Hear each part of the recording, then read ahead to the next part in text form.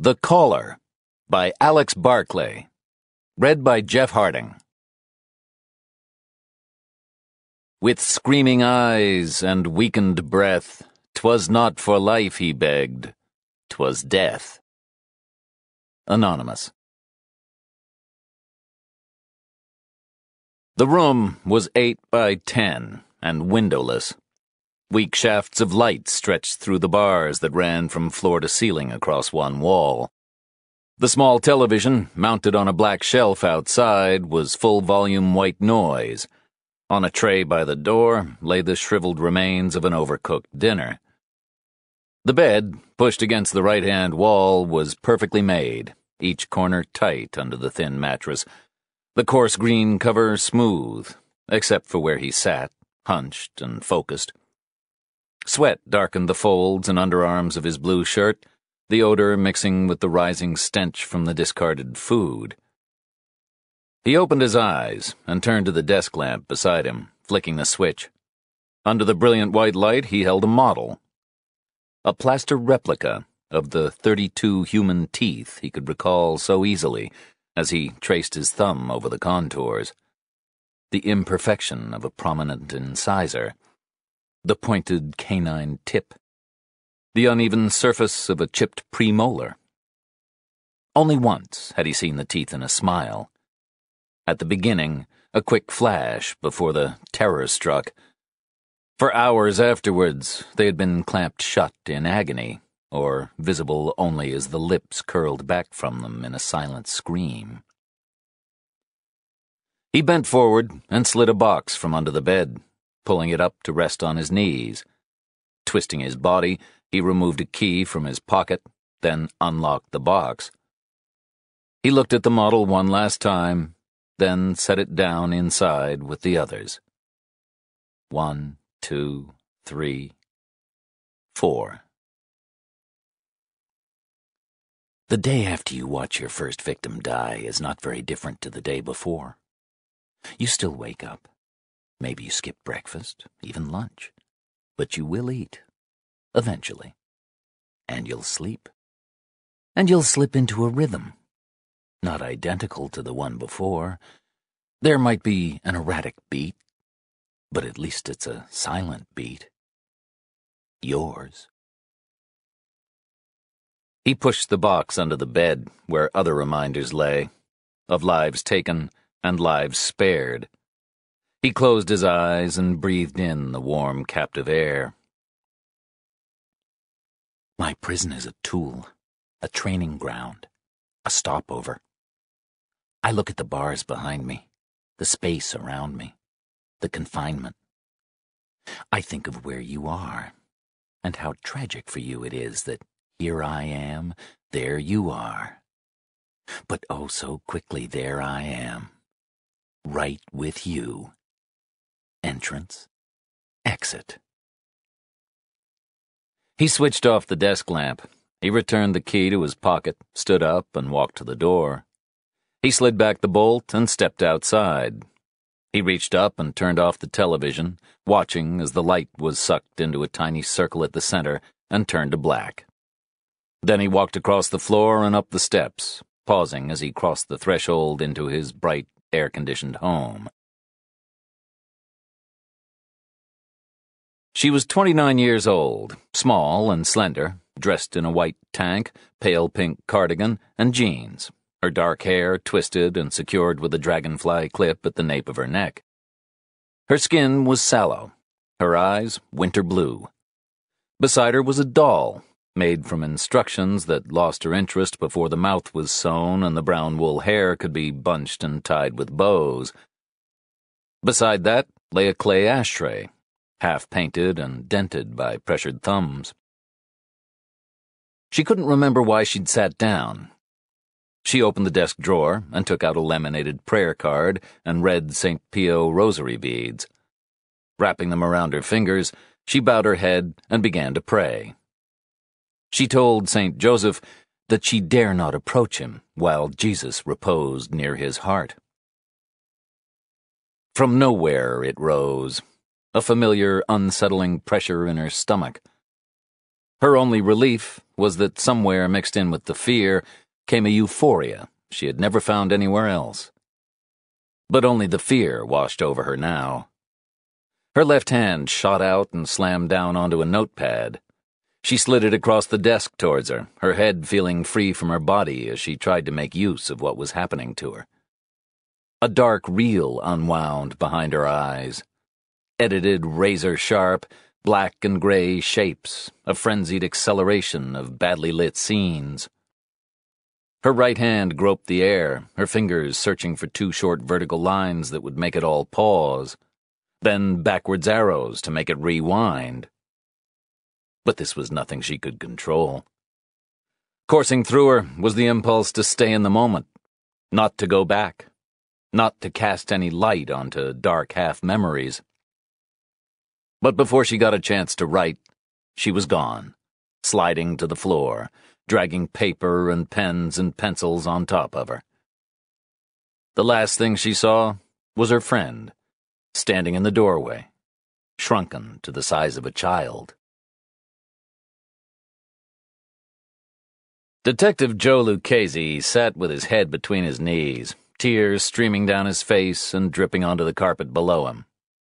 His face was gray, his forehead dotted with sweat and newsprint from the fingers he had pressed against it before the real pain had kicked in.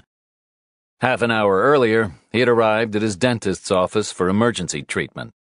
With pain, he had gauged level 8. Now, it was off the scale and rising. Nausea ripped through him, but he stayed doubled over, letting out a growl that choked in his throat. Joe? Joe? A receptionist rushed in from the hallway. Stay with me, sweetheart. She glanced around the waiting room. Did anyone see what happened? Well, he was sitting right there reading the newspaper. He took a call on his cell. He sat back down and then he started not to look too good. Joe knew it was the voice of a kind faced older man who was sitting opposite him when he arrived. The receptionist laid a hand on Joe's shoulder. Dr. McCarr will be along right away. Is there anything I can get you in the meantime? Would he maybe take a glass of water? It was the man again. He had stood up. Joe could see his brown suede loafers on the carpet in front of him. Joe managed to raise a shaky hand that said no to both offers. I don't think he was even able to talk to whoever called him, said the old man. But Joe knew it wasn't the pain that had stopped him from talking. He just had no answer for the voice that came twisting its way back into his life, drawling and heavy and laden with unfinished business. Detective Lucchesi? Every time you look at the scars on your wife's pretty little body, right down, low down on that tight little belly. Oh, when you flip her over onto her front, She's light. You can flip her easy, can't you? Yes, some scars there, too. Makes me feel like I'm the gift that keeps on giving. well, what I want to know is this. When you see them scars, do you still want her? He paused. Or do you want me more? He laughed, long and loud. Tell me, Who's gonna get it in the ass? Little Anna Lucchesi or Big Bad Duke Rollins? His breath was gone, lost in a dead silence. Then his voice struck up one last time. And, Detective, you'll never bury me. I will bury you. Detectives Joe Lucchesi and Danny Markey stepped into the elevator that would take them to the sixth floor of Manhattan North Homicide. They were three hours into an eight to four tour. A short, skinny man shot in after them, jumpy and light on his feet. You know, I can read futures by your hands. He had weathered skin and a droopy left eye. He stood an inch from Joe's chest and looked up at him with a gentle smile. Joe looked at Danny and held his palm out. The man stepped back, banging his head on the elevator doors. Not your palm, he shouted. Not your palm, the back of your hand. I will know you from the back of your hand. Joe turned it over. The other one, too. You, too, he said, looking at Danny. Both hands, both hands. Many hands make Jack Doe. Joe and Danny smiled and did what he said. You're laughing too early, said the guy. This could be bad news, what I see here. This could be too many ducks spoiling the bush. We don't want to hear no bad news, said Danny. Right? Right, said Joe. Right, said the man. But I'm not just the messenger here. You gotta appreciate that. I'm how it all begins. I'm what sets it all in motion. I'm like bang, and the future I see will start from right here in these nine stitches. Joe nodded slowly. The man reached up and adjusted the purple crocheted hat on his head, pulling the ear flaps around so one of them hung in front of his face. He rotated it again, then looked back at their hands. Yeah, he said, I'm seeing things. I definitely am, said the man. My name is One Line by incident. One Line. King of Madison Avenue. Your product in one line. Your brand in one line. You were a copywriter? said Joe. Your future in one line, said the man, staring at the hands in front of him. Okay, said Danny. So what is it? The bell chimed and the elevator doors opened on the sixth floor. Joe and Danny got out. As the doors slid together, one line pushed his face close to the gap. One line! You're fucked, both of you! Is that two lines? Could that be two? The doors closed. They laughed. Ah, another EDP for the HPD, said Danny. An EDP was an emotionally disturbed person. The HPD was the Department of Housing Preservation and Development. One of their jobs was to give out Section 8 housing subsidies. Let's send them into internal affairs. Let them tell them they're fucked, said Danny. I'd like 'em to come up with a whole jingle for that, said Joe. Sixteen detectives worked in three teams out of Manhattan North Homicide, a modern open plan space with a small glass walled office in the corner, shared by the sergeant and the lieutenant. The NYPD was one of the only law enforcement agencies in the country whose officers weren't put through regular fitness checks, leaving Sergeant John Rufo free to work his way up to 230 pounds and into his current predicament of trying to work his way back down. Your mental agility is being impaired, he said, pointing at Joe and Danny with something beige speared on a fork. Is that tofu? said Danny. No, it is not tofu. It is marinated steamed chicken. Tofu. Give me a break. Joe and Danny exchanged glances. It's eleven o'clock in the morning, said Danny. Eat little and often, said Rufo. Them's the rules. He pointed to his plate. Vegetables? Protein? Yeah, boss, said Danny. Tomato sauce, meatballs, I got it covered already. How do you stay so trim? said Rufo. You mean if I've been working out? said Danny. Rufo rolled his eyes, then poked his fork through his salad. Who's up today? Me, said Joe. And I eat well, by the way. Oh, you gotta watch that French food, said Rufo, looking up at him. It's tasty. He raised a finger in warning. Because it's rich. Your wife is genetically wired for it. You might not be. Ah, you're in shape now, but who knows down the line? Joe laughed. Yeah, Sarge. Thanks for looking out for me. A varied diet, said Rufo. That's what. The phone interrupted him. Ruthie, yeah. Put him through. He nodded. How you doing? Okay, yeah, okay. He listened, then scribbled on a notebook in front of him. Right away. Detectives Joe Lucchesi and Danny Markey. Yeah, uh-huh. I take care. He put down the phone. Gentlemen, we have a homicide on West 84th Street. Here's the address. Guy found in his apartment. He ripped out the page and handed it to Joe. The 2 0 was at the scene already. Joe and Danny crossed Broadway to the parking lot under the railway bridge. Who says trim? said Danny. People who aren't, said Joe. It's unbelievable, said Danny. We get sucked into food talk every time we go in his office. I wind up starving. Danny was short, wiry, and had no extra weight. He'd been wearing the same suit size since he was 18. He had pale skin and fading freckles, light brown hair, and blue eyes. Joe was six three, dark and broad. Joe stopped. Ah, shit. What? said Danny. Would you look at that? Joe walked over to a silver Lexus. That fucking shit. He pulled his keys out of his pocket and opened the door of his car, popping the glove box. He took out a cloth and started rubbing at a lump of tar on his windshield. I've a pain in my fucking ass with that crap, he said.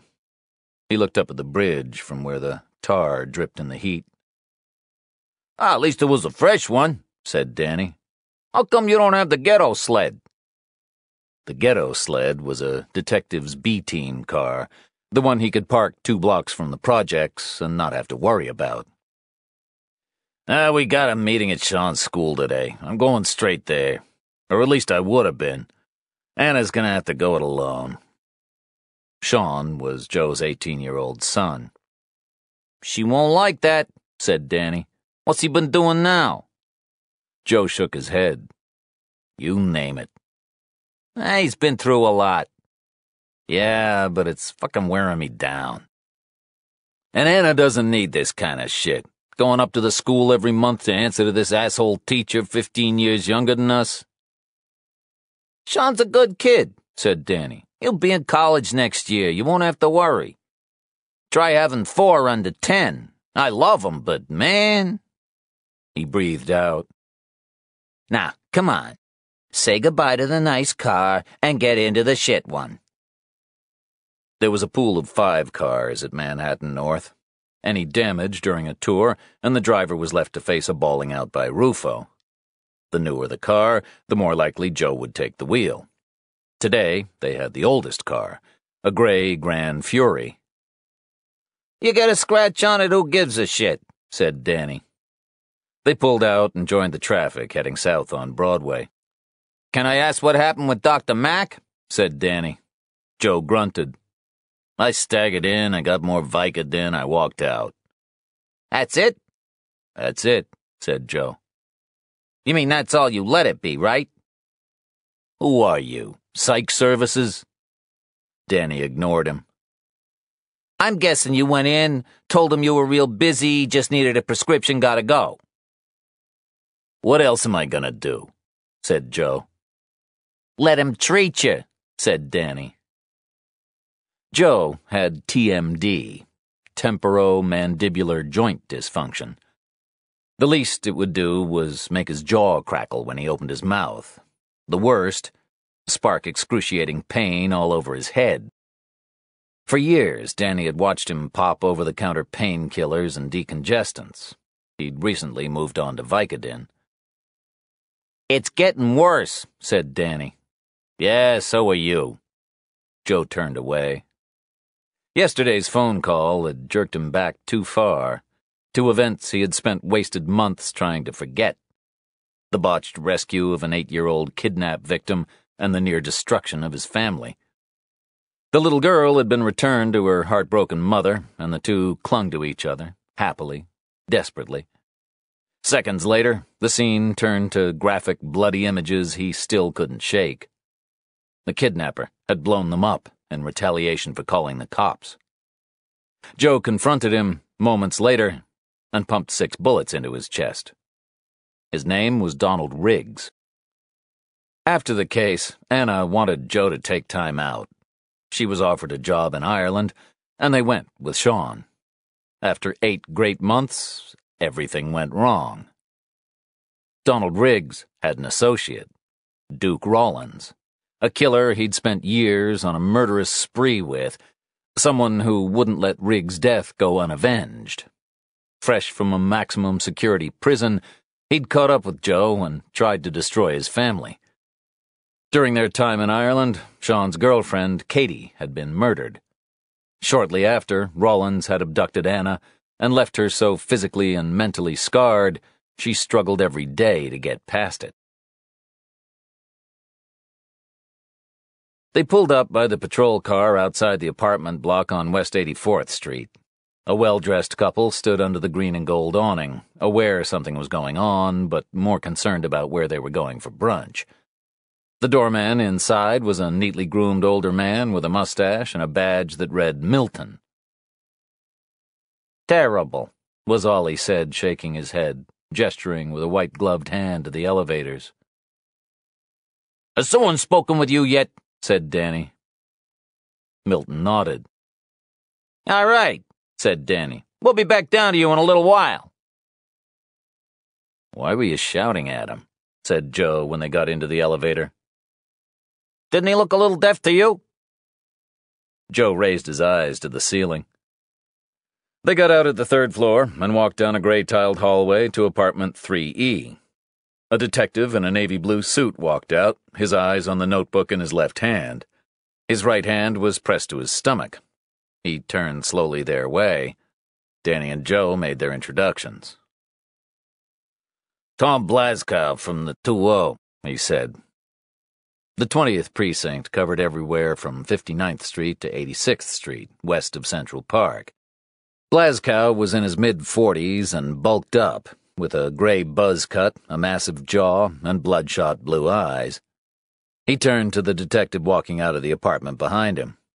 This is my partner, Dennis Cullen. They all nodded. Cullen was in his early fifties and dressed in a limp brown suit and a tie from a bowling league with a stars and stripes pin. He had pale red hair, thinning on top, and broken veins across his nose and cheeks. He looked eager, but worn out. So what do we got? said Joe. Blaskow spoke. Ethan Lowry, graphic designer, DOB 041271, married with a young daughter. 911 got a call from his diet delivery people. Every morning they bring his meals for the day. He didn't open the door. First time in 11 months he didn't. Delivery guy saw a drop of blood in the hallway, got a bad smell. He pointed to a pale, wheezing teenager. The two uniforms tried the bell, banged on the door, no answer, went around the back, climbed up the fire escape, couldn't see nothing through the window, so they called the ESU. Body was right inside the front door. No sign of forced entry. Balcony door was locked. No response from the wife's cell phone. We got a uniform down by the elevators. He knows who to look out for. You're gonna have to knock. He pointed to the apartment. Careful going in. You might slip on a chunk of face. Joe reached into his jacket pocket for a handkerchief and a small bottle of aftershave. He shook some drops onto the white cotton and held it to his nose, taking in a few deep breaths. He knocked on the door, and they walked carefully into the apartment. Ethan Lowry lay on his back, naked, his body pressed up against the baseboard behind the door. His arms were stretched out above him. His head was turned to the right, but there wasn't much of a face to face that way. Ethan Lowry had been savagely beaten, more blows than were needed to kill someone who had clearly been finished off with a bullet. The damage was entirely to his face. Where the skin wasn't plumped up and tight, it was pulped. His nostrils were plugged with dried blood. What's in his mouth? said Danny. His mouth, said Joe. Ah, Jesus, said Danny, leaning in closer. Lowry's mouth looked like it had been turned inside out. It covered his whole chin and left side of his face like raw meat. Only one tooth was visible. The rest were hidden under the swollen mess, broken or lying alone on the floor beside numbered evidence cards. Joe sucked in a breath. The skin was split at Lowry's left eye socket, where a gun had been fired point blank. Hey, said Danny to Kendra, a smiley, bulky crime scene technician who was squatting on the floor beside him. Hey, Joe. Danny. I'm having an MTV Cribs moment. Here's a hallway. And this is where the magic happened. See all this? She gestured around the body and in an arc above it. We've got expirated mist on the floor, on the wall. We've got cast off blood on the ceiling. We got it all, basically. Over there, we got high velocity spatter from the gunshot wound. Small caliber. She shook her head. And. God bless you, but God slow you down, too, said Joe. Just give us a moment. Sorry, she said. I get so cheery, said Danny. Kendra turned to him. I love my job, she said. And if that's an emotion that for some reason confuses you. She shrugged. How could you not love this? said Danny, pointing to the body. Beside Lowry's head was a black, blood streaked cordless phone. Joe put on a glove, picked it up, and hit the dialed calls button. Someone was alive in here last night at 10:58 p.m., said Joe. He took down all the incoming and outgoing calls. Let me call Martinez, said Joe. Unless you'd like to. He smiled. The year before, on his year out, Aldous Martinez filled in as Danny's partner. Now, with Martinez's partner, Fred Rencher, they made up the D team at Manhattan North. The only four man team. Hey, Martinez, it's Joe. Do me a favor. Could you do a victimology on an Ethan Lowry, 1640 West 84th Street, DOB 041271? Uh, thanks. Great. See you in a little while. Joe paused and looked over at Danny. Yeah, he's here. You need to talk to him? Danny shook his head violently. Oh, okay, said Joe. See you later. What did he want? Just to say he misses you. Look at this, said Danny. He was crouched down beside Lowry's wrists, pointing with his pen to a series of holes in the floorboards. His arms must have been restrained by something hammered in here. There are two holes on each side of each wrist. Did you find anything he could have used to do this? said Joe to Kendra. Uh-uh, she said. Perp's not gonna leave him behind. My guess is they're his special toys. There were six doors off the hallway in Lowry's apartment, into two bedrooms and a bathroom on the left, into the kitchen, living room, and office on the right. The kitchen was painted citrus lemon with green glossy cabinets and cream worktops, all tidy and undisturbed. The living room had a deep red sofa, widescreen TV, and a pile of children's toys in one corner. In the other was a yoga mat and two pink dumbbells. I'm not sure any good graphic designer would have been involved in this interior, said Joe. Maybe he was a bad graphic designer, said Danny. Why do you always make victims nicer or more talented than you actually have any proof they are? No, I don't. When they're in a nice house, you do. Yeah, well, they're hardly ever in a nice house, so that's bullshit, said Joe. They're decomposing on the bare springs of a bed in some skanky crack den or some place that hasn't seen a bottle of bleach. They walked into Ethan Lowry's office. This is more like it, said Joe. See what I mean? Clean lines.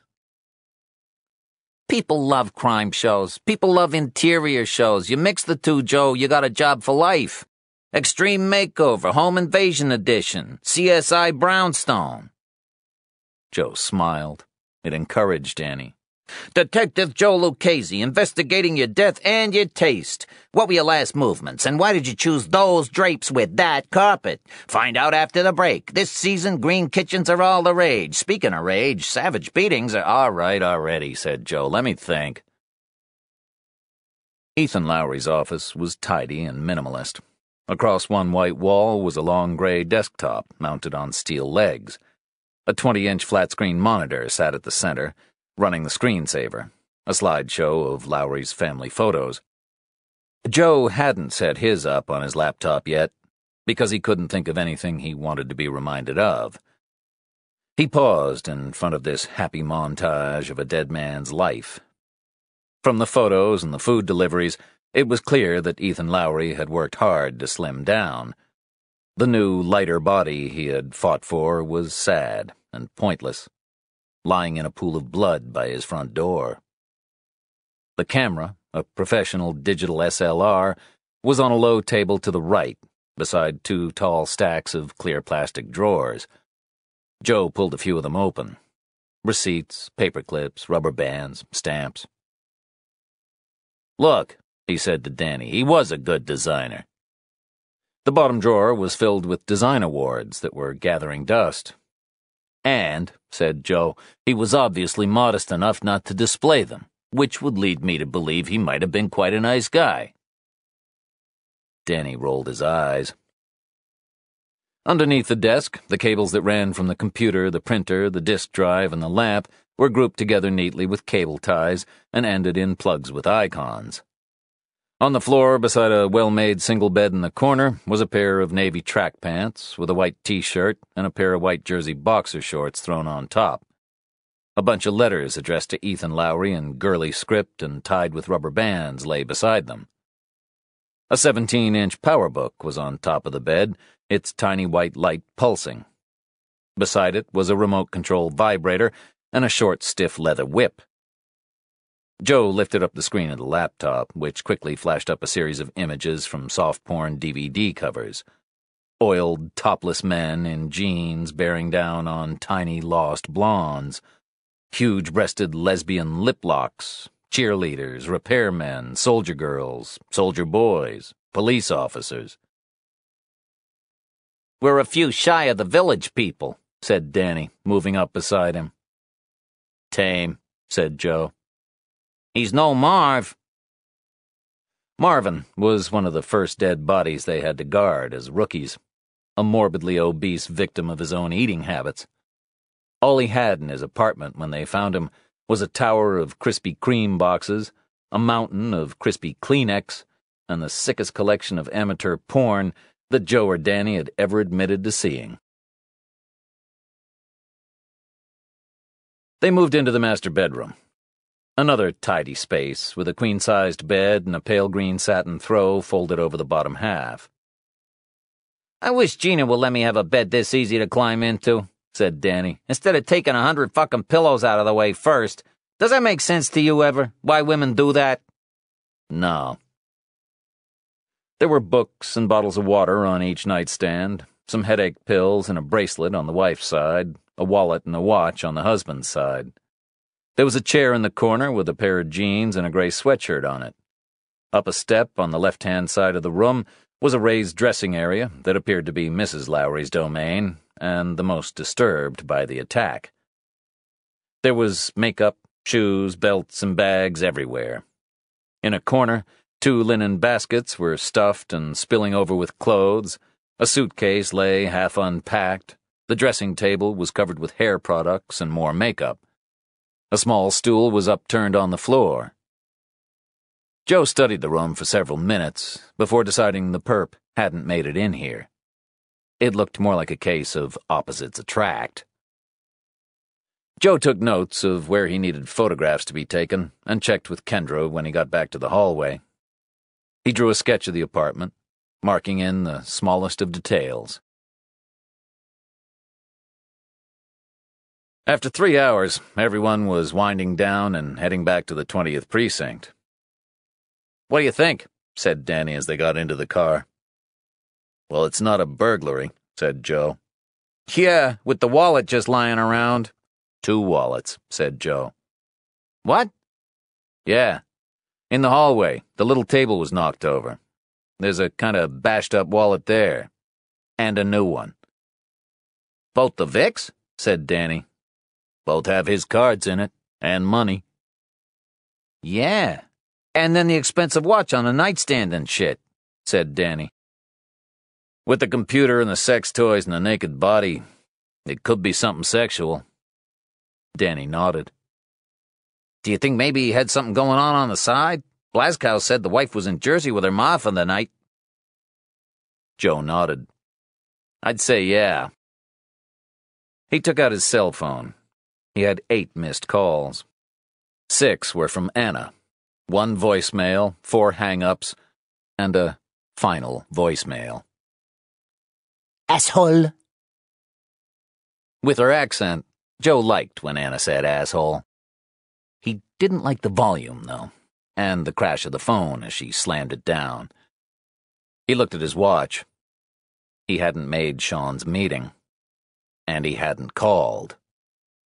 Shit, he said. Shit, I forgot to call Anna. You're a dead man, said Danny, reversing out of the space. Speaking of dead men, did you hear why Rufo lost all that weight? No. His brother died, 49 years old, heart attack. Bam, no warning. Yeah, I remember that. No, but there's more. Apparently, at the funeral, Rufo had a few too many, and one of the guys heard him tell some old aunt that he didn't want to go down the same road as his brother because, wait for it, he'd never been in love. Specifically, he'd never found true love. Rufo? Yes. I'm seeing him in a whole new way now. Yeah, said Danny, in soft focus, running through a cornfield. How long ago was that? Three years ago. And we haven't seen him with a woman yet. That's sad. For all of us. He could have kept his fuller figure, and we could have been spared the salad quinoa couscous talk. You go ahead in, said Joe when they got to the 20th precinct. He walked past the entrance and called Anna. Hey, honey, I'm sorry. I'm not gonna make. I know, said Anna, because I've already been to the school and now I'm back home.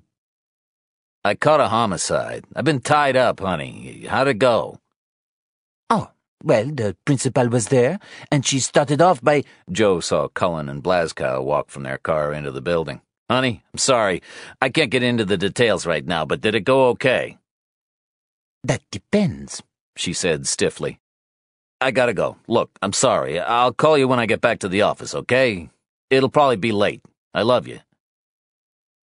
I love you too, she said, her voice tired. Joe made his way up to the second floor office. Everyone was standing around drinking coffee. So, what do we got? he said. Closed homicide, no witnesses, a bag of shit, said Blaskow. Any video? said Joe. Not so far, said Martinez. Not even from across the street, said Joe. No. Not everyone was home in the building, said Blaskow. So we'll see what comes up, but neighbors on either side heard nothing, and the doorman didn't see shit. What about the wife? She's at her ma's with their kid, said Martinez. She was a mess. Tried to hold it together for the daughter, but fuck. Uh, I got what I could from her, which was not a lot. She has no idea why this happened.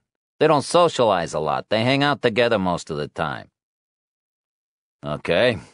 Wrencher, can you pull Lowry's phone records? said Joe. Cullen, could you run the plates of all the cars on the street? Tomorrow we got the autopsy. When we've got an idea of the time of death, we can work out about canvassing the building again. He turned to Blaskow. You get anything from BCI or Triple I?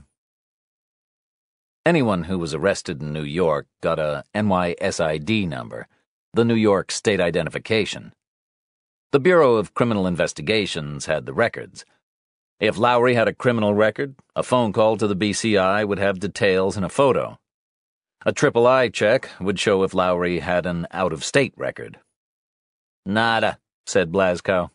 Okay, said Joe. Grab a desk, said Blaskow. You want coffee? Thanks, yeah, said Joe.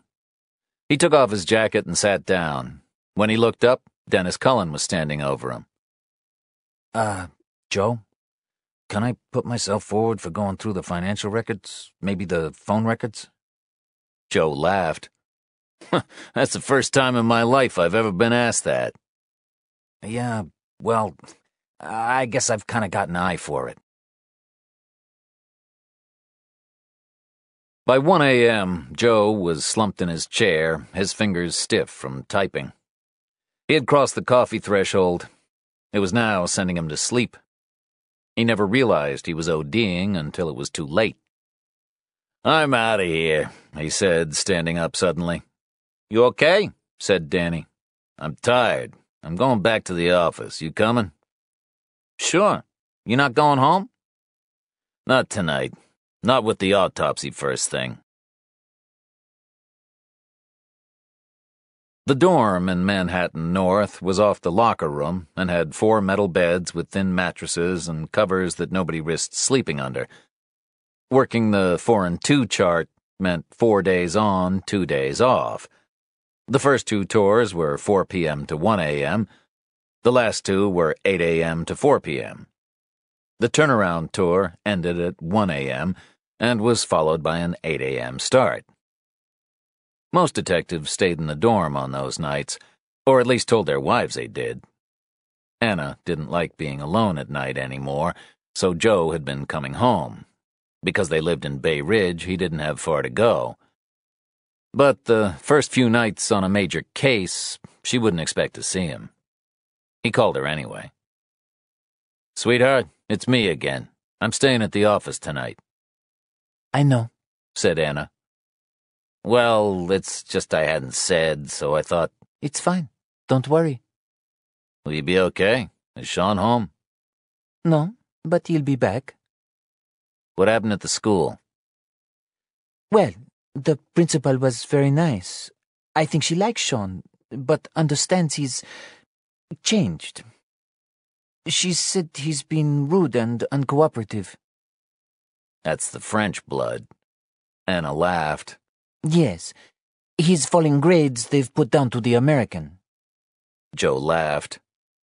They said the same thing about his charm and his looks. And low self esteem. What was the bottom line? said Joe. Just that they will give him a chance to improve. They think he's tired in class, staying out too late, and. Did they give us a hard time? They didn't have to say a word. Look, are you sure you're going to be okay tonight? Would you like me to get Pam to come over and stay? Pam was his father Julio's second wife. Pam? said Anna. She laughed. Yeah, babysitting by a woman the same age as me, who is my mother in law. Step. Whatever. It wouldn't be babysitting. You could ask her over for a glass of wine and a movie. I'm just trying to help. Just to remind you, it's after one in the morning, and I'm okay. Sleep well whenever you get there. Thanks.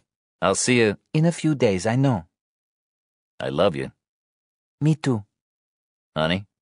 Yeah? I love laughing with you. Me too, she said. And Joe? Yeah? At least I know you sleep in the dorm. I wouldn't want it any other way. Anna was right. He did sleep in the dorm. But Gina Markey thought the same thing about Danny. Stanley Freight had an hour to kill before he showed up for work. He drove down Hoyt Avenue in his white Ford Econoline van stamped with the chunky blue lettering of Freight Electrical Services. He pulled into the parking lot at the south end of Astoria Park. At 8:30 a.m., it was quieter than it would have been an hour before, when the dawn walkers, runners, and swimmers were making their way back home to take a shower before work. He got out of the van and let the cool breeze from the East River raise goosebumps on his bare arms. Where he stood, by the park, under the Triborough Bridge, was Astoria as it had always been to him. On the Shore Boulevard side, the luxury condos that looked over the tennis courts on one side and Manhattan on the other represented change. Like Brooklyn, Astoria had lured people out of the city and was going through the makeover to prove it. Stan liked it all. He was just happy to be anywhere he could feel the sun, look out over beautiful water, walk through the trees, sit on a bench. When it hit 8:50 a.m., he went back to his van. He drove down 19th Street and pulled into the small parking lot of the apartment building he'd been working on for the previous two weeks. He unloaded his equipment and walked up the flagstone path. He stopped halfway and bent down, laying his gear beside him and pulling a penknife from his utility belt. He flipped it open and sliced at a weed that was pushing up through a gap in the cement. June, the receptionist, waved to him from behind the front desk as he walked towards her. He pushed through the front door into the lobby. The smell was lemon disinfectant rising from the shiny floor tiles.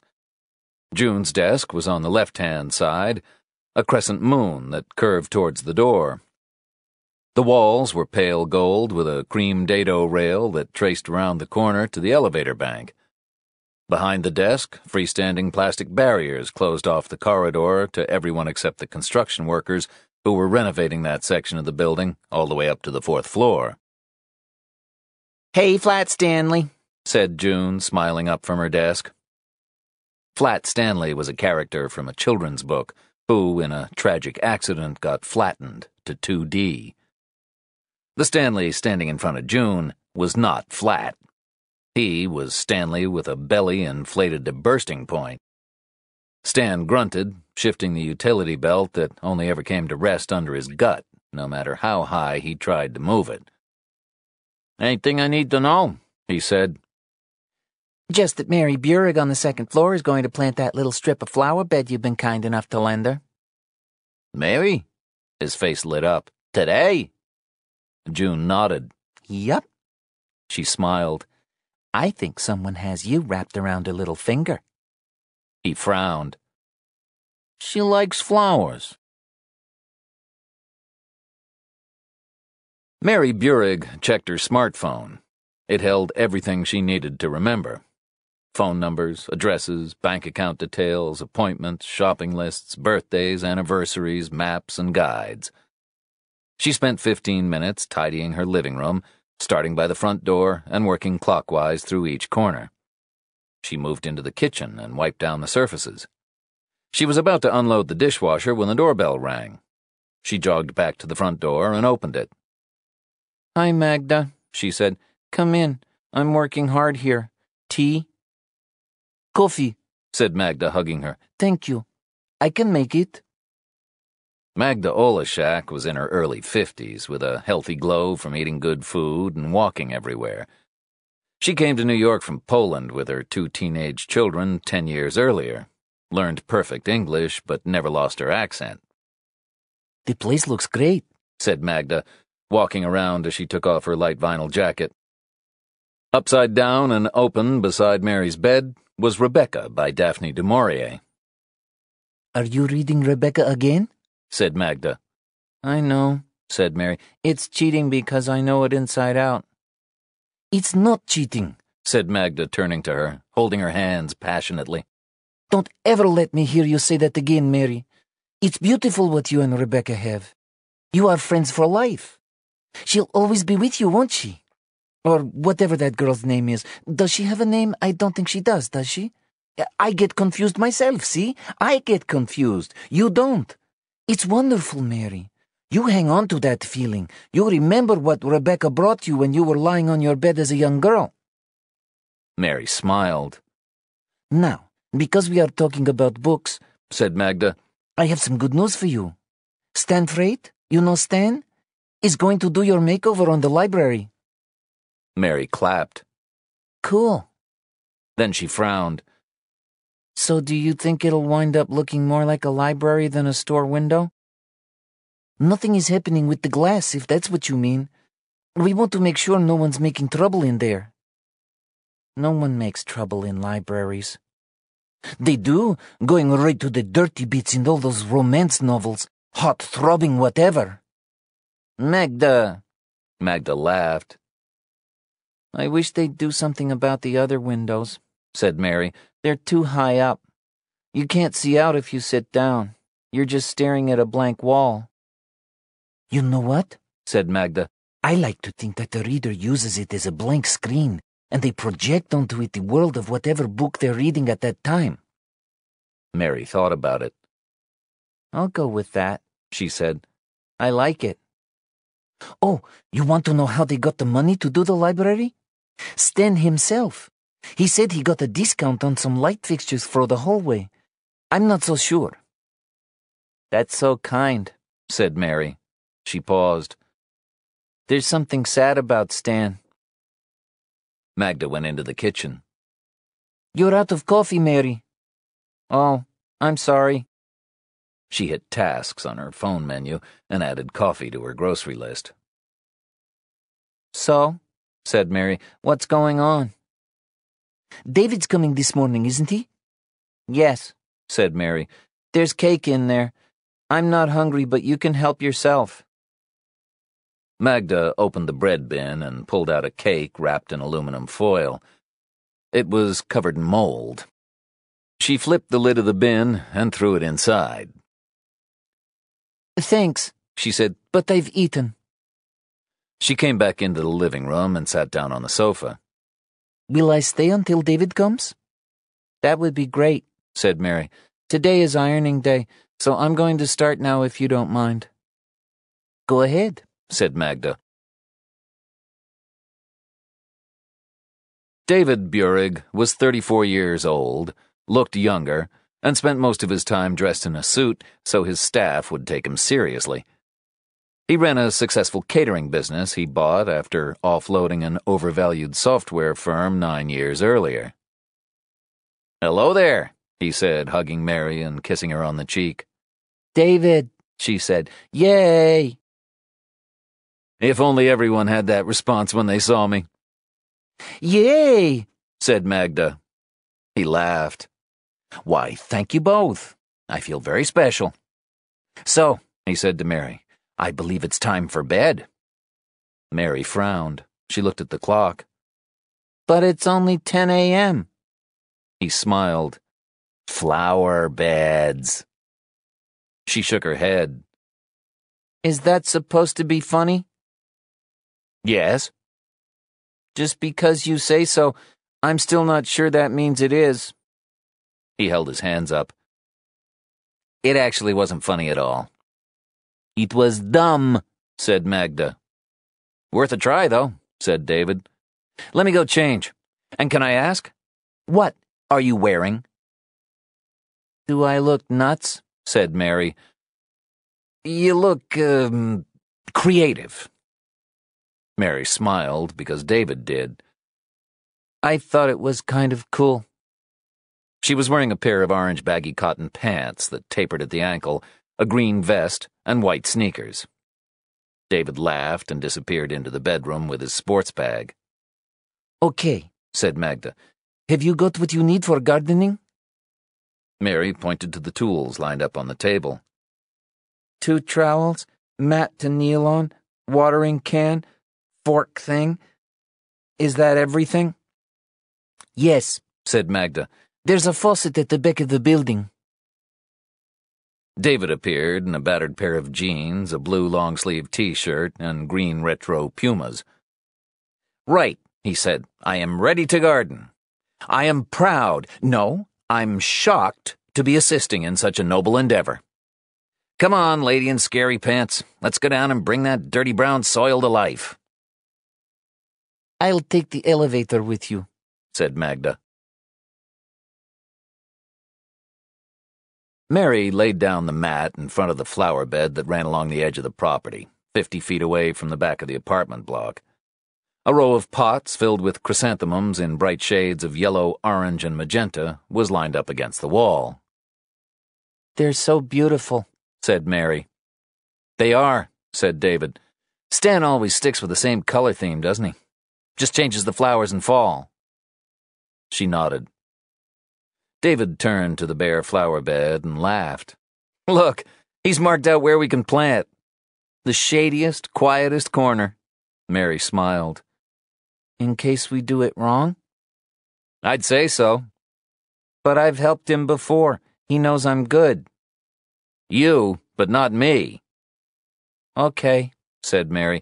We need to take the flowers out of the pots, break up the roots gently, and plant them here in a pattern. She handed him a piece of paper with a rough diagram. That should be easy, said David.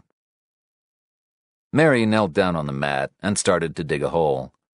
David tended to the pots, pushing a small trowel into the first one, working it around the roots, pulling the plant free, and shaking off the excess soil.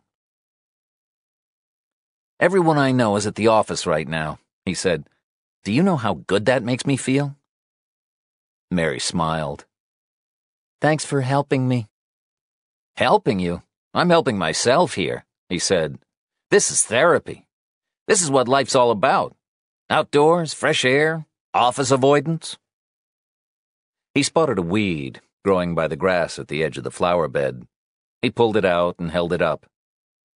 Isn't it funny, he said, how easy it is for beauty to attract such ugly, clinging things? Like the garden in Manderley, said Mary. Yes, said David, exactly. They worked on, talking and laughing for over an hour. David stopped and watched his little sister, her concentration unwavering, stooped over the bright petals, holding them gently in her tiny hand, pouring her heart into the job. How are you doing? he said. She looked up at him. I guess I'm okay. He squeezed her hand. That's good. That's good, Mare. She smiled. They continued in silence until David stopped again. He looked at her and started a quote from Rebecca. We all of us have our particular devil who rides us and torments us. Mary smiled sadly and continued, And we must give battle in the end. We have conquered ours. David let out a breath. Or so we believe. The body of Ethan Lowry was laid out on the perforated surface of a stainless steel table in the basement of the office of the chief medical examiner. A body block lay under his back, forcing out his trunk that had been emptied of its organs. A handwritten, blood-stained list with their weights lay by the scales. Joe and Danny were dressed in scrubs, gowns, and gloves, with face masks hanging around their necks. Joe's digital camera and notebook were on the counter beside him. He had taken photos and notes and asked questions through every step of the three hour autopsy. Dr. Malcolm Hyland was young for an ME. Cops liked him because he didn't expect them to be doctors, but he didn't expect them to be stupid either. He was soft spoken until he had to use the microphone, then he turned stilted and loud. Okay, Doc, said Joe. He grabbed the notebook and flipped it open again. Okay, said Hyland. Estimated time of death somewhere between 11 p.m. and 3 a.m. Cause of death was a point blank GSW to the head. You saw the small entry hole by his eye socket and the bruised and battered 22 caliber bullet taken from the skull cavity. The bullet's trajectory was left to right, lodged in the temporal lobe. You remember the grazing around the wound margins as the bullet was spinning in.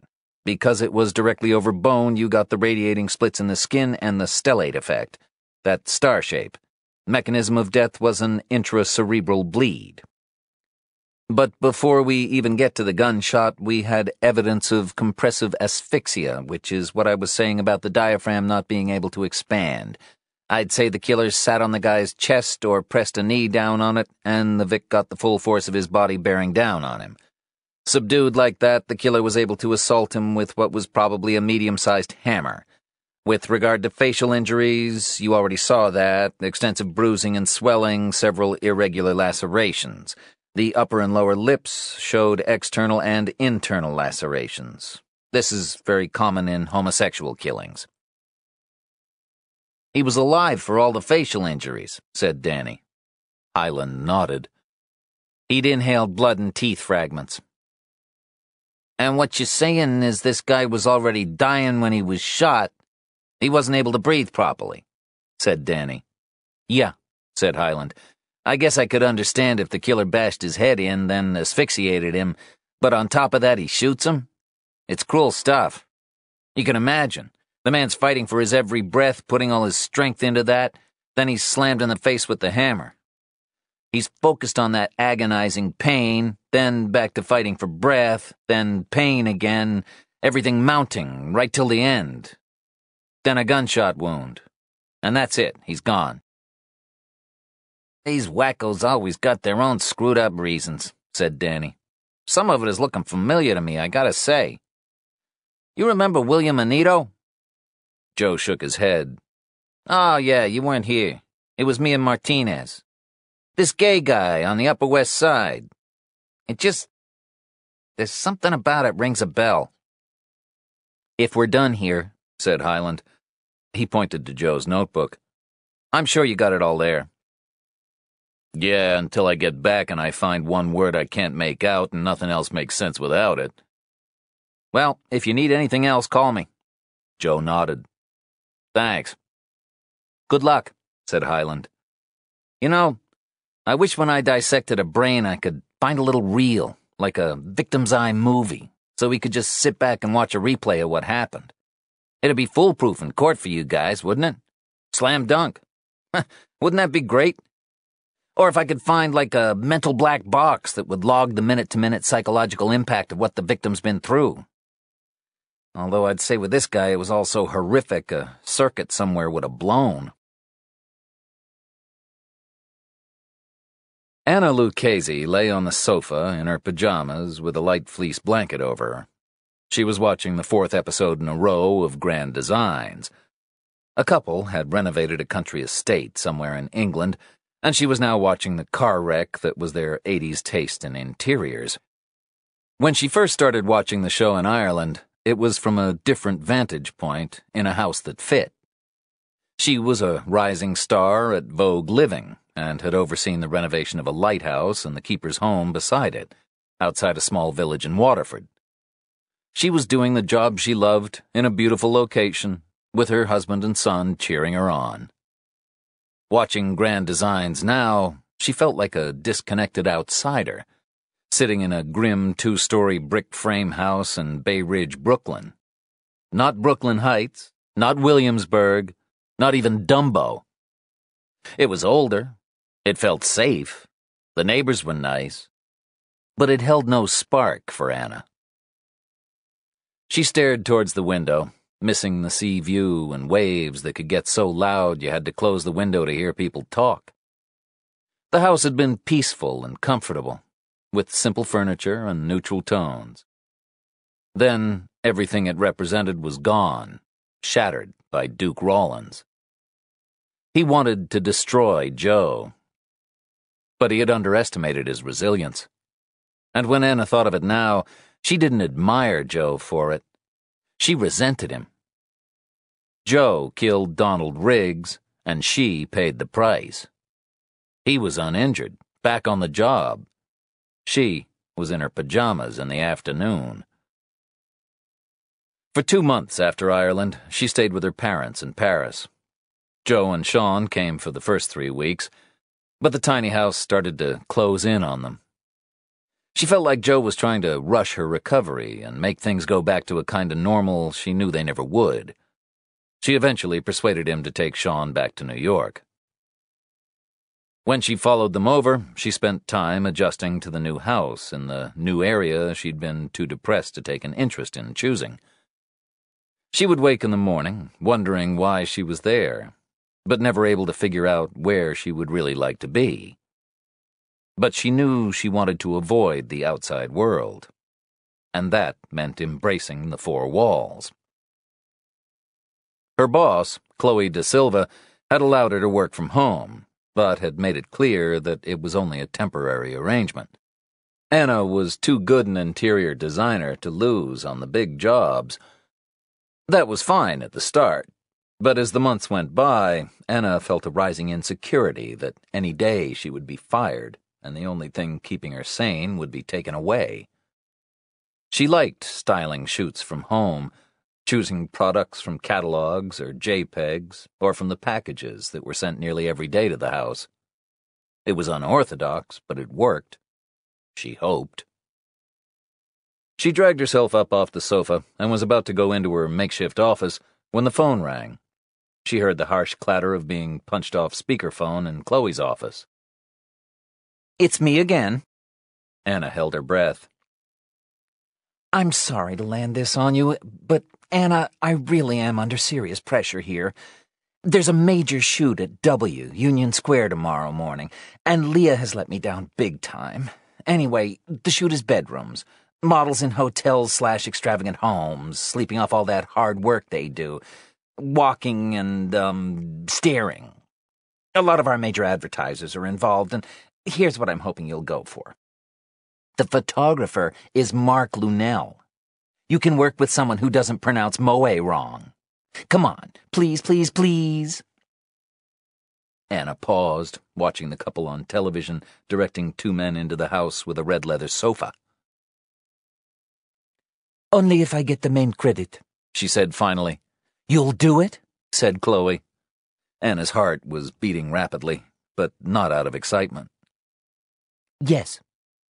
God, if I'd known it was going to be that easy, I would have called Mark months ago. Her laugh was shrill.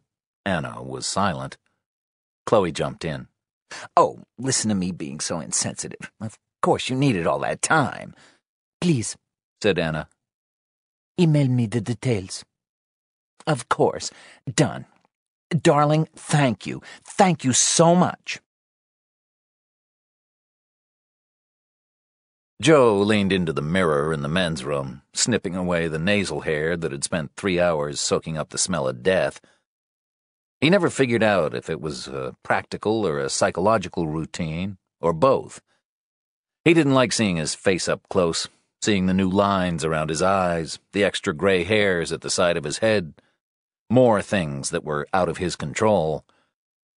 He went to his locker and grabbed a bottle of tea tree shower gel that Anna had given him.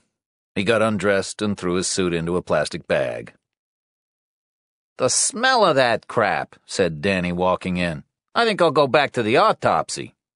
Screw you, said Joe. I'd rather smell like weird ass tea, like clean, than how you go out with your cheap foaming shit that doesn't cover up nothing. If a woman can't handle the smell of death from a man, she can't go out with a deadbeat.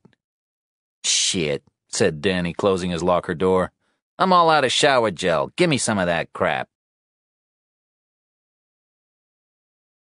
Joe went back to his desk and checked his email. Danny walked over a few minutes later, smelling the back of his hand and frowning. Get over the fucking shower gel, said Joe. Let me pull that file, said Danny. The one I told you about, Anito. Joe made space on his desk, laying a stack of files on the floor beside him. Danny came back and opened William Anito's file in front of him. Anito was 31, slightly built, handsome, with collar length black hair. Joe looked at his headshot and saw a TV actor's face. The four line Max guy, two or three steps back from the main action. His role in a Spanish language soap opera was the friend of the brother of the leading man. He was killed almost a year earlier, his body discovered in his Upper West Side apartment by a female friend. The case had quickly gone cold. As a victim, William fell into the high risk category, promiscuous on the gay scene, known for disappearing at the end of a night with a stranger. Danny and Martinez had interviewed hundreds of Anito's friends, acquaintances, and lovers, and had gotten nowhere. His murder was down as a hookup gone bad. Joe pulled out the next photos and laid them in rows on the table in front of him. Danny stood beside him. Like Ethan Lowry, the body was found in the hallway. But behind William Anito, hair smears of blood curved across the gray tiled floor like tracks through red paint from a dried brush. Yeah, it's all coming back to me, said Danny. Most of the action happened in the kitchen. He was killed there and then dragged to the front door to be finished off. Wait till you see the kitchen. Handprints, footprints all over the floor, up the wall, kindergarten art class. You know, if all the paint was red. And the children with Damien. Joe studied the photos of the kitchen. He pointed to the bloodied corner of a granite countertop. So I'm the perp, standing here behind the Vic, bashing his face off this. Blood was spattered onto the wall, the counter, the floor, misted across the granite. Danny nodded. Yep, they looked at a wide shot of the hallway. The crumpled corpse, the spatter of a gunshot wound, the pooled blood under his head. William Anito's face was more damaged than Ethan Lowry's, destroyed by injuries that left the entire surface pulped and bloodied. His right eye socket was completely impacted from one of the blows, obliterating the entry wound from the bullet that, based on the autopsy results, followed a similar trajectory to Lowry's. Yeah, it's a no-brainer, said Danny. The caliber was too low, said Joe. Funny guy. Shit. The phone, look, said Danny, pointing to the tiny silver cell phone beside Anito's body. I forgot about that. Like Ethan Lowry, it looked like William Anito could have made a call just before he died. Joe flipped through the file to a statement from a Mrs. Anito. Yeah, said Danny. His mother said the call was just to say goodnight. Maybe you should talk to Mrs. Anito again. She no likey me, said Danny, making a face. Maybe Martinez could warm her up again. Yeah, that's one I won't be tagging along for. Why's that? Maybe you should ask Martinez, said Joe. What the hell's that supposed to mean? See how he looks at me. I'm a homewrecker. He had 11 good months with you. I show up, you take me back, the guy's life is over. Danny shook his head. He gets that glint in his eye when you're around, said Joe. Screw you. What you're seeing is professional admiration. Come on, let's go talk to Rufo. Gentlemen, said Rufo when they walked in. We got a link, said Joe, between Ethan Lowry and William Anito. Rufo frowned. The guy I've been getting all these calls about this week? Danny nodded. Yeah, the year anniversary still no answers thing. Interesting timing, said Rufo. Told me more. Both happened at home, no sign of forced entry, similar facial injuries, similar 22 caliber gunshot wound, phone found beside both of them, bodies left in the hallway behind the door. Rufo nodded. That's good enough for me.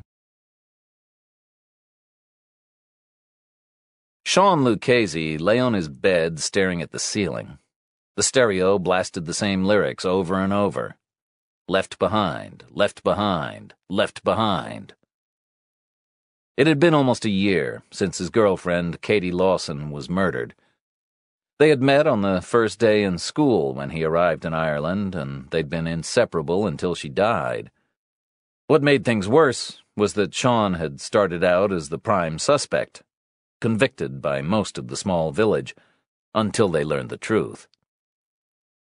For months after Katie's death, Sean had woken up with a void inside him that had ached like nothing else he had ever known.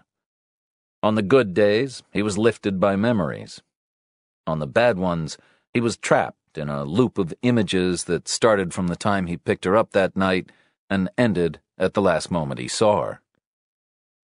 Everything now seemed unimportant. He came back to New York and met his old friends and went to the old hangouts, but it was such a different life to the one he had with Katie. It was surreal. His life with her was stripped down to how they felt about each other, how they made each other laugh, how they lay on his bed, wrapped around each other for hours, just talking or watching movies. It wasn't about who your friends were, where you went, what you owned, who you were sleeping with, who had the latest cell phone, who had the fastest car. Sometimes he was so overwhelmed at the thought of never being that happy again, he almost couldn't breathe. He turned off the stereo and went to his closet. From the top shelf, he pulled out a small, chunky, round tin. A thin layer of wax coated the bottom of it, and a short black wick twisted from the center. It was Katie's favorite candle, fresh linen. He took a lighter from his drawer and lit it. He could only burn it for a few minutes at a time. It was so low. He couldn't bear the thought it would ever burn out completely. Everyone else would remember the anniversary of Katie's funeral three weeks from now. But this night, one year ago, was the night he nearly had sex with her for the first time. But then they had fought. And then she had run away from him. And then she was killed. He lay down on his bed, closed his eyes, and for half an hour let the tears run down his face onto the pillow. Then he sat up and grabbed his cell phone and scrolled through his photos. Katie at school, Katie on the beach, Katie in his room. Delete, delete, delete. Joe sat at his desk, pressing his fingers against his forehead, pretending to read a report that had started to blur a few minutes earlier. His phone rang. It was Reuben Mahler from the FBI, Eastern District, the office that covered the whole East Coast. They got on well since their first case together. The last one they worked was Donald Riggs. Can you talk? said Mahler. Go ahead, said Joe. How are you all doing? Oh, said Joe. You mean here, Manhattan North? You, Anna, Sean. How are you holding up? Joe paused. We're good. Why? What's going on? Mahler let out a breath. Okay, he said, lowering his voice. Off the record? I got some news from the Bureau in Texas. On Duke Rawlins. Joe stopped breathing. Before you say anything, Joe, it's sketchy, I don't have a lot of details. And you do not know this. Joe fought the nausea rising in his stomach. Tell me, he managed. Duke Rawlins' hometown, Stingers Creek. Jeff Riggs, Donald Riggs' father, said he had a visit last week from Rawlins. Jeff Riggs is in really bad shape, Joe. No one knows the last time he was sober. He walks through town railing about things, not making a lot of sense. Last week, he said to some young kid in the liquor store that Rawlins was out at his cabin the week before. The kid was freaked out and called the cops. They went to speak with Riggs. I have it written here verbatim. Jeff Riggs said, real calm, sure I had a visit from Dookie. He was wanting to say hi, catch up. Been years. Wanted to take a look around Donnie's bedroom. I said, knock yourself out, buddy. Not a lot in there since y'all turned it up sideways last year. So Dookie comes out, then he go on out to the shed out back where I keep my tools, and I say, Sure you can, Dookie, you're a good boy. He seemed kinda aggravated. Had some sort of bug in his bonnet. Anyways, last I saw of little Dookie. That's it, said Joe. Yep. Jeff Riggs didn't call the cops? Nothing? No, this guy's brain is so fried. That statement I just read to you took two hours to extract from him. My guess is Rawlins is taking advantage of the relaxed surveillance.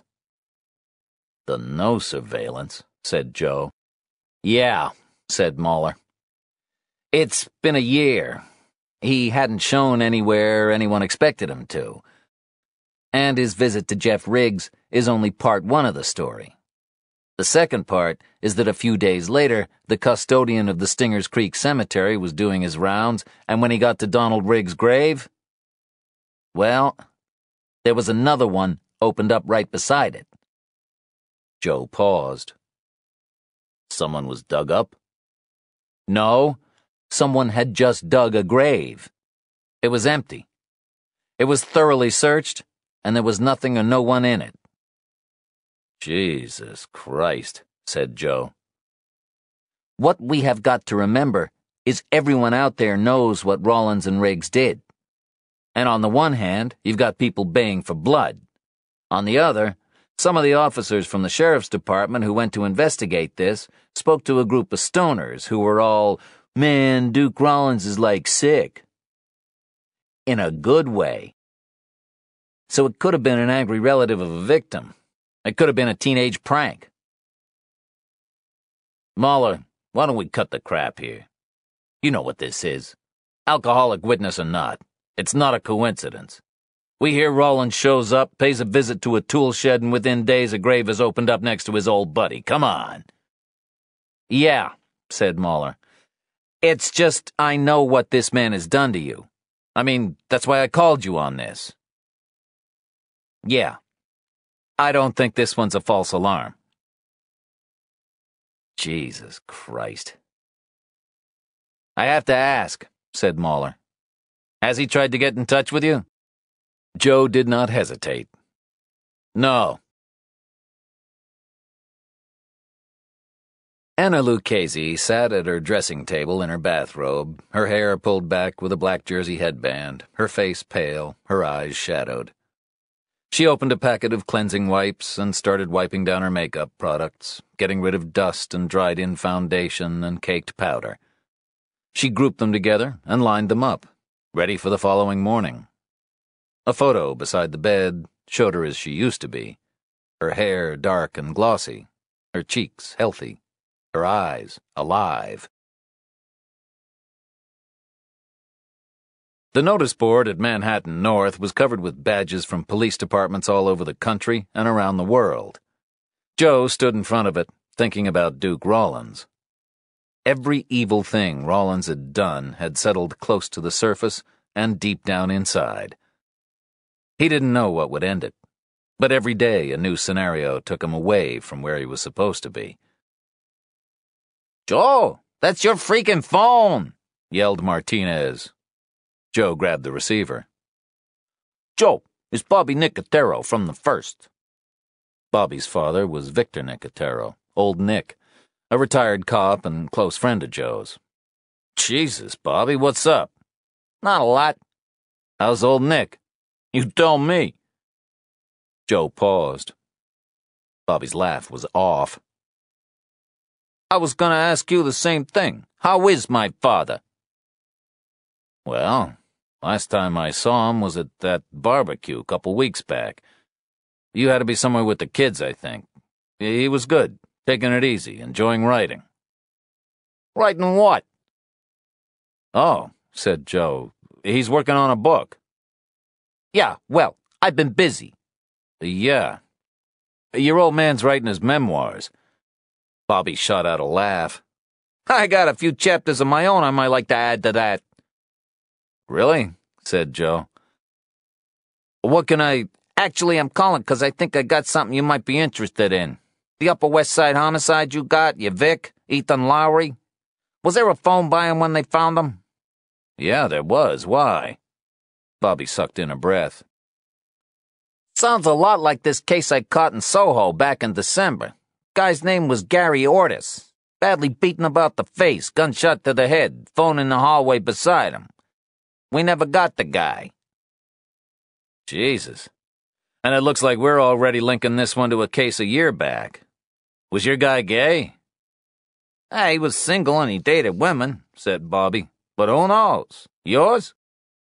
Ethan Lowry was married with a kid, said Joe. William Anito was gay. Huh. I know where you're coming from, said Joe. It has that feel about it. That was some hardcore facial damage. And I don't know about you, but last few times I saw shit like that, it was two guys, lovers spat. No one died, but. Yeah, I know, said Bobby. Look, why don't you call into the 2 Bring what you got. Joe put down the phone and reached into the inside pocket of his jacket hanging on the back of his chair. He pulled out two pills and took them with a can of Red Bull. Guys, he said, that was Bobby Nicotero from the first. Looks like he got a third Vic. Happened back in December. He's on his way over. Holy shit, said Danny.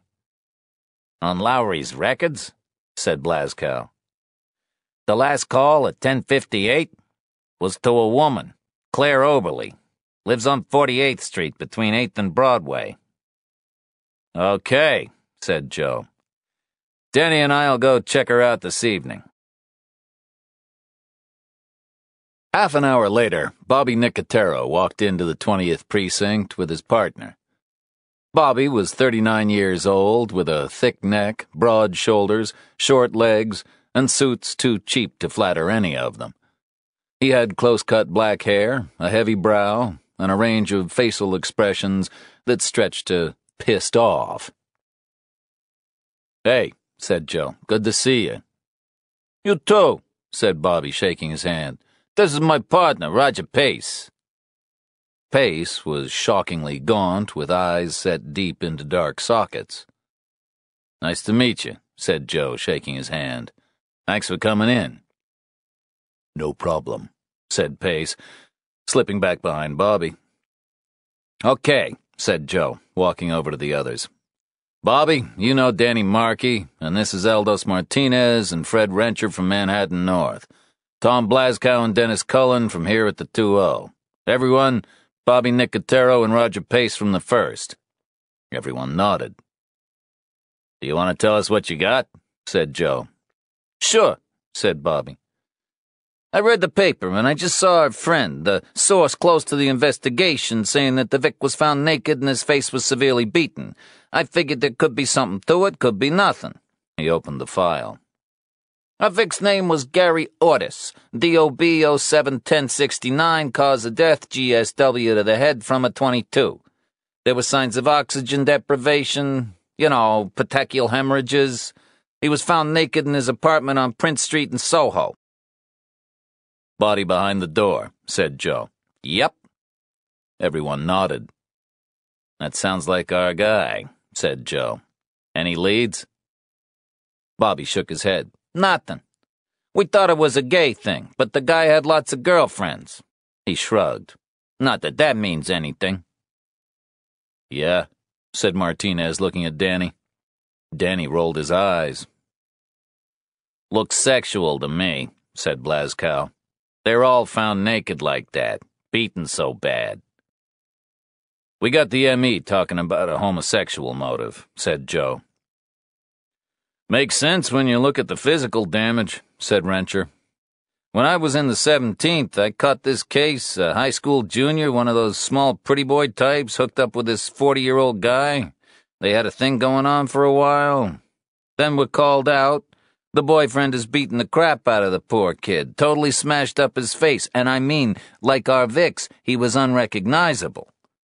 The boyfriend was out of his mind with grief, crying and saying he just wished the kid hadn't spent so much time talking to that cute barman, that he would have been still alive if he had. Unbelievable. And remember that guy in Jersey who shot his boss? said Cullen. He'd been arrested for beating the crap out of his boyfriend with a hammer a few years before that. But then there's no damage to the genitals with our Vicks, said Joe. He shrugged. That usually goes along with it. Also, on the sex thing, said Rencher, according to Lowry's wife, the DVDs and whip and shit were just theirs. They like to watch porn together, no big deal. She figures he was just gonna watch some that night while she was gone. Okay, but what else was left lying around the other scenes? What was in the bedrooms? There was a sexual element at the Anito and Lowry scenes, said Blaskow. Yeah, same for said Bobby. Toys, DVDs. Some of 'em were a little dusty, I remember, but they were out there on his bed. But there was also work papers, diaries, photos. Yeah, we got photos at Anito's, too, said Danny. There were love letters from Lowry's ex-girlfriend by his bed. Oh, there were boxes of wax strips at Anito's, said Martinez. And Preparation H at Ortis's place, said Bobby.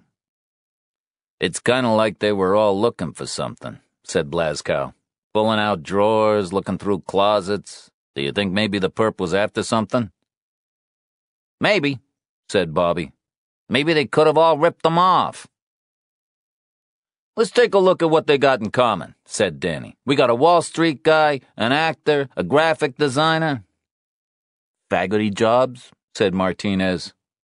Yeah, I see that sensitivity training worked out well for you, said Danny. He's cool. I'm dating the guy who gave the talk, said Martinez. You're such a dickhead, said Danny. What about success? said Blaskow, ignoring the interruption. They all nodded. He continued. Perp could have a chip on his shoulder. All these guys were successful, at least on the surface, like if you saw them on the street. The Wall Street guys are all about surface, said Danny. Why else do they freak out so much when they're caught with their pants around their ankles burying it in some $10 whore? My neighbors, my clients, my wife. Yeah, said Bobby. And then the pricks tell us they're paying our salary like that's going to help their situation. How to win cops and influence whatever. Okay. Phone calls, said Joe. All the Vicks made calls the night they died. Looks like while the perp was in their home. William Anito calls his mother. She says it was just to say goodnight. Gary Ortis calls his former business partner just to say hi, he says, see how he was doing, said Bobby. Hmm, said Joe. Maybe not. We need to go talk to these people again.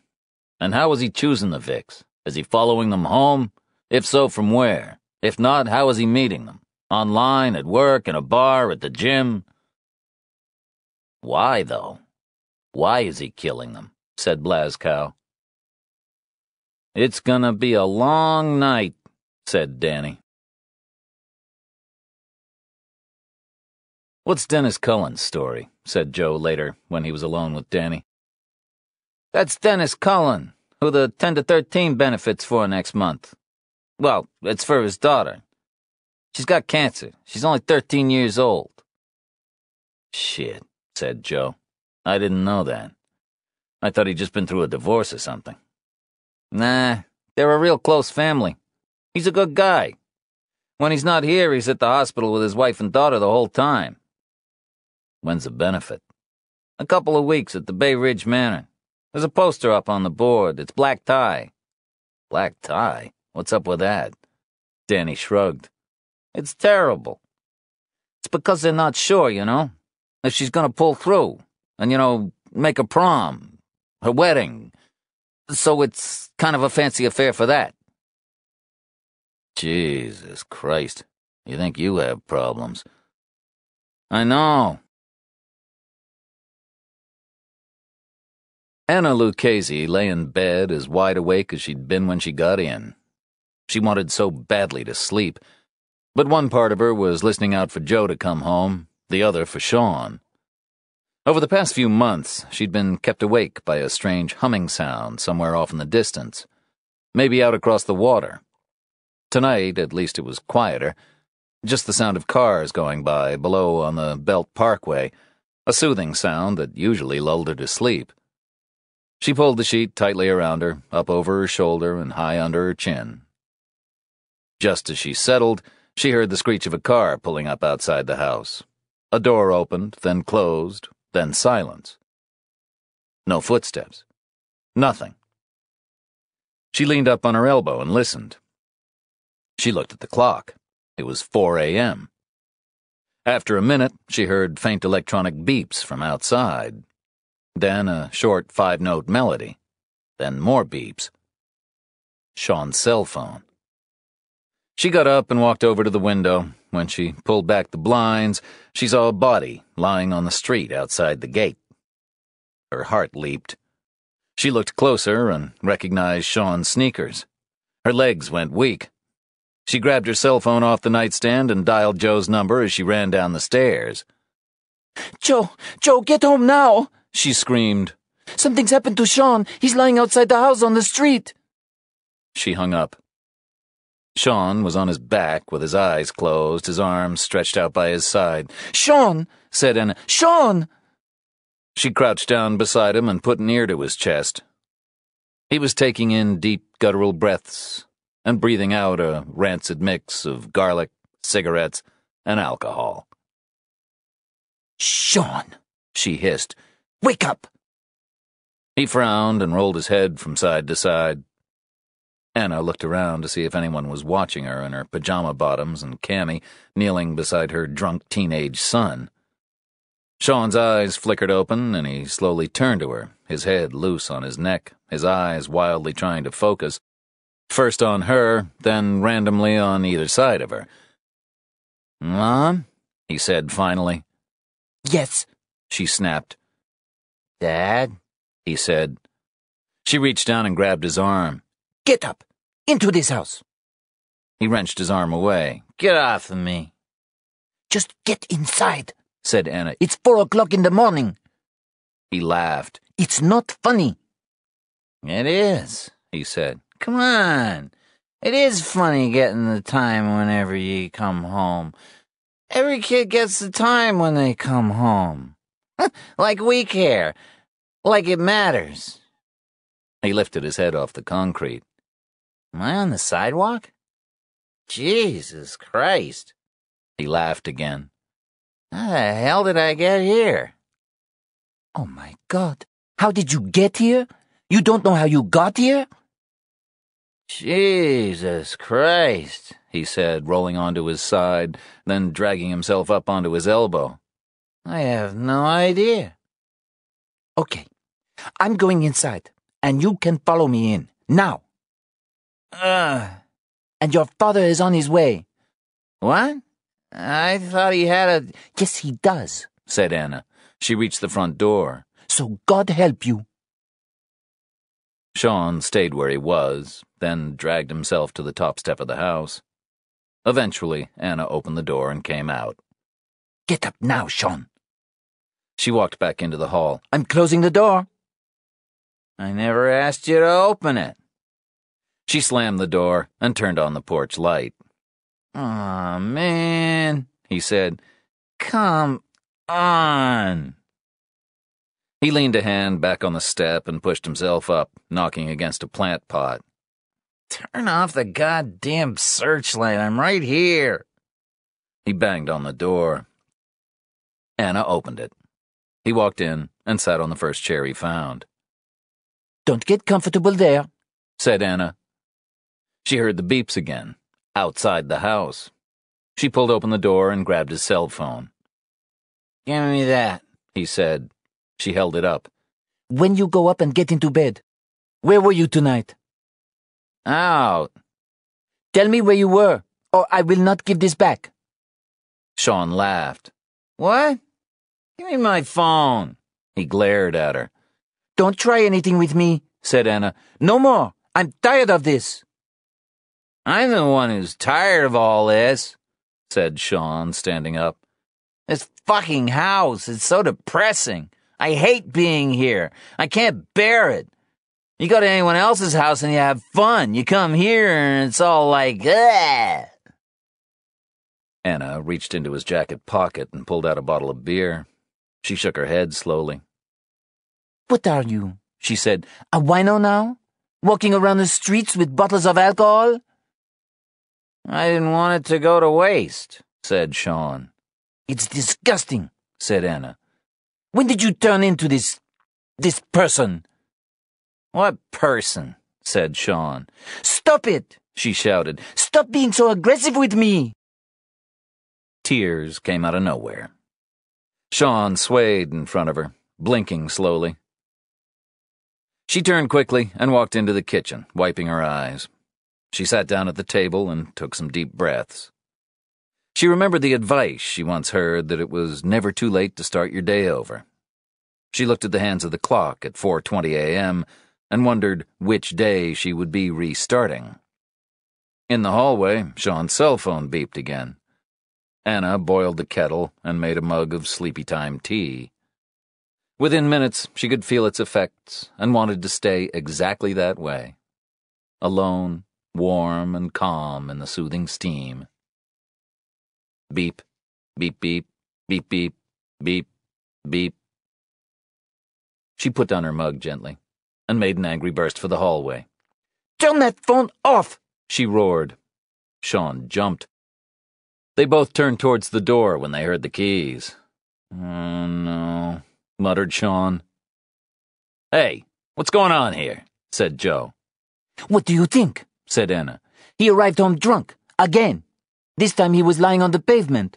Someone had pushed him out of a car and left him there. What? said Joe and Sean. Yes, she said, turning to Sean.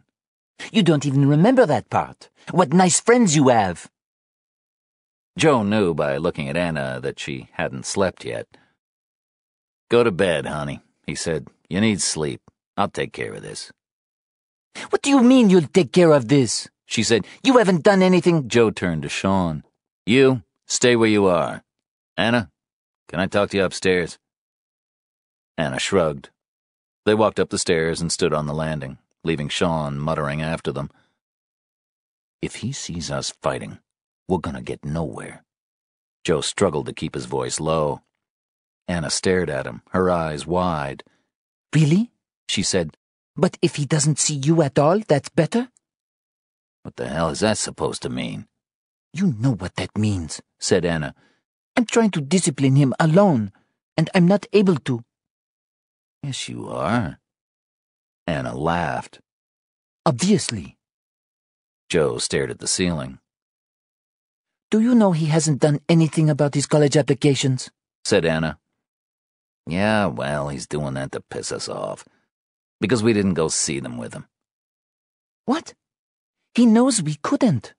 I was just back from Paris. You were. Yeah, yeah, working. I get it. But you were. Of course I was. Where else is the money going to come from? Anna stepped back. Joe stared at her. It's true, he said. Her eyes were black with anger. I cannot believe you. After what you put me through? What I put you through? His voice cracked. They looked at each other. Jesus Christ, Anna, is that how you feel? I don't know, she said. I'm tired. I'm going to bed. You blame me for him, I blame you for me, you blame yourself for nothing. Good night. Wait, you have to answer me. You've never said that. I said I don't know what I feel. Now let me go to bed. What has happened to us? said Joe. But she was gone. Joe leaned against the banister, his breath shaky. He slowly made his way down the stairs. Sean, he said, crouching down in front of him. Over the past year, the brightness had gone from Sean's eyes, and his skin was starting to look pale and waxy. What? said Sean, drowsy and irritated. Where were you tonight? Not again, said Sean. I was out, okay? Just let me go to bed. What's going on with you? said Joe. Nothing, Sean snapped. Nothing, okay? Nothing. Your mom and me are worried. Yeah, well, get over it. This isn't you talking, said Joe. You're my boy. You're a good kid. I don't know where this nasty piece of. Leave me alone, said Sean. I want to go to bed. Your mother was up at the school today. I know you haven't done anything about college. Why are you talking to me about this shit now? said Sean. What's wrong with you? It's like late or, or early, whatever. Joe moved back and let Sean struggle up from the chair. Sean, this is the last time you're to do this. Come home like this, okay? Sean snorted. Whatever.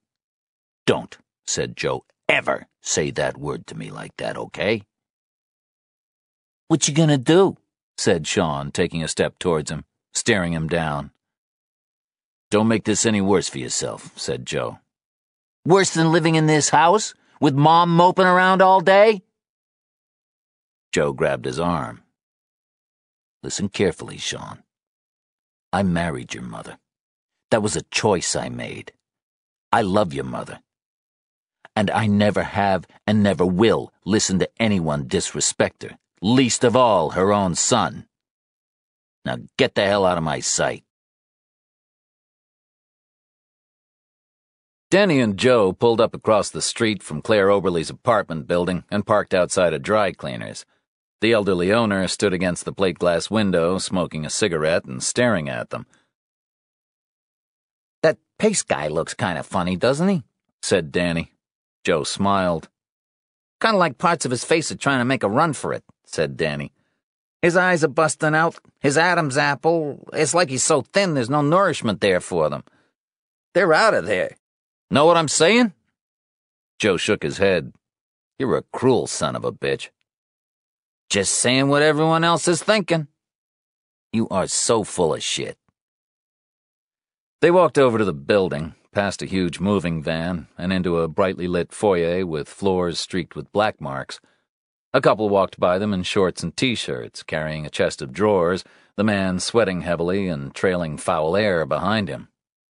Jesus Christ, said Danny to Joe. Deodorant. One of the elevators was held open by the couple moving.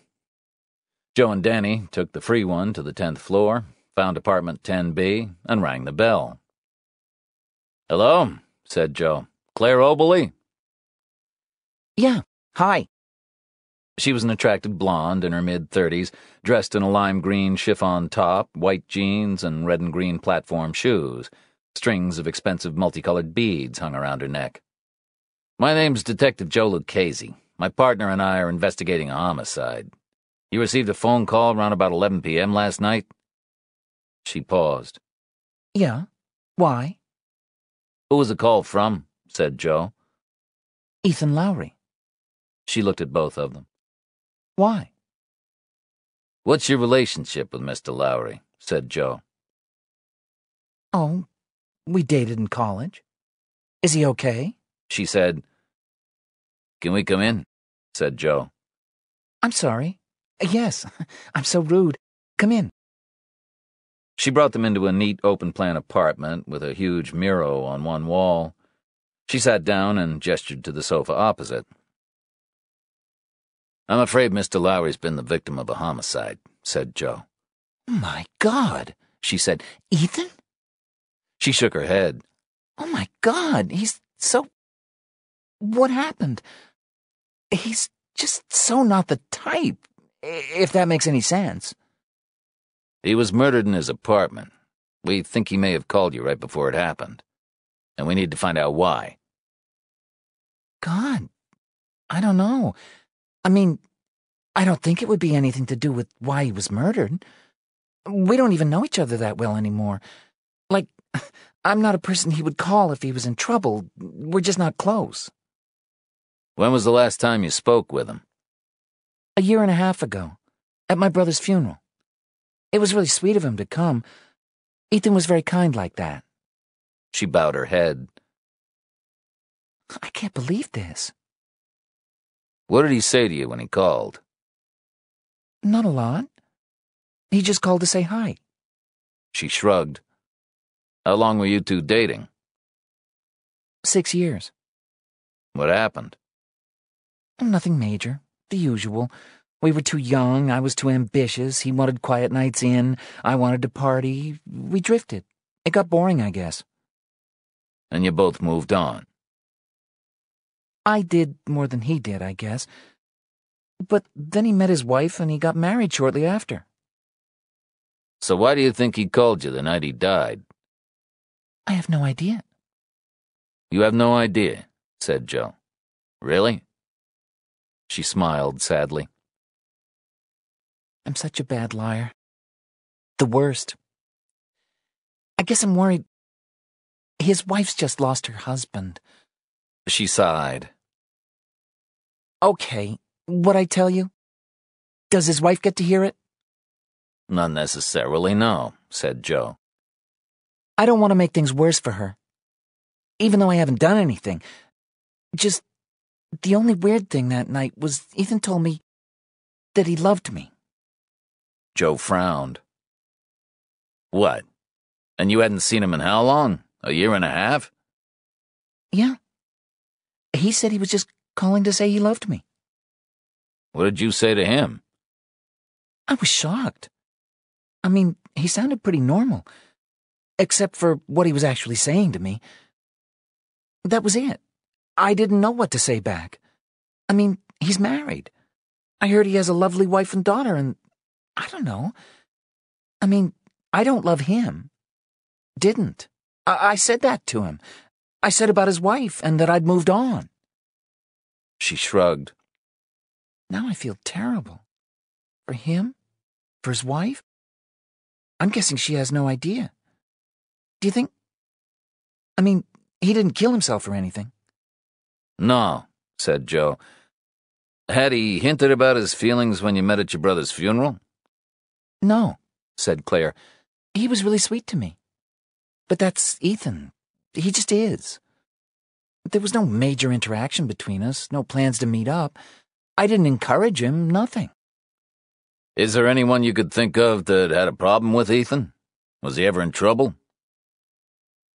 It was eight years ago when we broke up. But before then, Ethan was like normal, just a nice guy. I never saw him even have an argument with anyone. He was low profile, you know what I mean? He'd be the last person I would think would end up murdered. Rufo was sitting at his desk pressing keys on his cell phone when Danny and Joe walked in. He held up his left hand to silence them. They looked at each other. Joe shrugged. Rufo spent another few minutes focused on the tiny handset. He was smiling to himself. He hit one last key and put the phone down. Texting, he said. What a great way to communicate. You should check it out. I lived in Ireland, remember? said Joe.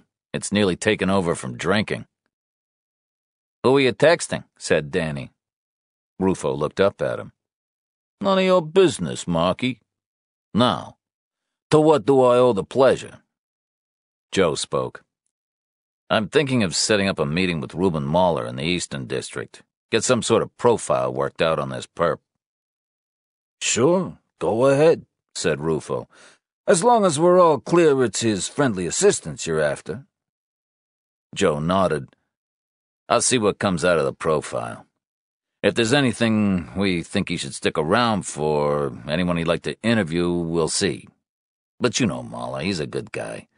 He does his thing, then disappears back. Under his rock, said Danny. Joe rolled his eyes. Do you ever think it might be you?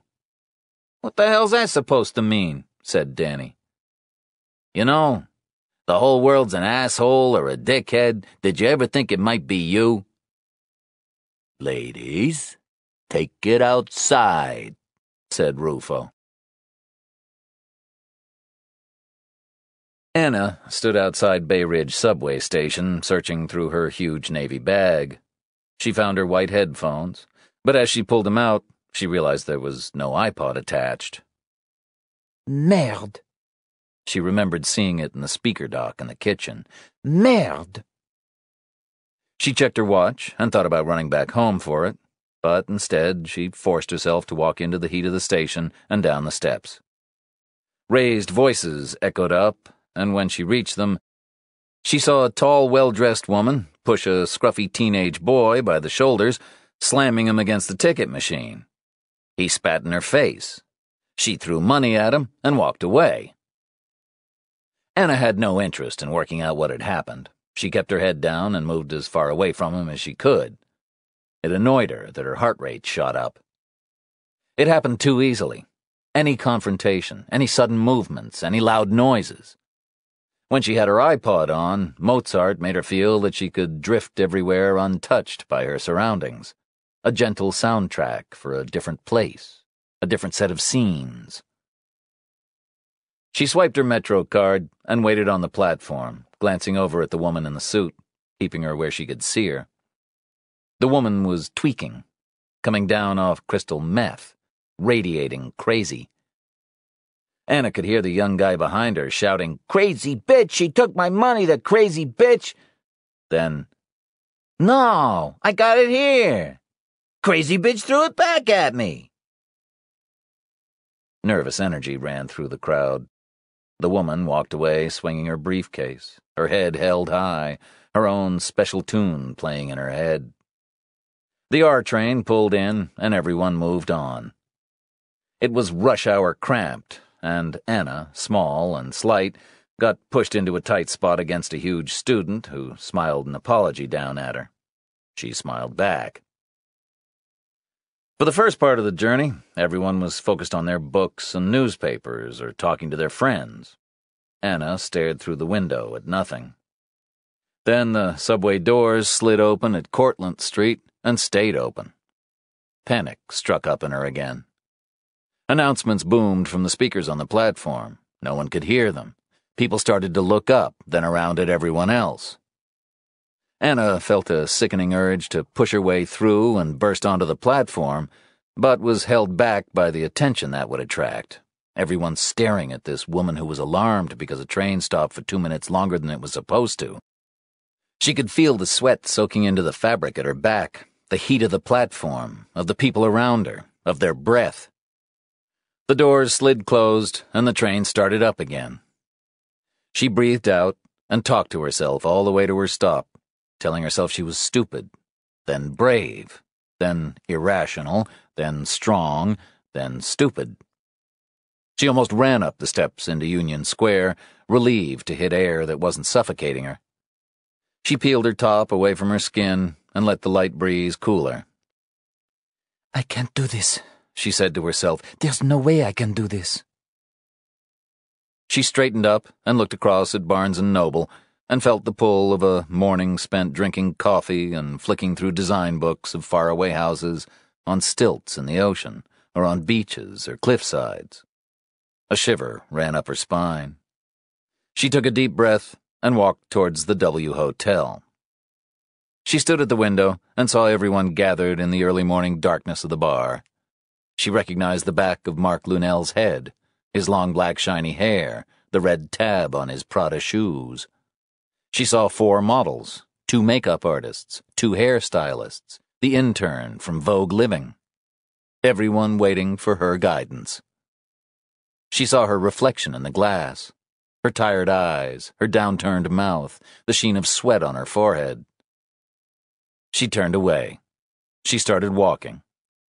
And she hailed the first cab that passed by. When Joe got back to his desk, a white envelope lay there, stamped and addressed to him.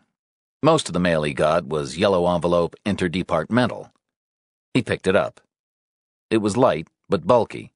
Cheap paper with no return address. He grabbed a ruler from his drawer and sliced through it. The thin white pages were folded in half and sprang open, both sides covered in scrawled writing and short sentences. Dear Detective Lucchesi, the noise this morning was almost unbearable. I could try to create it in letters and words. I got out of bed. I wouldn't know how. Two directions, and it's agony. I get anxious sometimes if I do. And actually, what I need is peace to find my way through everything. There was no point in just laying there. One forward, one back. I made coffee and fixed myself scrambled eggs. I still know how to do that. I'm not sure which is harder but it was loud. Not everyone else does. I don't think I can figure it all out without quiet. Bass and drums. There are times when I'm nearly there. Joe paused, rubbing his temples. He flipped the page over and kept reading. On it went, a random series of thoughts and the vague sense that there was a story inside, one that only the writer knew. It was a complexity of simple facts, observations, theories, and descriptions. What Joe read on the sixth page made it relevant to him. Vertically, in the right hand margin was written, Lying, badly beaten. Lowry is the result. I don't know if I could have done anything differently. Something cold shot up the back of Joe's neck. He scanned quickly through the pages that followed, through writings about rooms and stories and calculators and theaters. It ended after 16 pages, signed off namelessly. More will come, captured at the right time. Jesus, said Joe. What the fuck was that? He called the others over. Guys, I just got a letter about Ethan Lowry. A letter? said Danny. From who? A randomer, said Joe. Who's a randomer? said Rencher. Random-er. A random person. Person unknown. It's something I picked up from one of Sean's friends in Ireland. Okay. What's this randomer saying? said Rencher. A little and a lot, said Joe. Don't be fooled by the rocks that I got, said Danny. Joe ignored him and looked down at the letter. Okay, so we got a lot of information on exactly where the salt is in the kitchen for when the guy is microwaving his eggs in the morning, a bunch of other stuff about what he likes to do, major detail there. Did he sign it? said Rencher. Yeah, sure he did, said Danny. With his address, too. That's why we're all sitting around here trying to figure out who could have sent it. Yeah, I meant with anything. What? Like from the killer? said Danny. Shut the fuck up, said Rencher. Shut the fuck up, all of you, said Joe. Let me read this out to you. He read through the letter and waited in the silence that followed. Are we taking this seriously? said Rencher. I think we should be, said Joe. But lying badly beaten? You could get that from a media report. That's no insider information there, said Rencher. Joe looked down again at the letter and shrugged. I think there's something in this. Let's just take it that there is. More will come, captured at the right time, said Danny. More victims? Joe shrugged. Or more letters? Maybe, said Danny. I mean, what is the point of this letter? said Martinez. Someone is reaching out, said Rencher. But are they trying to help? said Cullen. Are they giving us any information? Joe glanced down at the pages. I think somewhere in here there's information. I think they're trying. Seriously, could it be from the perp? said Rencher. Doesn't sound like a psycho, but then Lowry is the result. I don't know if I could have done anything differently. Yeah, said Joe. That could be talking about anything. I don't know. Look, I'll go ahead and copy this a few times. If anyone has any ideas, get back to me. Will question documents be able to tell us more? said Rencher. Probably not a whole lot, said Joe. Looking at this, the paper, the envelope, the pen, don't look like anything special. If we get another letter in, they can tell us if it's from the same guy, and if there's any problem when we track him down, they can use samples of his writing to match it up. That's about it. First thing is to get it to forensics, see if we can get some prints. He pointed to his notebook. I mean, doesn't whoever wrote it get that it's pretty fucking easy to trace? I've got the time and place where it was mailed right here from the stamp. I'm gonna get in touch with the post office, see if we can get any video. Bobby, can you pass me the orders file? Sure, said Bobby, handing it to him. The others were talking among themselves as Joe slowly started to flip through the pages. You got the VICAP form? said Joe. He looked up at Bobby. For orders? Yeah, said Joe. Bobby shrugged. I guess I didn't fill one out. You didn't fill out the VICAP form, Bobby? Joe's voice rang loud in the room. Yeah, like you fill them out every time? Bobby glanced around at everyone. Come on. A hundred bullshit questions that are no use when, like, the whole fucking country isn't filling them out, too. Everyone knows that. Spending hours answering questions when I could be out on the street getting somewhere. So you don't see how making a link here might have helped Ethan Lowry? Bobby snorted. And to answer your question, yeah, I did always fill out the form, said Joe, and I still do. What's that supposed to mean? said Bobby. Nothing, said Joe. If I'm working with the squad detective and they haven't filled one out, I have to do it for them. Joe was looking down, his tone neutral. Danny got up. Right, he said. On that VICAP bombshell. Nervous laughter broke out, but died away just as quickly. William Anito's mother, Carmen, lived above the grocery store she owned on 116th Street in East Harlem. Martinez had rung the bell, but there was no answer.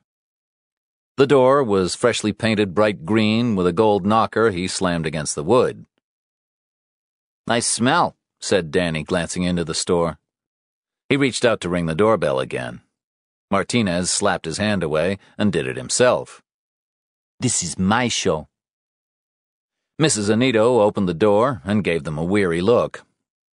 She was a small woman in her early fifties, dressed in a navy blue suit and low heels. Her hair was held neatly in a bun at the base of her neck. She wore no makeup. Martinez greeted her in Spanish, introducing himself and Danny. She stared at Martinez. You must be the talking guy, she said. He frowned. Match the skin of the detective to the skin of the victim, she said. Martinez turned back to her and spoke again in Spanish. She gave a defeated smile and led them in, up a narrow flight of stairs into a small apartment. The living room was well worn and looked like the center of entertainment for Mrs. Anito. There were women's magazines on the sofa, two books balanced on the arm, a tray with a teapot and one cup on it. A bowl at the center of the coffee table was filled with candy, The TV was widescreen, and behind it there were tall shelves of DVD cases, and at the bottom, rows and rows of cassettes with white stickers and handwritten titles. Mrs. Anito sat down in a high backed armchair and put the footstool in front of it to one side. Danny and Martinez sat side by side on the sofa. Martinez leaned forward, resting his forearm on his left knee. He spoke in Spanish. The night your son died, you said when he called you it was to say good night. Did he say anything else?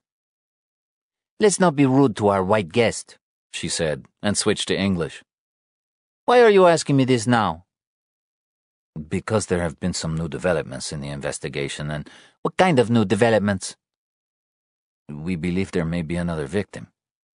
Her eyes were wide. Was the victim white? Yes, said Martinez. In fact, there may be two of them. Both white? Yes, said Martinez. We've spoken with another victim's family member who got a call the night their loved one died. Well, a different kind of call than the one you got. We're wondering if there's a connection.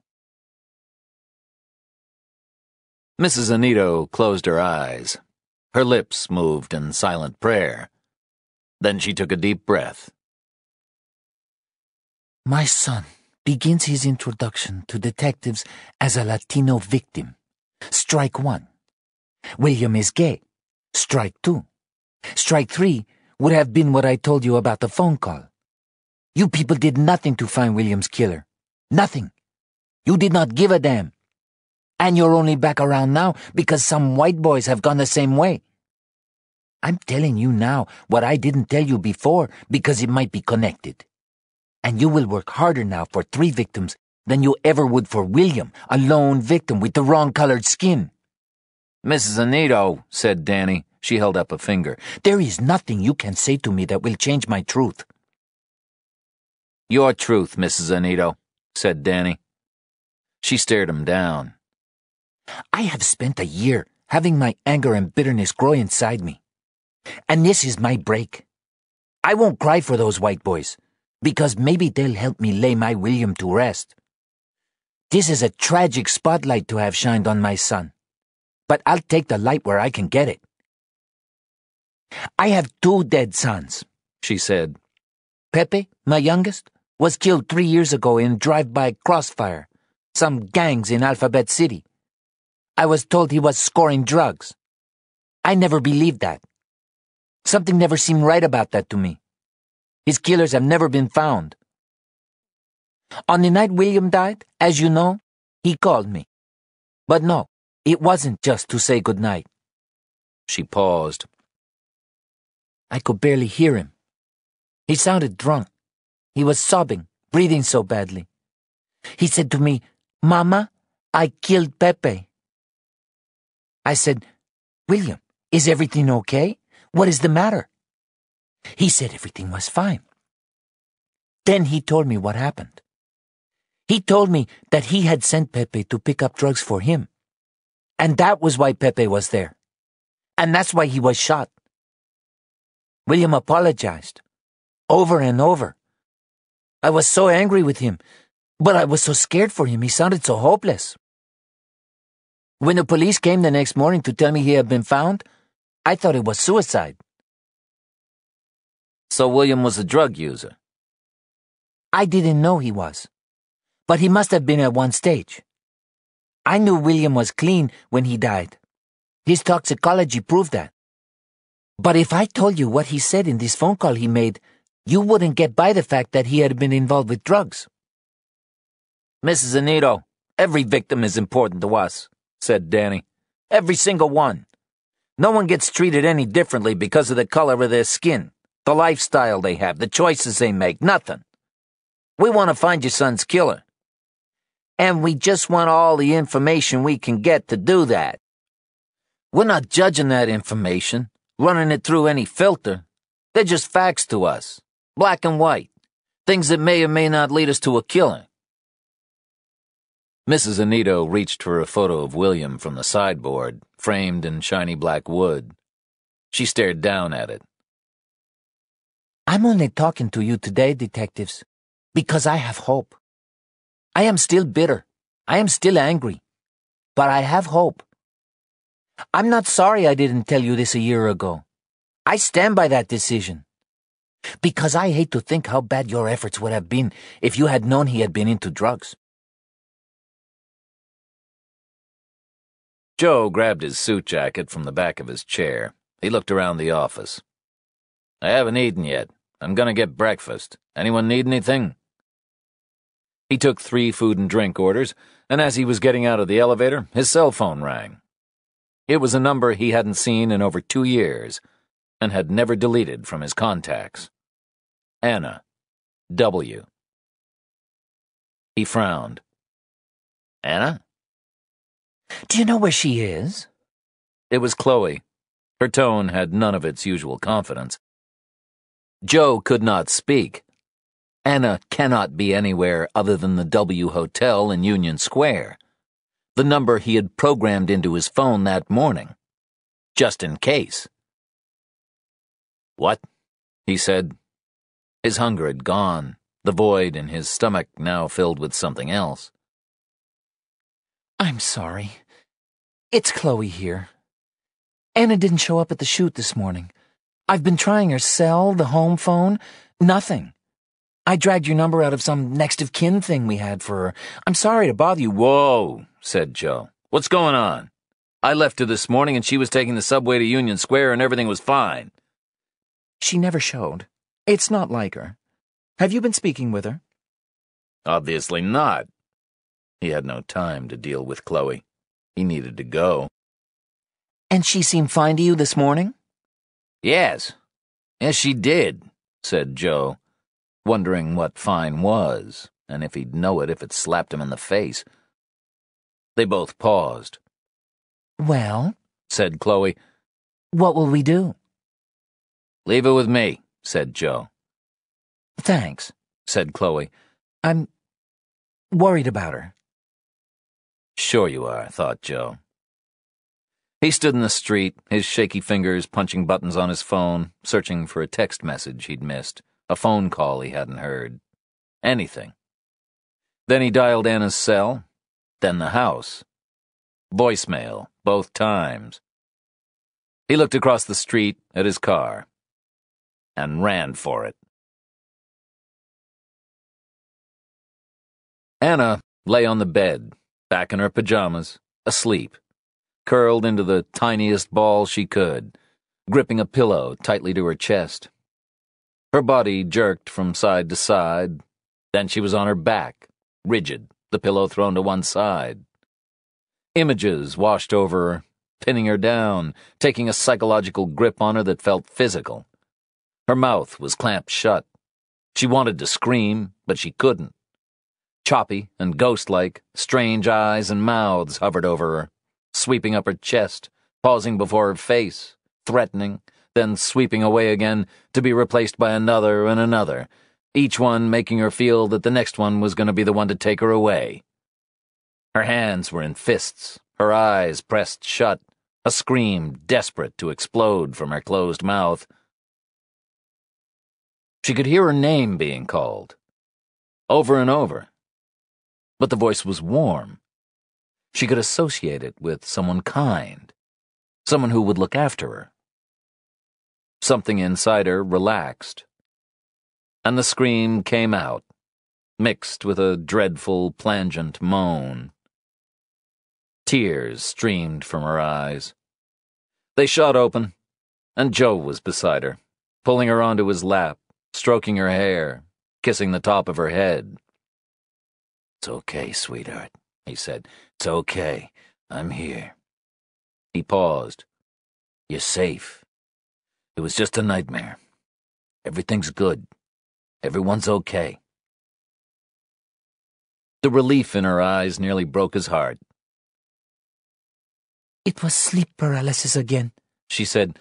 I hate it. I thought it was gone. All these terrible. Shh, said Joe. His voice was gentle. It's over now. And you're going to come with me to the kitchen. And I'm going to make you some herbal tea. And I'm going to make myself a liter of coffee, find myself an IV line. How come you're home? she said. What time is it? I am home, he said, because I missed my wife.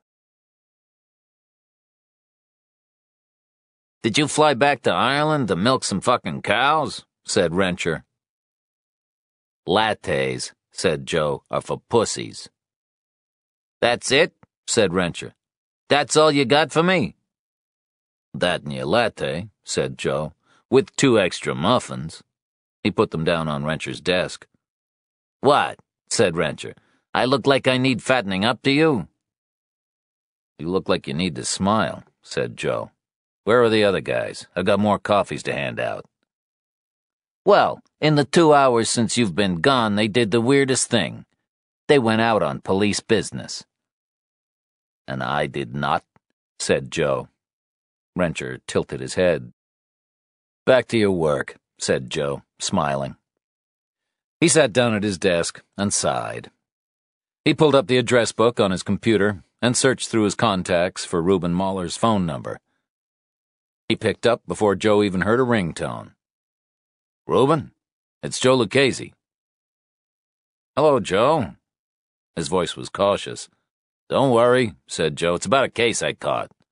Oh, okay, good. I don't have any update for. I know, said Joe. I know. Look, do you remember William Anito? Yes, that got a lot of coverage. Yeah, well, we think we've linked him to two other recent homicides another on the Upper West Side, and one in Soho a while back. Would you maybe take a look at the file, see if there's a profile you could come up with? It's always good to have an extra pair of eyes. Sure, not a problem. Let me swing by the office later. No, I'll drop it into you. Great. Joe, do you really need my help, or. Joe laughed. I'd like your help, okay? Mahler laughed. All right. I had to ask. Joe put down the phone.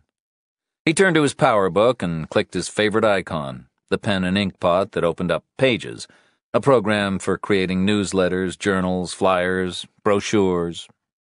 It was filled with templates and bright, shiny colors with photos of happy, smiling people. He opened his own template, VIX, and created a new file. He wondered what the software designers would think. He opened iPhoto and dragged photos onto the document, one of each of the victims taken while they were alive, their faces smiling, bored, relaxed, not battered beyond recognition. Joe wanted to look them in the eye. He wanted to do something for these three guys he could have walked past on the street or had a drink with at a bar, or stood behind in line at the grocery store. Not three guys who he knew only by standing over their dead bodies. His phone rang. He picked up. Yeah? Joe, hi. It's Mark Branham, Gay Alliance. Hey, thanks for getting back to me, Mark. How you been? Great. Busy. It's the first anniversary of William Anito's death, as you know, so we're trying to help the family rustle up some publicity. Is that why you're calling? Kind of.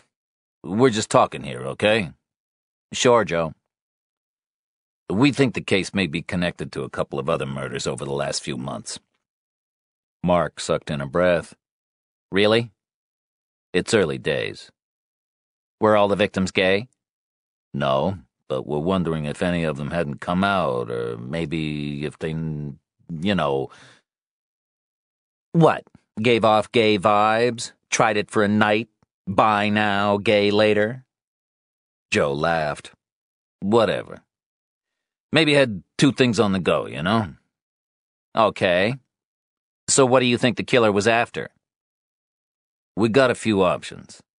Maybe he likes to play rough took it too far, got to liking it. Guy's a homophobe and wants to teach the victims a lesson. Or he's just a guy whose pool of victims may be gay because that's his circle. He could be your classic homophobe with repression issues who gets drunk and tries it out some night and blames the guy he picked up, takes out decades of anger on him. I've seen assaults, never murders, for that very reason. Very badly beaten men. Is that what you have? Yes, their faces were really messed up. The ME has seen it before in these kinds of cases. Not good. What can I do? Keep this quiet for now, first of all.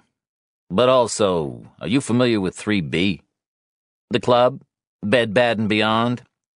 Yeah. William Anito was there his last night. Yeah. I'd like to talk to whoever runs it, but don't want a big deal made of it.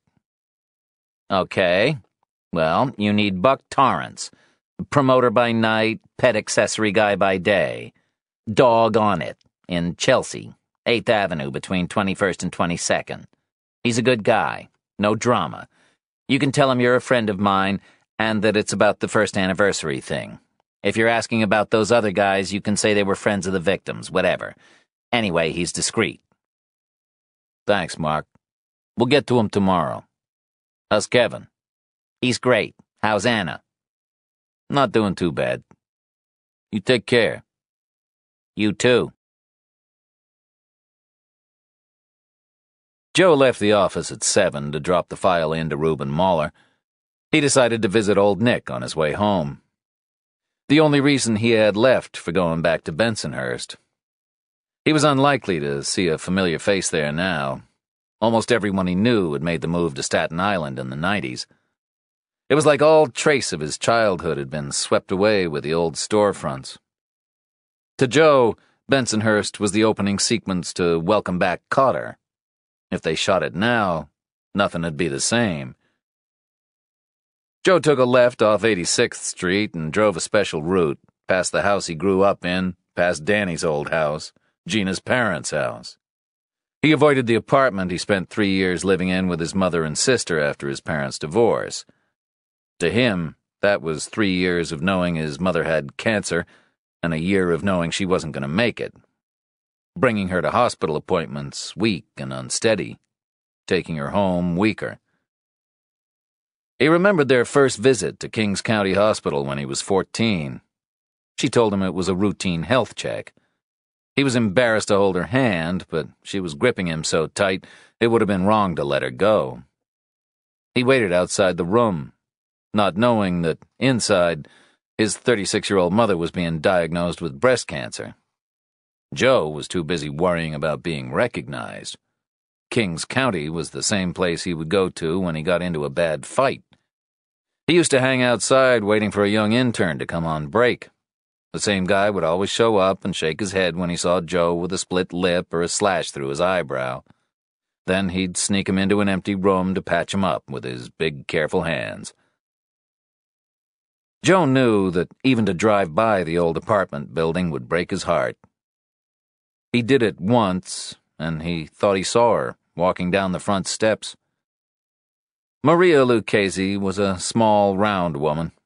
She always wore a red coat. The woman he saw was so similar, Joe had slowed the car. Then he pulled over. He remembered sitting with his head against the steering wheel, older than his mother was when she died, weeping like a child for the woman that always kept it together. One hug from his ma was bigger than anything else that was happening in his life. Joe pulled up outside the Nicotero's small frame house and walked to the front door. He rang the doorbell and heard the familiar shuffle of old Nick's slippers. Hey, buddy, he said, hugging Joe. What a nice surprise. Yeah, I came over all nostalgic, said Joe. Good. You're not coming to tell me Bobby's been misbehaving in class. Joe laughed. Come in, come in, said Nick. Patty's not here. I'm out on the deck. Joe took a seat beside Old Nick at a small ornate metal table. So, how's things working out with Bobby? said Nick, smiling. He opened a bottle of beer and handed it to Joe. Joe took a mouthful. Good, we're good. Yeah? said Nick. Well, I think you're different. Joe looked at him and smiled. What? Don't bullshit a bullshitter, said Nick. You guys are too different to ever get along. Maybe, said Joe. And you've been tainted by your association with me, said Nick. His eyes were down. Isn't that sad? His loss, said Joe. He shrugged. What's on your mind? said Nick. Business or pleasure? Well, something that should be pleasure, said Joe. But I'm sorry to say I've screwed that all up. He stared out over the tidy garden. Anna's on my mind. Nick nodded. How's she doing? Joe let out a breath. She uh, kind of lost it yesterday. You know she's been hanging around the house a lot. Well, she got herself together yesterday and went out on a shoot for work. She got as far as the hotel where it was being done, and she just freaked out. What happened? I don't think she's even telling me the full story. All I know was she felt everything close in on her and she ran. She got in a cab and came home. She even turned off her phone and didn't tell her boss. She hasn't even turned her phone on today, she's so scared. I mean, she could lose her job. Uh, I'm worried she was that scared that that didn't matter to her. Okay, said Nick. What I want to hear about is you. Pardon me? You've told me about Anna. You always tell me about Anna. That's easy. She's got all the problems, right? You don't have any? Joe frowned and said nothing. Me and Patty went through some pretty hard times, said Nick. You want to know the biggest mistake I made? Thinking she was the only one who had a change. Joe stared down at the cracks running across the deck. And Anna, said Nick. Well, she had a hard time. Joe nodded. He squeezed the bridge of his nose. Nick took a deep breath. You don't think you're her hero anymore. What? Said Joe, staring at him. I'll let you in on a little secret, said old Nick. What you think is a knight in shining armor to a woman, and what they think are two entirely different things. I spent too long trying to be this hard-ass protector guy who solved all the problems of the universe. But I'm not that. No one is, Joe. You're gonna have to get past what happened, because it wasn't your fault. Shit happens. Very, very bad shit sometimes. So, you can let this Rawlins guy sink your relationship, put the final nail in the coffin, or you can say, screw you, you motherfucker. You came close to my family once. You had your chance. You blew it. You don't get a second chance, and I'm not spending my whole fucking life acting like you will. Give that cycle the power to alter the course of your life. Fuck that, Joe. You owe it to Anna and Sean not to let that happen. It's not as simple as that, said Joe. It is. Let me tell you something. Patty thought the sun shone out of me when we got married. I was a big, tough cop. No one around here messed with Victor Nicotero. We walked down the street together, and I knew she felt proud, and she felt protected. And I fucking loved it. It made me feel great. Then one day I was at work, and she wasn't feeling great, and I didn't get home in time. She was two months pregnant. It was before Bobby and she lost the baby. And there was nothing I could do, Joe. And something changed. For a year after that, I thought she saw me as a weaker man, that I'd let her down in some way. He shrugged. And do you know what she said to me? Thank God, she said. Thank God you know you were not invincible. And I'm sorry if I ever gave you that impression. And she was right. I believed what she told me. Then she said to me, I'll never forget it. A hero means a lot of things. It's about strength of character. It's sacrifices. It's sometimes just laughter or quietness. It's not wasting energy thinking you can control all the bad things in the world and then getting angry and frustrated when you can't. I don't want that angry, frustrated man, and I'm glad he's gone. That's what she said to me. And then she just walked out of the room and finished whatever she was in the middle of doing. Patty's something else, said Joe. No woman wants to be with a weak man, said Nick. And that you are not. He paused. Talk to Anna. Really talk to her. Not in an angry way. Just tell her how you feel. Joe laughed. You're getting soft in your old age. Don't give me that bullshit, said Nick. Everyone looks for advice from the person they know is going to tell them what they want to hear. You come to me because you know I'm going to say how good you and Anna are together, and you have to stick at it. You don't want to go to the guy who's going to tell you it's gone too far to ever go back to the way it was. But what if it has? said Joe. It hasn't, said Nick. All right? It hasn't. Drink your beer. I'm worn out with all that wisdom.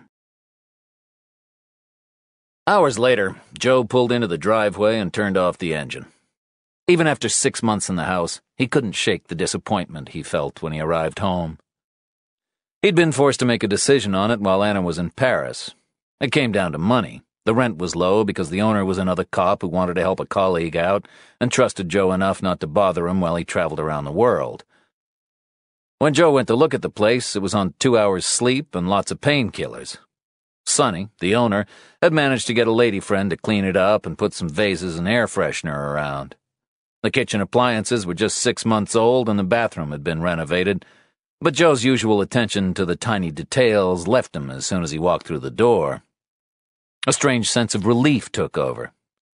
He could imagine the three of them leading a wonderful life there, and he floated through the rest of the viewing on a positivity warped by desperation. Three things tricked his eyes. The sections of stainless steel countertops in the kitchen, the cream L shaped sofa in the living room, and the old fashioned wrought iron bed in the master bedroom. It was Anna's style. He worked hard to get the house ready for her. Danny put in long hours with him, but opened with, Rather you than me, buddy, when Anna shows up and man, you're screwed. He became more useful when he started writing a list of things that needed to be done. It was a long list that they decided they could bypass Sonny to tackle. This came after they found a canine tooth in one of the kitchen cabinets, and when they realized one of the main storage areas in the house hadn't been emptied of Sonny's stuff. The day they moved in, Joe saw that the nice cream sofa had been swapped for a stained orange one, and instead of the wrought iron bed, there was a beige base and mattress from a discount furniture store. The only blessing was that Anna had arrived at the house after an eight hour flight from Paris. She glanced around, got the vague sense of somewhere clean and tidy, then went upstairs, exhausted enough to sleep on the cheap bed.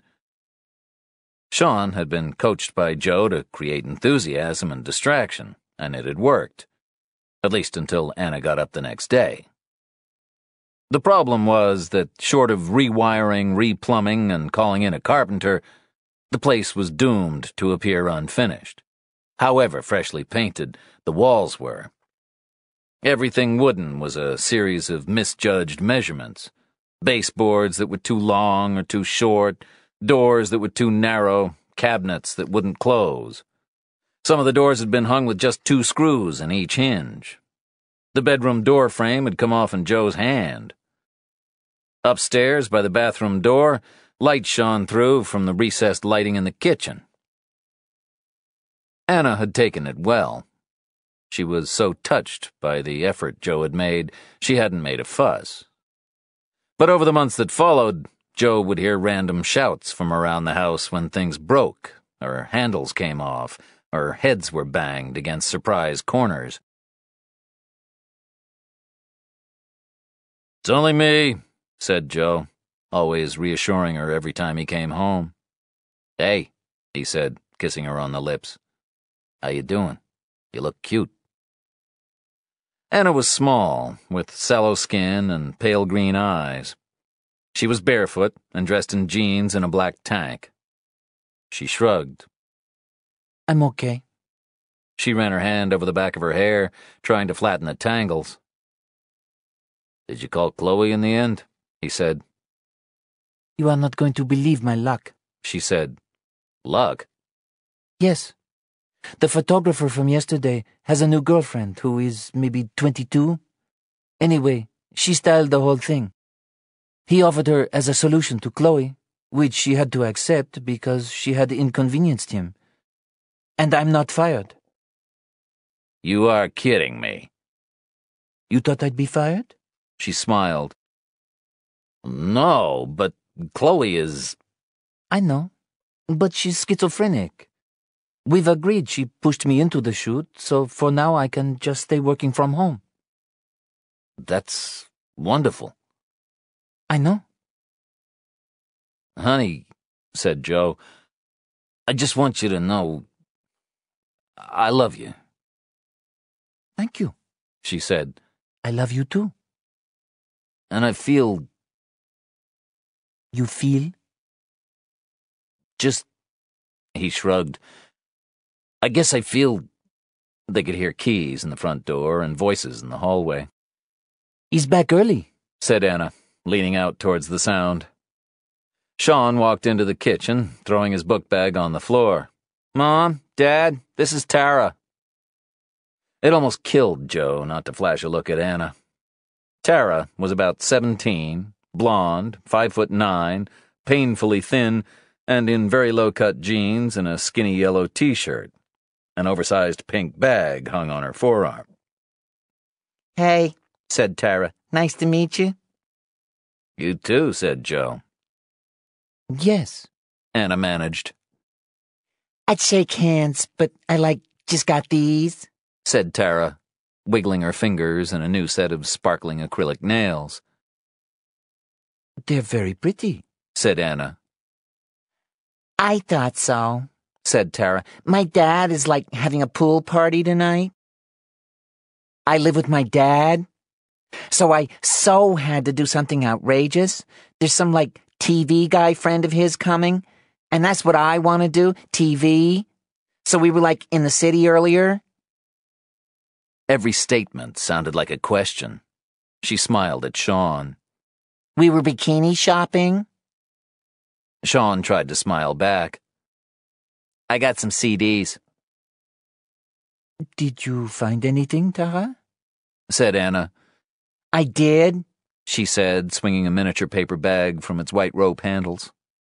She started by pulling out a red string that turned into a bikini top, then dug in again and pulled out a small pair of red hipster shorts. Wow, said Anna. Yeah, said Joe, turning quickly towards the fridge. Oh, and check this out, said Tara, rubbing a hand up her tanned arm. This is the new fake stuff.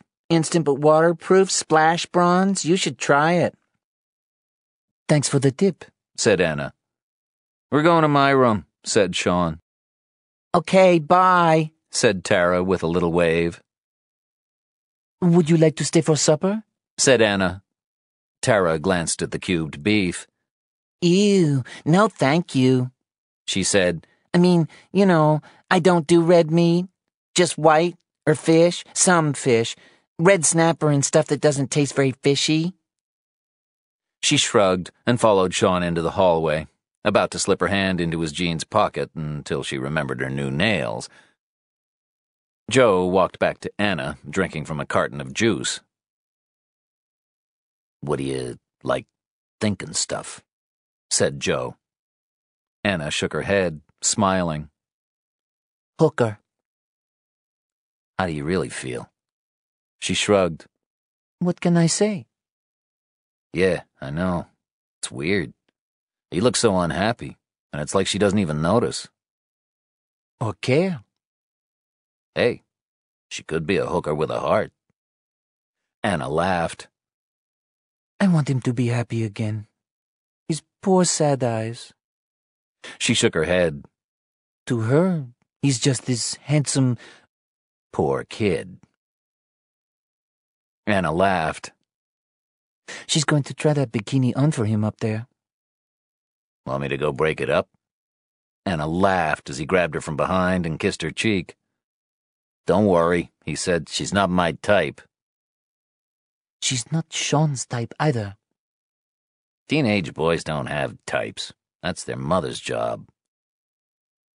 I would never expect him to go for anyone I'd like. They both went quiet, thinking of Sean's girlfriend, Katie. She was a girl the whole family had fallen in love with. Joe and Danny sat in the hot, cramped back room of the post office where the letter had been mailed. A small television screen ran black and white video footage of the mailboxes inside the building. An overexcited manager hovered around behind them. After a quarter of an hour, Joe turned around to him. Hey, Simon, if you want to leave us here doing a thing, we'll call you if we see anything we need your help with. Sure, said Simon. Absolutely. No problem. I'll be right outside. Yeah, thanks, said Danny. God bless him, said Joe. I fucking hate this shit, said Danny, pointing to the screen. I have nightmares about videotapes. Watching the same thing over and over and over until I lose my mind, I'm in a fucking straitjacket. They watched in silence for ten minutes. We're looking for someone mailing a single small envelope between 9 a.m. and 11 a.m. Okay, here's one guy, said Joe. Let's still that. Go bring Simon back.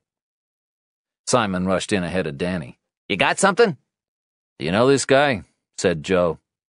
Simon put his face within three inches of the screen, then shook his head sadly. Ah, I'm sorry. No. Do you want me to bring any of the others in? Yeah, that'd be great, said Joe. No one recognized the man, or the nine other men and five women who mailed letters around the same time. Denny wrote down all the relevant frames on the footage, and they took the tape with them. TARU, the Technical Assistance Response Unit, had sent equipment to Manhattan North so they could transfer the tape to DVD and print stills when they got back to the office. Okay, said Danny. We still doing Chelsea? Yep. Dog on it Pet Accessories was a long, skinny building between a closed tapas bar and a men's t shirt store on 8th Avenue. We're too early, said Danny, pointing at the poodle shaped hours of business sign and wandering into the t shirt store instead. Joe followed him in. It was small and crammed with freestanding circular rails, wall mounted rails, and shelves of t shirts. A hanging metal rack behind the counter was stuffed full of greetings cards. A three foot long CD rack filled with hundreds of CDs behind glass was mounted like a shelf behind the counter with a sticker that said, In emergency, break glass. Resting on top was an iPod Hi Fi. Danny pushed hard through the rails on the wall and pulled out a navy t shirt. Kinda cool, he said to Joe. I need something for the weekend. He went to the counter and took out his wallet. I'm going out on a limb here, said the guy behind the counter. But would I be right in saying you two are not, like, together? That would be right, said Joe. And you never would be? Yeah, he's not my type, said Danny. Well, you need to look a little closer at the graphic on that t shirt, he said to Danny, because you might not be sending out the message you want to. Oh, said Danny. That's not what I thought it was. You're right. Uh, thanks for that. Don't worry about it. Happens all the time. If you seemed like assholes, I would have let you go. And get hit on like ten times when you're out with your wife. Danny headed quickly for the door. Joe followed, laughing. You should have bought it. I wish he'd let you. I'm not an asshole, remember? Here we go, said Joe. Open. They walked in to dog on it, and the backwards motion of Buck Torrance in a purple cowboy shirt and tight white jeans with purple diamante paw prints on the pockets. He didn't hear them over the vacuum cleaner, but turned it off when he caught their reflection in the mirror. Hi, Buck, said Joe. Yes. Detectives Lucchesi and Markey, NYPD. You're the promoter at Bed Bath and Beyond? Yes, sir, I am. Can I help you? said Buck. I was speaking with Mark Branham from Gay Alliance. He said you were the man to talk to. we're looking into some pretty violent attacks on men that have happened over the last year, said Joe. Gay man, said Buck. One of 'em was gay. We were wondering if we showed you a few photos. Sure, go ahead. Buck took the photos. No to this guy, doesn't look familiar. No again. And yeah, I know this guy's face. That's William Anito. Did you know him? I'd seen him around, in bars, in the club, whatever, so I knew his face. And then there were the posters all around the place last year. People lit candles on the street by the club. That's it. I'm sorry. Did you notice him with any particular crowd, any one guy?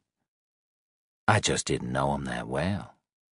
Do you want to leave those photos here with me? I could ask around for you, said Buck. No, we'll hold on to to 'em. Thanks for your help. My pleasure. If you need anything else, let me know. Sure, said Danny. Should guys be worried around here? Don't be, said Joe, and you don't want people staying away from the store because you're freaking them out. Yeah, who's gonna dress all the dogs in the neighborhood if you go out of business? said Danny. Sweetheart, those dogs you see out there, a lot of 'em don't even have names. Danny frowned. Those little doggies are sniffing butts so their owners can. The, oh my god, let me stop talk to you about your dog, enough about dog, what about me approach. I mean, this store is like a major pickup joint. You want to check out the dog run at Waterside Park. Sit on a bench there and you'll have a date in no time. Danny was standing at one of the shelves trying to put something back where he found it. That little red dog collar isn't you, said Buck. You haven't met his wife, said Joe. Wife? Funny, said Danny. I know, said Buck. Look, seriously, I know it's hard for you to work a case like this. I've seen it before. I mean, gay men spread themselves far and wide, but they get to know the ones who like it rough and the ones who like it way too. So if I hear anything, I'll let you know. This guy is really wrong, said Joe. He's not someone you want to be alone in a room with. Oh, don't worry about me. He laughed. I'm straight, sweetheart. Danny and Joe paused, then walked out onto the street and took a left towards the car. He is fucking serious, muttered Danny, waving back to Buck. He is, said Joe. Back at the office, Reuben Mahler called again. Joe, I've come up with a loose profile for you. Want me to fax it through? Machine's bust, said Joe. Can you run it by me now? I would say, surprise, surprise, white male in his thirties, most likely lives alone. He will come across as quite a regular guy. He won't give off any weird vibes. He lives in the city. We've got one victim in Soho, two on the Upper West Side. He's mobile, drives to and from the scene, reasonably stable work history, but probably with gaps in between jobs, or maybe with a job that means he works alone, but has intermittent interaction with people. He must spend a lot of time alone to finally tune this fantasy of his. There's hardcore evidence of overkill at the scenes, which suggests all this is personal. So maybe you should be looking at linking the victims, or maybe they're people who slighted him along his path. The guy is a mixed offender. He plans well. He gets into the apartments easily, no forced entry, so he must be doing something right. He brings tools with him. His hammer, his 22 caliber handgun. He doesn't leave behind any evidence, yet his attack is frenzied, which implies he also lets his control slip. Think carefully about the locations. Killers usually ease themselves into it by operating in an area that's very familiar to them. So we could be looking at someone who lives on the Upper West Side or grew up there. Same goes maybe for Soho. Great, said Joe. Thanks for that. Did you come up with anything sexual? You know, the whole nudity thing? I'm just not getting that. It seems more like a humiliation thing or a control thing. I'd be surprised if there was a sexual motivation, but as they say, guarantee, no guarantees. Sure. Listen, if you need anything else, yeah, I'll be in touch. When Joe got home, Anna was sitting at the kitchen counter with a stack of pages she had cut out of magazines. Joe kissed her on the cheek, then reached out to pull open the tall, narrow cabinet that was wedged between the fridge and the wall. It rocked wildly from side to side. This thing feels like it's going to fall apart every time I touch it. Pull it quick, said Anna, and lift it at the same time. He closed it and tried it again. I have a lot of practice here all the time, she said. Well, maybe I can tempt you out on Friday. It's Gina's birthday. Danny has booked a table for the four of us in pastis. Are you okay with that? She paused, but then nodded. I think so. You can always cancel at the last minute, no pressure. Thanks. But I'd love you to be there. I know. Let me go change, he said. He went upstairs, took a shower, then came down in jeans and a blue t shirt with the logo of a bar he never remembered being in. He sat down on the sofa and turned on the television. He barely noticed the channels he was changing until he hit a press conference. The police commissioner was standing at a podium reading from a statement. Established a link with two previous murders, the first of which happened in September last, that of William Anito, and the second in December of Gary Ortis. The room erupted. The commissioner continued. All three victims were male, aged between 30 and 40 years old, and were brutally attacked in their place of residence and shot dead. A 22 caliber handgun was used in each of the crimes. There was no sign of forced entry, so we're investigating the possibility that these men knew their killer. A task force working out of Manhattan North Homicide has been put together to handle the investigation. Questions were shouted from all over the room. Are you saying there's a serial killer loose in New York? What I'm saying is that we have established a pattern between three homicides that have taken place in the city in the past year. Why did you not establish a pattern sooner? The first murder happened almost a year ago. These three crimes were committed in different parts of the city over a period of a year and did not initially appear to be connected. For reasons I cannot go into at this time, when we went back and got together with detectives handling each case, a pattern emerged. How did he gain access to the apartments? Like I said, there was no sign of forced entry. We have to presume for now the, uh, caller was let in by the victims or someone familiar with the residences. Were these doormen buildings? One was. Have you spoken to the families? How did they respond? Yes, we have already spoken to each of the victims' families and have impressed upon them our commitment to finding their son's killer. William Anito's mother has been extremely outspoken in her dissatisfaction with your handling of her son's case. We have spoken with Mrs. Anito, who continues to assist us with our investigation. That's all I have to say on that matter at this point. Have you established a connection between the victims? That is something we are looking into. Gay Alliance has recently been raising awareness of the first anniversary of the murder of William Anito. Do you think there's a homosexual motive to the killings? It is important not to jump to any conclusions in the early stages of an investigation. What advice can you give the public? No one is to panic here. I would say what we always say. Be alert. Don't open your door to strangers. Ask to see ID from anyone purporting to be from the gas company, etc. And obviously, if anyone out there has information on any of these crimes, could they please contact Crime Stoppers confidentially at 1 800 577 TIPS? That's 1 800 577 TIPS. Do you have any suspects? We are working through a list of names that are linked in some way to our three victims. Ladies and gentlemen, that's all we have time for here today. Thank you for your cooperation. Yeah. Thanks for letting me know, you fucking douchebags, said Joe. And what about, hey, we didn't make a connection because people don't know how to fill out a form or fucking communicate with people? He changed channels again, and every news broadcast he saw had the story. This perpetrator comes to the homes of his victims. We have no information right now as to how he gains access.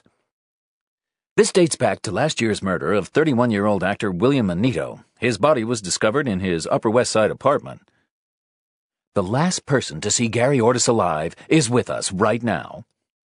We'll be back after the break with information on how you can secure your home. Being dubbed the Caller. A detective who chose not to be named described the scene as Fear, fear, fear, said Joe, turning the television off. Every day, articles in newspapers ran stories with headlines that screamed deadly, anger, fear, killer, disease, alert, threat. These murders were not typical for New York. You were more likely to be killed by someone you knew than by the stranger who had now been given the title the Caller. I'm going to take a shower. Anna walked back into the room. She leaned over and kissed him. Okay. He grabbed a magazine from beside the sofa and started flicking through it. He could hear the water running upstairs. He wanted to walk up, open the door, slide in behind her, and do something they hadn't done for months. His patience was low. He felt bad. But really, he was angry. He threw down the magazine and turned the television back on. Anna came down half an hour later. Joe didn't bother to look up. When he did, she was leaning over the counter with her back to him, opening a bottle of red wine. She was wearing the tiniest black shorts. No top. Her shoes were high and black with skinny heels and red soles. She turned around. He couldn't decide where to look. When he made it to her face, she held his gaze and walked slowly towards him. Mary Burig stood in the doorway of the library with her smartphone in her hand, open on a drawing program. With the stylus, she drew a rough sketch of the room, L shaped because a small storage area had been built in the back right hand corner. Bookshelves ran around all the walls of the library and in the left hand corner, the top of the L, was a circle of six low backed chairs in worn orange fabric. Mary used the eraser tool to take the chairs away. She drew them into the space right inside the door. Then she put them back where they were, saving the drawing and putting the phone in her pocket. She walked over to the poetry section, pulled out a book, and went straight to the page she had kept marked with a pink post it. Stan Freight opened the door and stuck his head in. Hey, cut out the noise in there, he said, winking. I got work to do. Mary looked up and smiled. Come here for a second, she said. Listen to this. No night is endless, dark and bleak, when in the rising dawn a weakened light erupts to blaze and fire and guide me past a spirit tired by heavy hopes and wingless dreams to find another future's gleam. And when I search the brightness source, I find your heart, a blinding force. I don't think the source of light was a heart, Mary. It was like a bulb, a lamp, something an electrician worked real hard at. Maybe it was, said Mary, smiling. No, maybe about it. Stan walked into the room, pulling a measuring tape from his utility belt.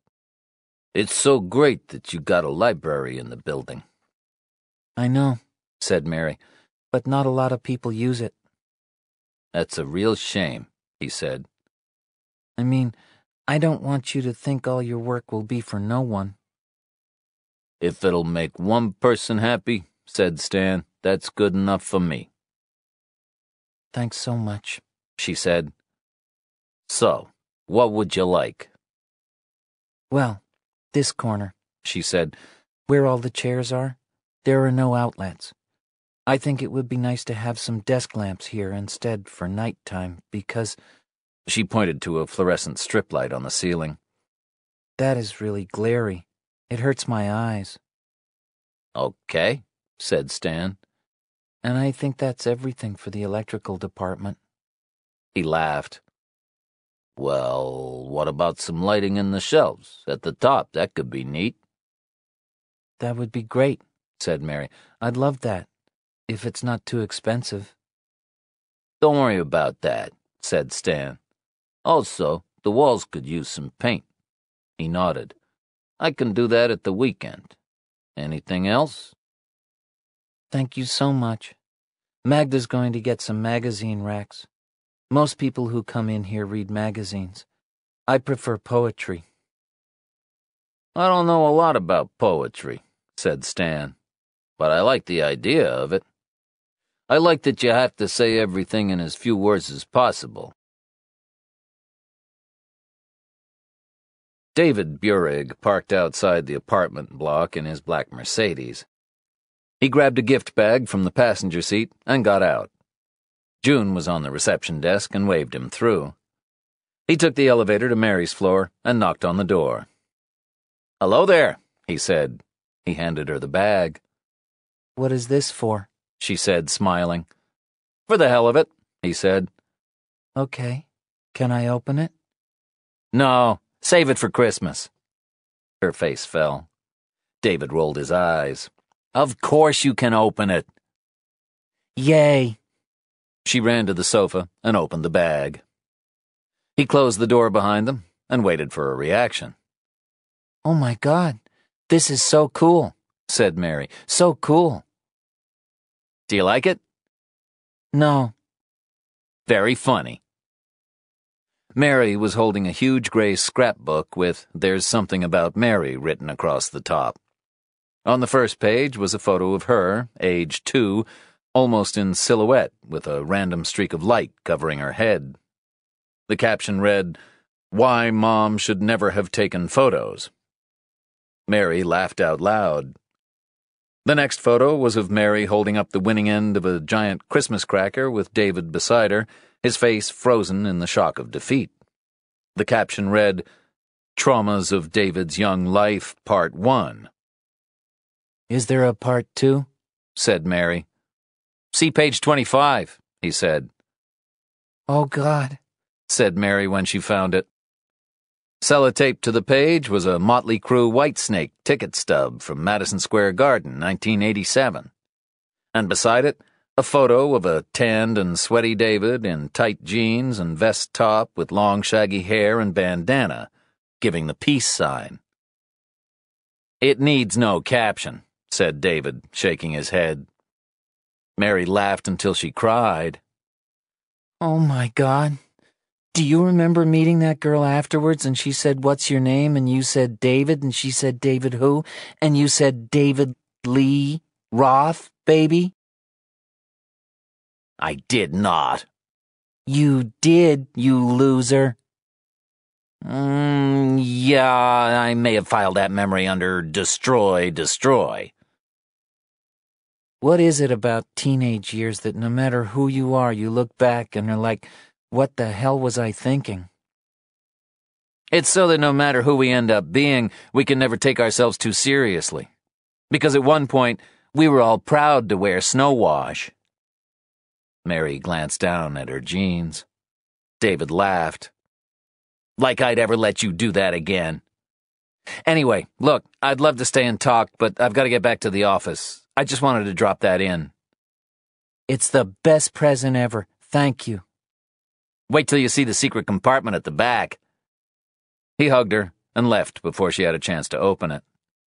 He jogged down the hallway, nodding at Stan Freight as he passed. Mary turned to the back of the album and to a flap in the cover with a loop of red ribbon. She pulled it, and it opened a little door. Inside was a disc Rebecca on DVD with a note saying, Can't believe you've never seen this. Awesome. Kiss, kiss.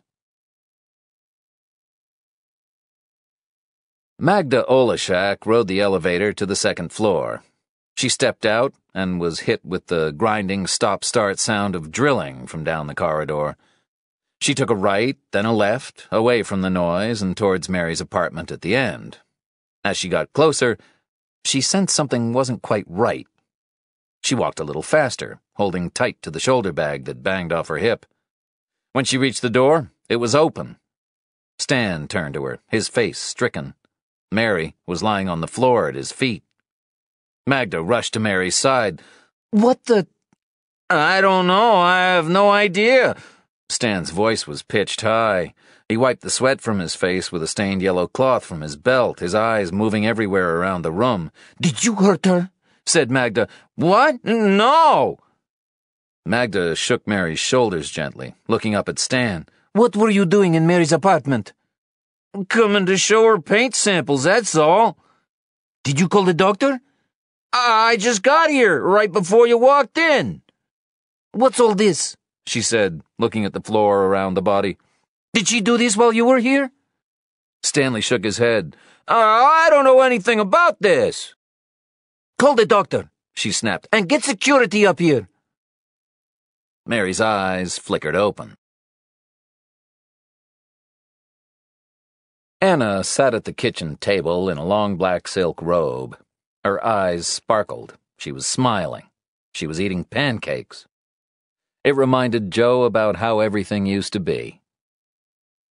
This is great, he said, seeing you sitting there, eating pancakes. He walked over to her, took her two small hands in his, and pulled her towards him. He hugged her tight. You're a midget, he said, stroking her hair, kissing the top of her head. They stayed there for minutes, quietly, holding on. How does he kill them? said Anna. Joe pulled away slowly. What? She stayed with her head against his chest. The collar guy, she said. I saw the news. Joe tilted her chin up, but still couldn't get eye contact. Are you for real? She nodded. I'm not going to go there with you, he said. Anna finally looked up. Please? Joe put a hand on her chest and felt her heartbeat rocketing underneath it. This is not good, you thinking this way. What way? Joe's expression was patient. Come on, he said. But what if it's. Sweetheart, I've been to the crime scenes. This is not Rawlins. This is no one that has anything to do with Rawlins. This is a different guy. Trust me enough that you don't need to know the details. But if I knew that. Joe shook his head. You're so beautiful. I look at you and it breaks my heart that inside that head there's so much pain and fear. Tears welled in her eyes. I know what that feels like, said Joe, but I'm used to it. So you're gonna have to trust me.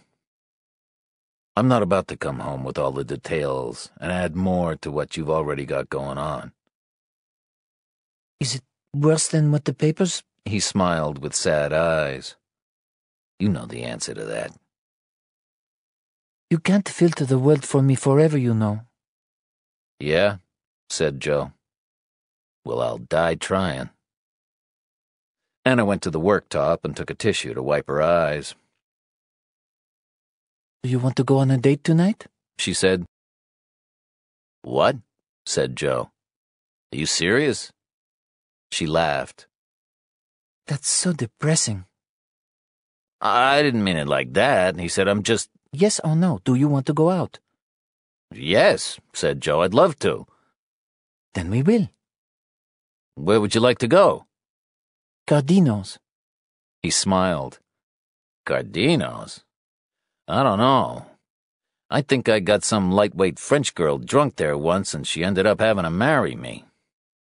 I am a Frenchwoman. We do not drink beer like this. That is the worst accent. She smiled, about to walk away, but her robe slid wide open and off her shoulders. She slowly shook her head. Joe dangled the black silk belt high in his hand. You gotta be quick, he said. Artie Blackwell was the shortest journalist in the five boroughs. He had short, spiky gray hair and a perfect, tight gray beard, yet always managed to look unwashed. When he walked, he leaned left, weighed down by one of a number of free branded shoulder bags. He was hovering outside the Manhattan North building, sweating in the early morning sun. Whoa, Case Detective Lucchesi, someone's being good to you. Artie, said Joe, glancing down. Pleasure. Artie snorted. You gotta admit, it's an odd choice, all things considered, what with the shooting and the whole Rawlins fiasco. You know the deal, said Joe, smiling and calm. I caught the Lowry case, my partner caught the Anito case. Oh, and I was cleared of any wrongdoing in the rig shooting, so here I am. And here we are, Artie. Good to see you again, said Artie, tipping his dark blue fisherman's hat. A breeze rose from nowhere, and Joe was forced to turn away. Artie always smelled of his last meal. Sadly for Joe, none of them ever had been. Creepy name, too. The caller, said Artie. Does the perp make a phone call to his victims before he shows up? Joe rolled his eyes. No.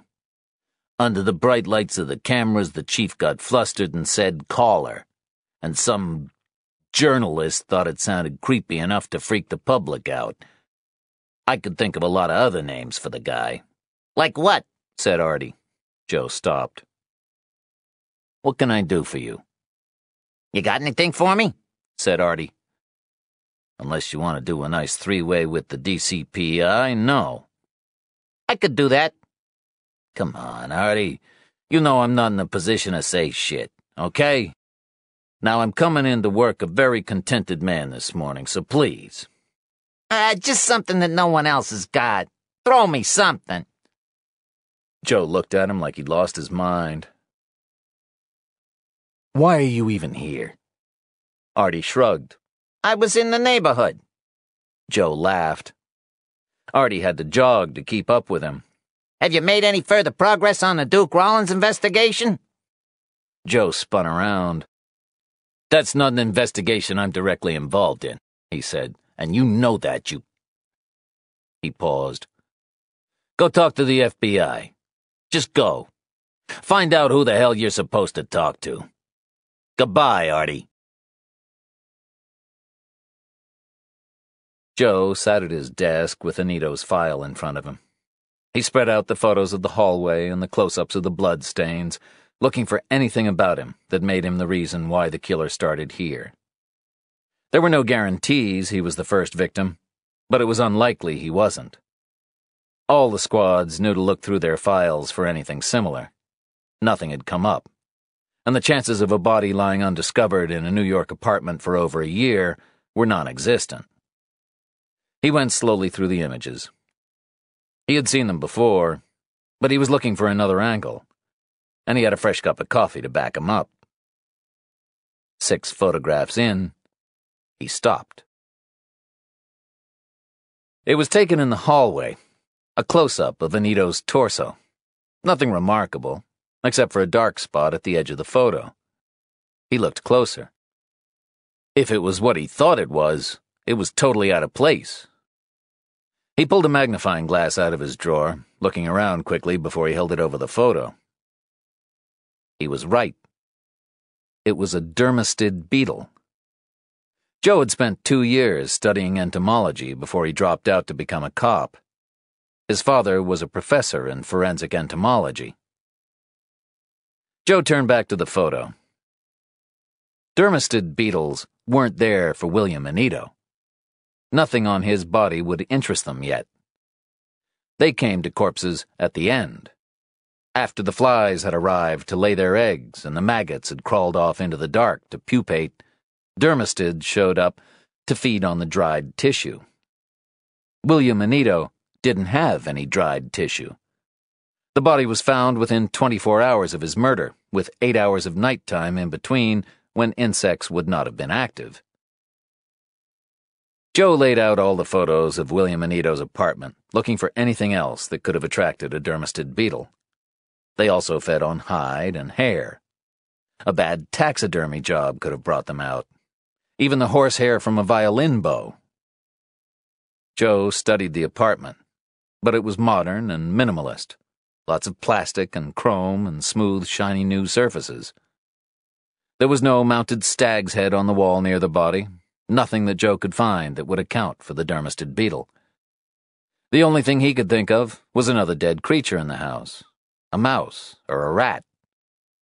But then there would have been more beetles, and there were none in any of the other photos.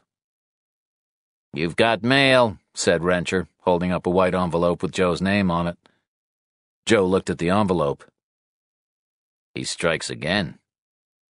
He pulled a pair of gloves out of the drawer and put them on. He sliced the letter open. More pages, squashed into an envelope made to take only two or three. Rencher hovered by the desk. I'll let you know, said Joe, tilting his head toward Rencher's desk. Rencher shrugged and walked away. Joe walked over to the copier, made a copy of the letter for everyone, then put the original in an envelope. They hadn't got prints from the first one, so he was hoping for better luck this time. He sat down with his copy and read through it, marking parts as he went along. When he had read it three times, he called everyone over. Reminds me of school, said Rencher. Getting a letter was the highlight of your day. You went to boarding school? said Martinez. Yes, I did, said Rencher. Got a problem with that? Relax, said Martinez. Okay, said Joe. Letter two. Same kind of envelope, same writing, mailed around the same time from the same post office. Similar kind of shit. Talking about going to some gallery, going to the park, being spiritual, baking cookies in someone else's kitchen, whatever the hell that's about. He flicked through more pages. There's a lot of stuff about forgiveness here and redemption, and good and evil. And then we come to the case. It strikes a chord with me. I'm not sure why. I follow the Collar investigation with interest when I get the chance. Then, but I know that somewhere inside me I personally wish you luck. And it's signed off, God be with you. May angels rest on your shoulders and lighten your load. Joe shrugged. And can you feel God with you right now? said Martinez. I look at you guys and I think Jesus Christ. Does that count? said Joe. Rencher shrugged. I wish you luck. Because I want to stop, maybe? Is this the perp wanting to get caught? I don't think I could bear the cliche if it was, said Danny. Joe laughed. Nah, he's been so careful all along. Rencher shrugged. Well, could it be the perp and he doesn't want to get caught? Then why engage us at all? said Joe. For a mind fuck, said Rencher.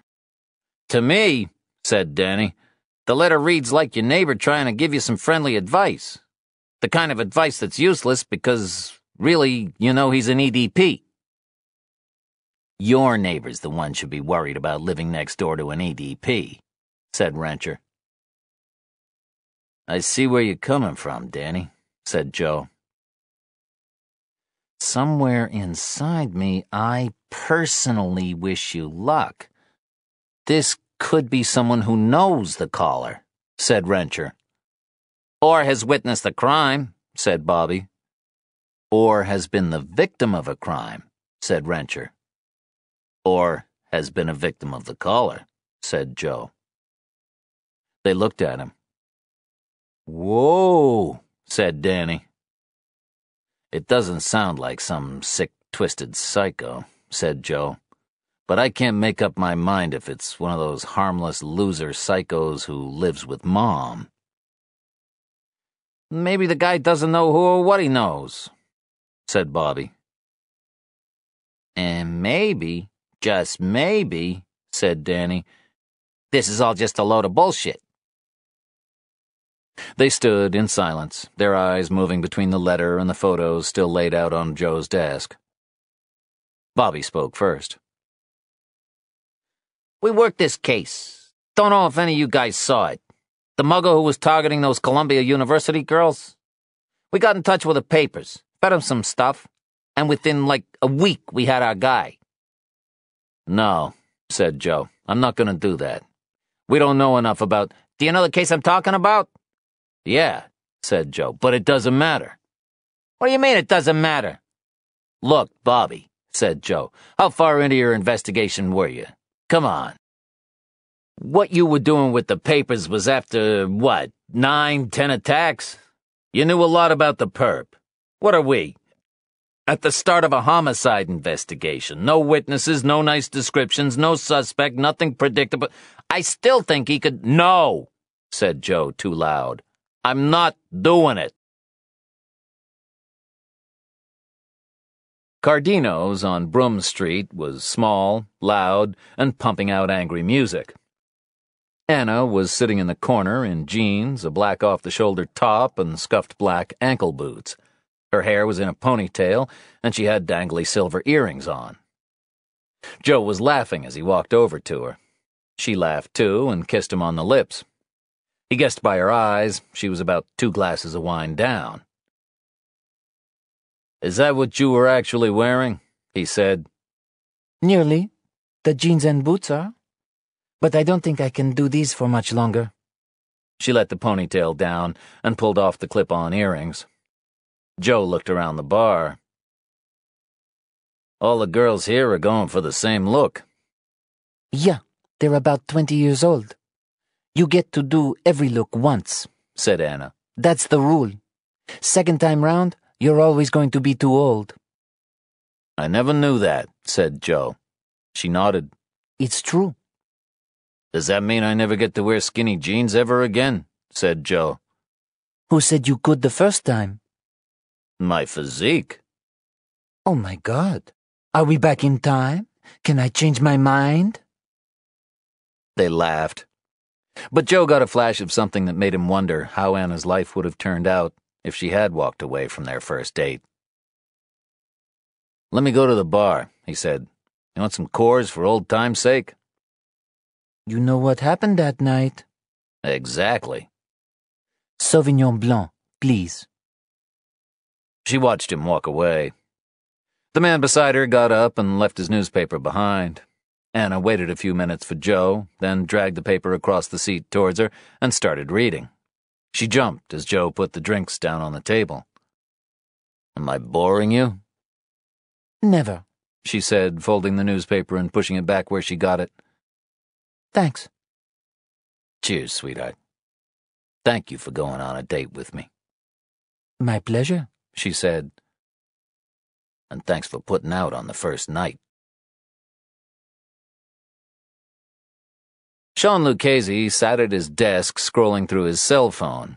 His MySpace profile was open on the laptop in front of him.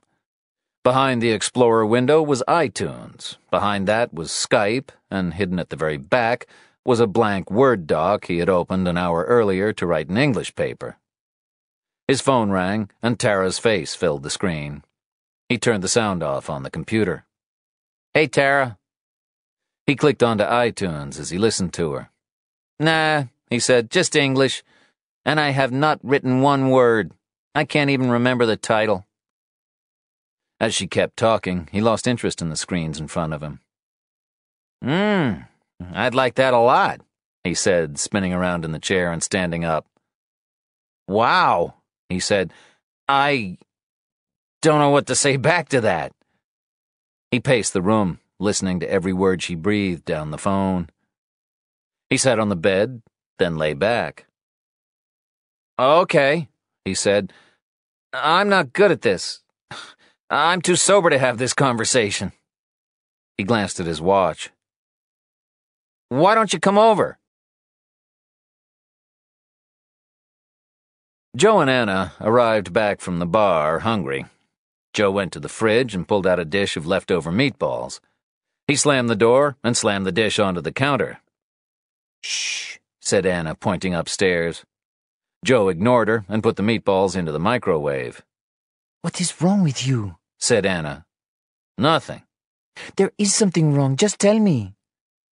I didn't want to stay that late, that's all. I got a lot on. It was fun. After lots of drinks, maybe. What's that supposed to mean? Nothing, said Joe. Do we have bread? Yes she said, pointing to a baguette right in front of him. Oh. He grabbed a knife and started cutting it. Come on, she said. You enjoyed yourself. He was somewhere else, staring ahead, his face set. Do you know who I liked? said Anna. I liked Ireland Joe.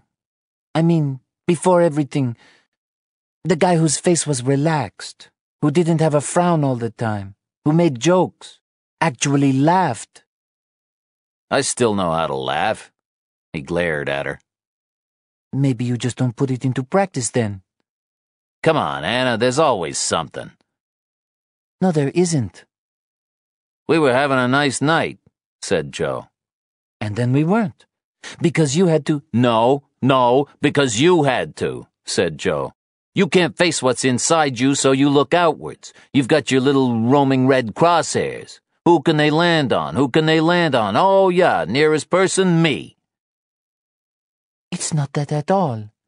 You can't bear anyone criticizing you. Ditto. She shook her head. You can't. You come home from work complaining every time your judgment is called into question. Maybe it's you who can't face who you are or what you've done. What's that supposed to mean? I think you feel guilty. About what? She stared at him. I think that's obvious. If you're talking about you, damn right I feel guilty. What guy, not to mention detective, is not gonna feel guilty that he nearly got his wife killed? I'm not saying there's anything wrong with you feeling guilty. Since when did I need your blessing on what I can or cannot feel? Joe. Stop. He took a breath. Anna reached out and held his hand. I'm just saying. I think you feel guilty, but you're not dealing with your guilt. And you're like a time bomb. He tilted his head. Okay. Well, I think you feel scared, but you're not dealing with your fear, and you're like a time bomb. You are impossible to talk to. So are you. She dropped his hand. How old are you? Grow up. Oh, said Joe. Just to let you know, I knocked over one of your boxes last night. I think something broke. Anna turned to him. Which box? I don't know. A navy blue one? No, said Anna, raising her hand to her mouth, running down the hallway into the front room. She grabbed a pair of scissors from the floor and cut through the tape on the box. She pulled it open. Oh, no. No, she said, gently lifting out one half of a broken glass lampshade. Joe stood behind her. Sorry, he said. Was it expensive? You don't want to know. Because you'll have to replace it. What? It's only on loan for a shoot. I'm responsible for it. You broke it. Well, how much is it? Eight hundred dollars. Eight hundred dollars? You are shitting me for a lamp? Oh, come on, she said. I'm not working for the Bay Ridge Gazette. I don't really have to replace it, right? You do, she said. It's in my care. Tell them it broke in transit. They know it arrived here okay. I don't have that kind of money to hand over to some fucking. And who the hell spends $800 on a lamp? You'd be surprised. I am surprised. I'm also surprised that more things don't get broken in this house. It's out of control, Anna. It's crazy. It's like a bomb site in here. I can't live this way. Meanwhile, you're happy as can be getting a ton of new stuff in every day. Every day's your birthday. Every time you open the door to the mailman, UPS guy, whoever, sign, take the package, walk five steps into the front room, throw it in there, maybe open it, see what's inside, or hey, just leave it lying there. You don't need to reconstruct everything in your life, Joe. I'm here. I'm not a dead body. You can just ask me what I do when my doorbell rings. Joe rolled his eyes. Go ahead, said Anna. Ask me what I do when my doorbell rings. Ask me how much fun it is for me.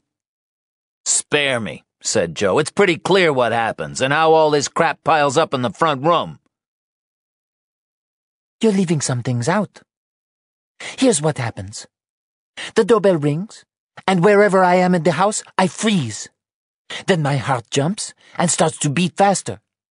I wonder, will I go and open it? Or will I wait until they go away? If I'm near a window, I can check. I look at the uniform, see if it's correct. I look at the person's face, see if I am looking at an honest one. I see if I can see their truck. I check if anyone else is out there on the street. In the middle of this, guess what else I'm thinking about? Joe stared at her, and it was clear that anger was winning the fight over sympathy.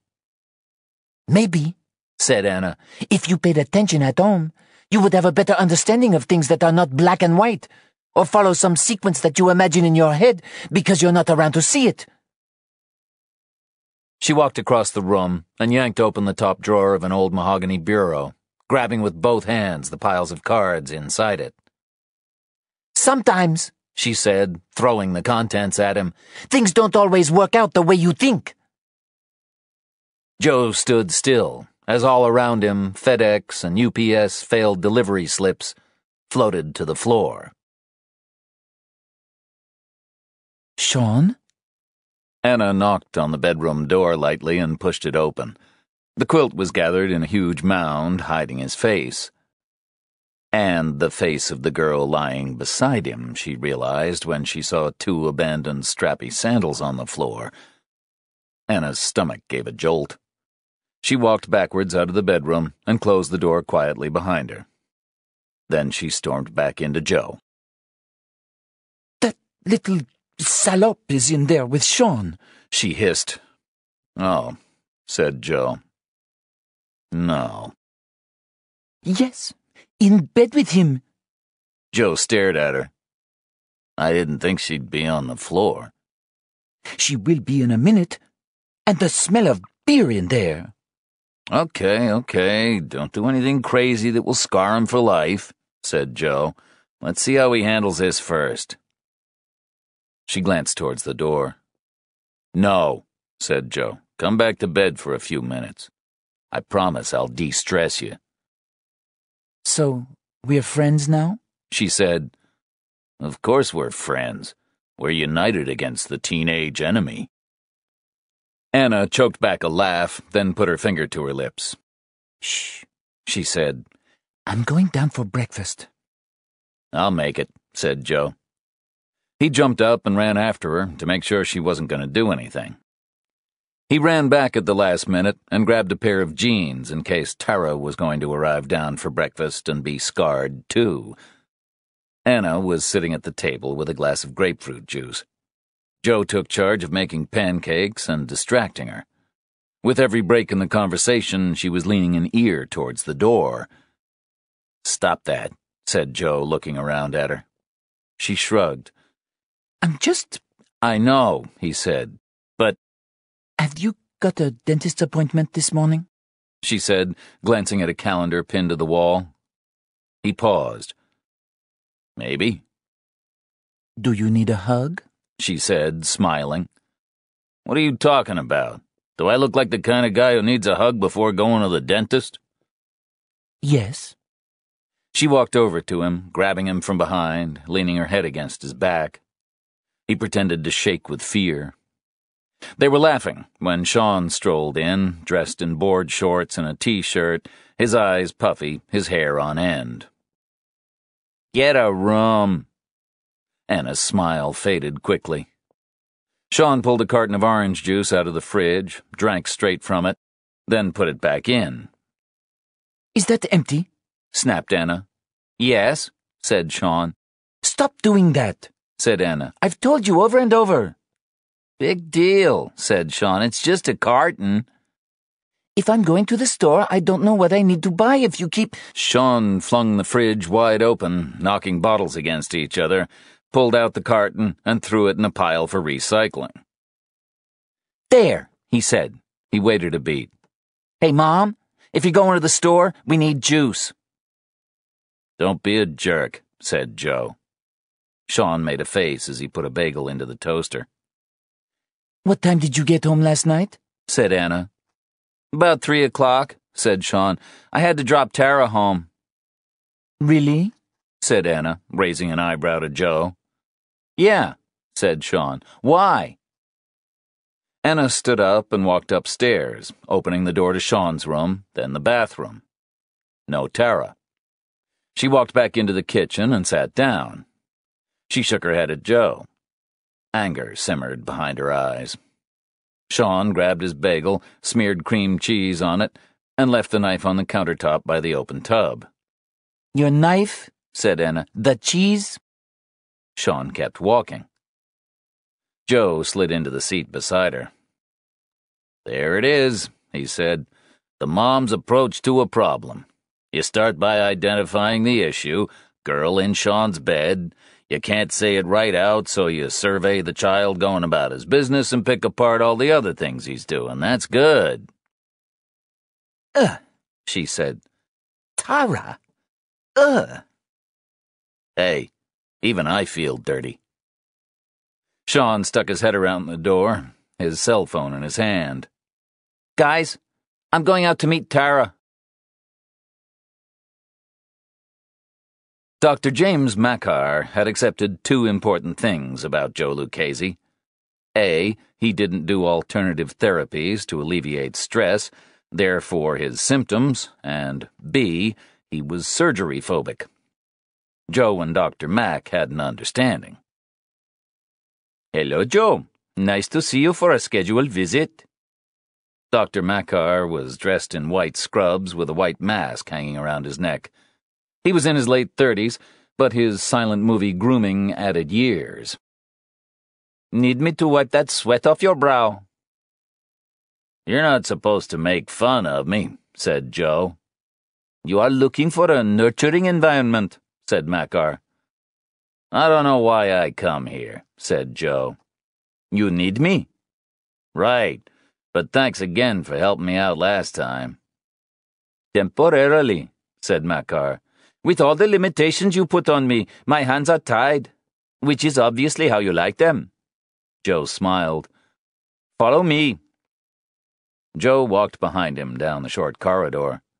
Take a seat. Let's have a look at that jaw. Joe sat down and opened his mouth when he was told. How's work? said Makar. Crap. How about you? Fantastic, of course. It's all about smiling. Or crying out in pain. You wouldn't come to me if I caused you pain. The amount of times I've numbed your mouth before you even knew I was in the room. Your condition causes you pain. I make it go away. I'm good cop. Joe raised his eyes one of the few responses open to a patient in a dentist's chair. You get very close to people's eyes in my business, Makar had told him before. We see right in, all those little reactions. I think I'd make a great jury consultant if I wasn't doing this. Or a cop, of course. Joe wanted to smile at the thought of this slight, dapper Indian cop patrolling the 75th precinct. But he couldn't. Okay, said Makar. First of all, how are your symptoms? Not as bad as the last time. Pain in my jaw, cracking when I open my mouth. And, said Makar, tapping Joe's chin and looking inside his mouth, grinding your teeth? Joe nodded. Your options are. Well, keep taking painkillers. But that's getting a little tired, in my opinion. It's not getting you anywhere. I'm thinking you really should consider surgery. What? said Joe, struggling to sit up. We've been here. I don't do surgery. Joe, said Makar, laying a hand gently on his shoulder, if you shattered your leg in an accident, you'd do surgery. You'd have no choice. Of course, you do have a choice in this case, but you can't keep going on as you are, suffering with this unnecessarily. The pain does go away, but it's been years now, and I think your lifestyle and what you've been through, and are probably still going through, are taking their toll. Those problems are not quick fix ones. It's likely you'll be signing up to a lot more pain for a lot longer. That's positive thinking. I'm being realistic. Hear me out. I know you fear surgery. It's not fear, it's. Makar tilted his head patiently. I know you fear surgery. But this is different. I mean, I don't even need to call it surgery.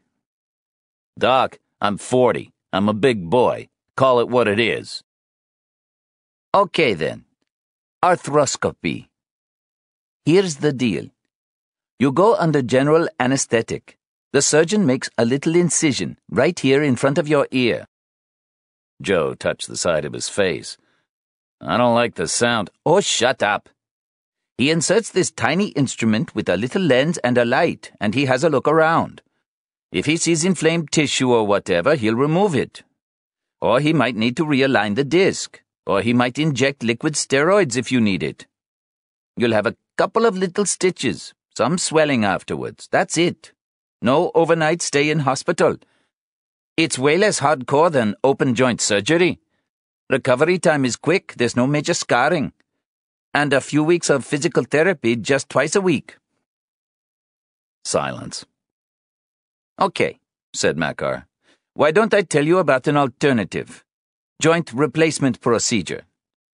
You go under general anesthetic, you're out, and then you wake up with a new jaw. Recovery period, six weeks, jaw wired shut. Joe laughed. Let me tell you about the Clippers guy. When I was a rookie, my partner and I were called out to an apartment after we got a load of reports of a bad odor in the building. We break down the door, and let's just say I'm glad I can't mentally store smells the same way I've stored the pictures from that night.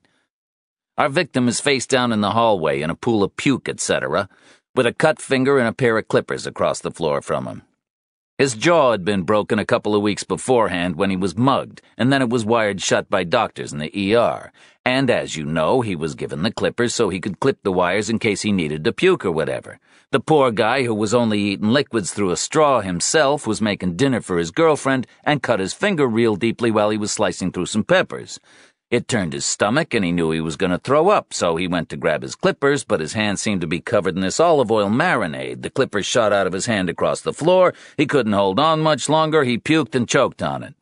And he wasn't found for two days because the girlfriend had stood him up.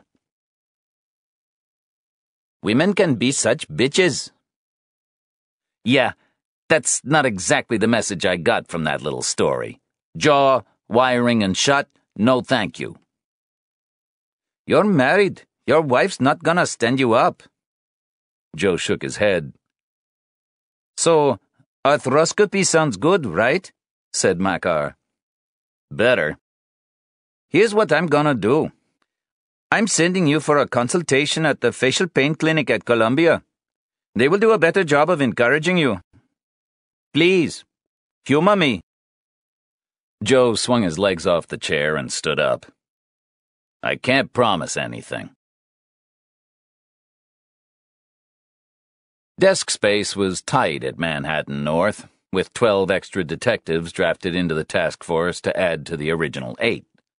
Martinez walked over to Joe's desk with Rencher, holding a sheet of paper above his head. We have a match, said Martinez. Between 11 and 11.30 a.m. both Mondays we have this guy. He put two photos down in front of Joe. Danny came over to join them. Joe nodded. Good work. Anyone at the post office know who he was? No, said Rencher. The guy there made a big effort to help us, though. Do you think he's our guy? said Martinez, pointing to the photo. he looks like he ticks a few of those profile boxes, said Joe. But who knows? Next Monday, Danny and I'll be waiting for him, see if he's trying to send us anything else. While you're here, I was gonna fill you in on something I noticed in the Anito crime scene photos. There was a dermestid beetle there that didn't really have a place. Oh, no, not a domestic beetle, said Martinez. Shock horror. Dermestid, said Joe. Whatever. This could mean something, said Joe. Dermestid beetles only feed on the dried tissue of a body, like when it's practically skeletonized, which Anito's body wasn't even close to being. Put it this way dermestid beetles are used by museums to clean animal bones so they're all nice and white for the display. They put the bones in a box with a colony of dermestids, and any skin, tissue, muscle, whatever is eaten away. Yawn, said Martinez. So, said Joe. I'm thinking this is a hitchhiker bug. It could have come in on the killer. Hey, said Martinez, someone put in a call to the Natural History Museum. See if they've got an escaped dinosaur skeleton with maybe a hammer he robbed from the caveman exhibit. Collarsaurus rex, said Rencher. The Coloraptor. The. You know, you're a bunch of fucking retards, said Danny. Joe shook his head. Look, all I'm saying is this one little bug is out of place. It's something to think about. I mean, maybe the guy owns one of the businesses that breeds dermestids for museums, that kind of thing. Sure, said Martinez. Anna flashed a glance at the bed and her pajamas lying there and thought how comfortable her night could be if she tucked herself back in. Joe arrived home earlier than she expected. Hi, she said, forcing herself to get up, slipping out of the bathrobe and putting on the jeans and top she had thrown on the chair earlier. You look beautiful, said Joe, grabbing her and kissing the top of her head. Thanks. You ready? Nearly. By the time you're finished in the shower, I will be. She went downstairs and put on Sean's Kanye West CD and started tidying anything that wasn't going to mess up her clothes. Joe came into the kitchen, grabbed a glass of water, and knocked back two Vicodin. If there was no doll, you would have a serious problem, said Anna. She tried to sound light, but failed. Dole testing was the NYPD's random drug test. Every day, a list of officers were called at random, without notice, to the medical division in Queens to give a urine sample. If they fail, they're fired. If they test positive for prescription drugs and don't have an up to date prescription, they're fired. What are you talking about? said Joe. I have a prescription for these. What about the times you go to your friend in the village? It's no big deal, said Joe. You really think I'm a better person or a better detective when I'm going around in fucking agony? Or when my brain has other things to focus on other than pain? I worry about you. Let's go. The night was warm and still, and the traffic into the city was light. So, said Anna, would you like to bet with me? Whether Gina will be wearing red and black with gold jewelry, red and black with red jewelry, or gold and black with gold jewelry? Boobs squished together and out, or separated up and out? Well, that's bitchy, said Joe. Come on, said Anna. It's true. Red lipstick or red lip gloss? Black eyeliner or black er eyeliner? Gina likes to make an effort, that's all. She's home with the kids all day. She likes to dress up when she goes out, make a statement. Anna's smile faded. She stared out the window. What? said Joe. What did I say? Nothing, said Anna. Nothing. He stared ahead. Don't let her take me over, said Anna. I don't want to get into a big conversation with her asking me lots of questions. It can be too claustrophobe. Claustrophobe ick. She's just question, question, question. Oh, for Christ's sake, why the hell did you come out? Have you got anything good to say about anything? This is hard for me, said Anna, her voice rising. Okay? I'm doing my best. Okay, sweetheart. I apologize. I'm sorry. I appreciate what you're trying to do here. I'll keep an eye on Gina. He took a deep breath. The rest of the journey passed in silence. Gina stood up and waved as they walked into Pastis. She was wearing a tight black skirt, a black blouse with a lace cami underneath, and a wide red patent belt. Anna squeezed Joe's hand. He squeezed back. Gina moved around the side of the table and hugged Anna tight. Honey, you look gorgeous. It's great to see you out. My God, have you lost weight? Like this girl needs to lose weight. I mean, really, but you look amazing. Thanks, said Anna. So do you. Happy birthday. Hey, beautiful, said Danny, kissing Anna on both cheeks. Joe hugged Gina. Happy birthday, sweetheart. So, Anna, what's been going on with you? said Gina. Not much. A little bit of work. Danny tells me you're working from home. Yes. Good for you. And what's it like? Is it hard to discipline yourself? I know I couldn't do it. I'd be thinking of the laundry or tidying the bathroom, or I'd be in the fridge all the day. It's good. I'm enjoying it, said Anna. How does it all work? All these companies who want their products to appear in the magazine send me them, or photos of them, and pray I'll put them in. She laughed. They actually send stuff to your house? Anna nodded. That's gotta be so much fun, said Gina. Opening gifts all day? Do you get to keep any of it? Joe leaned in. Unfortunately, she does. She keeps lots of it, don't ya? He was smiling. Oh, Anna's not taking too kindly to that, said Gina. She patted Anna's hand. Don't listen to him, sweetheart. All these guys get on the job as dead bodies and dead ends, said Anna, smiling. Ouch, said Gina. Joe was already turning back to Danny. The waiter arrived and took their order. Four steak béarnaise, well done for Gina and Danny, extra fries for Danny, extra sauce for Anna, side salad for Gina that she never ate. I went to see old Nick the other day, said Joe. Ah, Mr. Nicotero, said Gina. Mr. Nicotero, that's cute, said Danny. I can't get past it, said Gina, laughing.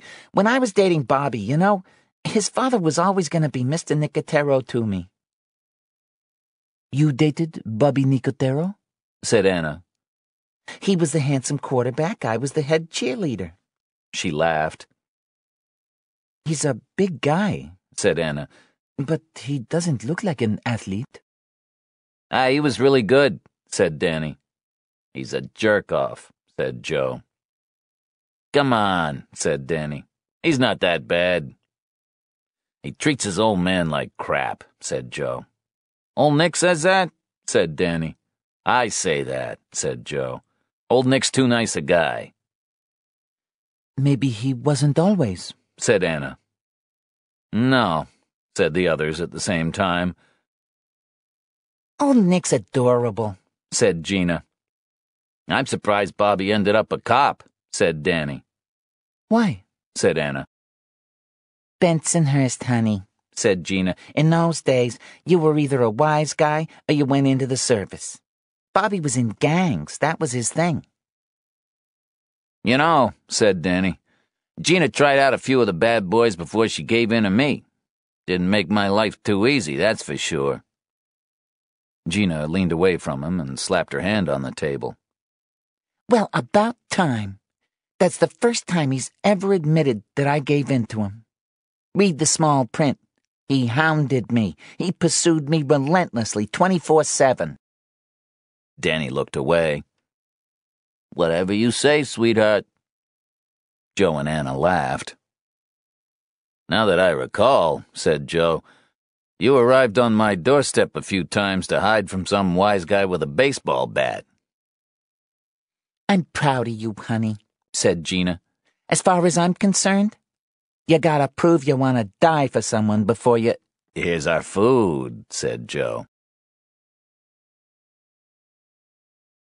Dinner was over, and two empty wine bottles had been taken away from the table.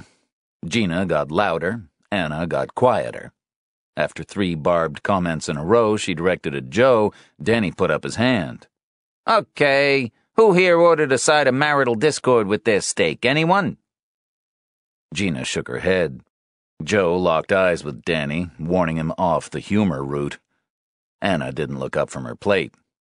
Come on, I'm kidding, said Danny.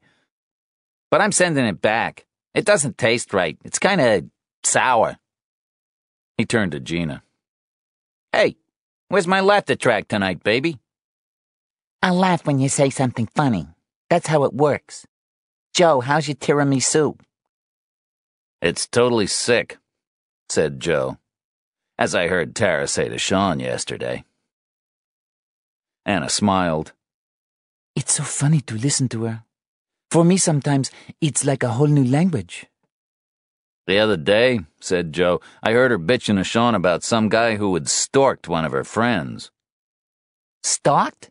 said Gina. Storked, like porked, but with the end result being that the girl winds up pregnant. They all laughed. That makes Danny a serial stalker, said Gina. And I am a lone stalker, said Joe.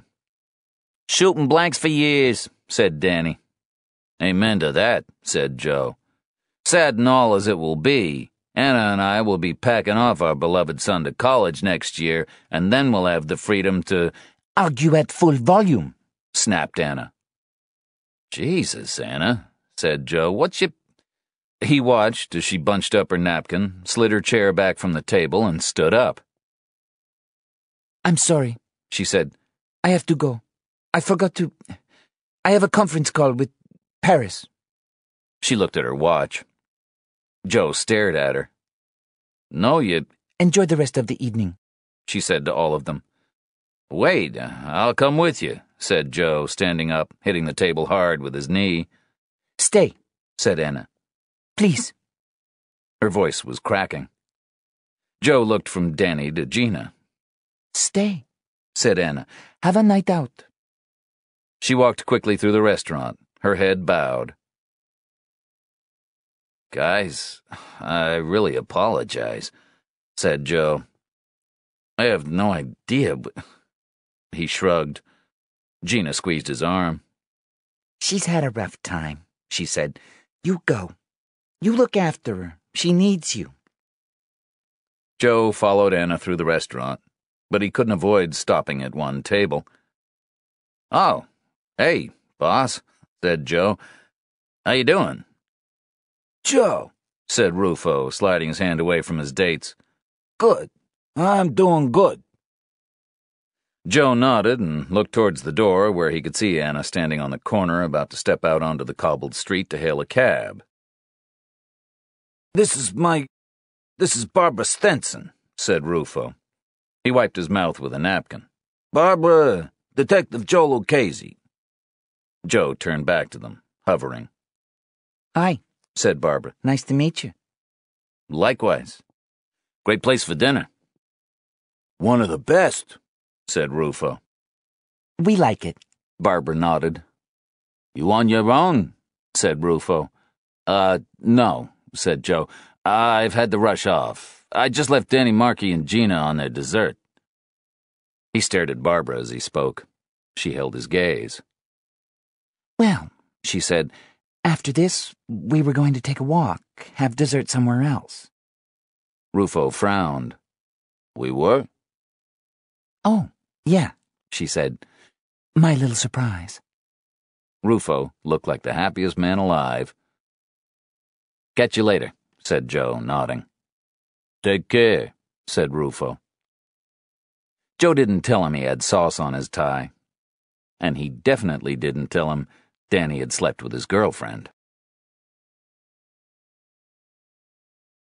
Joe shared the elevator to the sixth floor with Irene, who he knew only from her name badge black backing, gold print. They had never spoken. She had thin lips, flossy gray hair, and sharp metal glasses.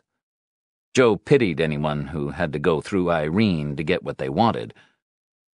They had taken the elevator with babies, bouquets of flowers, beautiful people, singing people, even a clown, and none of them had cracked her. She represented a day he hoped he wouldn't have. The smell of Colombian coffee filled the office. But when he went to get some, both pots were empty. The detectives in the task force corner all had fresh cups.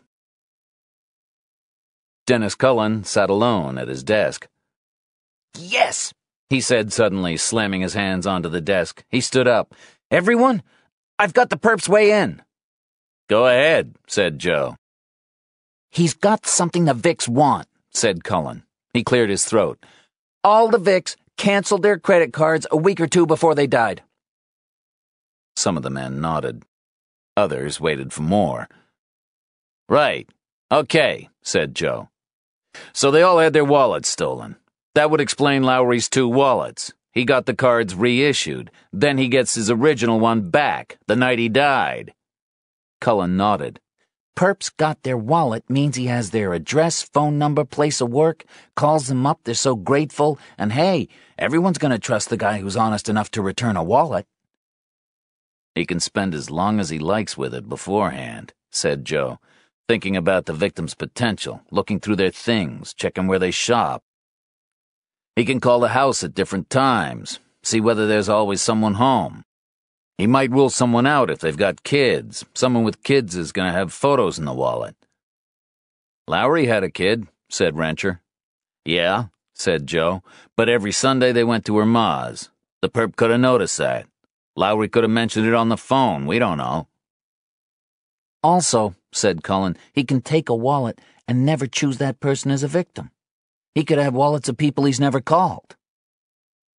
Bobby, Pace, you were on the phone records, right? Said Joe. No one noticed they all must have gotten incoming call the night they died? That's not for sure, said Bobby. Well, did you notice anything unusual in the incoming phone records? said Joe. We would have said, said Pace. Do you mind if I take a look at them? said Cullen. Sure, go ahead, said Bobby. Knock yourself out. Joe was walking away when the phone on his desk rang. Detective Lucchesi. Joe Lucchesi. Yeah? My name is Preston Blake. Yeah?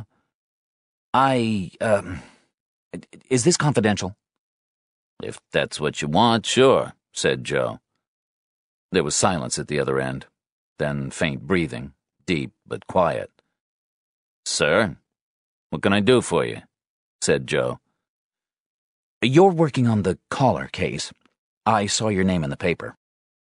Yeah? I think the caller. He inhaled long and slow. Joe waited. He tried to kill me. Joe sat down. Kill you? Yes. When did this happen? Six months ago. Mr. Blake, have you been following all the media reports on the investigation? Yes, but that's not why I'm calling. This is real. This really happened. Is this your first time getting in touch with us, Mr. Blake? Yes. Why do you ask? No reason, said Joe. Please, tell me what makes you think it was the caller. I let him into my home. He stripped me naked and beat my face and pulled a gun on me. How did you get away? I overpowered him and he ran. Are you sure it was the same guy? Did any of the victims have. Was there a phone near them? This time Joe went silent. Mr. Blake, can I take some of your details? My partner and I'd like to pay a visit to your house, talk to you a bit more if that's all right with you. I don't know if it is. Let me start with getting a few details, okay? Your name again? Preston. P R E S T O N Blake. Date of birth? 041672. And where do you live? said Joe. 1890 Willow Street in Brooklyn Heights. Me and my partner would like to drop by. You home this afternoon? I don't know if I can do this. I. No one has been here since. No one. You've made this call, Mr. Blake. That means you want to help. We're not going to do anything to make things worse for you. I can promise you that. We'll stop by, ask you some questions, and then we'll be out of there. If this is the killer, you'd like to see him caught, right? Blake sucked in a deep breath. You must have seen what he did to his victims. You must have seen their corpses. The living proof might be harder to take. Brooklyn Heights was a quiet upper middle class neighborhood, one subway stop, but a world away from Wall Street. At three o'clock on a Wednesday afternoon, the main action on the residential streets was nannies with strollers taking kids to the tiny playground by the promenade. These are some very nice houses, said Joe. He took a left onto Willow Street, lined with trees and perfectly kept terraced brownstones. Preston Blake's house was on the right hand side, close to the corner, a narrow three story over basement Anglo Italianate design with an antique black door. Joe rang the bell and spoke into the intercom. Mr. Blake, it's Detectives Joe Lucchesi, Danny Markey. They held their badges up to a small security camera mounted in the right hand corner above the door. After several seconds, they heard a series of muted beeps from inside. They waited, then counted the halting slide of bolts that ran from the top of the door to its base. The door opened inwards, but was hinged on the same side as the keyhole. Joe and Danny exchanged glances. No one appeared. Joe pushed the door gently and walked inside. His chest was hit with a constricting spasm as he took in the vast white expanse around him. Suspended from the ceiling by thick steel cables were evenly spaced rows of six foot tall, two foot wide white Perspex bookshelves. White, high gloss floor tiles shone with the reflected overkill of hundreds of shelf mounted spotlights. Joe stepped forward and felt a surge of regret. Every book title was a desperate search for relief a net cast wide across disciplines acupuncture, angels, auras, Buddhism, meditation, reflexology, Reiki, yoga. Joe and Danny hovered, emotional intruders. They turned to the man who didn't look like he'd found an answer in any of these pages. Blake raised his hands. Don't worry.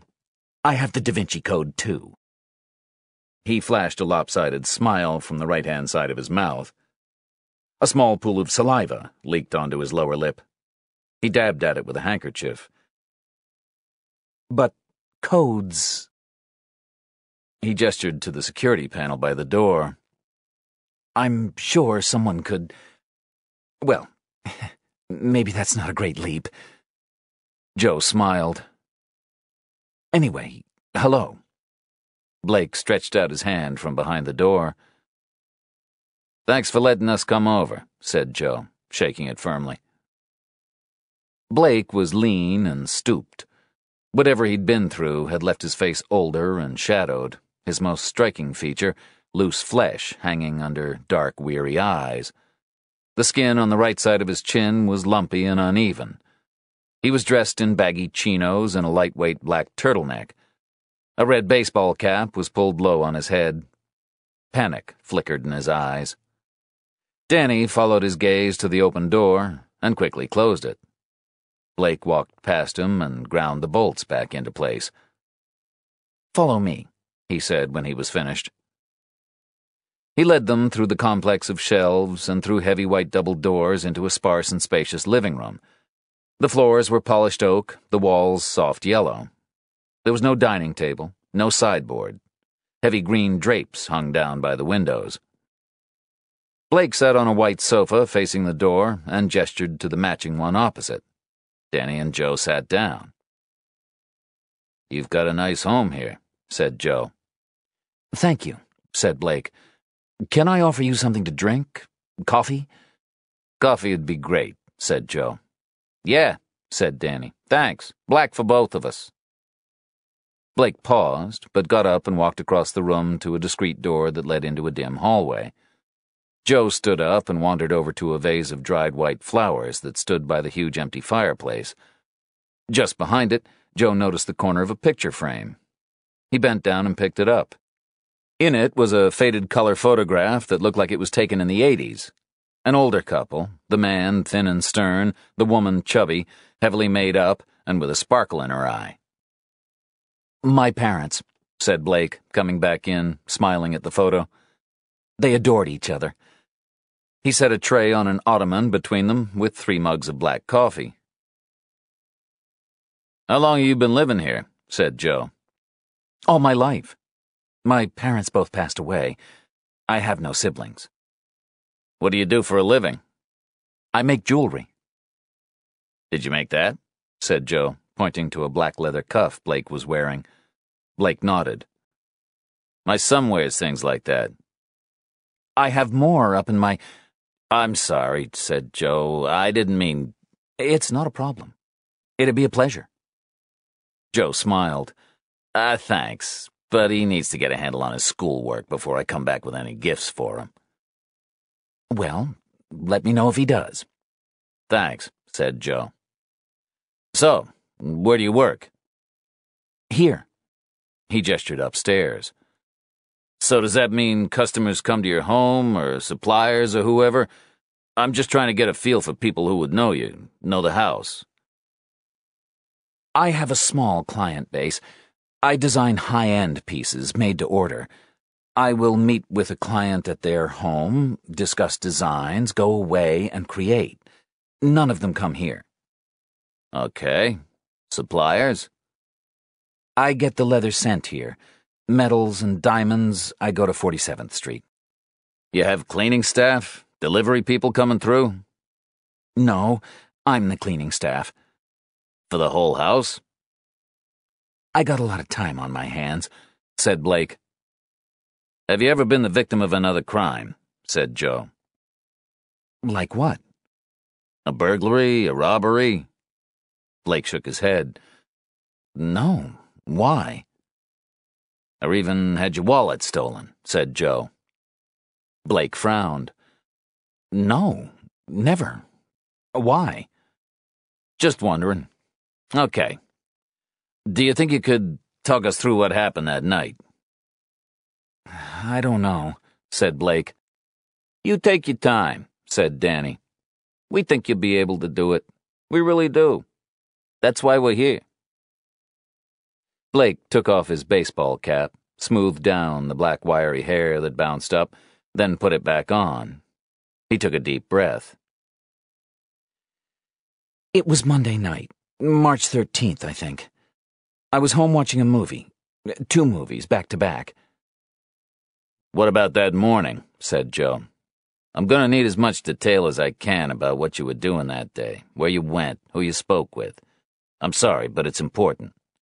If the perp chose you, it could be that by some twist of fate, uh, a change in your routine meant you crossed paths with him.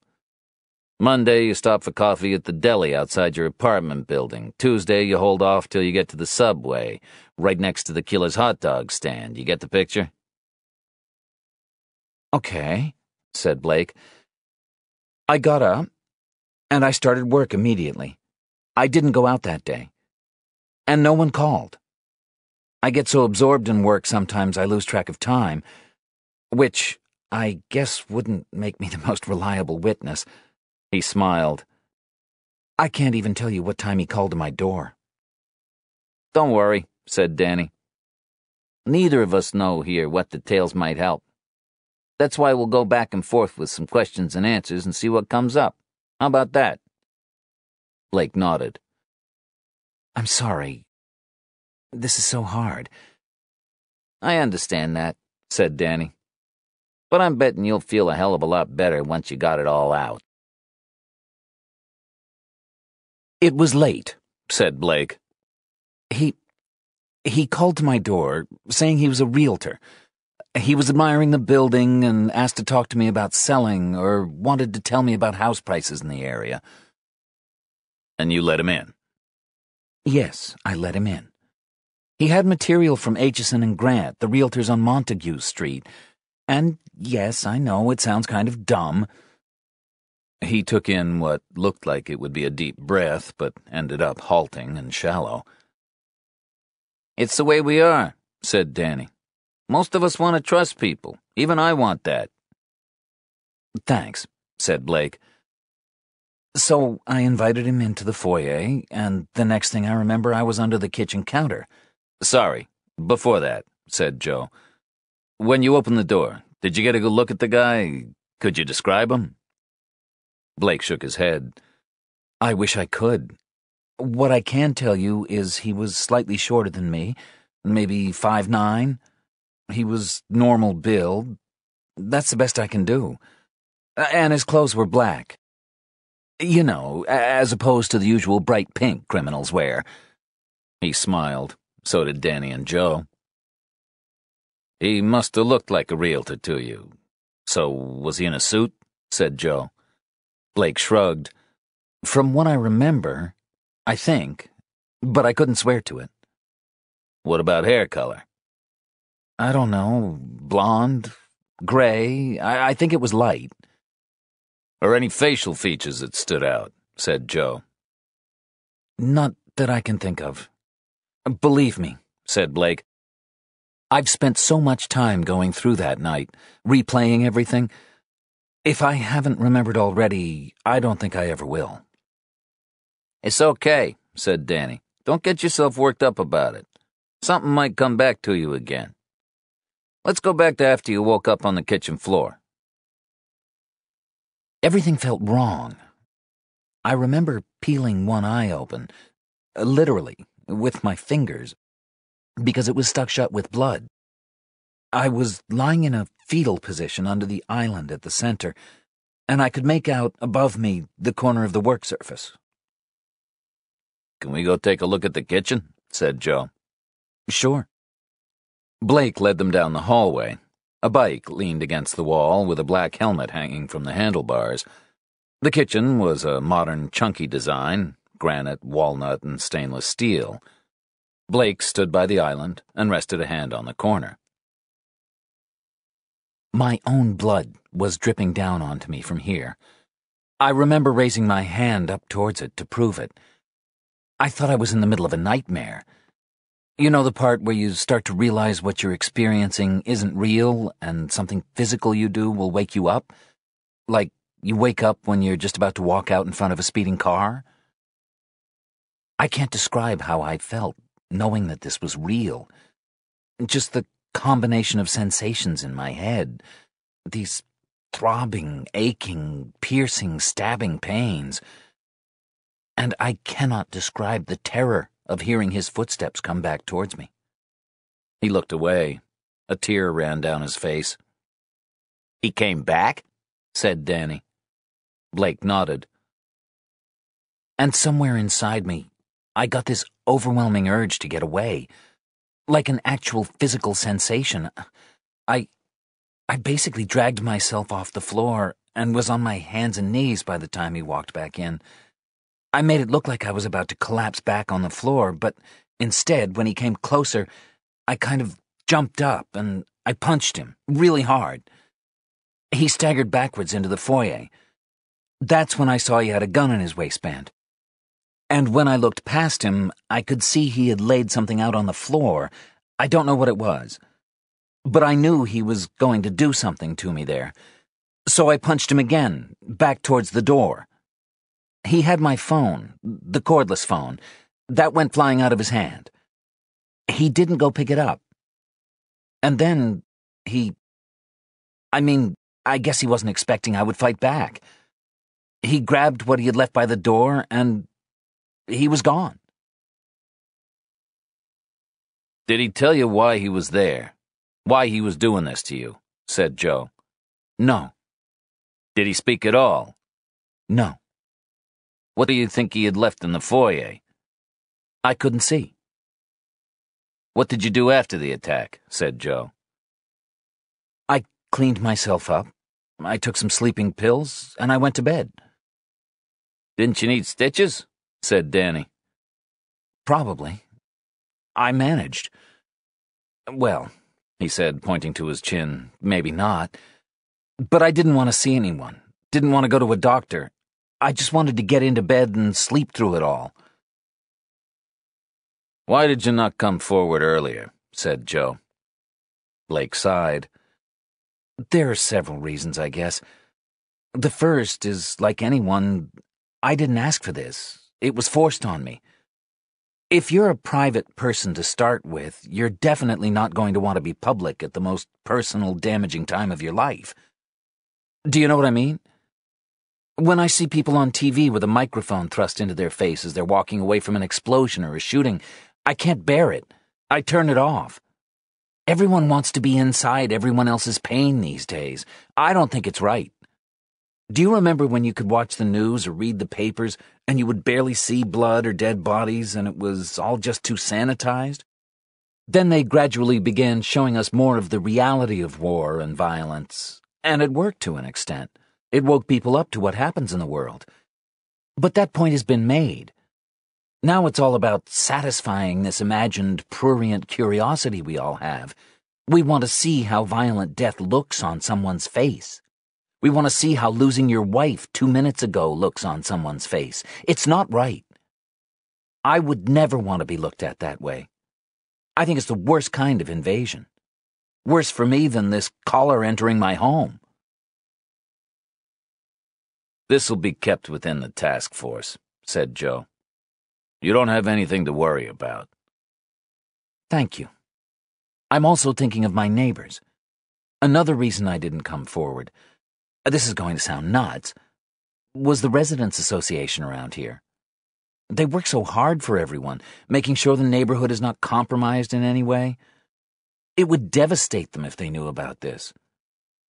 Also, if in any way, you know, I, I invited this on myself, this is not your fault, said Danny.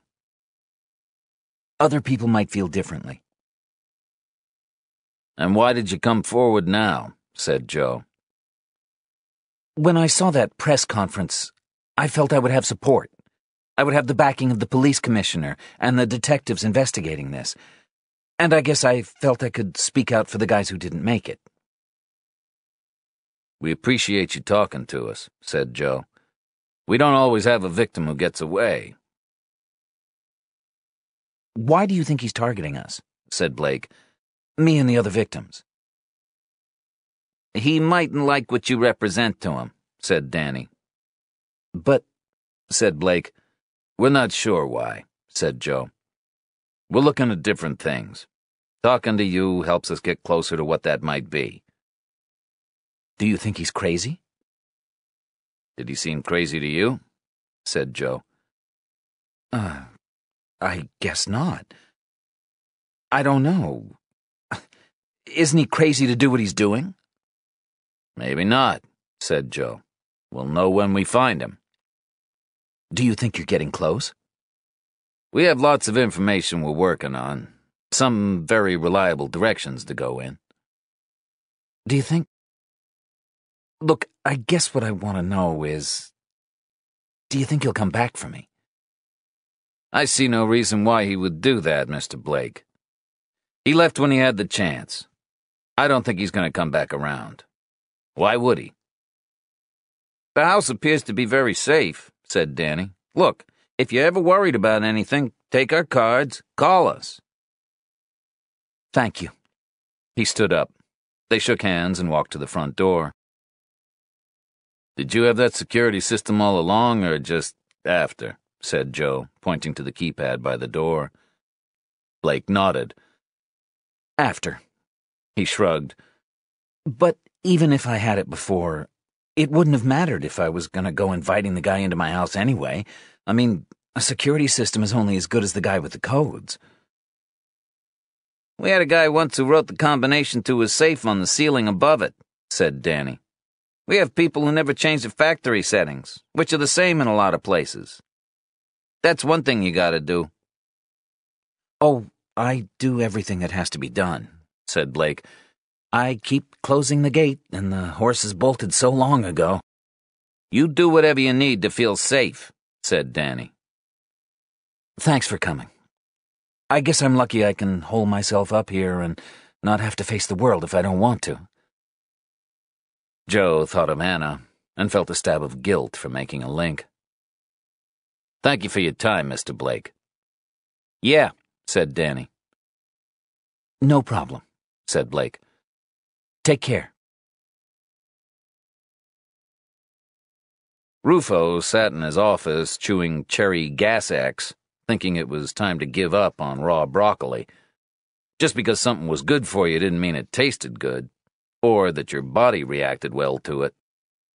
So, he said when Joe and Danny walked in, how did Brooklyn Heights work out for you? The guy's name is Blake, said Danny.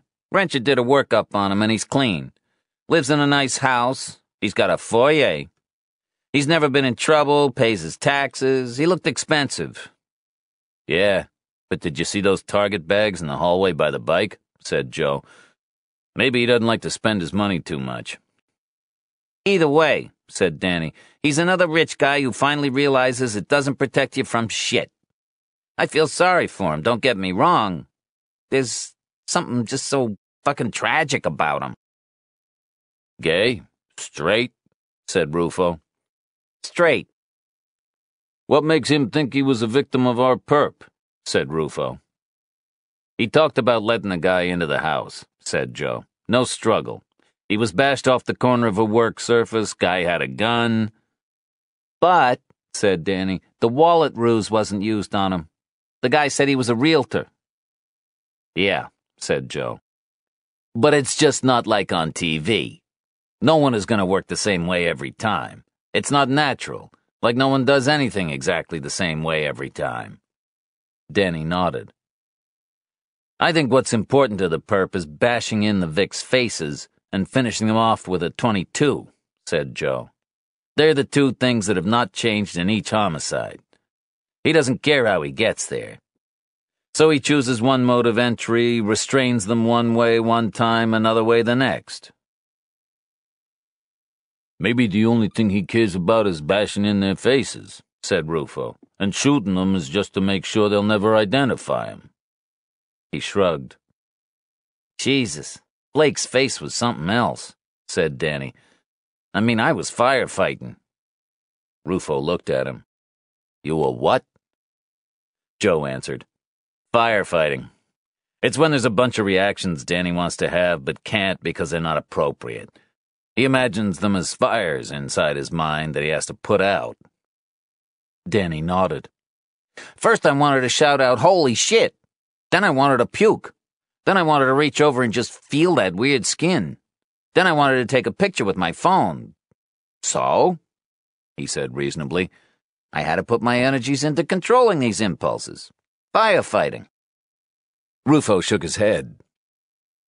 Do you have one of those firefighters' poles inside, too, so's we can get the happy pills into you quicker? You're a fucking nut job, Markey. Really, I'd like to know what one of New York's finest looks like to another human being when all this firefighting shit is happening. Don't worry about it, boss, said Joe. He's worked it into some sort of sane looking stare. Sometimes I tilt an eyebrow, said Danny. Touch a few fingers to the chin area. Rufo shook his head.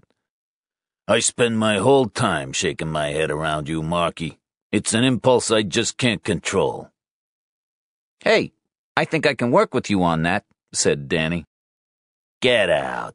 Get out of my office, said Rufo, smiling. Victor Nicotero was sitting at his kitchen table with a beer, a notebook, and a silver pen. Joe walked right in. Nice security system, he said. Patty, said old Nick, shaking his head. The woman's like a force of nature closing doors, turning off lights. They're just not things she thinks about. Joe laughed. It was wide open. Your serial guy could have butchered me to death. I think he likes the city too much. Let's go out on the deck. I'm done here. You're writing it all longhand? Longhand, said Nick. I'm writing it. That's what it's called. Writing. Whether my hands are long or short doesn't come into it. Joe took a beer from the fridge and sat out beside him. Would you like to move in? said Nick. Joe smiled. And live with your grumpy ass? No, I'll take my chances with an out of control teenager. Easy when there's a beautiful French woman tied into the deal. How are things there? You take my advice? Of Course I did. And things were better, said Joe. And then she storms out of dinner last night. Hormones, said Nick. They go nuts. Every frickin'. The kitchen door banged open behind them, and heavy footsteps tracked through to the sliding door. Joe and Nick looked up. Bobby leaned out, a cheap bouquet of flowers in his hand. He frowned, then glanced around the garden. Is Ma here? he said. He barely nodded at Joe. She's at the store, said Nick. Do you want a beer? Uh, no, thank you. Ma wanted me to fix some door in the bedroom. There's some problem. I took care of it, said Nick. Sit down. It's a nice evening. You took care of it? said Bobby. When did you do that? This afternoon. She's been bothering me about it for weeks. Yeah, which is why I came over, said Bobby. You were here with her at the weekend. Why didn't you do it then? What are you talking about? You were the one who was supposed to. Bobby glanced towards Joe, who had picked up a magazine from the table. Have you eaten? said Nick. No, said Bobby and Joe at the same time. Sorry, said Joe. I thought you meant me. I meant both of you, said Nick. I can't hang around, said Joe. Nah, you stay where you are, said Bobby. I'm gonna go see the kids now that I'm out here. These are for Ma, he said, raising the flowers. I'll leave him by the sink. Okay, said Nick. You take care. He let out a breath and turned to Joe. But Joe sat in silence, staring into the distance, thinking about Sean. The next morning, Joe made it into the office early to get his suits ready for the dry cleaning service that picked up three times a week. He liked to keep two full sets of clothes in his locker, but he was down to one. He was walking back to his desk when his phone rang. Joe, it's Julio. Hi, everything all right? Yes, I saw your name in the paper the other day. Yeah? Yes, it's a shame. What's a shame? All that attention. What attention? Can't they leave you out of it? Who? The media. Dad, I haven't even spoken to one journalist. They do their thing. I'm someone who was involved in some prominent cases. They make something of it, that's not my fault. What I mean is you're in the spotlight again. People are dredging up what happened to you and Anna and Sean. You got to think what this is doing to the family every time you put yourself out there. Ah, here we go, said Joe. I am not putting myself out there for the hell of it. I am heading up an investigation. It's not like I heard there was a few homicides and some media attention and I said, Great, yeah, sign me up for that, please, make me the case detective. I'm just saying. I know what you're saying. Your facts are wrong. You can't control the whole world, okay? I'm concerned. Yeah. Great. Look, I gotta go. Joe put down the phone and walked over to the coffee machine. It stank of sour milk and burned coffee. There were rings on the surfaces and coffee grounds scattered on the floor. Everyone clean up already, he shouted. Stop leaving this for Ruthie to do. She cracks because she can't stand the mess. It's not her job. She's too busy doing every other fucking job for you lazy sons of bitches. Thank you, Joe, shouted Ruthie from the reception desk. Sorry, Mom, shouted Martinez. Joe grabbed a paper towel and started wiping the surfaces. He bent down to pick up a ball of paper that had missed the bin. It was a stray printout from the Pages program he used. He opened it out. Someone had written Season's Greetings across the top in red felt tip pen and drawn Santa hats on all the victims. Handwritten under the photo of Gary Ortis was Greetings from the Ortis family. This year, Gary was murdered. His battered body was found in his hallway. He spent hours being tortured, and his killer's still on the loose. Happy holidays. Joe looked around the room at the people who first came together on this case. Dennis Cullen, a man who would rather stare at figures all day so he could save his energy for visiting his sick little girl. Tom Blaskow, tough and thorough. Aldous Martinez, dedicated but narrow minded. Roger Pace, nothing more than Bobby Nicotero's long skinny shadow. Fred Rencher, good guy but not too sharp and then Bobby Nicotero. Joe glanced down at the page and his girly handwriting. For Christ's sake, Lucchesi, that's your freaking bone! Shouted Martinez from across the room. Joe threw the paper back into the bin and went to his desk. Detective Lucchesi? Preston Blake. Joe couldn't tell whether it was the line that had a hiss in it or Preston Blake's voice. Oh, I. You fucking asshole. Mr. Blake? said Joe, sitting down. You clueless son of a bitch! He was sobbing. Joe looked around the room, but couldn't find anyone to get eye contact with. His cell phone vibrated on the desk in front of him. It was Danny. Mr. Blake, could you hold a moment? said Joe, punching the button anyway. Joe, it's Danny. I'm on my way in. Have you seen the front page of the Post? Do not take a call from Preston Blake until you do. What the hell is going on? And you're too late. I've got him on hold. Uh oh. Go to Martinez's desk. He'll have a copy. Blake has been named by the press as the one who got away. How the hell did that happen? How do I know? said Joe, walking over to Martinez's desk and picking up the newspaper. Shit, he said. We were the only ones who knew. I mean, very few people knew I was there. Rencher, Martinez, me, you, Rufo. Think you can hang up on him? Think the line might be faulty? I'd love to. Or tell him you think you hear someone at his front door. Joe laughed. I'll do the honorable thing. What? Put him through to Rufo? Oh? Something like that. Gotta go. Call me after. Joe took the handset back up. My apologies, Mr. Blake. Could you give me the opportunity to read through the article before we have this conversation? Let me save you the trouble. Preston Blake, seen here in happier times, insert smiling photo, before he became the alleged victim of the caller, the only one lucky enough to survive his horrendous attack. And Preston Blake has been living the life of a recluse in his luxury Brooklyn Heights brownstone, rumored to be the location of his vicious assault six months ago. Mr. Blake refused to comment on the caller's latest victim following the discovery of the mutilated body of Ethan Lowry on September 7th. And let's skip down here. While unclear how prolonged his ordeal was at the hands of the caller or how extensive his injuries, Mr. Blake has been visited by Manhattan North Homicide Detective Joe Lucchesi for assistance in his inquiries. Detective Lucchesi came to prominence, and then there's a bit about your tale of suffering and woe.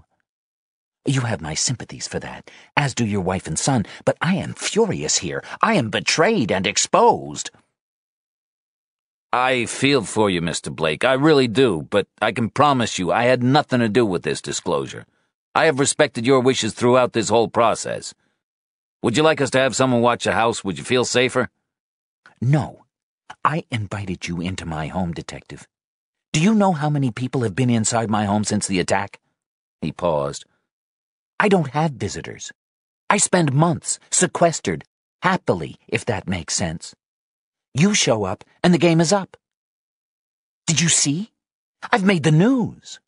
How ironic people will think in the way that stupid people do not understand the meaning of the word ironic.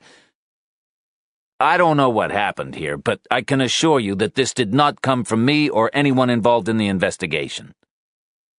I just don't buy that, because it sure as hell did not come from me.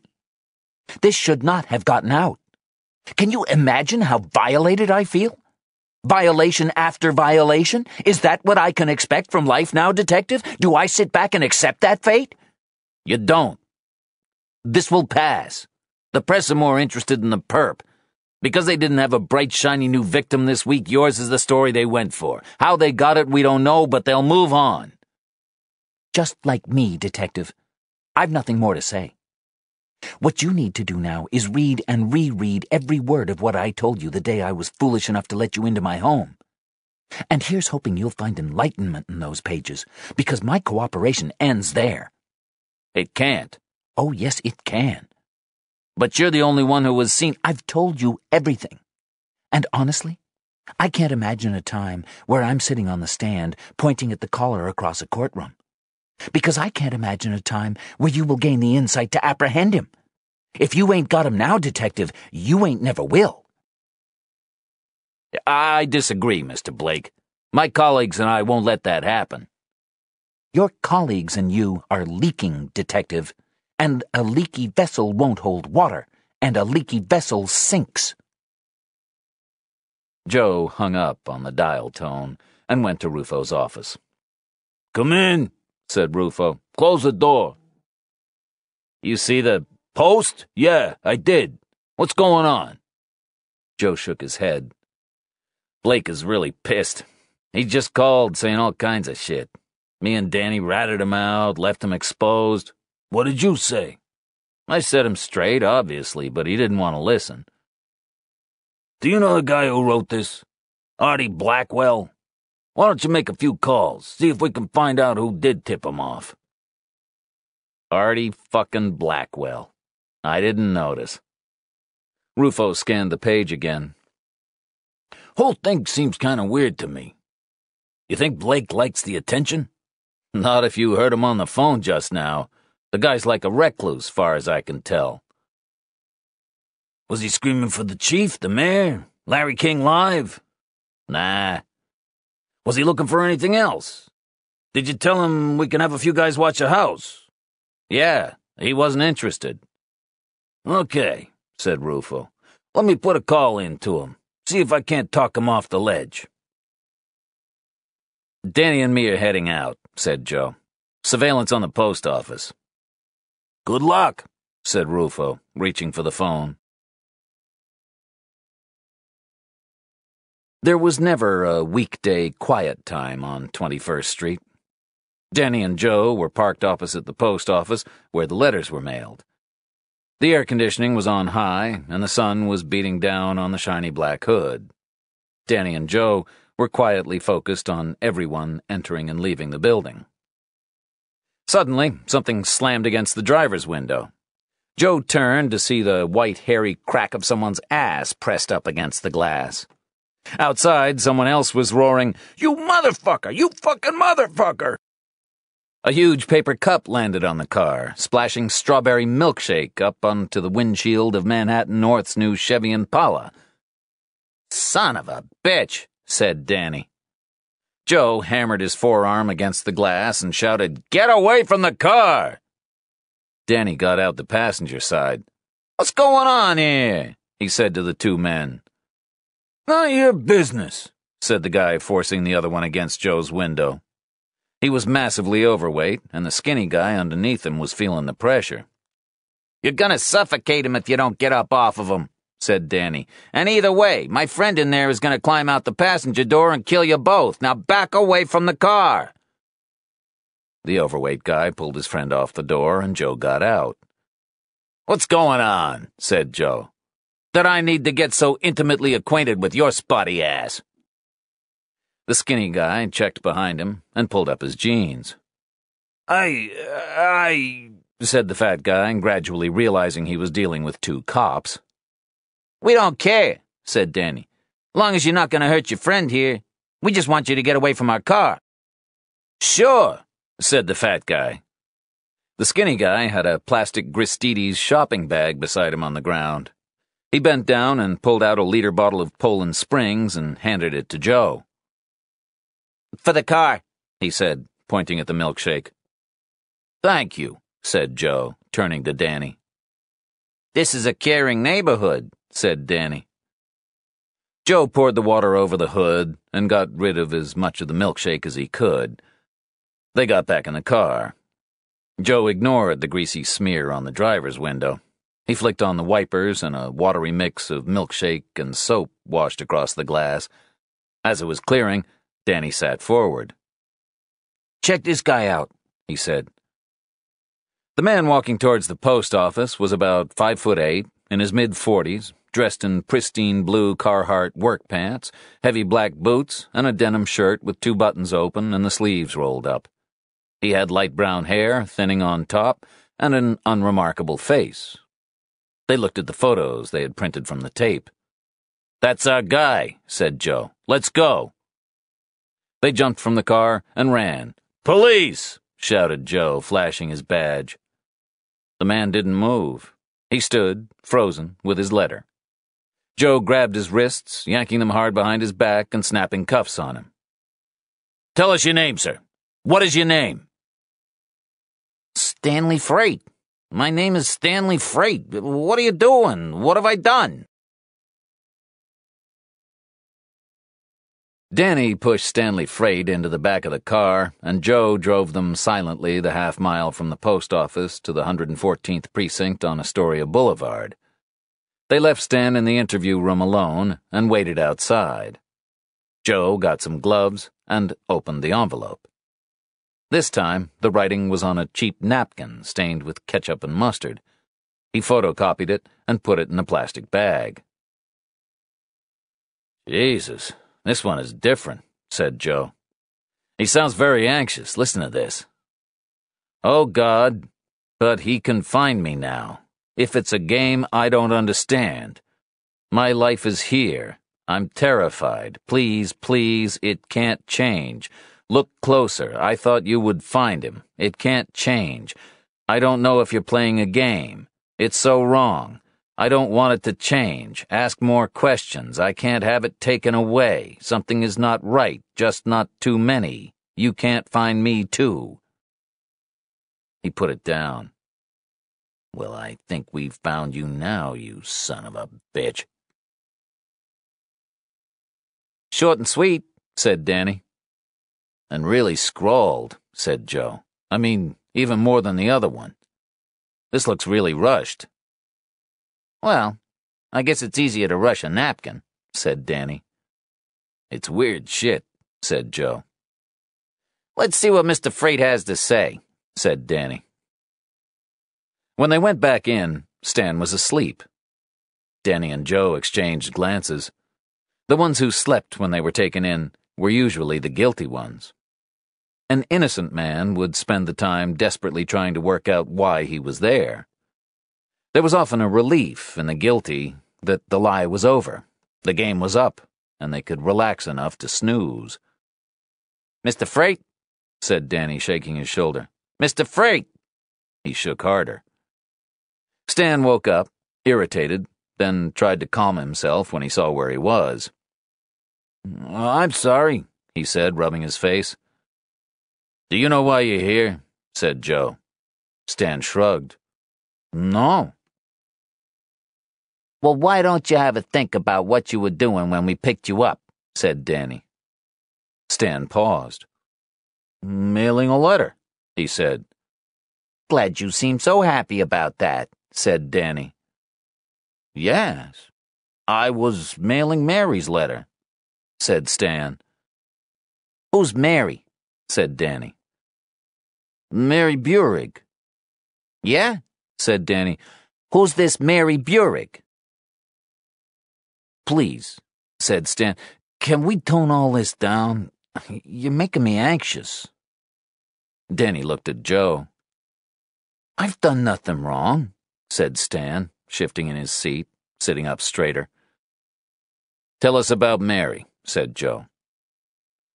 Mary is a patient, said Stan. Well, not a patient, a client at the Colt Embry Homes, a couple of blocks away part of the rehab clinic. Meaning? said Danny. Meaning what? said Stan. Patient, client, what's that all about? said Danny. I guess Mary, like all the other clients in the building, is there because she got a brain injury. Everyone staying in these apartments has a brain injury? said Joe. Yes. You go there after rehab, but before you go home. To help, you know, initiate yourself into society. Danny locked eyes with Joe and slowly shook his head. So what you're saying is this Mary is brain damaged? said Danny. Stan's jaw clenched. No, I am not saying that. He paused. In fact, I would hate to say that. He shrugged. I guess you guys can say what you like. What's your relationship with Mary exactly? said Joe. None. Uh, I mean, I kinda know her. She's a nice girl. I'm an electrician handyman working in the apartment building she lives in. That's it. Why were you mailing letters for her? Said Danny.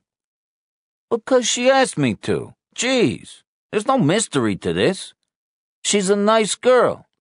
She asked me a favor. I go out on my morning break, I mail her letters. He shrugged. Did you know why she was mailing them? No idea. To be honest, I didn't even read the envelopes. None of my business. You never read the envelopes, said Joe. Sure, said Danny. I did not, said Stan. Privacy is a big thing there. Clients have got to feel respected. I would never want to upset anyone. Look, I've told you everything. Can I go now? No, you cannot, said Joe. You're an electrician, right? said Danny. Yes, Stan nodded. So you got the keys to a lot of houses, a lot of apartments, said Danny. What do you mean? said Stan. Do you or don't you? Sure I do, but so do lots of people. A lot of people have a lot of keys. You gotta understand, said Joe, that not a lot of them are mailing letters to the case detective of a serial homicide. Homicide? Oh, no. You're not investigating that caller guy, are you? You think. Oh, my God, no, no way. No way. What's Mary mailing you guys for? Well, that's what we'd like to know, said Joe. If Mary really is the person who wrote them, why? And why are you the person mailing them to me without allegedly looking at the address or the name of the person? I didn't know what I was mailing, said Stan. If I thought it was something weird, I wouldn't be walking right up there to the Astoria post office in broad daylight with no gloves on and nothing, mailing it. I'm truly sorry that this has caused you problems. I really am, but I did not know. Please talk to Mary. She'll clear this up. That seems fair, said Joe to Danny. Stan got up to leave. Danny laughed. Buddy, I'm afraid you're gonna have to sit it out while myself and my partner here take a visit to this Colt Emery. Embry, said Stan. Embry. You need to speak to Julia Embry. She's the boss. He shook his head sadly. They're good people there. In 1992, Madeline Colt and Julia Embry came together at the Mount Sinai Hospital of Queens to watch their teenage sons paint. Separately, they had turned away and walked crying into the hallway outside. My son used to hike, said Madeline. Robin made us laugh so much, said Julia. They had both looked back at their sons, one with the easel lowered to the level of his wheelchair, the other having his brush guided around the page by a nurse. The women looked at each other and smiled. But they're here, said Julia. They are, said Madeline. We are blessed. Ten years of campaigning and fundraising later, the Colt Embry Rehabilitation Clinic was founded to support patients with traumatic brain injuries. It sat on a one acre site between 19th and 21st Street in Astoria. Tucked into the northeast corner were the Colt Embry Homes, a small block of 20 apartments to ease the transition for patients from rehab to home. Julia Embry sat at her desk, pressing a Kleenex carefully under her eyes to catch the tears before her mascara did. She held a photo of Robin in her hands. It was taken at his eighth birthday party. He was wearing a huge black pirate's hat and a white shirt with a red kerchief tied around his neck. An eye patch was beside his plate, a glass of orange beside that. His chin was so far forward and he was grinning so wide that he almost didn't look like himself. But what Julia loved about it was just how happy he looked, how bright those eyes were, how gentle the little blond boy looked as a fearsome pirate. The last time she had a visit from two detectives, it was to tell her about Robin's car accident. He was 17 years old when the car he was driving was involved in a crash, and the other driver left the scene. Robin was rushed to the hospital, where his bones were repaired and his wounds eventually healed. But his brain injury was too severe, and after hanging on for a year in rehab, he died. The police never caught the driver. There was a knock on the door. Come in, said Julia, putting the photo back on the desk facing her. She stood up. I'm so sorry about all this, detectives, she said. Please, sit down. Joe and Danny introduced themselves and took a seat. Firstly, said Julia, I really would like to reassure you about Stanley Freight, for what it's worth. He's worked with me for so long now. He's the best. He really is.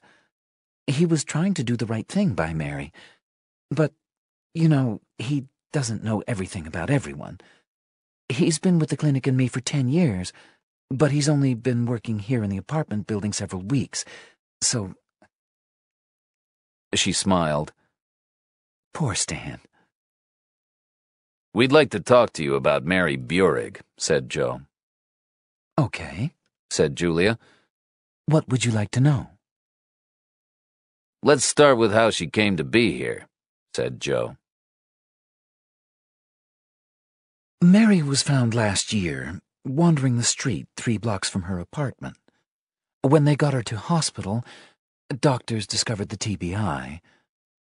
She had no recollection of what happened to her. So Mary has never spoken about her accident. Julia shook her head. No, she can't remember it. It's not uncommon. It's kind of like the brain's defense mechanism. Can you talk us through her, uh, situation, condition? said Joe. First of all, Mary is a person who suffered a traumatic brain injury. I understand, said Joe. Not a brain injury sufferer. Joe nodded. So Mary, as she was before, what we call pre-morbidly, is still there, but she's got a new set of behaviors. Every program is individual here. This is Mary's. She handed a copy to each of them. Joe flicked through twelve pages on Mary's treatment and details of how each one would help her. He paused at psychiatric. Impairment, brain injury, function, emotional regularity, participation, inability to regulate emotions, thoughts. Joe looked up. Let's say Mary can make sense of these letters. She might not, said Julia. She might not remember writing them at all. Okay, but let's say she does. Can we believe what she is saying to us? I would say so. Yes, if you can decipher it. Danny looked up from his notebook. How do you think her injury might have happened? Her medical records are confidential, as you can appreciate, unless Mary gives you permission to access them, or her guardian does. Who's a guardian? Her older brother, David Burig. We'll get his details from you, if that's okay, said Joe. Sure, said Julia. Mary's lucky to have David. There's not a lot of support out there for people with a TBI. Places like Colt Embry are not common. Most of the time, people are released from hospital into rehab, and after that they're on their own. Back home, expected to function as they did before. It's crazy. And a lot of people are not covered to stay in a place like this. If they don't have the right insurance, they better have a wealthy family. Can you imagine? Just to be able to live normally? It's crazy. And because a lot of people physically look the same as they did before the injury, People expect them to act normally, and when they don't, they can't handle it. It's a very hard thing for everyone to have to adjust to. How does Mary's injury affect her, like day to day? said Joe. Mary suffered right temporal lobe damage. The temporal lobe is all about memory, emotional stability, reading social cues, crucial parts of everyday life said Julia. Someone who's had the right side damaged like Mary would have problems interpreting facial expressions, so would find it hard to know if you're angry, sad, etc. Also, there would be tone of voice issues. Their own speech patterns are quite flat, and also they won't recognize, for example, sarcasm in your tone. They're not great with humor. Anything non-verbal, faces, music, shapes, she'll have a problem with. For example, she may remember someone visiting her apartment this morning, but she may not remember why. What about all her writing? said Joe. That's because she has temporal lobe epilepsy, and what can go along with that is hypergraphia.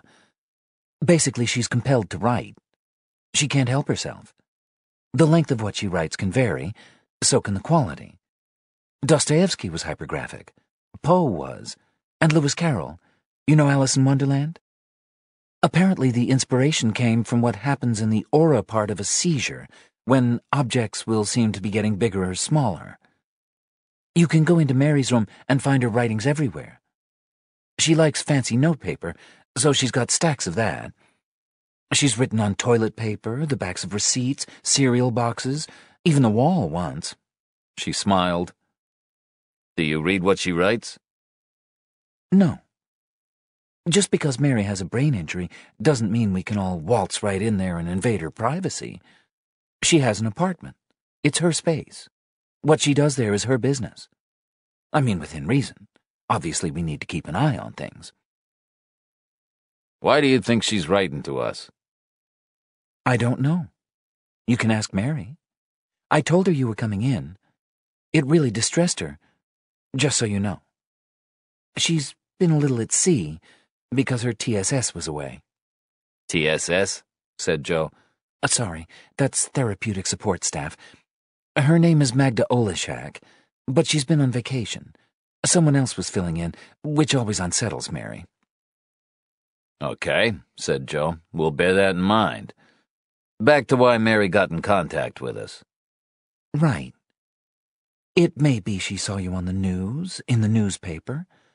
It's common that someone like Mary might feel responsible for every ill in the world. You and I could watch a news report on a murder or a natural disaster and feel terrible for the victims and their family, while Mary might feel genuine guilt and wish she could do something about it. The religious element to her condition taps into this too. She wants to reach out, help people. People with brain injuries can be very me-centric. Mary is no different. But she's also concerned with other people's welfare in her own way. She's very kind to the other clients here. Is Mary on any medication? said Joe. As usual, I'm torn here, with what I can reveal to you. She sighed. But I want to help. Let me check the file. She looked through it. When she got here, Mary was taking 300 milligrams of Dilantin, an anti-seizure medication, but that didn't agree with her. So the doctors moved her over to 500 milligrams of sodium valproate three times a day, but her hair started to thin out. When she started losing patches of it, she was very upset, so she stopped all medication. And she was fine. Up until three months ago, when she had the first seizure. We received the first letter a month ago.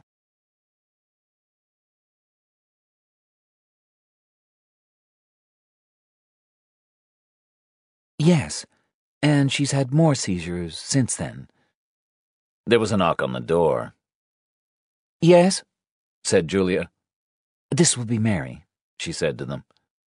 Come in, Mary. Mary Burig squeezed through the tiny gap she made for herself in the door and closed it behind her. She was dressed in a pale pink oversized cardigan, a blue silk tank, jeans, and flip-flops. With her head bowed, her hair, black and shiny, parted in the center, hung down in front of her face. Hi, Mary, said Julia.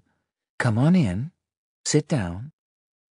Mary raised her head slowly and looked first at Danny. Something caught in his chest. Hi, Mary, said Joe. I'm Detective Joe Lucchesi. Oh, hi, she said, reaching out to shake his hand. Detective Danny Markey, said Danny, half standing. Hi. Take a seat, Mary, said Julia. We met Stanley Freight earlier, said Joe. He was mailing a letter for you. We have your letters here. Did you write these? Yes. She frowned. How many do you have there? Three, said Joe. But I sent you fifteen. Fifteen, said Danny. You've been busy. She smiled. Can I see the one you have there? Mary took the plastic bag with the napkin and stared down at it, slowly reading through it, her head bent, her hair falling down to cover her cheeks. She shifted in the chair, pushing her feet back underneath it, crossing her legs at the ankles. Several minutes passed. Joe looked towards Julia Embry, who gave a tiny shrug. He gave her a small smile and waited. Lights flashed across the bottom of Julia's phone. Her focus stayed on Mary, whose hair was now covering most of her face, until she tucked one side of it back behind her ear, and they could all see the tears streaming down her face. When she looked at Julia and then Joe, the pale eyes that had seemed so shining and clear were now dark with fear and confusion. Mary, does this letter mean anything to you? said Joe. No, she said. I'm sorry. Someone had brought Stanley Freight a Coke and some chocolate. The can was crushed as small as it could go, and the chocolate wrapper was twisted tightly and rammed into the hole. He jumped when Danny and Joe walked back in. Okay, Stanley, we spoke with Mary, said Joe. She's confirmed what you told us, so we're done here for now. You can go home.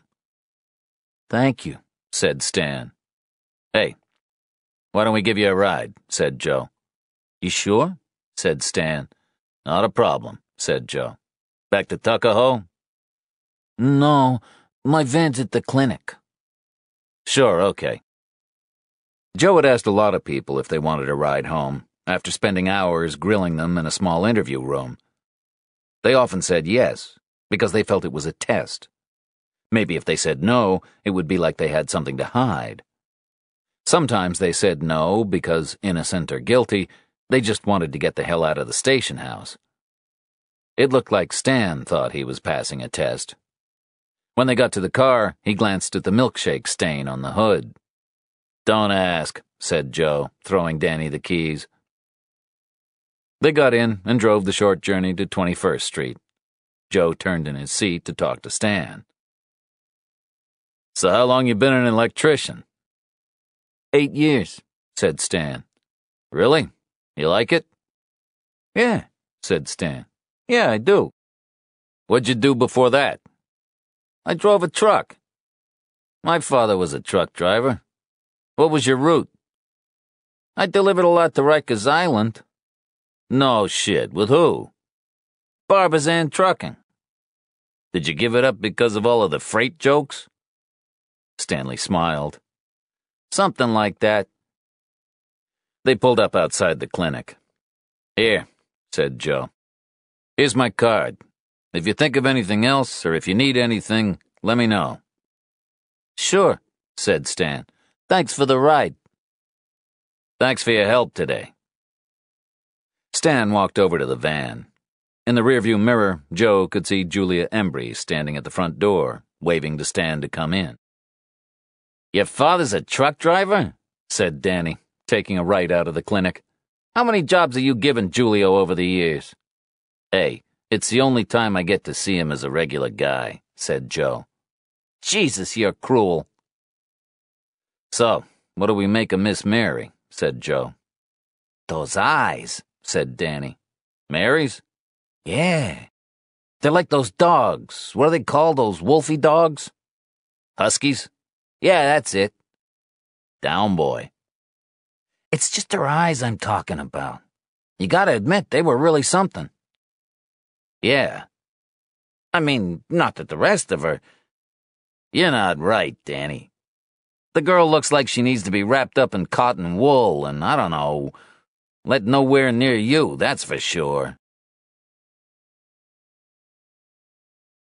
David Burig sat on a short wooden bench in the grounds of Colt Embry.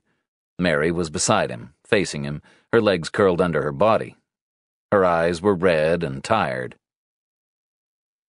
Mary, Mary, Mary, said David. What am I gonna do with you? Go to a movie? She said. David smiled and hugged her. Sending letters to the cops. You really thought you could help them. He could feel her nod against his chest. You have a good heart, he said, rubbing her hair. Remember the little kid around the corner who cried all the time? And I used to say to him, Would an ice cream make it better? And he'd say yes. And I'd say, Well, when you're at the store, will you get me one too?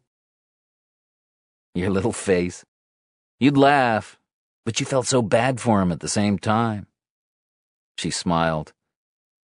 I remember him. You were so mean. David pulled her away gently and looked at her. Do you want to talk about these things? I don't know if you do. I don't know if I'm upsetting you. I do, said Mary.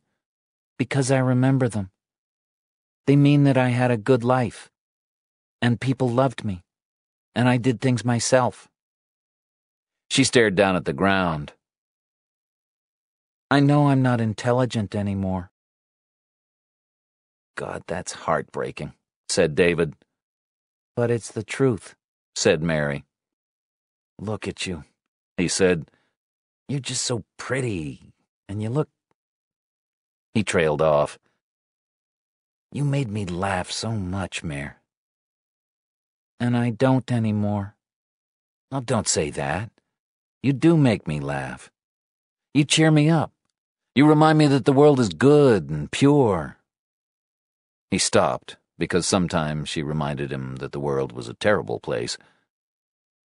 Look at your shirt, she said. He looked down. What? It's shaking. Is your heart beating really fast? She frowned and reached out her hand. No, he said, quickly taking hold of it. That's just the breeze. He smiled. Mary looked at him. Do you get tired of visiting me? No, no, no, said David. Please don't tell me you think that. It's you and me, Mary. It always was, and always will be, okay? She nodded. Thanks. She paused. I'm sorry about the letters. Joe and Danny were pulling up at the car wash on Columbus Avenue when Joe's phone rang. He pulled it out and flipped it open. Joe, it's Rencher. This Mary Burig broad? She was admitted to downtown hospital nine months ago, GSW to the head from. He paused. A 22 caliber automatic. Julia Embry had been paged to reception in the main clinic by the time Joe and Danny arrived back. She leaned over the desk to the receptionist. Send Magda to the coffee shop when she comes in. Thank you. They took a quiet table in the corner and got coffee. I'm sure you know every shooting is reported to the police in the ER, said Joe. So when we ran Mary's name, it came up. Julia nodded. I didn't know if it was relevant. I don't know if you've been watching the news or reading the papers, but the caller is killing his victims with a similar weapon. Oh my God, said Julia. Joe nodded. It's looking like Mary could possibly have been a victim. But weren't the victims all male? So far, yes, said Joe. But it's too much of a coincidence that Mary has been sending in these letters. She seems to have some information about the crimes, and now she has an injury just like the other victims. I suppose you need to speak with her again. Yes, said Joe. How was she when we left? She was down, frustrated that she couldn't help, and scared. She's back at her apartment now. I can take you over there. We don't want to do anything to upset Mary, said Danny. We just think there might be more information there that could be useful. If we can jog her memory in any way. Okay. First, you can speak with Magda. Here she is. I called her when all this happened with Stanley earlier. She said she needed to come in. Magda walked towards them with a blue canvas tote bag clutched to her stomach. Hello, detectives. My name is Magda Oleshak, Mary Burig's support worker. She took a seat in front of them and pulled the bag onto her lap. Hi, said Joe. How you doing? Here, she said, reaching in, taking out a large brown envelope. These are from Mary. She asked you to give this to us? Said Joe, taking the envelope. Magda shook her head. No. I mail letters for her sometimes, but she writes so many I can't mail all of them. Like the one she wrote to welcome the new pope. Or the ones to you. She saw the news conference. Lots of people saw it, but they don't send you letters. When I came back from Poland, I heard she told you she mailed you 15 letters. She didn't. She has problems with her memory. But she did write these other things that I can give you now. She writes sometimes before she has a seizure. Stan will tell you that. He arrived one day after she had the seizure and her papers were on the floor all around her. As Joe sliced through the envelope, the contents spilled out. Receipts, post-its, strips of newspaper margins, toilet paper, magazines, floral notelets, Rolodex pages, greeting cards, the pale cream interiors of cereal boxes. Every surface Mary could have found to write on was covered with text and stuffed into envelopes. It was distressing for her, said Magda. Mary tries to make sense of what she has written, and she can't. Not all of it. I see her crying. I see how I can make that go away, and I do it. I take these writings away. For her. Stan did not know this, so he mailed those letters to you. And now. She shrugged. You can make no sense of them, too. Have you read through these again? said Joe. I never read them the first time, said Magda. I still don't like reading in English. Does anybody mind if I take a look at her letters? said Julia. Joe handed them to her. Hmm, she said. I can see how these could be difficult to understand. Mary's thought patterns are disassociated. You can tell from how she's written all this. It probably made sense to her at the time, but the order is all out of whack. There's a lot there to take in, said Joe. Don't forget Mary's long-term memory is strong, said Julia. It's very hard for her that since the attack, she has difficulty forming new memories. She's aware that she can't do everything she used to be able to do. I wish I could be of more help, but ultimately, only you know what you're looking for. The best I can say is to scrutinize these again and see is there anything that means anything to your investigation. To me, Mary talking about her swimming classes in Astoria Park is no big deal. But if you knew the killer swims 50 lengths a day there, then that could be important. I looked at some of the drawings, said Magda, shrugging. But no, they're weird. She pointed to the cereal box. On there. Joe flipped over the box and saw angry black mouths staring back at him. Some of them big, some of them small, all of them wide open with ragged teeth. Joe passed it to Danny. Did she talk to you about this one? Magda shook her head. This was after a seizure. I found it on her writing desk. I can't show her that. It's too creepy. Danny shrugged. Thank you for bringing these to our attention. We'll take a look at all this. It might not mean anything, but we gotta check everything out. Yes, probably nothing, said Magda. But you're here now, so maybe we could go and see if Mary can help you. If you don't mind, said Julia, I'll leave you to it. We're in the process of setting up a second clinic upstate, and I'm under a lot of pressure. That's not a problem, said Joe. Mary sat on the corner of her bed with the pages spread out in front of her. Magda sat beside her with a hand on her arm. Joe and Danny stood beside her. She'd been this way for fifteen minutes. No one spoke. Eventually, Mary looked up. Something to do with mouths. Hurting people's mouths. I don't think he can help it. She pointed to her drawings and the place where the ink was so heavy and black it had soaked through the card. The light in the front room was on when Joe got back. Anna walked into the hall as soon as she heard the car. Her face was white. What is going on? She said. Joe walked by her into the kitchen. What, with the case? I just got a call from Paris. The police came to the house. Joe didn't move. What? To my parents' house. Three flicks called to the door. My mother was frightened. She thought we'd had an accident or something. They say to her, Is everything okay? Then they walk all around the garden and ask, Can they come in the house to look too? She's 75 years old. She didn't know what to do. I don't think she even asked them for ID. Joe turned around. I told your parents to always ask for ID if people are calling at the door. That's it? She said. You told them that?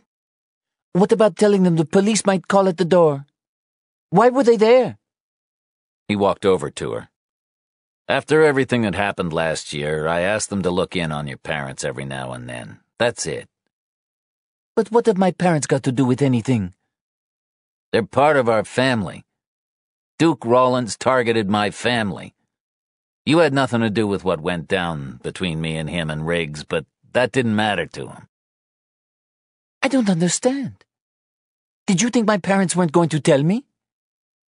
I didn't think the cops were going to knock on the door. I thought they were just going to take a look around without raising any suspicions. Do Julio and Pam get these visits too? Let me take care of them. I'm in the same country. But yes, I did put a call into Rye PD. Let them know our situation. Anna shook her head. We'll never be free of this. We are free, said Joe, pulling her into his arms. It's over. I am not going to let someone like him ruin our lives. He is not going to come after us so soon. He's not going to risk that. We're the worst place he could be right now. New York is the worst place. I don't think anything would ever stop that man getting what he wants. Honey, he said, pulling her closer, listen to me. He's not coming back. Dr. McCarr led Joe into his office. He offered him a seat, then stood by the wall, gently swinging his putter and guiding a fluorescent golf ball into a green machine that fired it right back at him. Precision, he said. He kneeled on an ergonomic stool behind his desk. What can I do for you? I have a question, said Joe. What would stop you getting your teeth fixed if they'd been injured or broken in some way? He shrugged. Depends what you mean. Joe held out a brown envelope. Could you look at a few crime scene photos for me? I think the perp spent some time working on the victim's teeth or mouths for some reason before they were murdered. These are graphic images. I'm unshockable, said Dr. McCarr, taking them from him. He looked down, his eyes wide. Or at least I used to be. Holy crap, these are hardcore. I liked that you said working on their teeth or mouths. I work on people's teeth, this guy. Wow. Wow, my breakfast is not happy. He took a drink from a plastic cup. I know, said Joe. So, what do you think? I don't know, but your guy's got some reason for smashing these teeth in. He's not fooling around. Do you think it's a torture thing to get information out of someone?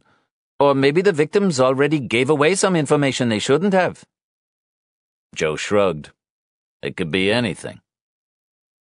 McCarr looked through the photos again he was definitely going for a big psychological impact. It's a primal thing with teeth. That's why it freaks us all out so much when we dream they're falling out. You've had that dream, right? And it's like you're trying to imagine how your life can go on without your teeth. It's an apocalyptic thing. He paused. Do you know what's so cruel about messing with people's teeth or their mouths? It's that if you don't heal 100%, There are so many reminders of your assault. Every time you chew, kiss, smoke, go out in the cold, whatever. It's there all the time. Psychologically, you could have to relive the whole thing over and over. He looked down. Although most of your victims, well, they don't have to. Don't dentists have the most stressful jobs? Highest rate of suicides? said Joe. Dr. Makar frowned. I see where you're going. Sure. And man, you should see all the serial killers that have come out of dental school over the years. Okay, but do you think what we're looking for here is a dentist? Yes, I think that's what you're looking for, but that doesn't mean you're right. Joe smiled. Well, what do you think? I don't know. Makar pointed to the photo of Preston Blake that Joe had cut from the newspaper. But I'd say the reason someone like this guy wouldn't get their teeth fixed is that he will never ever let anyone near his mouth again. Look at those eyes, even. That is the look of a damaged man. He turned to Joe. And he's not the only one. You're too hard on me, Dr. Mack. Anyway, look, I appreciate all this. Thanks for your help. No, said Dr. Makar, holding on to the photos. I'm afraid I have some good news for you. I got a call from a doctor friend of mine who has one of the most experienced surgeons in arthroscopy visiting the facial pain clinic next week and has offered me a slot for a patient. I'd like that to be you. Joe stared at him. Am I supposed to be grateful for that? You're hurting my feelings here. What am I going to do with you? Your face looks so. just rigid. It's crazy. You can't look at this kind of stuff, he pointed to the photos. You can't live this life without getting affected. You can't fool me. You really want to spend the rest of your life in this kind of pain? No, definitely not, but I can't do surgery. I'm telling you, you can. What day is it on? Friday, ten days from now. Joe sighed. Okay. Fine. Put me down. But I'd like the record to show I don't keep records for babies, said Dr. Makar. Or cats. Scaredy cats. When Joe got back to the office, everyone was gathered around Danny's desk and there was an atmosphere he couldn't quite put his finger on until Martinez opened his mouth. Ease yourself into the morning, that's right. I was getting someone to take a look at the teeth angle, said Joe, from 7 a.m., when you were in bed. Martinez nodded, but was looking away. Okay, said Rencher. Mary Burig is 28, single, from Boulder, Colorado got a degree in psychology, moved to New York just over a year ago, took an apartment in the East Village, which is possibly where she was attacked. What did she work at? said Joe. She had a part-time job at a deli. Was she dating anyone around the time of the attack? said Bobby. No, not since she got to New York, said Joe. And you said she got no memory of what happened? said Bobby. No, said Joe, and there's nothing we can do about that for now. She does remember a teeth thing. So I put the word out on the teletype and updated VICAP. But whatever happens, now we know about her, it changes everything. Female Vic, late 20s, happened after William Anito and Gary Ortis, but before Preston Blake and Ethan Lowry. So Mary was the third intended victim that we know about. And she got away and so did Preston Blake. He raised his hands. How did two victims get away? What did the perp do differently?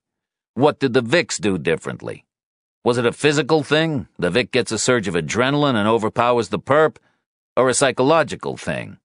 The Vic says it does something that makes the perp stop. Or maybe he was interrupted. Someone calls to the door, an alarm goes off, the police show up. We need to find out what Mary Burig did and what Preston Blake did that made them the lucky ones. Yeah, real lucky, said Danny. I'd give my left arm to be living in some rehab apartment or holed up like a recluse in a huge mansion, said Martinez. Yeah, well, it doesn't sound like Preston Blake's gonna be too happy to talk to us again one way or the other. Maybe the perp wanted them to get away, said Danny. But Blake saw his face, said Joe. He must have been planning to kill him. Ah, I guess so. And Mary was shot in the head. I need sleep. Joe laughed. William Anito, Gary Ortis, Mary Burig, Preston Blake, Ethan Lowry. What is the connection? Is there a connection? Back to the getting away, said Rencher. There's no way, from what you say about Mary Burig, that she got away by overpowering the guy. He had to have been interrupted, or it was something psychological. He paused. Of course, he had shot her. He probably thought she was dead. She's too cute to kill, said Danny. Yeah, that'll stop him, said Martinez. Maybe it was just the fact that she was a woman made some difference, said Rencher.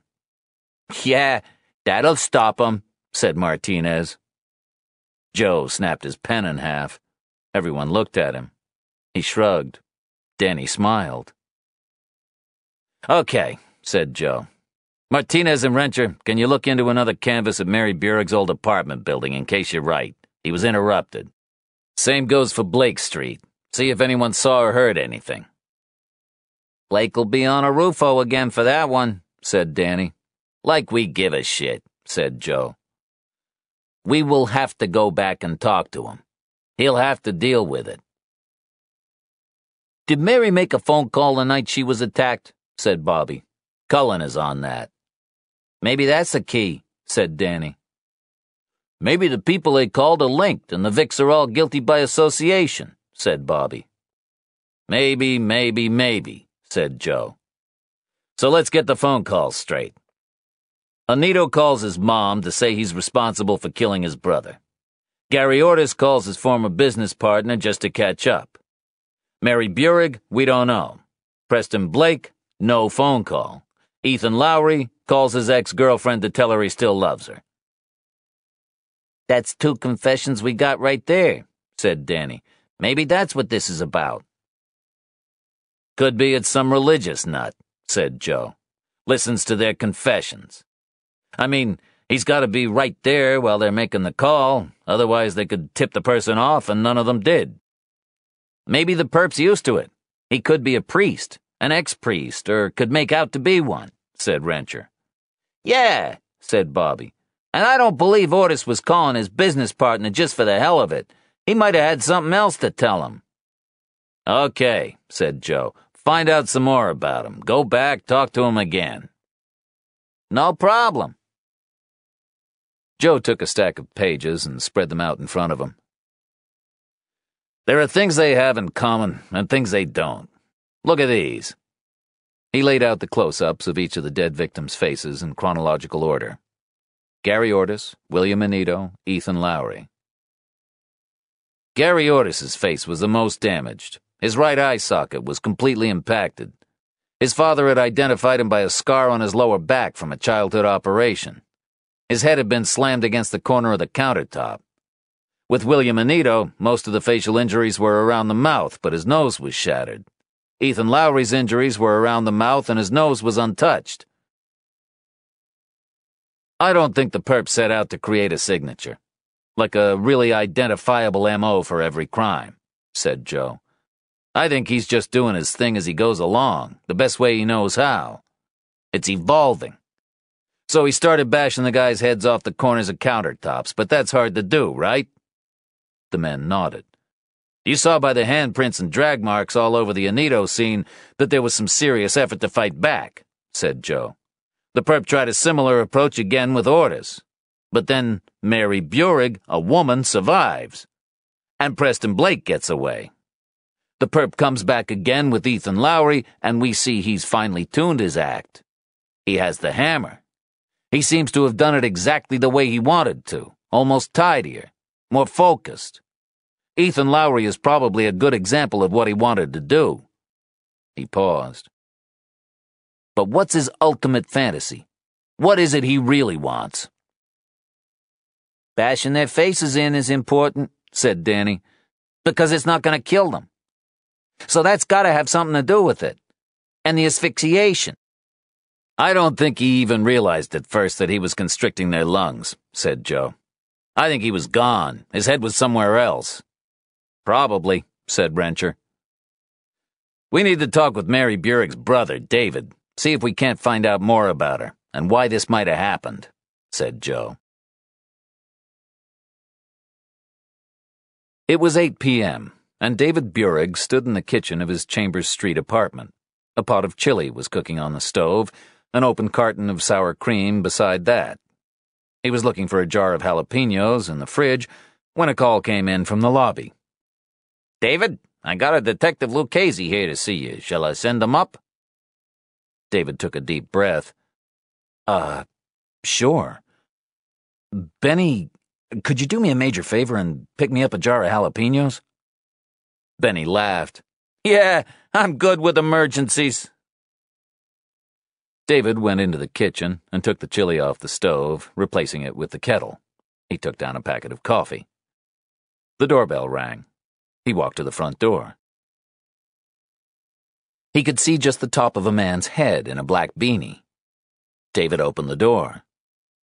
He quickly realized it wasn't a beanie, it was a mask, and the man was drawing it down over his face, with one step, he pushed forward, his full force slamming against David's chest, stunning him, sending him stumbling backwards. The door was closed, and a gun was an inch from his face. I changed my mind, said the caller.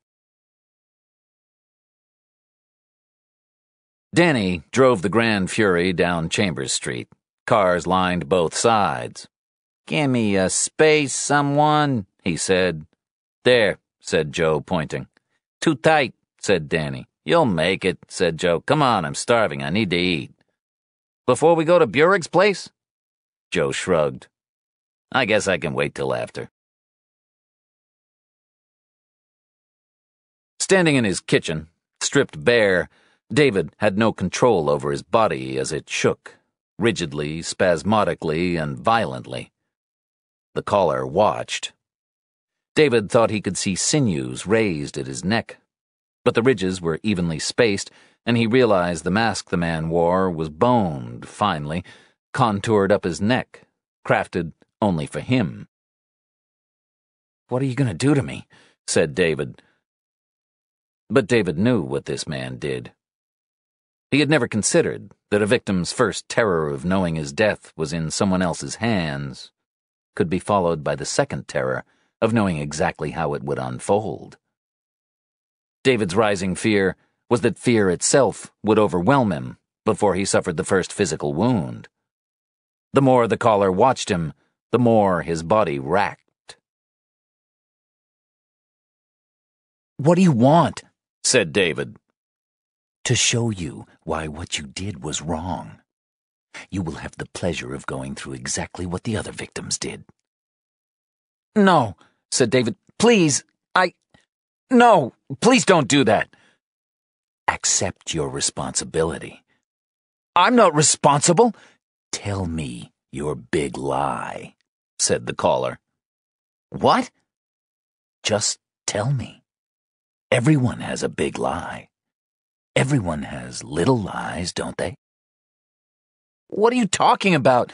I've never lied to you. I've helped. You have not helped me said the caller.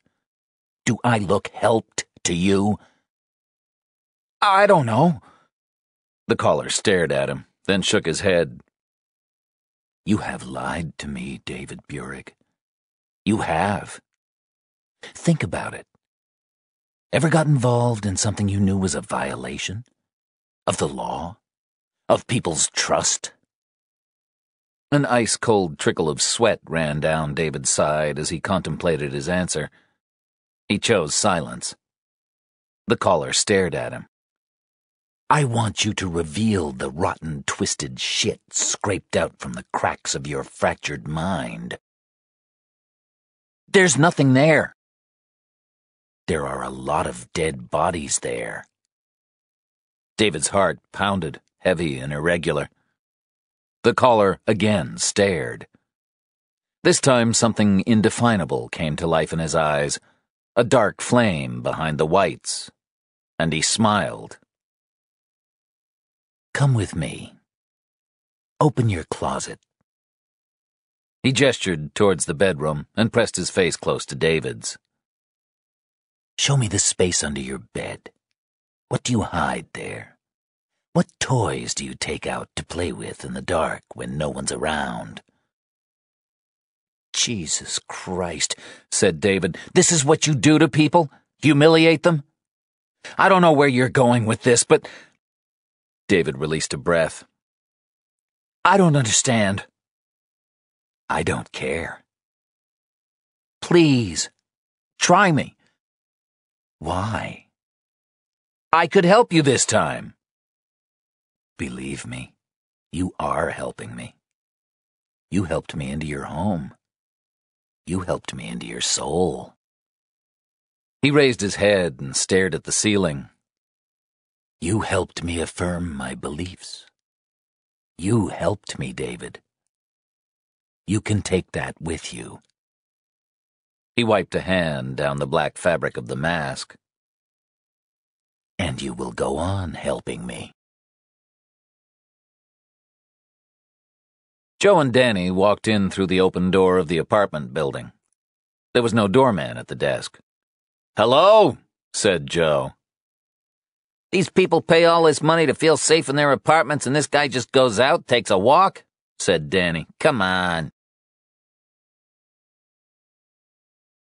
David lay on his back on the hardwood floor, his head inches from the front door. The caller was on top of him, pinning him down, his knees on either side of his chest. If you remain silent through this, trust me that I will stop at a point, said the caller and you will survive. The sudden, urgent siren of a fire truck made David turn his head towards the window. The glass shone with silent rain and reflected lights.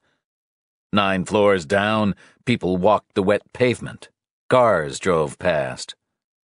And no one knew what was happening inside his apartment. Joe and Danny took the elevator to the ninth floor and rang the doorbell. There was no answer. Danny rang again. Still no answer. You have his number? said Danny. Yeah, said Joe, scrolling through his phone. He dialed and waited. Nothing. Let's go eat. Come back in a little while, said Danny. He could be at the gym or something. The chime of the doorbell seemed a distant memory as David Burig felt the metal of the gun barrel pressed hard into his eye socket. It pushed his head back against the floor, his chin high in the air. And then it was gone. Instead, he watched the swift descent of a hammer towards his face. A surge of strength rushed through him, his body still wired to fight attack in whatever small, useless way. He closed his eyes he lifted his head a fraction from the ground, pitching it frantically from side to side, crazed and desperate thrashing. At his temples, veins bulged. His jaw clamped shut. Every muscle in his face and neck strained.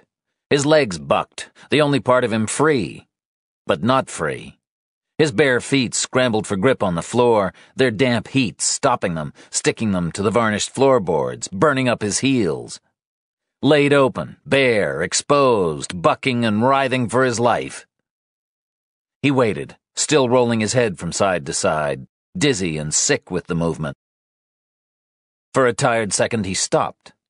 His breath exploded outwards, saliva spraying into the air. Seconds followed in the quiet, eerie expectation of pain. Nothing happened. Then he could feel it slowly at first. Muscular thighs on either side of his rib cage, squeezing. The pounding in his head was dull and steady. His eyes still closed, his breathing faltered, shaken by the first sensations of constriction. He took the pressure off his neck, resting his head back on the floor, his entire focus switched to his lungs.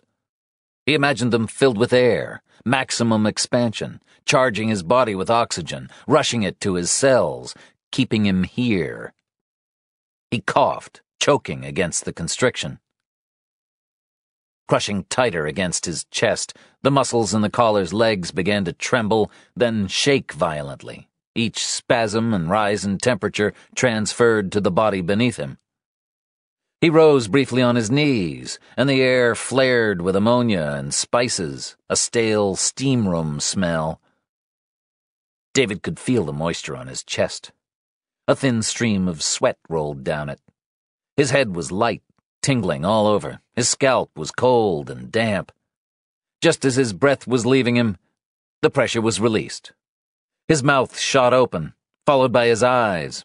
Faulty reflexes, the exact position the caller wanted him to be in, as the hammer crashed down on his teeth.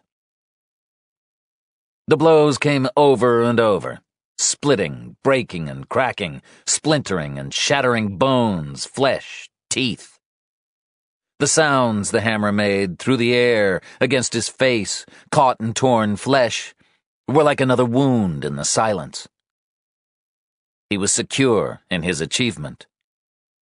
David had created a vacuum where he stored up every scream that wanted to rip up his throat and take on the pain. Then it stopped. Tears streamed down his face. Sobs choked in his throat. His stomach heaved. His whole body shook.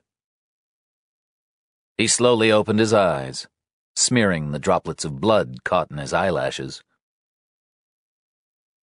The caller reached across for his bag and took out two dental impression trays. He placed them on the floor beside him.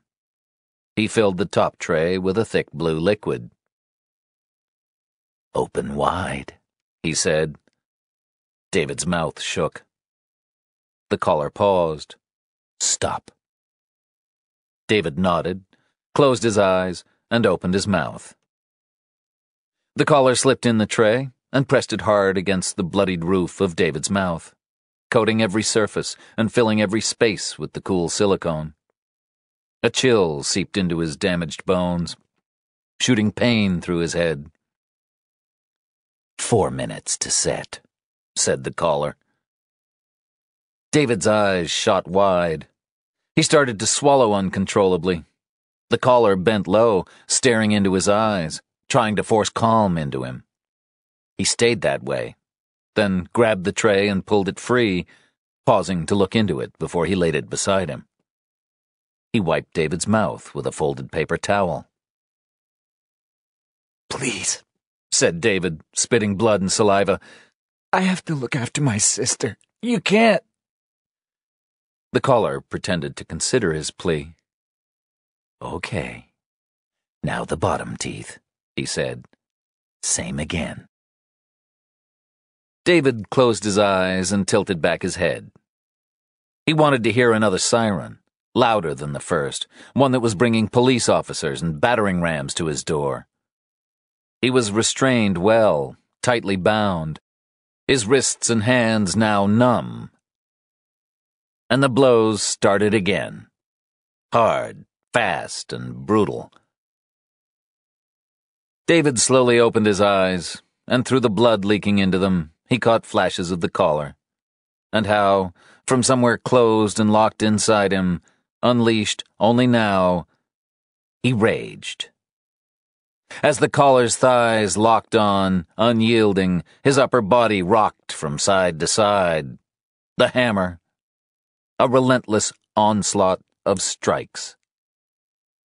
Without slowing, the caller's free hand tore at his mask, wrenching it over his head, throwing it to the ground his face flooded with anger, his eyes closed and sucked into their sockets, his jaw moving, his mouth wide, his lips forming every word he wanted to roar. But no sound escaped. The message was silence. All David could do now was take himself away. His spacious hallway became the smallest place he had ever been, but also as high and wide and deep as his greatest fear. Jesus Christ, said Rufo. He stood with his hands linked at the back of his head, staring out David Burig's window.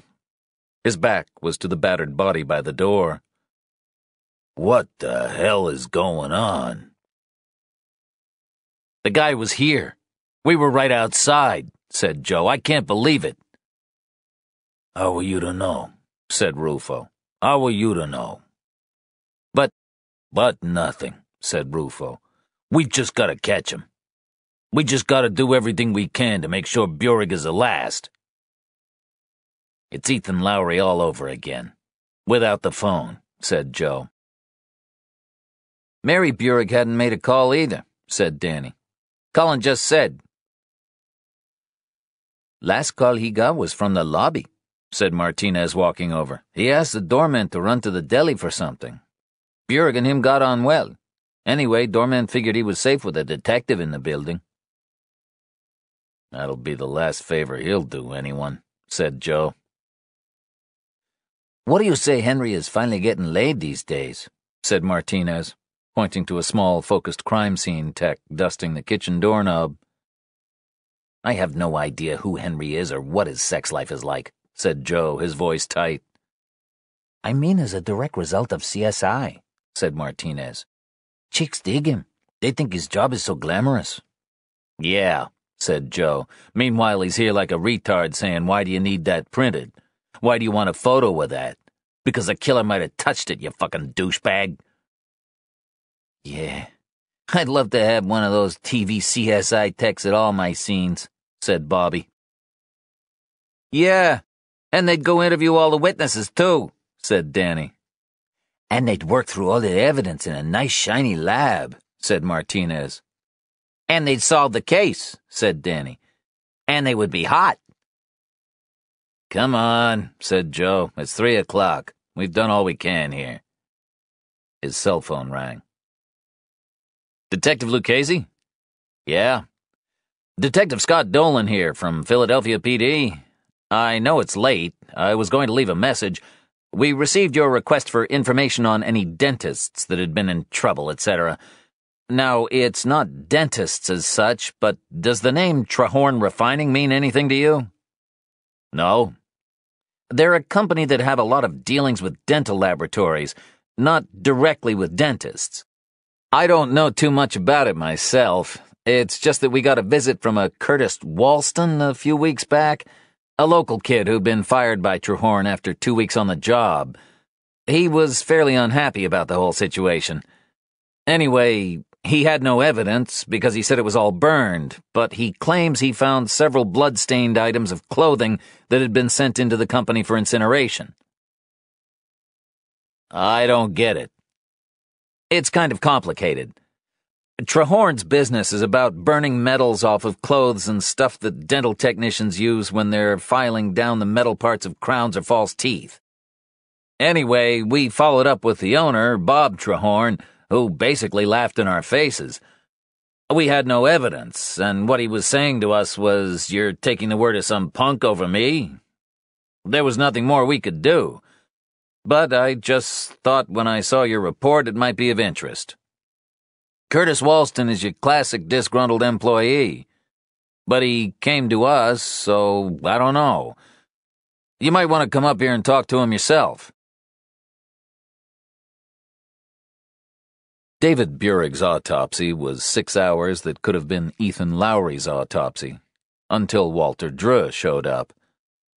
Walter was a forensic odontologist, part of the OCME's dental identification unit, called in for any cases that involved head injuries, decomposition, fires, bite marks, or unidentified victims. Walter, said Danny, dentist to the dead. It's on my business cards now, said Walter. How you doing? said Joe. Good. You guys? Joe shrugged. So?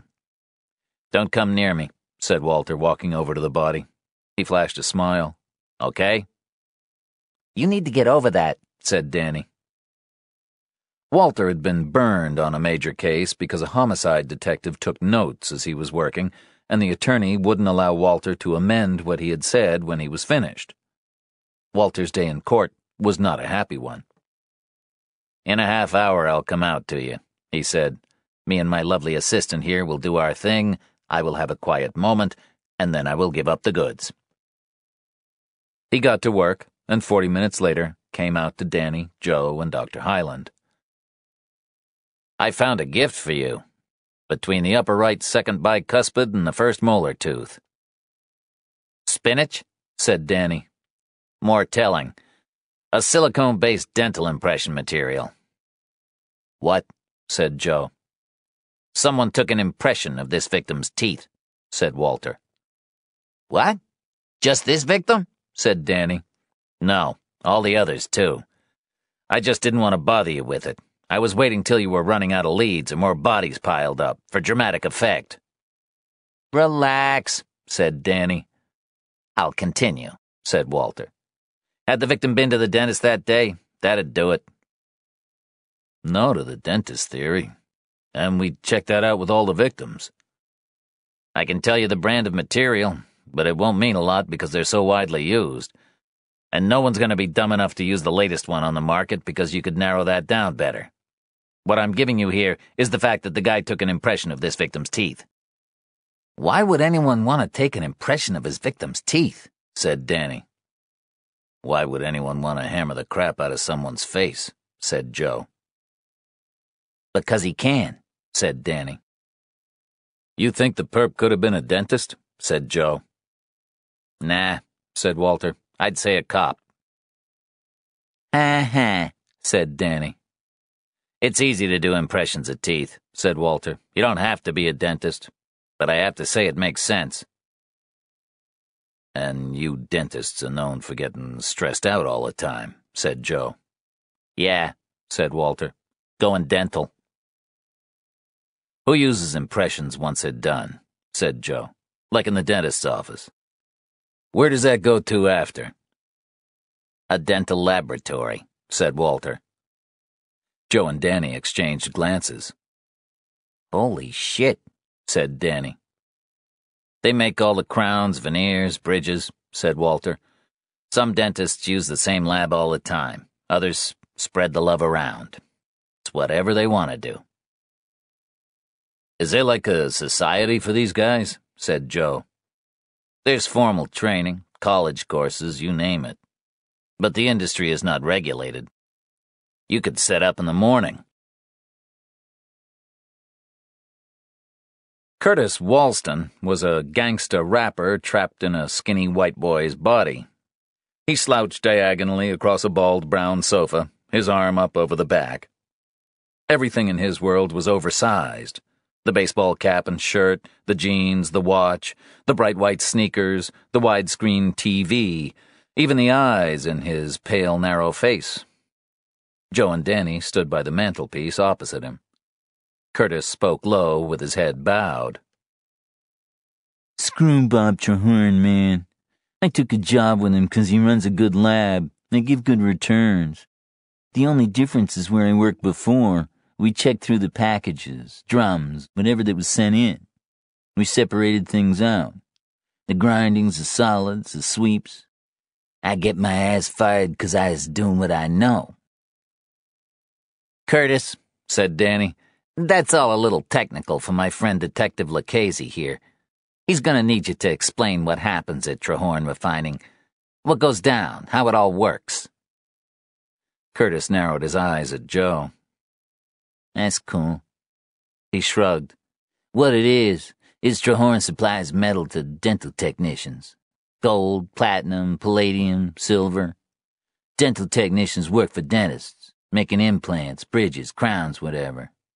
Dentists take an impression of the teeth, they send that to the dental technician who makes a model so's he can make the false teeth or veneers or whatever the perfect size.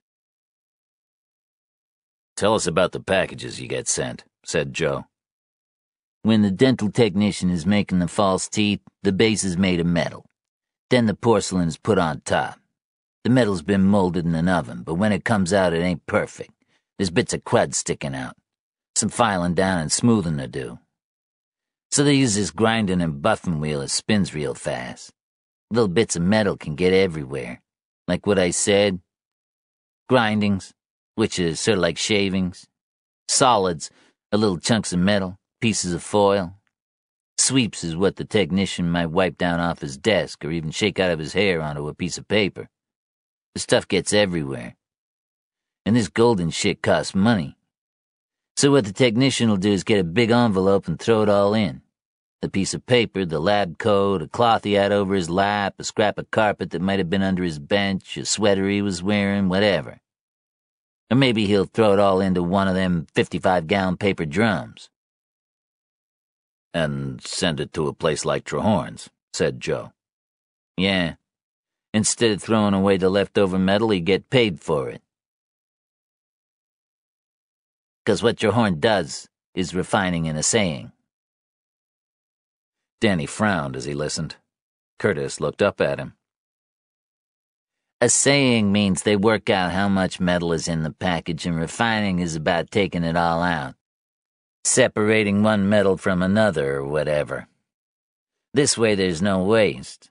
I get the package, take out the paperwork, then I put the package onto a tray, it goes in the incinerator at 2400 degrees, and everything gets nuked. All you got's left is the metal. We weigh it, then send the lab a check for the amount, or we pay them in coins, metal, whatever they want. This is a business that's run on trust, said Danny. I guess so, said Curtis. I mean, some dental techs weigh their package before they send it in on, like, bathroom scales, which isn't very accurate. So there's wiggle room if you want to go that way. Let me get this straight, said Joe. In Trehorn Refining, when a package came in, it went directly into the incinerator without being checked through. That's correct. But in the lab you worked in before, you separated out these grinding solids and sweeps. Yes, sir. Talk me through what happened with the package you opened. Okay. The package came in from Dean Valtry's lab in New York City. It's a 55 gallon paper drum about 30 inches high, 18 inches across. I weighed it. Then I opened it and put everything in a big steel tray, which goes into the incinerator. I was pulling out a lot of black clothes, and I found solids like I told you about. Sweepings, some sheets of paper that the sweepings had been on, a piece of carpet. I'm shaking out the clothes and I see stains. He leaned forward. And I know they're blood stains. So what'd you do? said Danny. I left everything and went up to Mr. Trehorn's office with one of the items a black top with a zip in it to show him. First of all, I had to wait around for him. He was in a meeting. So I sat outside his office reading a magazine. He shrugged. Like a half hour later, his secretary comes out to get me. She's all like, don't be bothering the boss for long. So I go in and Mr. Trehorn asks me what I've been doing for the past half hour. Curtis rolled his eyes. So I ignore that. But I tell him what happened with the package. And he listens to me and explains about how dental technicians can get blood on things if they cut their finger on the scalpels or whatever.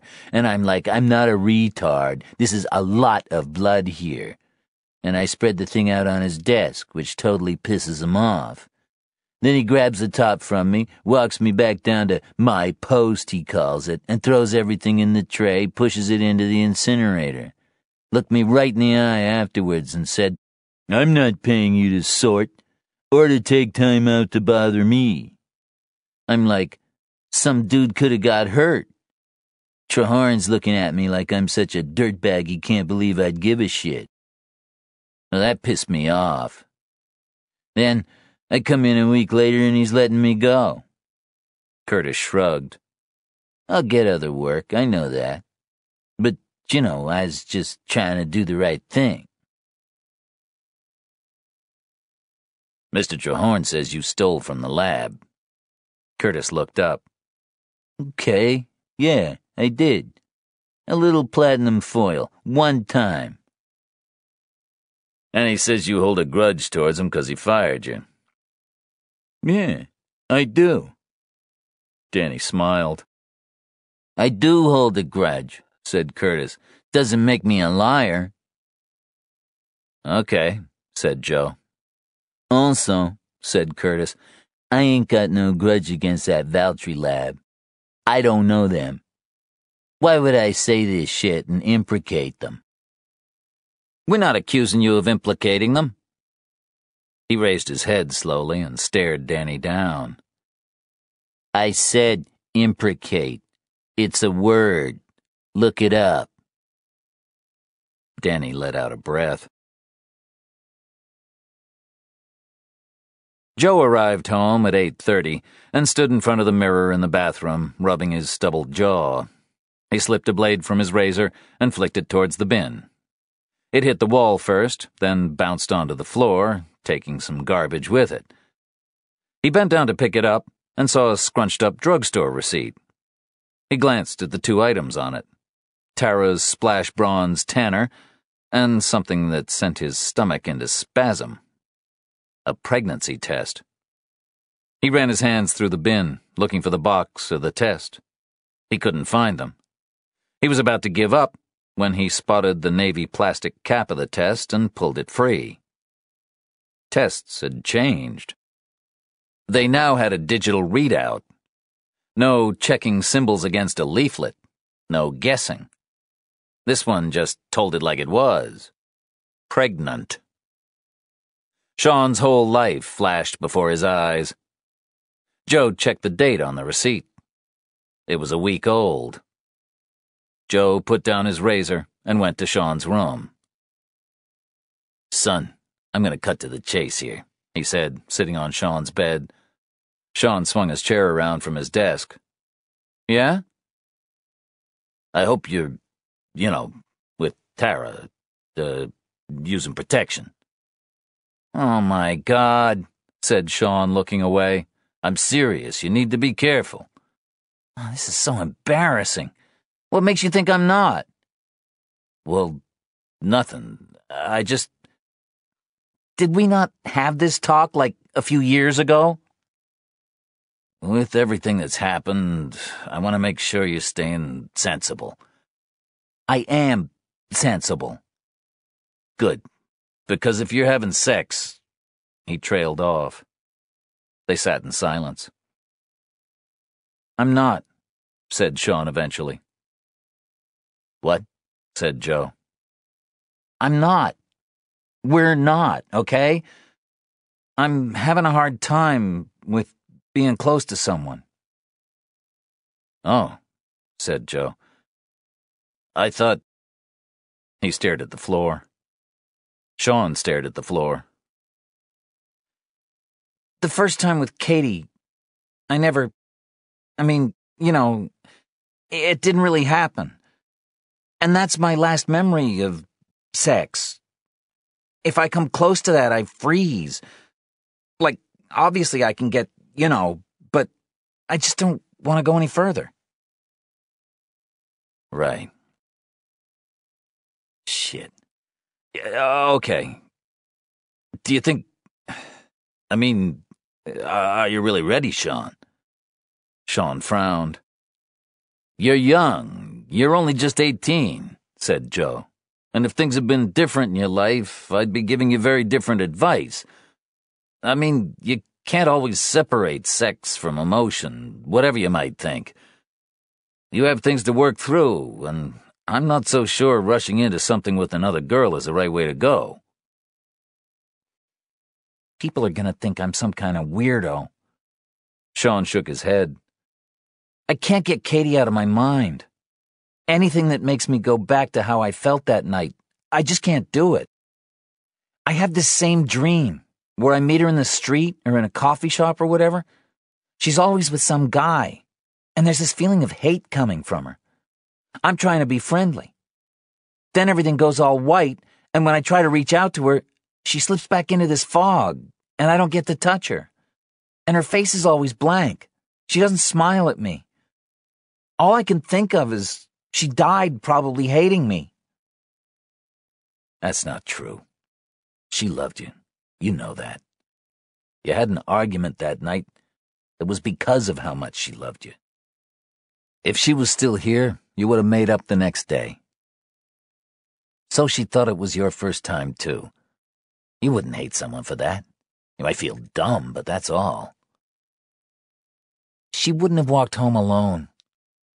Don't, said Joe.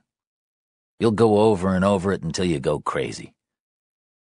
Everything that happened was out of your control. That's one of the hardest parts about life. You don't know what's around the corner. They sat in silence for a few seconds. Joe wondered what game Tara was playing. Sean, are you and Tara exclusive? I mean, could Tara be seeing other guys? Jesus, Dad.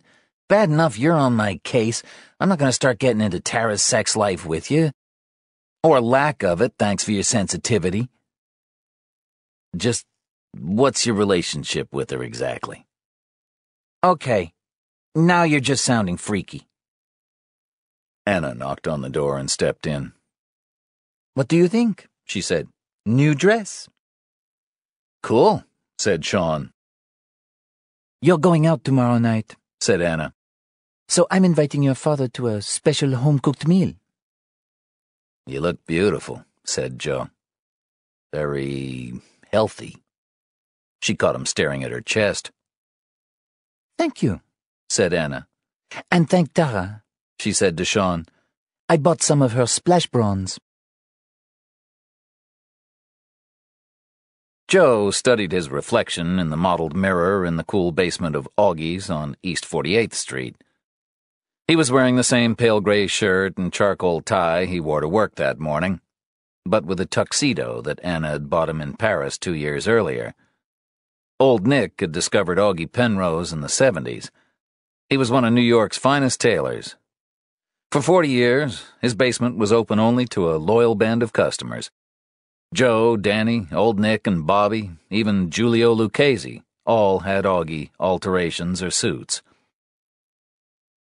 Beautiful tuxedo, said Augie. Beautiful.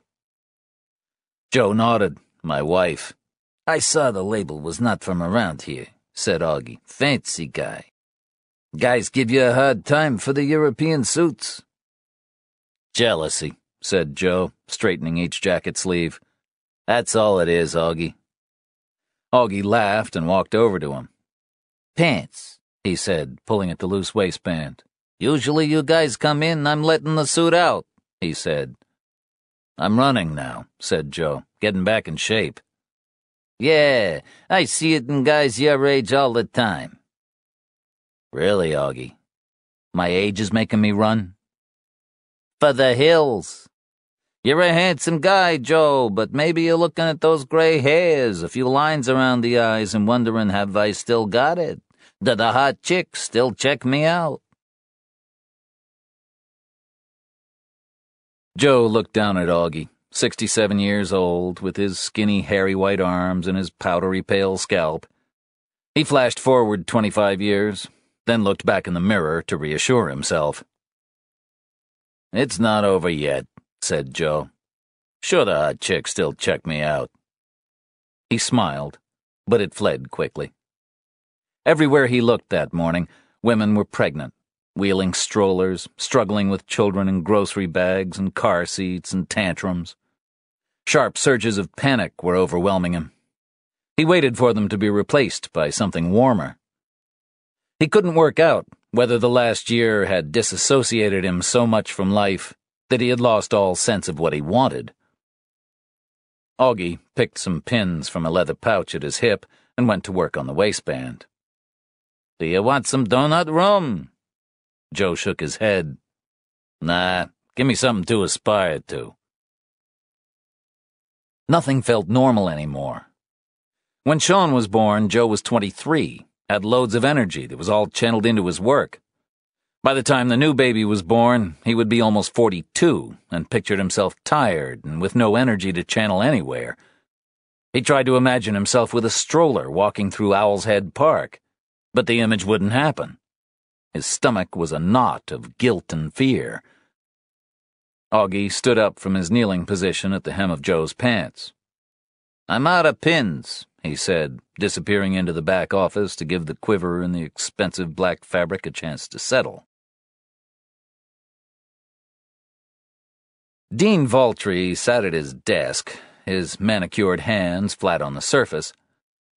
In identical black glossy frames on the wall behind him was a row of photos showing eight dazzling Hollywood smiles. Beautiful, said Valtry. He pointed to one celebrity icon. According to her dentist, she had the worst set of teeth he'd ever seen. She was this breathtaking Southern belle until she opened her mouth. Her teeth were rotten. She was a child model, developed an eating disorder. All she did was drink soda, eat crap. Now look at that smile. A thousand watts. That's what gets her the attention. And we did that. We gave her that career. Joe nodded. He was used to people like Valtry. Cops were shit on their shoes, but they still needed to impress them. Valtry kept talking. Of course, the dentists are the glory hounds. We create the perfection, they get their faces out there in magazine ads, on TV, pat themselves on the back for my work. They just whack up the price, charge the patient five times what they're paying me, so you can imagine what they're taking in, and get their ass kissed by the rich and famous. What I do is like fine art. You know what a tooth looks like? Individual, ridged, indented, curved, we replicate that exactly. In school, 90% is a good grade, but there's only room for 100% in my line of work. When I make a crown, a dental implant, a bridge, it has to fit perfectly, like God Himself put it there. Perfection doesn't do percentages. It sure don't, said Danny. That's how it is, said Valtry. So, how may I help you? Mr. Valtry, do you use Trehorn Refining in Philly? said Joe. Yes, we do. Why? We received a report, said Joe, that a blood-stained lab coat was found in a package sent to them from your laboratory. Valtry frowned. Yeah, that can happen. Danny and Joe exchanged glances. Sure it can said Valtry. My technicians work with these spinning wheels. They're mounted on lab benches and they file down metal with them. These things can break, quite explosively, actually. You could certainly get cut from flying debris. That's not the quantity of blood we're talking about, said Joe. Show me the coat, I'll tell you. We don't have that in our possession, said Joe. What? It was incinerated. I'm confused, gentlemen. By accident, said Danny loudly. It wound up in the incinerator. Valtry let out a snort, but slowly took in the demeanor of the two men standing in front of him. Just how blood-stained was this lab coat? Joe leaned forward. Enough that two homicide detectives are paying you a visit. Valtry paused. Joe had seen these pauses before. The person absorbs the information they're given, speeds through what he knows, weighs it all up, then decides how to play it. Valtry threw his hands up. You're coming into my office with tales of a blood-stained lab coat? No, wait, an imaginary blood-stained lab coat, and I'm supposed to enlighten you? Look, said Danny, we've got the guy who found the coat. We have reason to believe it is linked to an investigation we are working on. We're asking for your help here. This is crazy. Have you spoken with Bob Trehorn? You need to talk to Bob. He can vouch for me, my character, my reputation, whatever you need. He gestured to the photos on his wall. You think someone like me, who has a successful professional relationship with New York's top Park Avenue dentists, is going to be involved in a homicide? I'm gonna risk my income and social position in the community? Or employ someone who would be involved in a homicide? Give me a break. I'm top of my game. Ask anyone. I earn a lot of money doing what I do. I don't piss people off. I make beautiful teeth. That's it. Talk to Bob. I've been dealing with him for 15 years. I have no idea, A, how that lab coat came to be there, or B, if the lab coat even exists at all. Yeah? said Danny. You'll understand how that won't cut it with us. First off, can you tell us your whereabouts on March 13th last? Valtry paused, then leaned over to his computer and called up his calendar. He scrolled back six months. March 13th? I was at home with a very bad hangover. The night before, my ex-wife and I had dinner in Gordy's on 63rd and 8th. Gordy is my friend with a generous hand in spirit measures. You need that while dining with a raving lunatic. You can call Gordy at... But on the evening of the 13th, you were home? Alone? Alone. What were you doing? Watching TV. I went to bed early. And on September 4th last? Valtry smiled broadly. Now that one I've got an even better answer for. And I've got audio-visual aids. He grabbed a remote control from his desktop and pointed it at a plasma screen on the wall. The screen lit up, showing Valtry standing at a podium in a sharp gray suit and silver and navy blue tie. There I am, said Valtry, turning up the volume on the television. Danny and Joe watched as he talked to his audience about ceramic and porcelain veneers and clicked through slides projected onto the wall of the conference room behind him. Where was this? said Danny. The International Cosmetic Dentistry Convention, Las Vegas, said Valtry, August 31st to September 5th, and that night is, as you can see from the banner, September 4th. So, how many times you watch that? said Danny. Valtry stared at him. I like to learn something from everything I do, Detective. Ah, it's that perfection thing again, right? said Danny leaning over and turning off the television. We're going to need to talk to all your employees, Mr. Valtry, said Joe. Could you please fax a list of their names over to my colleague, Detective Fred Rencher, at this number, please? Not a problem, detectives, he said. A man who has nothing to hide hides nothing. And we'd like to come in here tomorrow morning and speak with all of them, said Joe. Would you have a room we could use? Valtry sighed. If you really feel that's necessary. Everything we do we feel is necessary, Mr. Valtry. That's why we do it, said Danny. Good to know, said Valtry. I'll get that list sent over. I have 15 trusted employees, so it shouldn't be too taxing. He gestured to the door. Joe and Danny walked towards it. We would appreciate your cooperation on this, said Joe. Just so you know, said Valtry, I like helping people. It's part of what I do. My lab does pro bono work for a facial reconstruction charity. I want to help you. I mean, you must be desperate, right? Following up on some invisible piece of evidence? He shrugged. But one thing, if I see or hear my laboratory's name mentioned anywhere in a negative context because of the investigation you are running, I will sue the New York Police Department's ass from here to the next century.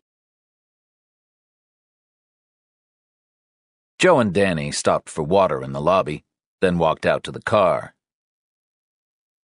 Have you ever noticed people who are pissed off never say the letters? said Danny. They like saying every word. New York Police Department. And what's going on with that lab coat? said Joe. And he's got to be some kind of fruit, thinking that actress gets all her attention from her goddamn smile. It's the dual airbags that put her on the front pages. He hasn't noticed that? Christ, it took me ten minutes to find her mouth when he pointed at her. Anyway, doesn't matter one way or another, the guy's a jerk. The type who could easily have a disgruntled worker, said Joe. We could find out it's his own blood. Maybe he wanted to put one over on Valtry.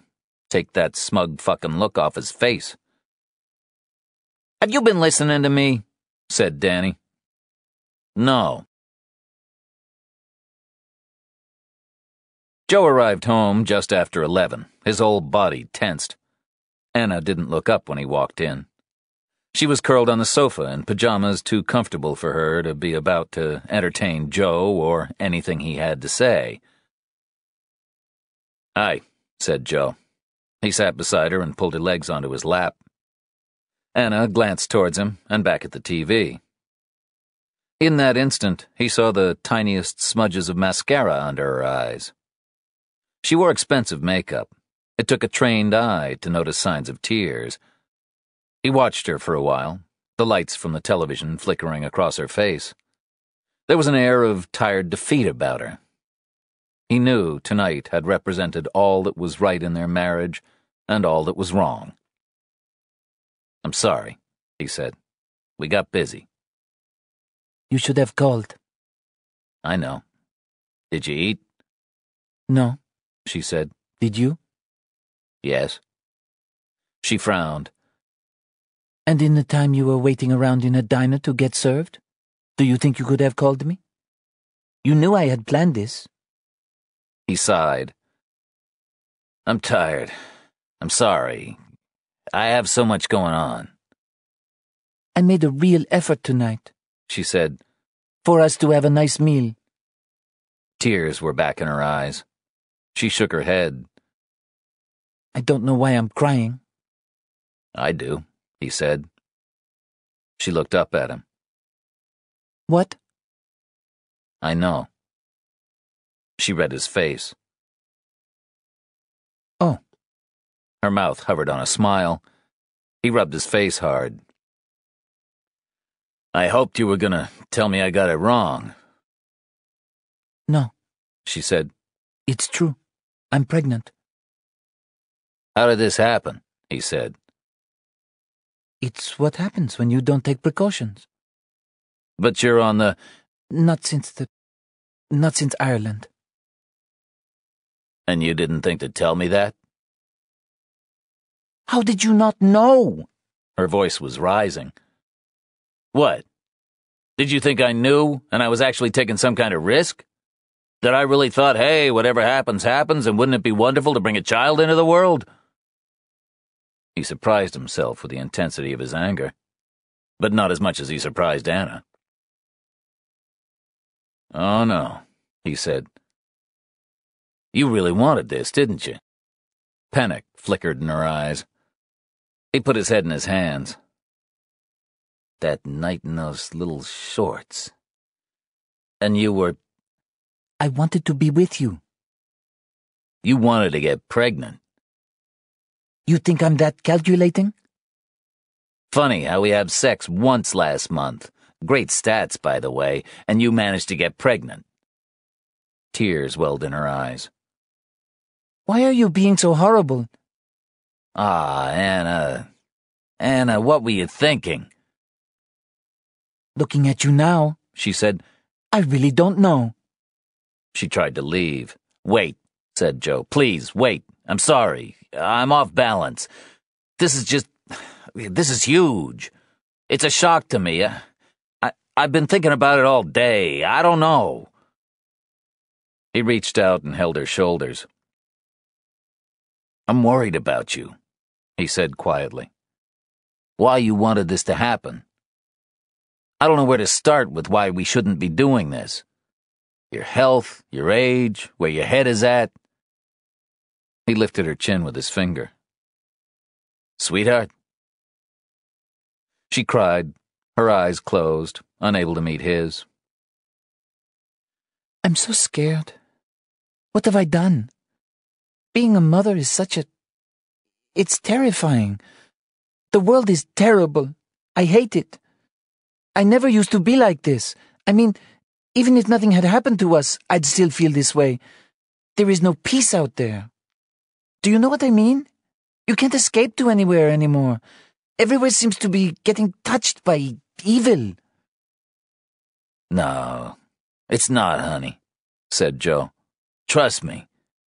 It's just hard for you right now to see all the good that's out there. And your hormone. Don't say it. She half laughed through her tears. Joe smiled. Come here, honey. Everything's gonna be okay. He pulled her head to his chest, then brought it down to rest on the cushion, away from the heart he knew was beating too hard and fast to be any comfort to her. Magda was sitting at the edge of Mary's bed when her eyes opened. Hello, sleepyhead, she said. How are you feeling? Tears streamed down Mary's face. Can you remember anything? said Magda. David's dead, isn't he? He is, honey. Magda sat on the bed beside her and stroked her forehead. I'm so sorry. Can you remember anything about your seizure? Mary shook her head. No. That's okay. Don't worry. You might remember again, you might not. What happened? You were here alone, and you had a seizure. I came to the door, and you were lying on the floor. I called the doctor. Mary smiled. What was I doing? You were just distressed, swallowing a lot.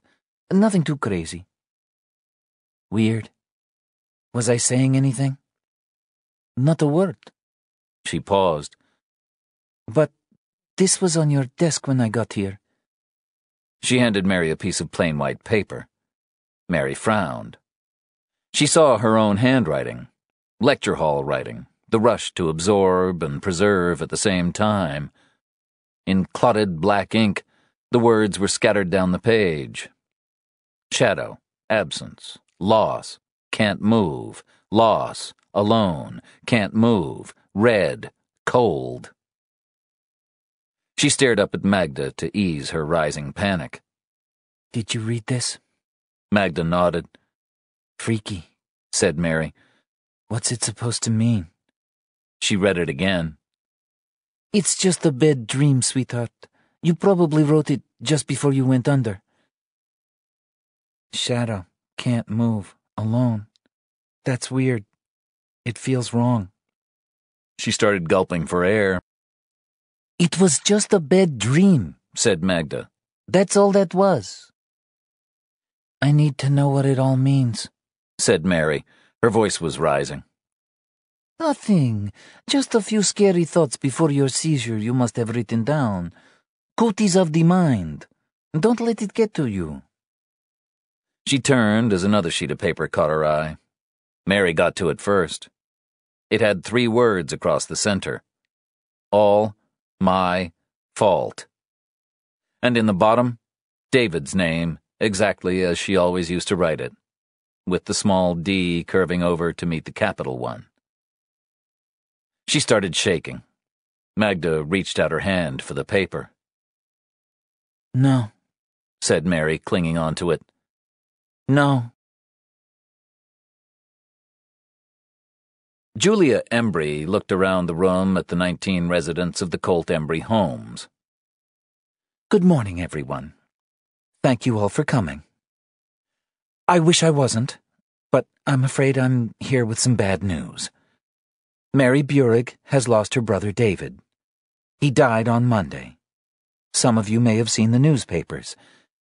He was murdered. Most of them seem to have already known. The reason I'm telling you this is, well, some of you know David, and also it's very important that we're all here for Mary. She's very upset. She's not feeling very well.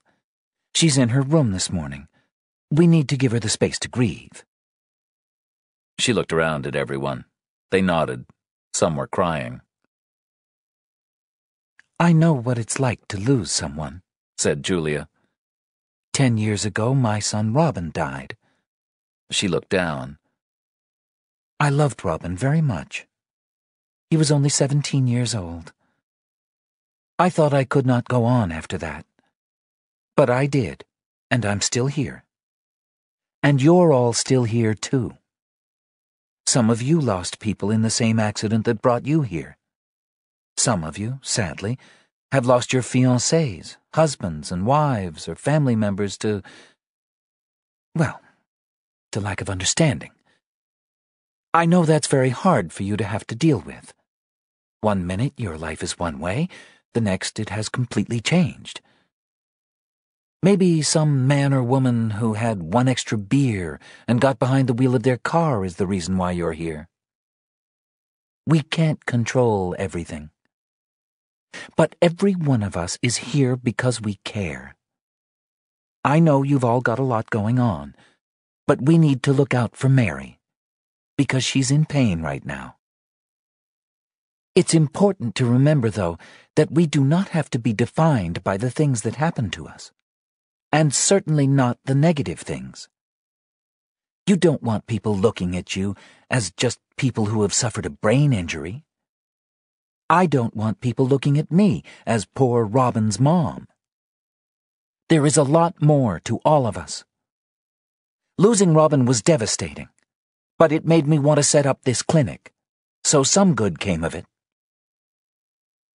Anyway, I just wanted to say please be there for Mary you can help her through this, and do nice things to make her feel better as soon as she lets you know she's up to it. Joe and Danny were waiting outside the door when Julia came out. Aye, said Joe. Is it okay if we have a word with Mary? She paused. What's it about? She had a seizure this morning. She's resting. It won't take long, said Joe. It's just about David and some of his financial records.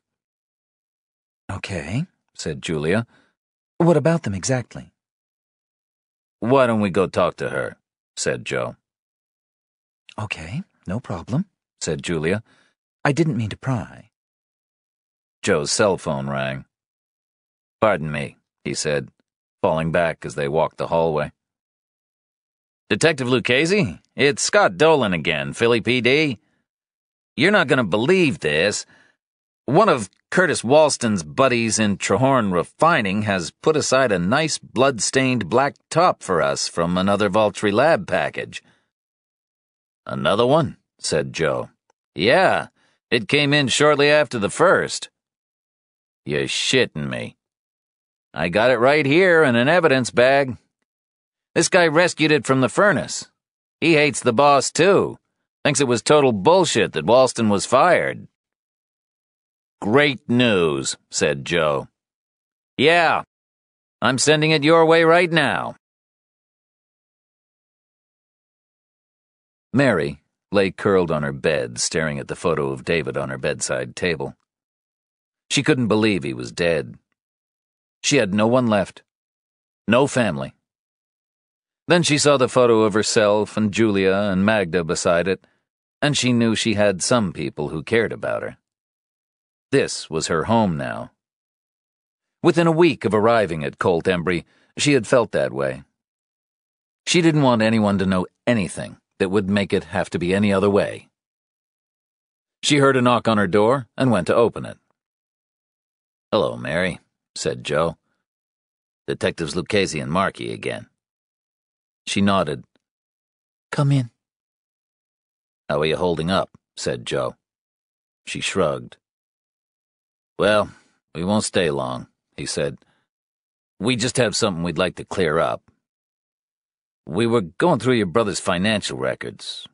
We know that he pays for your care here, but before your attack, he was writing checks for some large sums of money directly to you. Can you recall why? Mary frowned. Well, he was my big brother. He always helped me out. These checks were for $5,000 a month. Wow, said Mary. That's a lot of money. It is, said Joe. Maybe you could think about that and see if anything comes to mind, or if you recall how you might have spent that money. Sure, said Mary. But I don't know. I really don't. I mean, I'd remember that. Magda Oleshak walked into the library. Stan Freight stood in the corner staring at a large framed photo hanging on the wall. It was a blond teenage boy smiling patiently at the camera. A wooden sign that said gallery was mounted high above it. Six months earlier, Magda had cleared a space where residents could hang framed photos of their friends and family. It was more than just about decoration. It was part of their treatment, to bring familiar faces and memories out from their dark hiding places. Everyone was encouraged to bring in photos. Mary had brought one of David. Magda nodded to the photo in front of Stan. That was the first photo we hung, She said, It's Robin Embry, Julia's son. Really? said Stan. Yes, said Magda. poor boy, killed in a car wreck. I was Mary? said Stan. She's okay. said Magda. It's all very hard for her. Not just the loss, but David is linked to so many of her memories of when she was well, and now he's gone. I think she feels there's no one left in the world who knew her when she was stronger. No one who knew the real Mary. The receptionist paged Dean Valtry and offered Danny and Joe seats they declined. Valtry came out almost immediately, his smile on, his arm extended. Good morning, detectives. There's a conference room on the second floor, he said. You can use that. It's all set up. There's water, a coffee machine. I got in some donuts. I mean, also some pastries, Danishes. Yeah, thanks, said Danny. We appreciate it. How do you want to do this? said Valtry. Just send them up one by one. Go by the list. No need to tell him anything else. Valtry nodded and walked to his office. I hate the donut thing, said Danny as they stepped into the elevator. What are you talking about? You love donuts, said Joe, pressing the button for the second floor. Exactly, said Danny. Once people get the cop donut thing confirmed, they go straight to thinking all their other ideas were right. Before you know it, we're all fat, dumb, lazy, and racist. And sleeping around on our wives. There's gotta be some perks to laying my life on the line every day. Yeah, I really feel my life is in imminent danger right now, said Joe. Hey, anyone could walk into this conference room today and see how quickly a box of grease and sugar can disappear. Well, it sure as hell ain't hanging around my gut, said Danny, patting his flat stomach. Joe looked at him. Yeah, you're so hot right now. They stepped off the elevator and noticed someone was already waiting outside the conference room door. A small, bookish Asian girl in rimless glasses, with long shiny hair and a ponytail and a snug white lab coat. She wore pale pantyhose and brown don't fuck me shoes. That's our guy, said Danny under his breath. Joe laughed. The woman jumped. I'm sorry, said Joe. Did I frighten you? Come on in. He opened the door. Yes, she said. Sorry, I was a million miles away. And I hate any uh, official stuff. I don't think you have anything to worry about, said Danny. She sat down quietly with her hands in her lap until Joe and Danny had poured coffee. Let me take your name, said Danny. Ushi Gar. Okay, Miss Gar. Ushi. Ushi. Something has come to our attention, and we were wondering if you could help us out, I'll try. she said. Have you noticed anything suspicious at work in the past few weeks? Suspicious? She thought about it. No. She shook her head firmly once. Anything out of the ordinary, said Joe. Like what? Like anything you don't see every day, something that might have surprised you, I can't think of anything. She said. Anything that made you feel uncomfortable? No. Is there anyone you work with who may have been acting strangely in any way? She smiled. I wish, She said, I'm afraid they're a dull bunch. Quiet, hard working. Not a lot of partying. We're nerds. I mean, I'm the wildest, I would say. Just to put it into context for you. Joe smiled. Okay. Does everyone get along well? She nodded. I guess so. As long as you don't eat food from the fridge labeled with anyone else's name, there's no conflict. What kind of boss is Mr. Valtry? Fair. She said. Enthusiastic about the craft. Everyone he employs here graduated top of their class. Mr. Valtry is not someone I would ever have a long conversation with, or even a conversation that was in any way other than one sided. But he is not unpleasant. She paused.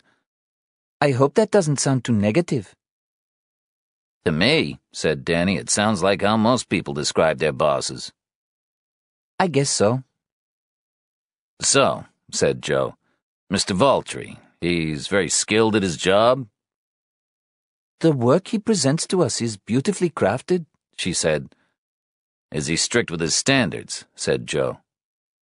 Yes, but that's before he hires anyone. He's not going to hire anyone in the first place who is not 100% accurate. And once he has that, he doesn't need to hold anyone's hand. Okay, said Joe. I think that's everything. Thank you very much for your time. Ushi walked to the door, but stopped as she was closing it behind her. Ask him, she said. Get Mr. Valtry to show you how the machines work. It's very interesting. She gave a small smile and left. Over three hours, fourteen more employees came through the door, none of whom had seen or heard anything unusual. Now, said Danny, flicking through his notebook, why the fuck would I want to see Dean Valtry make me some teeth? Well, Ushi seemed like a very bright young lady, said Joe. She either loves her job a lot, or she's making some sort of point. And if it was just about a job, she would have invited us over to her lab bench, wouldn't she? Exactly. Joe dialed reception. Hi, it's Detective Lucchesi in the. Okay, thank you. Yes. Nearly. Could you put me through to Mr. Valtry, please? Thank you. Oh, yeah, they were good. He pointed at the donuts. Danny took that as an invitation. Hello, Mr. Valtry, said Joe. We're all done up here. There's just one more thing. Could you give us a quick tour around the laboratory before we go, just so we can get a sense of what exactly it is you do? It might throw up something we hadn't thought about. He nodded. That's great. We'll be right down. The laboratory was small, with three rows of workbenches and three technicians at each one. At the back was a shared bench with most of the larger equipment. Okay, said Valtry. Listen up, everybody. You've met our two detectives already, Detectives Lucchesi and Markey. I'm going to give them a quick run through of what we do here at the lab. So, if you don't mind, I'll be stopping at different benches along the way, depending on what stage of the process you're at. Anyone doing a wax up? A girl at the back of the lab raised her hand. Okay, said Valtry, walking down to her. Joe and Danny followed. Valtry turned to them. Here's how it works. When you're in the dentist's chair and he takes an impression of your teeth, he sends that to us. We pour plaster into it and let it set so we have an exact model of your mouth, like when you see those joke chattering teeth. He held up a gray plaster model of a bottom set of teeth. There's a tooth missing here, and I need to make a new one, so I start by constructing it in wax. We use a wax pot that keeps the wax liquid, and then we dip in a spatula and build up the wax from there. We take the individual wax tooth and put it in this. He held up a small clear plastic container. Then we fill that with a material kind of like plaster and let that get hard. We screw off the base then put it in the oven. We run the temperature up to maybe 1500 degrees Fahrenheit. The wax is melted away, and when we look inside the plaster, there's a little hole there in the shape of the tooth where the wax used to be. I'm going to cast now, said a guy sitting behind Danny. If you want to see that. His voice was a painful fraction too quiet. Did someone say something? said Valtry. The guy blushed. This gentleman right here's ready, said Danny, nodding at him. The guy gave a small smile. Ah, Kelvin, said Valtry. Okay, show us what you're doing. Why don't you? said Joe. Valtry paused. Pardon me? Why don't you talk us through it? said Joe. Kelvin is an excellent. We can tell, said Danny, but hey, you're the guy with all the diplomas on the wall. Let's see you do your thing. After that bit of video footage I saw, I sure as hell. Fine, said Valtry. He led them to a bench at the back of the lab and two small ovens with fold down doors. Beside it was a machine he leaned into to wind a large metal centrifuge. What's that? said Joe. A cast off oven, said Valtry. You'll see what it does in a minute. I've just wound the centrifuge there and locked it in place. He put on gloves and picked up some tongs opening the oven and taking out the small plaster cylinder with the tooth shaped hole at the center. He placed it on the workbench. Kelvin walked past and leaned into the cast off oven. I wound that already, said Valtry. Kelvin frowned. Well, there's a screw lying down there that's popped off, so. Did you know that, Mr. Valtry? I hope you knew that, he said, teasing the boss with the backup of two strangers. Valtry blushed. I did know that. I was testing you. He laughed badly. Maybe you could put that back on and wind it again. Kelvin smiled as he did it. Valtry unhooked a blowtorch from the side of the machine, pulled down the oven door, and lit it from the element, glowing orange inside. This flame here is not hot enough to melt the gold, but once I mix it with oxygen, he turned a valve on a tall green cylinder beside him, and a thin blue flame shot from the torch. I now have a flame that is extremely hot, 3,000 degrees hot. So, what we're going to do is shoot the metal through the hole, and when it goes in, now you get a crown made of metal. It's not made of wax anymore. They might need to wear the glasses, said Kelvin. Yes, said Valtry. Can you get our friend some glasses? Kelvin handed them some eye protectors. Look, then look away. Don't stare too long at it. He's using gold today, said Valtry. So we put the gold ingots into the crucible here. I take the ring. Kelvin pointed to the crucible. Uh, don't forget to preheat the. Thank you again, Kelvin, said Valtry, his voice tight and upbeat. I take my torch and start by preheating the crucible until it's a nice cherry red. Then I put my ingots into the crucible. With the torch here, I melt the gold until it's liquid. It takes about 60 seconds. I take the ring out, put it right here in front of the crucible. When I shut the lid, it's going to start spinning, and the centrifugal action shoots the gold right through the hole and into my mold. One, two, three. He shut the glass lid, and a dazzling circle of white light spun with the centrifuge underneath. Maybe we should shut off all the gas and stuff, said Kelvin. I can do that. Thank you, said Valtry. Kelvin shut off the torch, pulled out the tube from the gas supply, and turned off the oxygen. Right, this is done, said Valtry. He pushed on a lever at the center of the machine, pressed a red button, opened the lid, and used tongs to take out the plaster ring. I'm going to leave that for an hour to let everything go back to room temperature. When I break that open, inside it is a gold tooth. After that, it's a matter of trimming and polishing. And when that's done, we start doing all the cosmetic stuff that everybody sees, adding the ceramic or porcelain or whatever. But you need that metal foundation for strength. So it's the leftovers of that trimming and polishing that gets sent to the refinery, said Joe. Yes, said Valtry. Okay, said Joe. Well, thanks for showing us how you work. Yeah, said Danny. Thanks. Ushi Gar smiled at them as they walked past. Out in the hallway, Joe turned to Danny. Gas, blowtorches, flames, molten metal. Very nice tools for some psycho to have to play with. Sean Lucchesi was stretched out in front of the television with a bottle of beer in his hand and a packet of tortilla chips in his lap. For crying out loud, said Joe, it's seven o'clock on a Monday night, Sean. Do you really think having a beer is a good idea?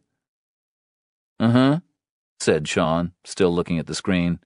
He raised the bottle to his lips. Joe watched him until he decided he couldn't take any more. This is all wrong, he said, walking over and grabbing the beer out of his hand. Sean sat up. What the hell? I've had enough, Joe shouted. Your attitude sucks. Yeah, whatever. Stop it, said Joe. Just shut the fuck up. Sean's mouth dropped open. Joe sat down, rubbing his forehead. I apologize, he said. He glanced over at Sean. He looked lost. But his whole family had changed in a year, and he hadn't spent any of that time dealing with it. Joe spoke quietly. Look, Sean, I'm sorry. I'm worried about you. So's your mom. Sean sighed. I'm fine. You're not, said Joe. And I know you know that deep down. Sean shrugged. Joe was looking at the same bored indifference he showed his father at 18. He couldn't work out if it made it easier or pissed him off more. There really is a difference between drinking now and when I was 18, said Joe. Yes, said Sean. You probably wore bell bottoms while you were doing it. Maybe, said Joe. But seriously, it was different. We didn't drink that much, that young. It's not like I've got a major problem. Famous last words, said Joe. Sean shrugged. Sean, listen. You're drinking, heavily, four nights a week. It won't end well. Why are you drinking so much? I'm not. No one else is getting crap from their parents about it. Maybe no one else cares as much about their kids. Sean rolled his eyes. Come on, said Joe. I'm talking to you about this calmly. There's no argument going on here. But let me tell you, there will be. Sean stared at the floor. If you're drinking to forget things, said Joe, that's when me and your mom get worried.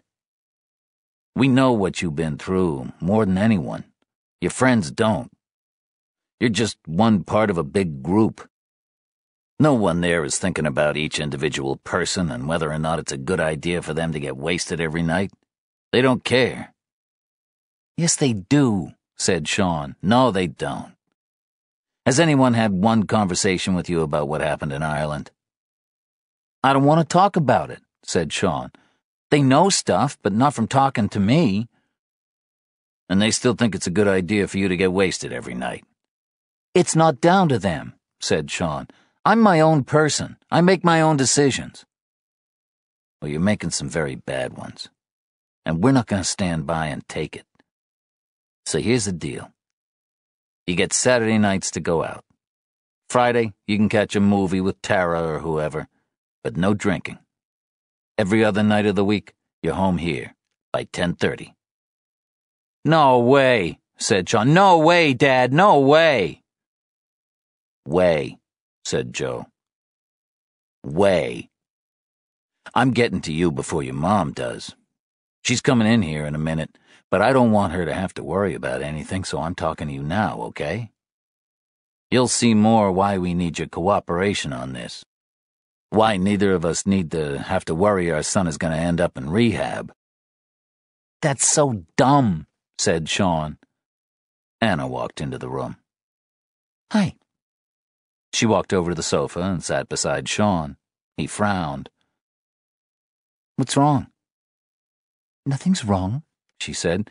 We just have something we'd like to tell you. He waited. We are going to have a baby, she said, who? said Sean. He looked at them. You? His eyes shot wide, rapidly searching both their faces. What? He calmed slowly. Oh, God, he said. You're not kidding. Just the reaction we were hoping for, said Joe.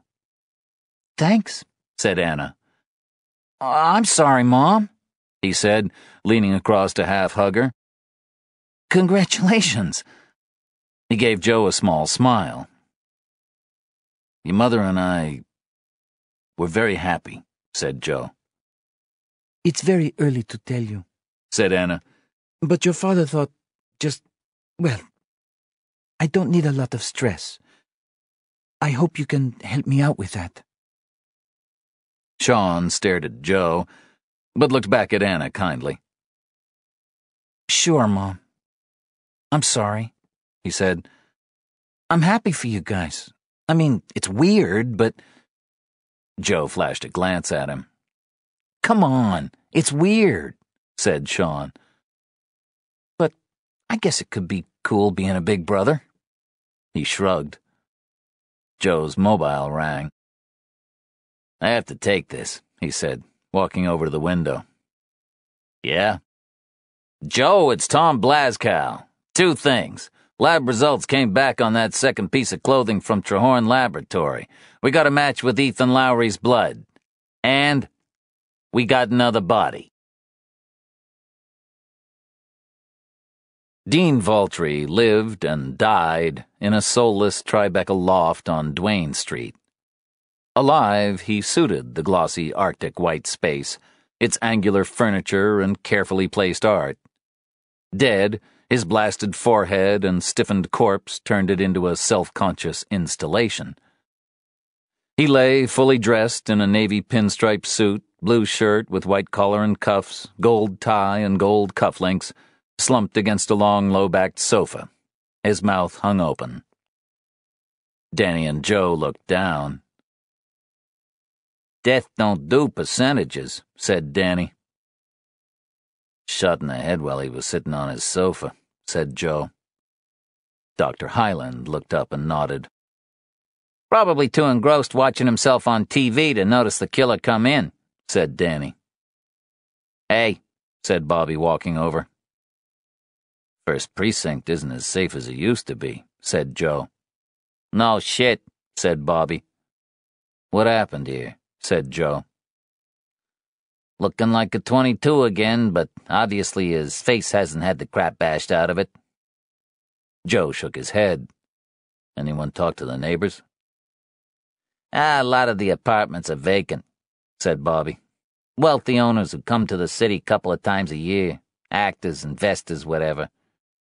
The two people who were home heard nothing. The apartments are soundproofed and are so goddamn big they might as well be in different buildings. Let's take a walk around, said Joe. At least it's not hard to see everything, said Danny. Pass around some cheese and wine and we could all be at a gallery opening. Yes, said Hyland, and Valtry here is the work of some edgy new up-and-comer with an eye for the macabre.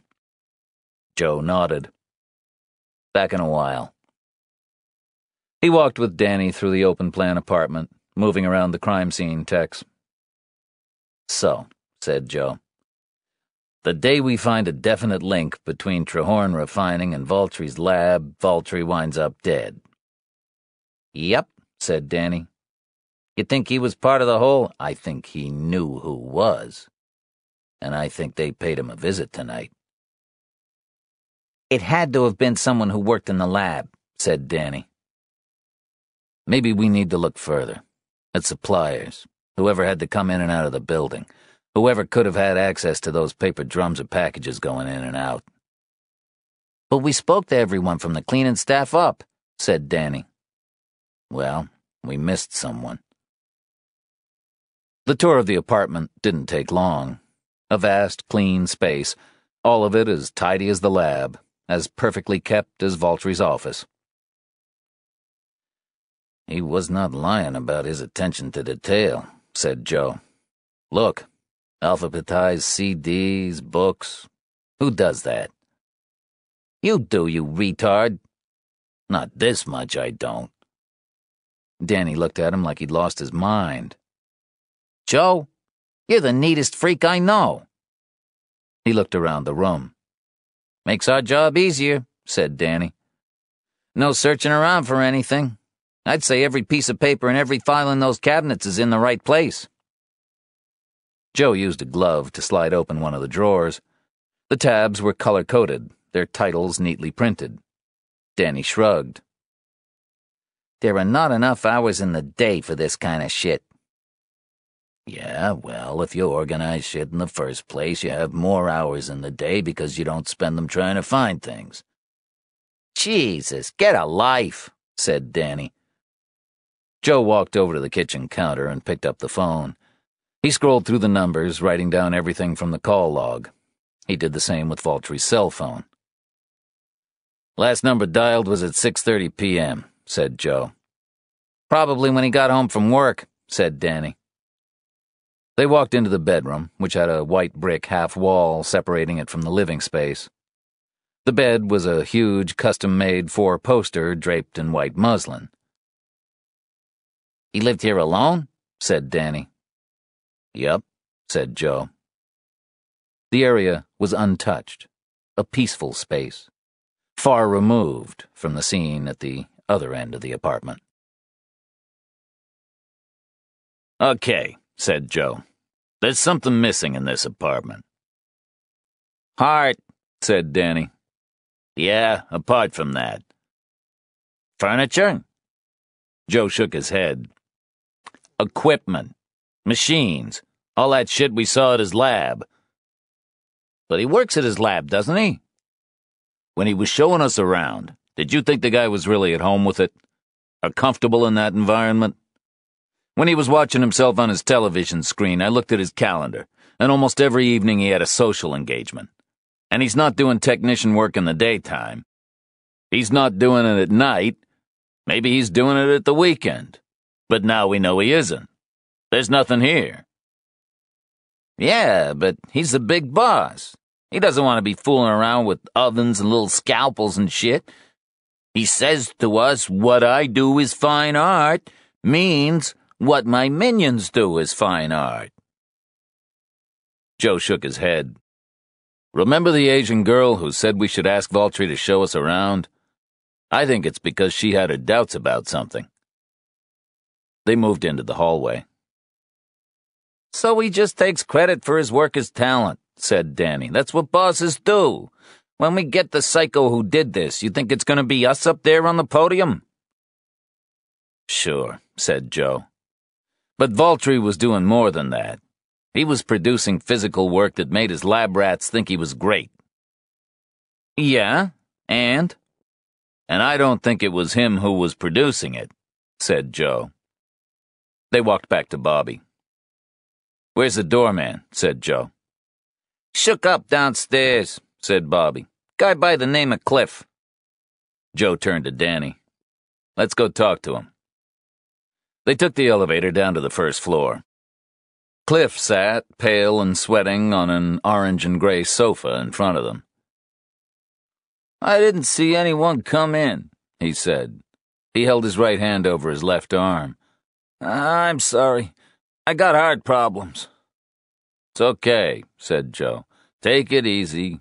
You need a glass of water? Uh, no thanks, I'm good. You were here all evening, said Joe. Yes, said Cliff. I'm always here when I'm supposed to be here. That's good. And no one came to see Mr. Valtry? No one came through the front door. Okay. But we have a back entrance here. We got a lot of personalities living here. Entertainment industry, models, business people, and they like their privacy. There's no security detail back there? said Joe. No, and that's the way they like it.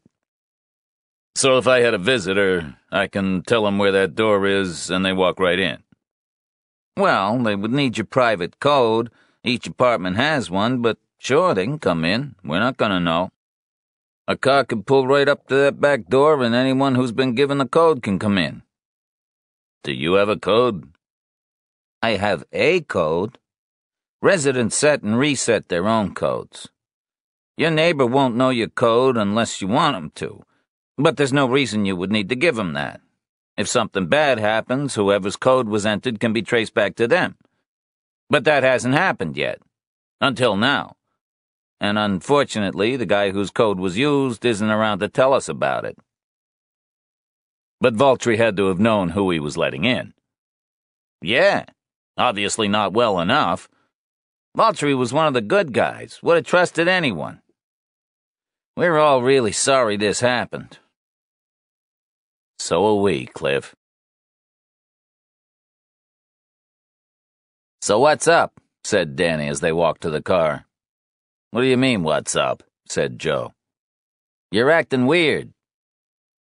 What's up? said Joe. Is that my wife is pregnant. Danny stopped. Jesus. Well, congratulations. That's great news, is it? Joe sighed. If I was a better person, yeah, maybe. What's that supposed to mean? I guess it's good news. At least we made Sean think it was. Chicks dig guys with babies. Joe laughed, then quickly put a hand to his jaw. Shit. I'll take the kid to the park for you, said Danny. I got no problem with that. I'll tell him quietly, but loud enough for the hot chicks. Mommy is with the angels. Joe laughed again, despite his jaw. You're a sick fuck. Bobby Nicotero walked into the office at Manhattan North and went straight for Joe's desk. Can I have a word, please, Joe? Sure, said Joe. Go ahead. Maybe out in the hallway, said Bobby. You can talk to me here. Bobby jabbed a finger towards him, his eyes blazing. The hallway, he said, turning around and walking out. Joe got up slowly and followed him. Would you like to tell me, shouted Bobby, what the hell is going on between you and my father? What? said Joe, closing the door behind him. I know you're up to something. He's doing something for you, I know he is, and what the hell are you talking about? said Joe. He's acting all secretive, he trailed off.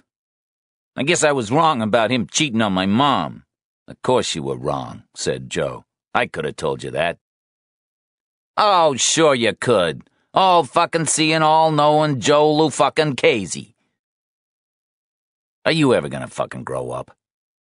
Shut the fuck up. Joe let out a breath. Bobby, like it or not, I care a lot about old Nick. Your father's bored. He misses the job. I could care less about my father, said Bobby. I'm looking out for my ma. She's worried sick about him. She's just glad she got him to retirement in one piece. She doesn't want him involved in your bullshit. Whatever is between me and your father is between me and your father, said Joe. Yeah, just the two of you, said Bobby. Nice and tight. But he's got a wife, all right? Jesus Christ. Listen to yourself, you fucking freak. I'm helping your father with his book, okay? That's it. Cover blown, big deal. You're full of shit, Lucchesi. That's what I'm doing, Bobby. Ask your father. I'm not asking him shit. No shit. What the hell is that supposed to mean? You said it yourself. You could care less about your father. He wants to do something with his time. I help. What do you know about what my father wants? Nothing. Bullshit. I've known him for years. We. Look, said Bobby. We're stuck working together on this case. That's fine with me. I can walk right back into that office and everything'll be on the level, but stay the fuck away from my family. What the fuck are you talking about? said Joe. Get the fuck out of my face. He walked back into the office. Rufo was standing at his desk holding an untouched Starbucks Grande Banana Coconut Frappuccino with whipped cream. Joe looked from the drink to his boss, but said nothing. Everything all right? said Rufo. Yeah, said Joe, fixing his jacket, sitting down at his desk. So the plan is, said Rufo. Well, we traced the last number called from Dean Valtry's house to a Marjorie Ruling. Lives in the Bronx. Danny and I'll go check it out this morning. Then we got Valtry's autopsy in the afternoon. 550 calories in this baby, said Rufo sadly. Danny walked over and took the drink out of his hand. Want me to put this out of your misery? Or your eyeline, even? Rufo nodded sadly. A moment on the lips, said Danny. He sucked up a mouthful. Like drinking a vacation. Joe shook his head. Come on. Boss, we'll see you later. Wave bye bye to Daddy, said Danny to the cup. Rufo had already turned away. Marjorie Ruling lived off Southern Boulevard in the Bronx, in the only apartment block on the street that wasn't newly renovated, for sale, or about to be torn down. Joe rang the bell for 6E. An elderly voice crackled through the intercom. Yes? Marjorie Ruling, said Joe. Yes, she said. Who is this? My name's Detective Joe Lucchesi with my partner, Detective Danny Markey from the NYPD. We'd just like to come in and talk to you about something. What? Joe shook his head at Danny. Are you acquainted with uh, a Mr. Dean Valtry? I'm going to come down now, she said, and you can show me your nice badges. Okay, ma'am. Five minutes later, a skinny woman in her sixties with a huge caramel colored bouffant and a peach velour tracksuit opened the door and studied the two badges. She opened the door wider and led Joe and Danny into a small, square gray lobby lined with mailboxes, most of them overflowing. That man you mentioned, Valtry, she said. He called here last night. So you know him? Not really. He was a friend of my daughter, Sonia, from way back. You'll need to talk to her. She'll know more. He was calling to speak with her. Did you pass on the message to her? There was no point, said Mrs. Ruling. I knew she was out with the husband, and Valtry didn't want to leave a number. Could we get a cell phone and address for Sonia? Better than that. You can come in for coffee. She's on her way over. Marjorie Ruling's apartment was a bland color chart of creams, beiges, and browns, flowing between carpets and sofas and cushions. How did Mr. Valtry seem to you on the phone last night? said Joe. Mrs. Ruling shrugged. Like I said, I don't know the man, but I guess he seemed. He was talking quickly. That was the main thing I noticed. The phone call was over quickly after he told me to get it to call. Was he speaking clearly? said Joe. Yes, she said. He seemed impatient, that's all. Okay, said Joe. They all stopped when they heard keys in the front door. Oma? Sonia called from the hallway. German for grandmother, said Marjorie. We're in the living room, she shouted to her daughter. Sonia Ruling walked in. Hello. What's going on? Her mother smiled. It's okay, she said. These are detectives, no big deal. Just about last night. Sonia frowned. Someone called your mother's home, looking for you last night, said Joe. Dean Valtry? Dean Valtry? She turned to her mother. What did he want? He didn't say, said Mrs. Ruling. Just you with the call him. Did he leave a number? said Sonia. No, said Mrs. Ruling. It's all very funny. Why don't you ask him? she said to Joe. How do you know him? said Joe to Sonia. We.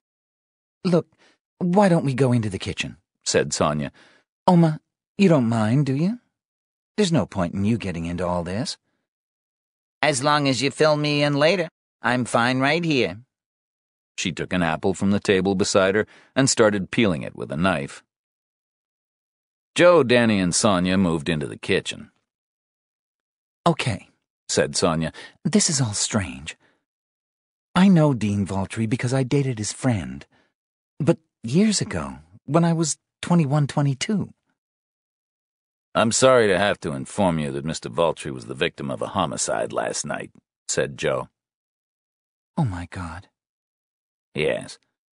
And he tried calling your mother's house several times yesterday. He was looking for you. She didn't want to give out your number. We just want to know why he would be calling you. I have no idea. She lowered her voice again. We weren't even particularly close. I mean, to be honest, we didn't really get on, God rest him. Tell us some more about how you met, said Joe. I worked at Feelers, this bar in the East Village. One of the guys I worked with, his name was Alan Motor, and we got together, and Dean Valtry was his friend. That's how I knew him. When was the last time you saw Dean? Years ago. What has he been doing? He was boss of one of the top dental laboratories in New York. Sonia leaned back in her seat and smiled. You look surprised, said Joe. I am. He was ambitious, so from that point of view, I get it. But from what I gathered, he wasn't that good. Where did you get that idea? Alan. They were in college together. It was funny. Alan dropped out, and he was the one with the talent. But Valtry opened the lab. Yes, but Alan did a lot of what got Dean's company noticed. Alan worked for Dean. Does Alan have his own lab? I have no idea where Alan Motor is or what he does. It ended badly, said Danny. Very. Let's put it this way. Last time I saw Alan Motor, he was screaming obscenities at me in front of my work colleagues in a beautiful French bistro on 29th Street, seven years after I dumped him in the most shitty way possible so he would never come near me again. Her laugh was bitter. Yikes, said Danny. I should be over it. I mean, I am over it, obviously, she said. But you know, when you just think, what a shit. I was 22 years old, madly in love. I thought he was too until I caught him with a woman over twice his age, some fat, wealthy woman who even I knew he didn't give a damn about. So that's my Alan Motor story. I'm going into way too much detail. It's just I've never got it off my chest. I'm married now. Alan showed up that time in the restaurant trying to get me back after that witch he went off with died. So there you have it. Uh, back to Valtry, said Danny. Can you think of any reason he would have wanted to get in contact with you? She shrugged. No. The three of us hung out together all the time, but it was more that he was Alan's, like, only friend, and so I was lumbered with him. He was. We just weren't close. I'm still shocked he's dead. She shook her head. It's so weird he tried to call me. That's gonna bug me. Let me know when you find out. Sure, said Joe. What was Valtry like? He was fine, said Sonia. Boring, if anything. Bookish, but dumb. Terrible combination. She laughed. The type who tries to seem more intelligent, better than everyone at everything. Was he ever violent? Dean? She laughed. No. Why do you ask? Just covering as much ground as we can now that we have you here, said Danny. Seeing that Alan Motor is the only link you can think of to Valtry, said Joe, do you know how we could get a hold of him if we needed to? I wouldn't be surprised if he still worked for Dean. No, said Danny. We've been through employee records. He's not there. I don't know then. Let me think. He was from Maplewood, New Jersey, but I'd say he's never been back there. He had a major falling out with his family. It was all very dysfunctional. But you could try them. His father's name was Tony. She shrugged. Okay, said Joe. Thanks a lot for your help. Sean Lucchesi walked into the kitchen past his mother and grabbed a carton of juice from the fridge. He drank from it, then put it back in. You will be pleased to hear it's over between me and Tara. What? said Anna. Why would I be pleased to hear that? Sean stared at her. Are you for real? What? I. She was cute, said Anna. Sure, said Sean. You now think cute is like emaciated. She had a pretty face. Under all that makeup. Anna turned to him. He smiled and shrugged. Want to hear something funny? He said. She nodded. I bought her a special edition of Romeo and Juliet because she told me how much she loved it. And when I gave it to her, she said, Oh my God, it was the movie I liked. Leonardo DiCaprio is so hot. Anna laughed. Oh la la. I know. Bobby Nicotero sat at his desk in the 20th precinct. He worked well there. His shift had finished three hours earlier, but he didn't want to go home. He read through copied pages of statements, making notes, highlighting, cross checking. Nothing new was showing up. He sat back in his chair and started thinking about his two boys. He had a day off the next day, his first for weeks. They were going to the Sea, Air, and Space Museum. He smiled. Then he turned back to his notes, drawn to a section of text, highlighted roughly in blue. Something finally clicked into place. He just needed to check one more thing. Anna was lying on the sofa watching television and flicking through an oversized book of fabric samples. Joe arrived home and went straight upstairs to the bedroom. She followed him up. Hi, she said. Hi. How are you? Fine, how are you? Fine. He pulled off his suit jacket, then his shirt and tie. Sean broke up with Tara, said Anna. Really? Anna nodded. Yes. Yeah, I never ended up with the girls my ma didn't like. You didn't like her either. That's not the point. It's all about mom. I think maybe it's like a dog whistle. You send out some repel signal that's only picked up by girls who look like tramps. Which is exactly what teenage boys are looking for. Anna slapped Joe's shoulder. What? he said, smiling. It's okay. I'm past that phase. We could have another boy and have to go through it all over again. Or worse, a girl to keep control of. Joe said nothing. What? said Anna. What's wrong? Nothing, said Joe. There is something. We have barely had a conversation this week. I'm pretty busy, Anna. Me too. I'm sorry, he said, yanking his belt from his trousers, if I sometimes can't connect your level of busy with mine, okay? That's not fair. Life's not fair. Who says life's fair? The shit I see? I could care less if stripy wallpaper is making a fucking comeback. Can you see how that might not matter to me? Anna stared at him.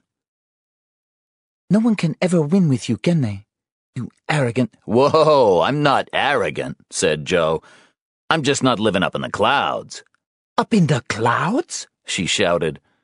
It spurred him on. Yeah, making up these fake little worlds where everything is perfect and everyone is happy and the sun is shining and all the people are sitting on the sofas or dancing around their fucking kitchens and bedrooms in their cute underwear with their perfect bodies with big smiles on their faces and. Are you okay? Anna said, her voice softer. No, no, I'm not. You've changed so much. Joe rolled his eyes. Why do women say that shit? What? Look, it's not a bad thing if I have changed, Anna. People change. At 40, you want to be married to some immature asshole with no clue about responsibility or no major ambition who likes to get drunk every weekend with the guys? You can't start idealizing this guy you married. That's the thing. It's not idealizing you. I didn't need to. You were. Don't give me that crap. I used to drive you nuts, same as always. We never fought like this.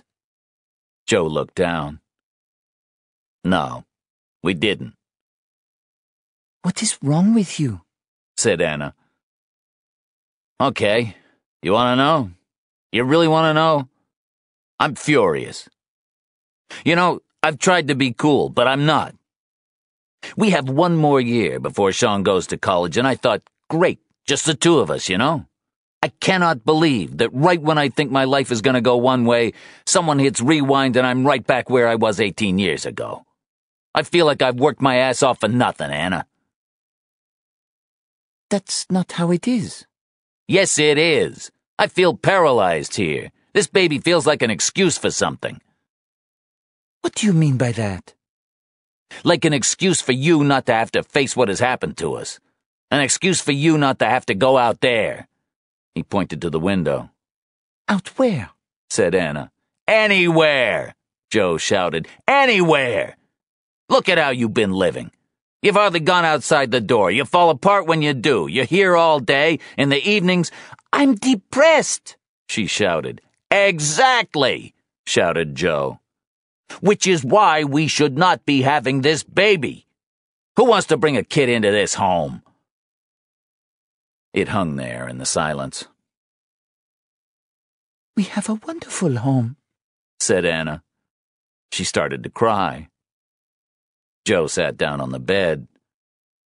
Doesn't feel that way, he said. Or maybe I've forgotten. I don't know anymore. I don't think about it. I never think about us anymore. I know, said Anna, pressing her sleeve against her eyes. He looked up at her. I love you so much, you and Sean. You're everything to me. But we're not the same. I mean, things have changed. Maybe the baby will. Joe shook his head sadly. That's one hell of a scary job for a newborn. The sun beamed down through a slice in the gray sky over Denison, Texas. Wanda Rawlins held her hand up to the television set the bones in her fingers rigid and spread. I have been clean and sober for. The telegenic preacher, his gray hair smooth and waxy, paused for his audience to fill in their time spent walking with Jesus. Sixteen years, three days, and seven hours, said Wanda. Before I walked with Jesus, I danced with the devil.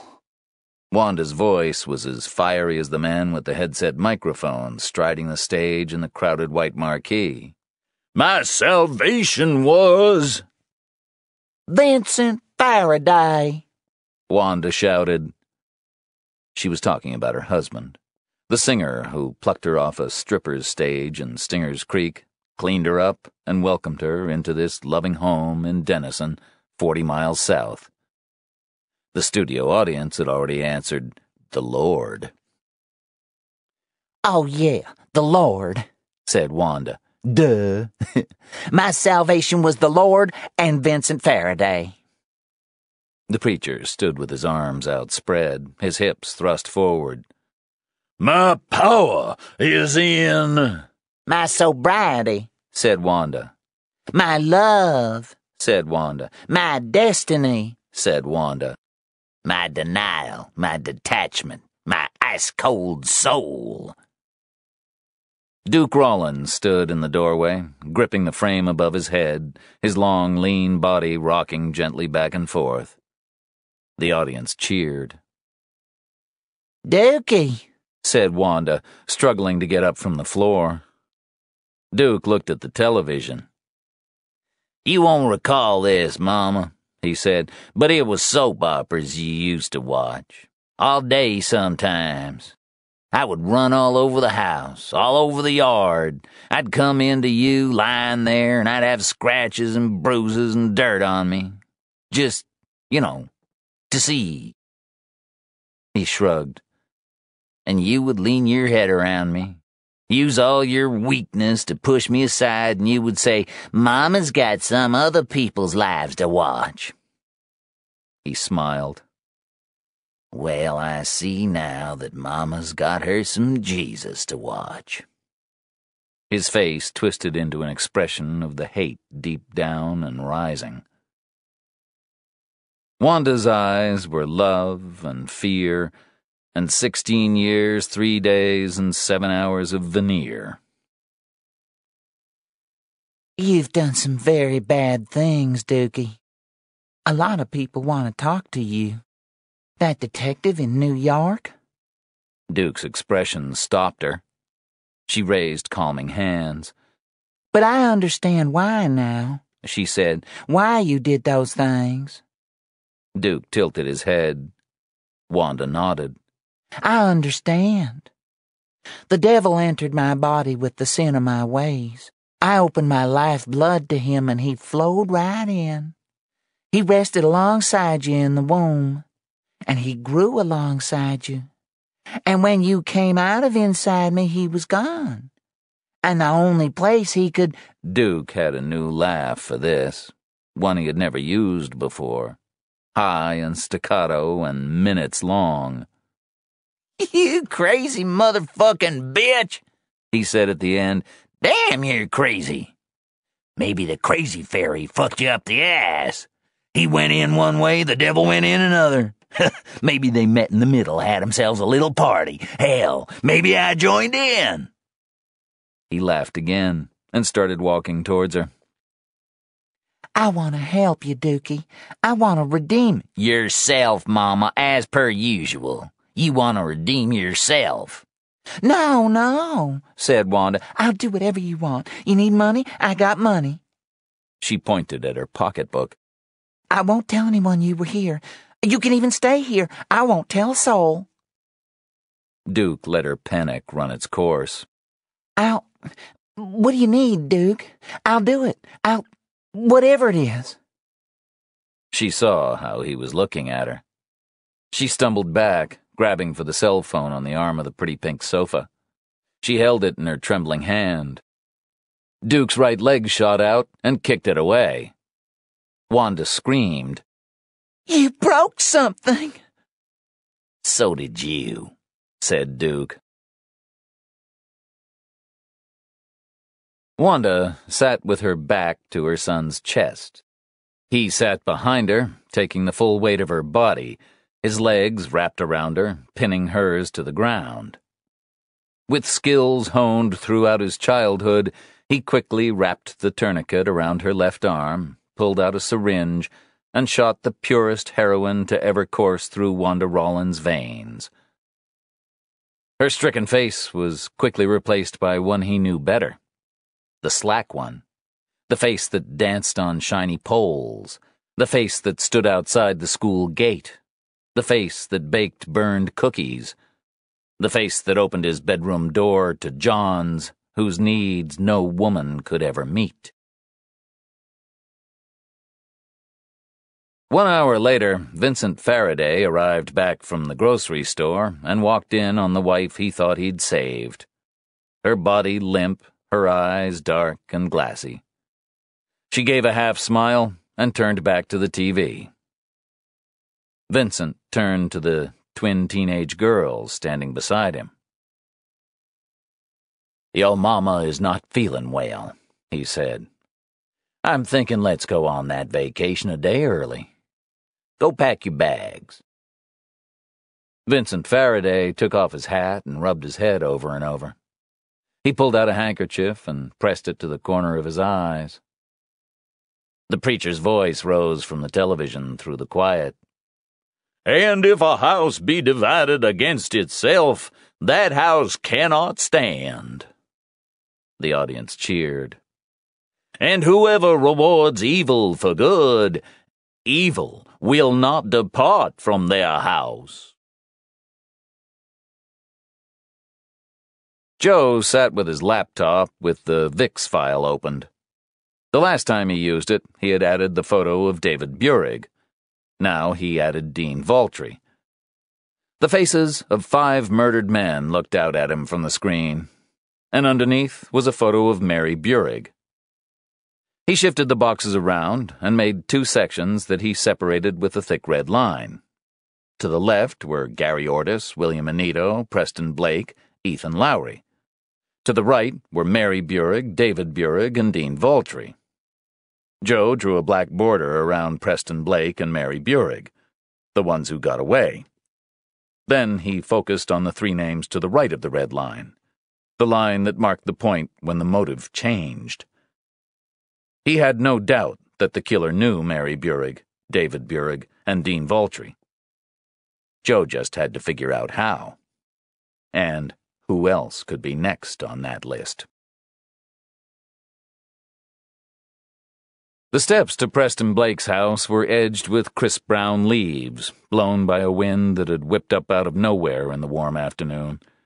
Danny and Joe stood waiting on the front step after ringing the doorbell. I can just feel my retina being scanned, said Danny. Or maybe my ass. He's taken some kind of outline of my ass to make sure it fits with the groove I left on the sofa from the last visit. Joe leaned close to Danny's ear. Shut the fuck up. He can probably hear you. Yeah, well, he can probably read our lips anyway, said Danny. They rang the doorbell and knocked again. Joe pulled out his phone and dialed Blake's number. It went straight to voicemail. Mr. Blake, it's Detective Joe Lucchesi here. We're right outside. We'd like to talk to you about a few things. We don't want to hold you up too long. One minute later, the door opened, and Preston Blake stood in front of them, his face passive. He leaned out, glanced past them, onto the street, left and right, then looked at their badges. Come in, he said. He brought them to the same room they'd been in before, guided them to the same sofa. We appreciate this, said Joe. Preston Blake shrugged. How've you been doing? said Danny. Great, said Blake, his voice flat. How's your investigation? He smiled. That's why we're here, said Joe. We got a few more questions for you. Go ahead, for what it's worth. Have you ever come across a David Burig? Why do you ask? Just connecting a few dots. No, I don't know a David Burig. What about a Dean Valtry? No, are these guys suspects? Like I said, their names have come up. We're just cross checking things. We were looking to see if maybe you knew them, or if there's anything else you might have remembered. Look, about remembering stuff, no, okay? I told you that. This is something I've gone over in my mind constantly. I'm not going to start randomly remembering extra details later on. It just doesn't happen that way. For some people it does, said Danny. Not me. Have you been reading the papers? Blake stared at them. No, thanks, he said. Not anymore. My reluctance probably started around the time my house was under siege. We didn't leak your name, said Joe. We gave you a promise, and it's just not in the interest of the investigation. Blake frowned. So it wouldn't have helped to have me out there? Just in case the killer wanted to finish me off? He would have known where to find you if he wanted to do that. Look, there's no point in going over old ground. Maybe I believe you, Detective, said Blake. And you, he said to Danny. But what about the rest of your men? Do you trust them? All of them? Joe's phone rang. Excuse me, he said, standing up and walking a few feet away.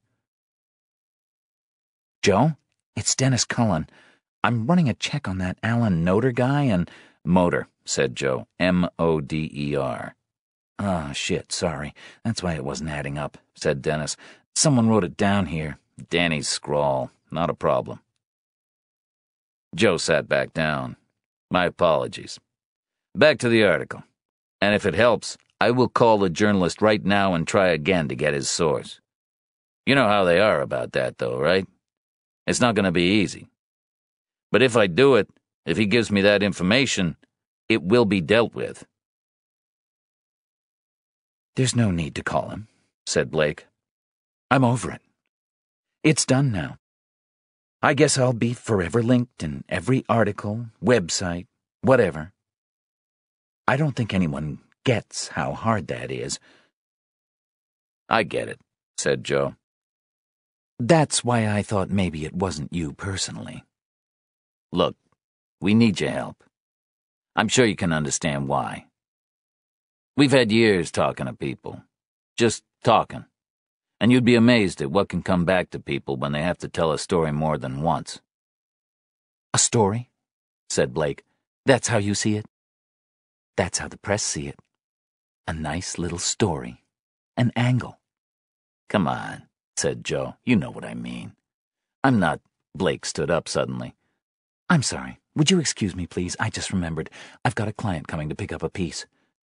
Let me just bring it up. He left them sitting there. He isn't as pissed as I thought he'd be, said Danny. Joe let out a long breath. He's hard fucking work. You have to watch what you say the whole time, said Danny. He looks like shit, said Joe. Why not get his teeth fixed? Dr. Mack says he's too scared. That's what he says about everyone. Well, because you've brought it up, you can be the first to know. I'm scheduled for surgery. You what? said Danny. Yes, said Joe. Decision is made. Like major surgery? Joe smiled. Like probably the most minor surgery you can get. Danny laughed. Then what's the point? It's supposed to really work and it doesn't screw you up for ages. No major recovery time. I can go in, get it done, come out again, go right back to work. I'm doing it for you. Danny shook his head. I'm in shock here. Yeah, well, I've had enough with the pain. When you going in? The end of the week. A slot came up. Does Rufo know? Joe nodded. He's always happy when people address their problems. Danny smiled. They sat in silence for a while. You know something? said Joe. He said up. What? Said Danny. Who? Blake. He said, let me just bring it up. Last time we were here, he told us his workshop was upstairs. If that was the case, he'd be bringing the jewelry down. So? said Danny. So he brought the thing upstairs, now he's bringing it down. Why's he been gone ten minutes? said Joe, standing up. Jesus, relax, said Danny. But Joe was already drawing his gun. Danny sat up, then stood up. What are you doing? I'm gonna find him. Put the gun away. The guy's probably gone to take a crap, and he's gonna freak out if he comes back and that's in his face. We're here to mend a few bridges, not fucking burn 'em down. I don't think he's coming back, said Joe, walking into the hall, through the hanging bookshelves. He looked carefully at the ones that were moving very slightly, coming to rest after being knocked against. Mr. Blake? Joe called out. Mr. Blake? He heard nothing. He looked at Danny. He was also drawing his gun. Joe pointed to the basement door. Danny pointed to the stairs that led to the second floor. Joe shook his head and walked towards the basement door and slowly turned the knob. The basement was still, airless. Joe shone his flashlight up to the ceiling, the light tracking across a wide wooden beam stretching overhead with a notch at its center. He continued slowly down the stairs, the flashlight sweeping across glossy industrial gray steps and walls. Danny followed slowly behind. Mr. Blake? said Joe. Mr. Blake! Silence. They reached the bottom of the steps. Joe moved the flashlight over a thick workbench with a small shelf above it that held clear plastic boxes of wires, metals, and clasps. Mood boards on the wall behind it were inspirations for the jewelry that was pinned to bronze velvet backing in front of them. Spools of soft black leather hung from the shelf onto the bench top. Tools were lined up along the surface a mandrel, burrs, pliers, filing discs. Old G worked downstairs, said Joe. He slid open one of the six small drawers down the right hand side of the desk. It was empty. Look, said Danny. He walked over to a machine standing four foot tall in the left hand corner. The upper part was a small oven, mounted on a blue base with retro red and black start stop buttons and clunky dials. The Oakville Gas Appliance Company. Joe shone the light on the wide tracked blocky caps embossed on the steel door, its enamel finish worn away by years of high temperatures. Motherfucker, said Joe. That's like an old style version of the oven Valtry used to burn off the wax. He pointed to the dials, the top one marked air, with a dial that from numbers 1 to 8 could increase or decrease the flow. Underneath was a dial marked gas that could be turned from open to closed on a scale of 1 to 5. To the right was a temperature gauge set at 1500 Fahrenheit. Below that, another dial with a red and green light. Blake makes jewelry, said Danny. He burns metal. Blake's the fucking perp, said Joe. He's been fucking with us. He's the fucking perp. Danny stared at him. Holy fuck. It's the same deal. Make a mold and wax, burn it off, shoot the stuff through, you get a ring or you get a crown. Holy fuck, said Danny. He glanced down at the oven, panic in his eyes. That's off, right? Yeah, the dials are at neutral, no lights on. Anyway, we'd smell gas or feel the heat. Fuck me, said Danny, staring at Joe, shaking his head. Son of a fucking bitch. Let's take a better look around. He reached over and hit a light switch on the wall behind the bench. No light came on. He turned to Joe, and their eyes locked. Rufo sat at his desk in front of two massive piles of papers, trying to decide which would get his attention first. Dennis Cullen knocked and walked in. I think we might have a problem, he said. I've been trying Joe for the last half hour and I'm getting his voicemail. His cell is always on and. No one's cell is always on, said Rufo. Come on. You know what I mean, said Dennis, and he was waiting for information. He was out in Preston Blake's house with Danny, right? And I checked the address, 1890 Willow Street. That's exactly the address I got for this other guy I was doing a background check on, Alan Motor. Who the hell is Motor?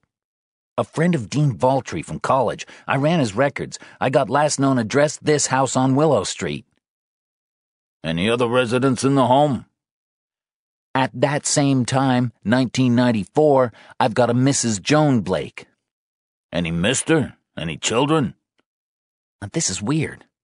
I've come up with Mr. Preston Blake. But I did a search, and this Preston Blake died in 94, and he was like 67 at the time. And the last known address for Alan Motor was there? Yep. So he went off the radar around the same time as this Preston Blake died. Looks that way. Well, that's too good to be true, isn't it? Let me try Lucchesi again. He dialed Joe's number, then Danny's. Both went straight to voicemail. Joe and Danny froze as the dull roar from above fused with a rumbling vibration that penetrated the walls, the floors, everything solid that surrounded them. Joe looked up and saw how quickly the notched beams snapped as the weight from the ceilings above crashed down. He caught a glint of silver as something plunged down towards him. Danny grabbed for his arm and pulled his focus, mouthing something he couldn't hear, pointing desperately towards the workbench. Joe watched as Danny's face, then his body, were swallowed up, quickly disappearing into a thick cloud of acrid dust. Anna Lucchesi knocked lightly on Sean's bedroom door. He didn't answer. Honey, I know you're in there. Silence. I have something for you, said Anna. Come in, he said, his voice quiet. Anna pushed open the door. Sean was lying on the bed in black sweatpants and a blue t shirt. His eyes were red and swollen. She sat down beside him and put a hand gently on the side of his face. I know this is a difficult day for you, she said. How are you holding up? He shook his head. Not. I just want to be on my own. That's not always the right thing, said Anna. She paused. I miss Katie too, you know. I can't believe it's been so long. He started to cry. I know. She rubbed his hair. I got you this, she said, putting a new scented candle on the bedside locker. I know it's Katie's candle you like, but just if you like the smell, I thought. He put his hand on top of Anna's. Thanks, Mom. At least you remembered. Your father has a lot on his mind, said Anna. You know that. I just know it's not us, said Sean. That's not true, said Anna. Let me tell you something about your father you might not realize. He's old fashioned, Sean. He might look cool. Sean laughed. Anna laughed back. What? He does. Kids are so mean. Okay, Sean said. He doesn't look too nerdy. Okay, said Anna. But what I'm saying is, he's old fashioned. He believes in protecting us from all the horrible things he has to deal with. And you know what? He feels he didn't do that last year. And he's decided not to face that. I'm not getting all heavy with you. You don't need to hear all this stuff. But you just need to remember your father is a human being. And he cares a lot about us. The darkness in the basement was absolute. The deafening roar had died away, leaving behind isolated sounds of objects shifting slowly from where they'd originally fallen. Loads being taken, then given up. A chunk of plaster had plunged from the ceiling above, trapping Joe and Danny under the workbench, pressed shoulder to shoulder, their bodies cramped and strained from choking and coughing. What the fuck? said Danny. He got no response. Joe? He pushed against him with his elbow. My throat, Joe managed. He coughed again, dry and hoarse. You hurt? said Danny. I don't think so. You? My neck. His chin was forced against his chest. Can you see anything? No, but. Danny managed to turn his head slightly to one side. Shit, Joe. The gas. What gas? The cylinder. There, for the oven. It's just lying right there. A small chunk of plaster crashed down from the ceiling, sending up more dust and debris. Jesus Christ, said Danny. It's okay, said Joe. Anything that was gonna fall down has fallen, and the gas is only a problem if there's a fire. He started coughing uncontrollably. My throat. I. He tried desperately to suck in a breath, but nothing seemed to be working. Blaring sirens shattered the quiet streets of Brooklyn Heights. The first fire truck arrived within five minutes of a call from one of the neighbors. The door to the basement was under the front stoop. The forcible entry team rushed to it, one with a Halligan tool to break through, the other, the can man, ready with a small fire extinguisher, a quick fix before the hose lines were ready. The officer beside them shouted out, Hello? Hello? This is the fire department. My name's Johnson. Is there anybody in there? Yes, shouted Danny. Two of us. We're police officers. Well, hang in there. We're gonna get you out of there. Hurry, shouted Danny. My partner's not breathing. He paused. Joe stared at him. Danny continued, Very well. My partner's not breathing very well. Okay, said Johnson. He turned away and shouted, Let the chief know we got two police officers in here. He turned back. What are your names? Danny Markey, Joe Lucchesi. Manhattan North Homicide, said Danny. Anyone else in the building? I don't know, said Joe, his voice weakened by his aching throat. I don't think so. He coughed. The blast was deliberate, shouted Danny. Okay, said Johnson. You think there's a possibility of a secondary explosion? Nah, he's done. He's done, said Joe. But the owner uses gas for his work, shouted Danny. There was silence from outside. Joe and Danny waited. They heard the crackle of handy talkies and voices outside. Hushed this time. Okay, shouted Johnson. Guys, we got a small fire at the door we need to take care of, okay? Nothing to be alarmed by. Danny looked at Joe. Oh, shit. Oh, shit, this is not the way I'm going. No way. He tried to lean forward and push at the chunk of ceiling that wedged them in. Danny, Danny, calm down, said Joe. We're not going to be able to move that. The fire's not near us. Can you feel any heat? Can you smell anything? No, but anything could be in this fucking place. More gas, flammable shit, I don't know. He could have planted more stuff. It's an old building. Calm down, said Joe. They know what they're doing. This is my worst fucking nightmare, said Danny. My worst nightmare. He clawed again at the plaster, then pushed with his palms.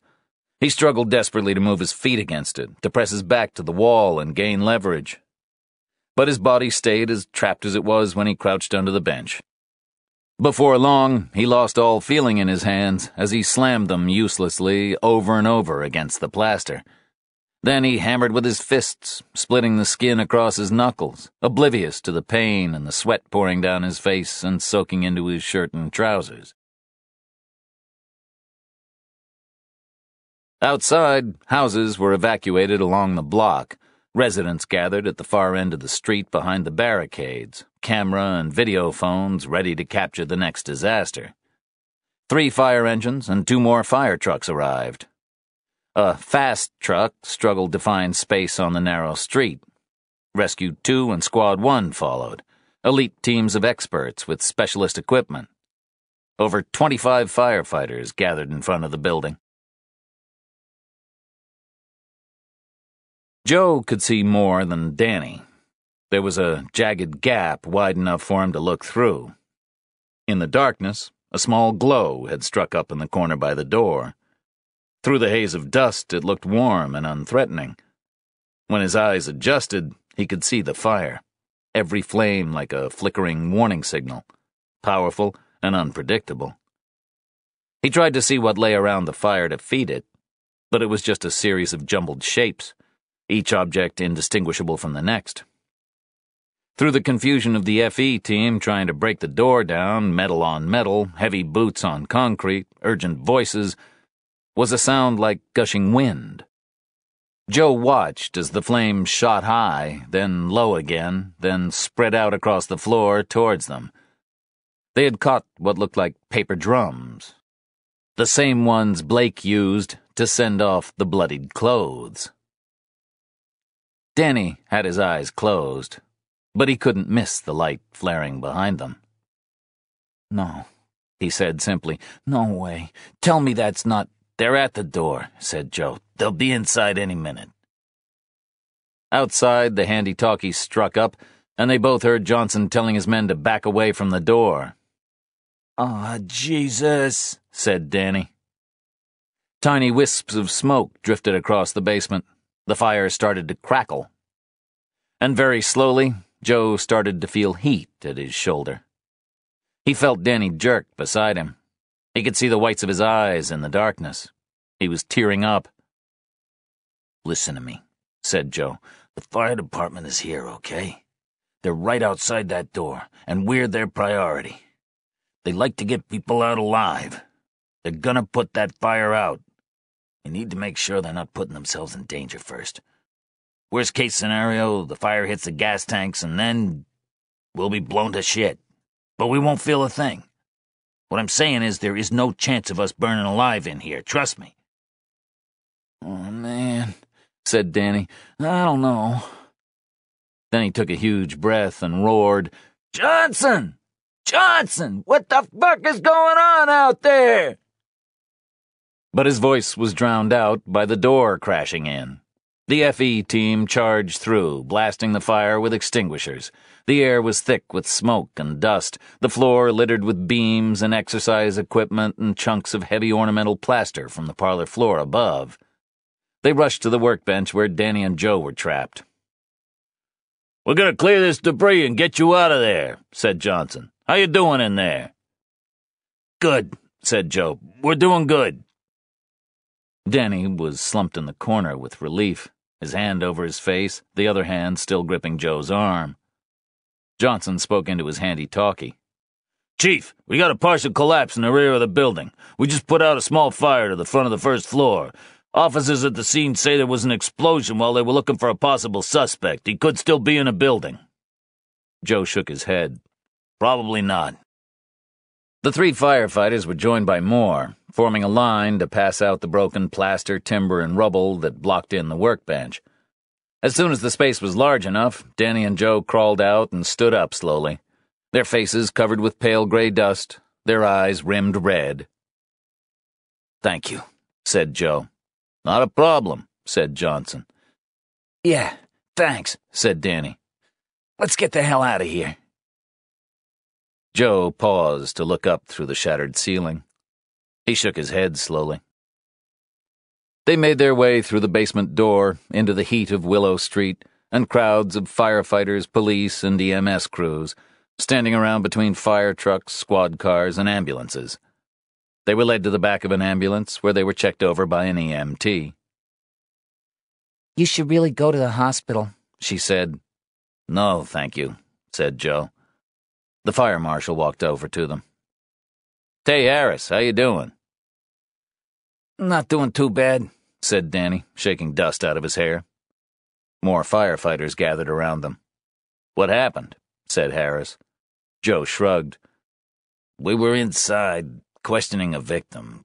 He disappears. We go looking for him down in the basement. I flicked the light switch, said Danny. Then bam! Looks like it was a BLEVE, said Harris. BLEVE?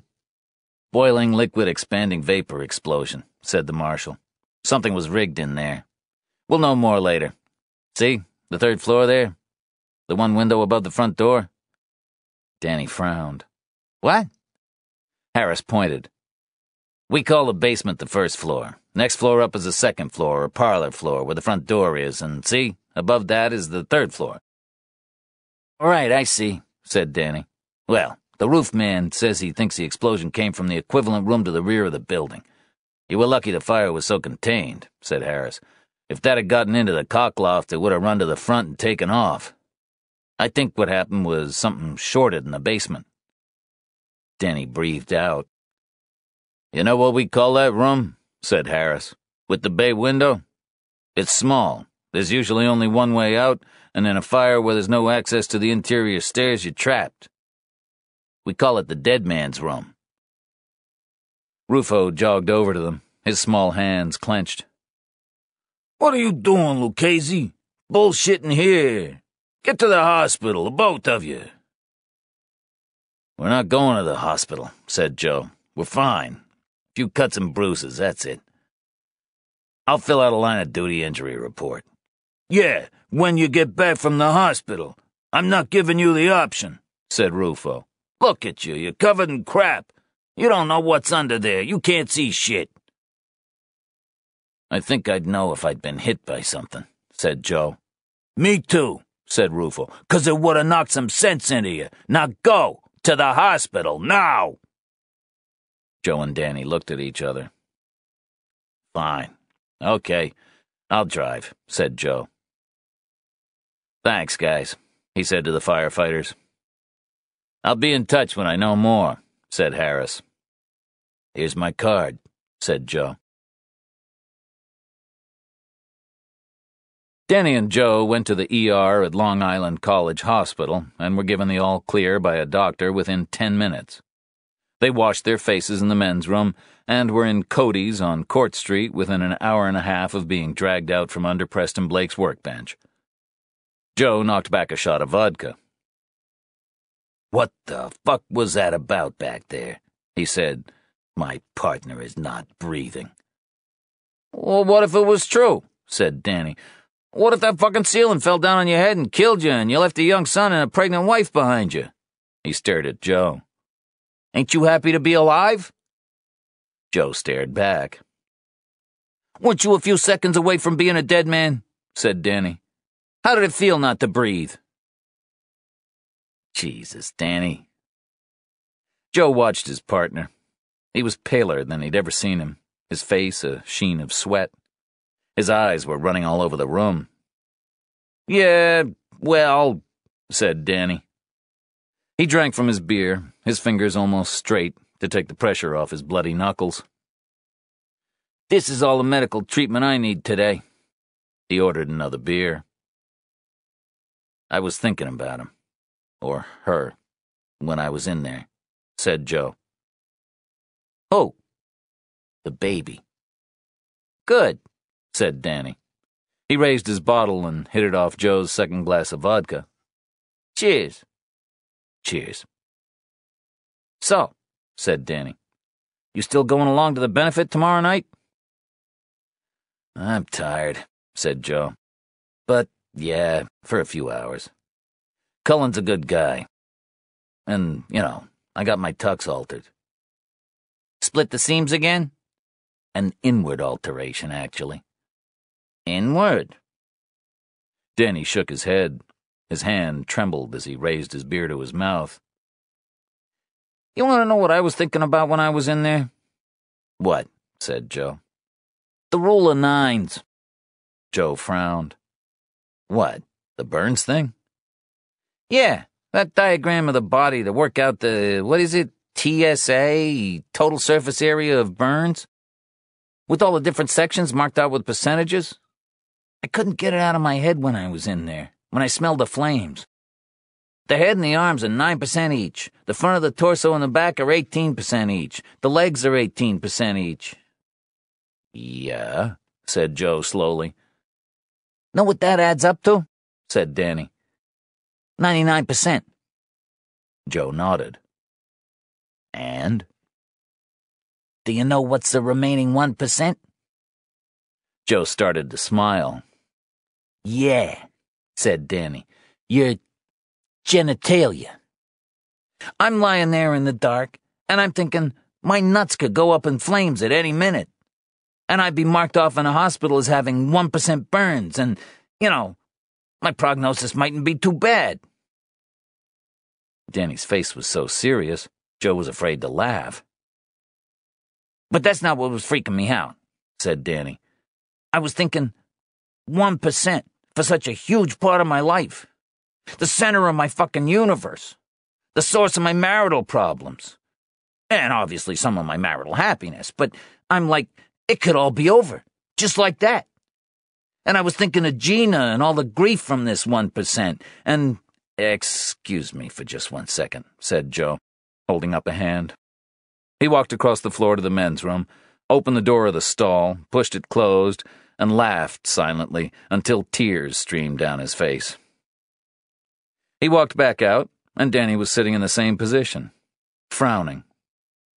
One line, one percent. One year on, still no answers. One life. It's a small word, one and it can mean so fucking much. One deep and meaningful detective, said Joe. Right. I need to call Anna.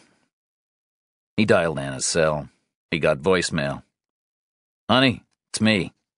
Me and Danny got caught in a building collapse earlier. I'm just calling to say I'm okay. I got checked out at the hospital. I'm fine. Sorry I'm leaving this on your voicemail. See you later. Love you. He turned to Danny.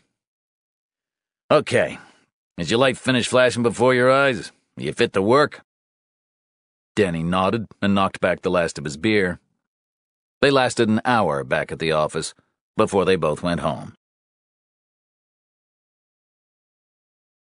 Joe arrived at the house and went straight into the living room. He pulled off his jacket, threw it on the back of the sofa, sat down, turned on the television, and put his feet up. He channel hopped until the screen became a blur. Anna walked in. What happened? she said, kneeling in front of him, putting her hand to his face. He struggled up. Sorry, I was drifting off, he said. I'm okay. We went to check this house out. The guy had it rigged up. Rigged up? Like a bomb? Nah, it was nothing. Something small.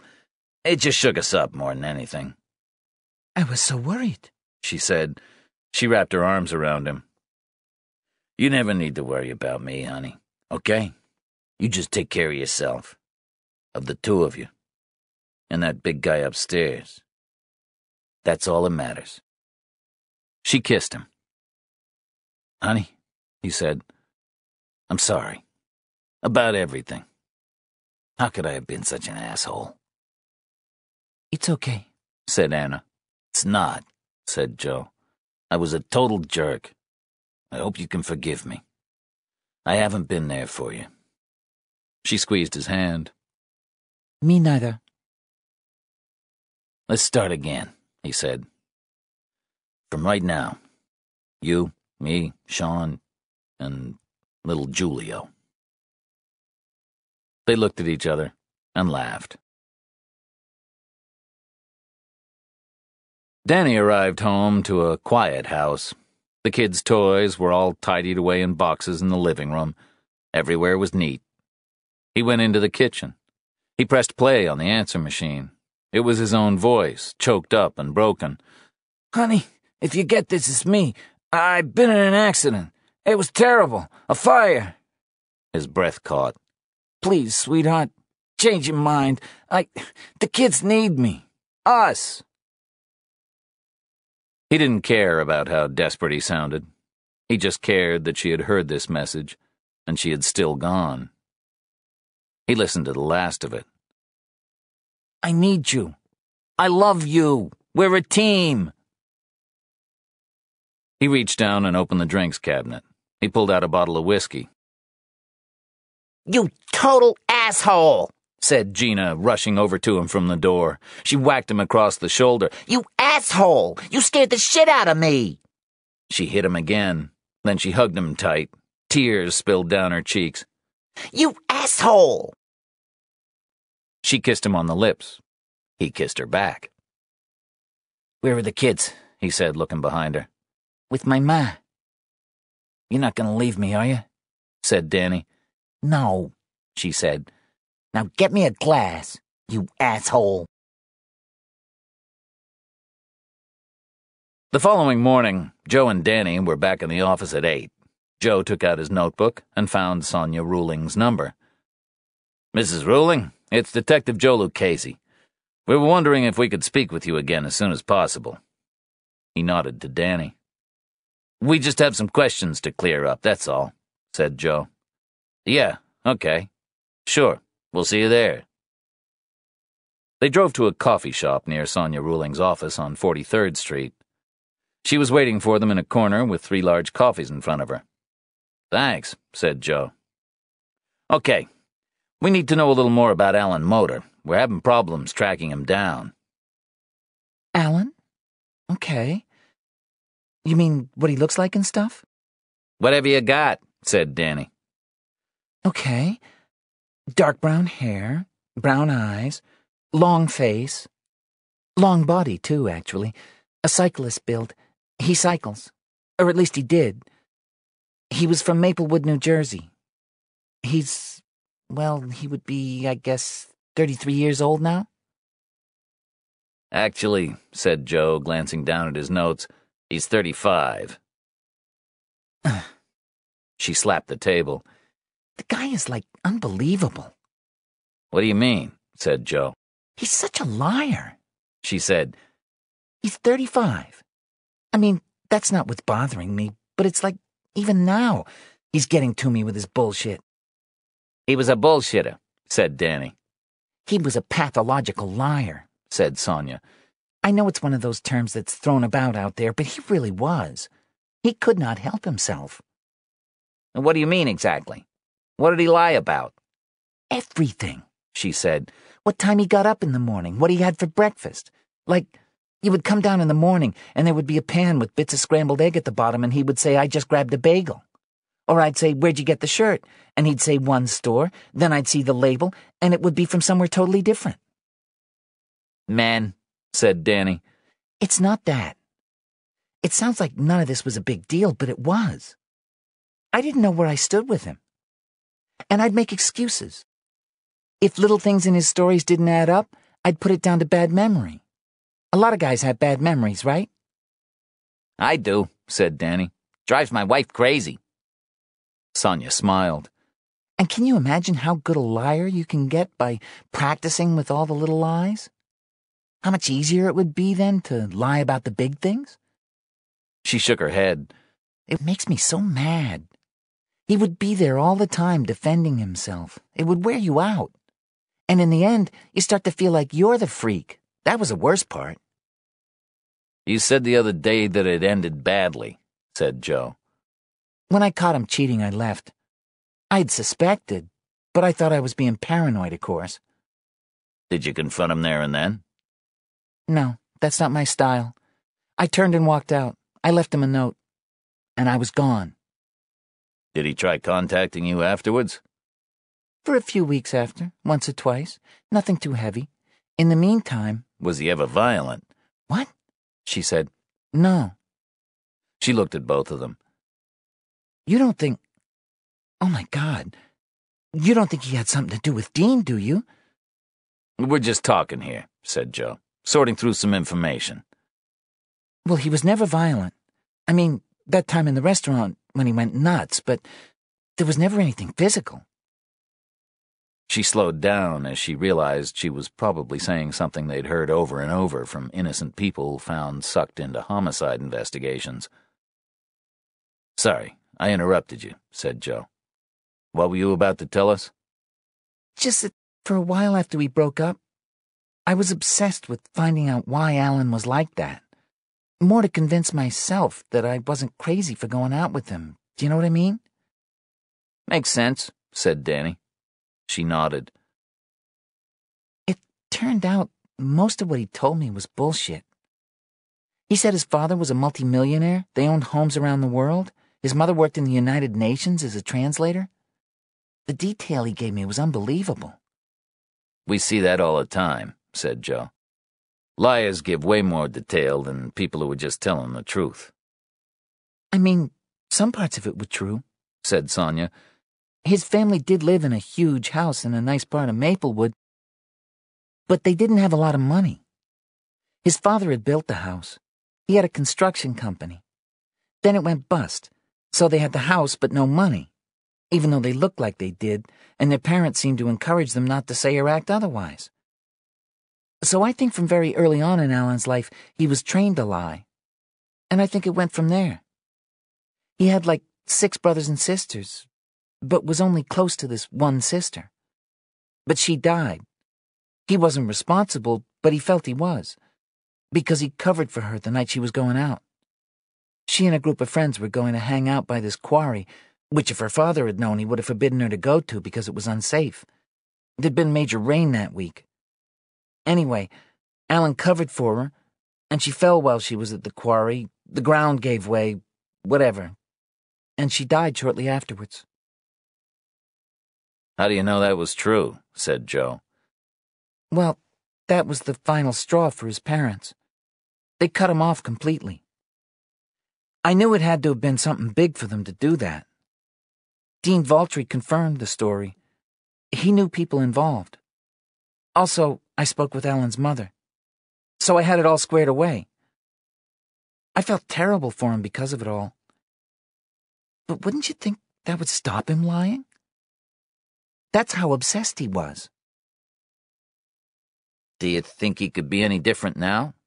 Any more likely to tell some of the truth? said Danny. She smiled. I'd say it's even more difficult now to work out if he's lying. I'm not a stupid person and he fooled me. That was years ago. He's a seasoned pro now. She shrugged. Also, there's more than one way to lie. Sometimes he'll tell you the whole truth, sometimes a doctored truth, and then there's the all out fantasy stuff. She looked at the two detectives. For Alan, there is no distinction between telling the truth and telling a lie. So when he's sitting right there in front of you, you will not see a flicker of a change across his face, nothing that you would be familiar with in a regular person. You won't see a tick. He won't touch his face a certain way. He won't blush. He won't sweat. He will calmly sit in front of you and lie through his teeth. Back at the office, Joe's phone rang. He picked up. Yeah? Detective Lucchesi, it's Tay Harris, fire marshal. Hi, good to hear from you. Just to fill you in, we found three propane cylinders in the rubble and some scraps of tape. So I'd say your guy left the cylinders in a taped up room, releasing gas. so you wouldn't have got any odor even if you'd have been up there. That rear room was the source point. It was used as a gym. You were lucky you weren't hit with any of that equipment falling down. How did it all happen? said Joe. The switch your partner flicked.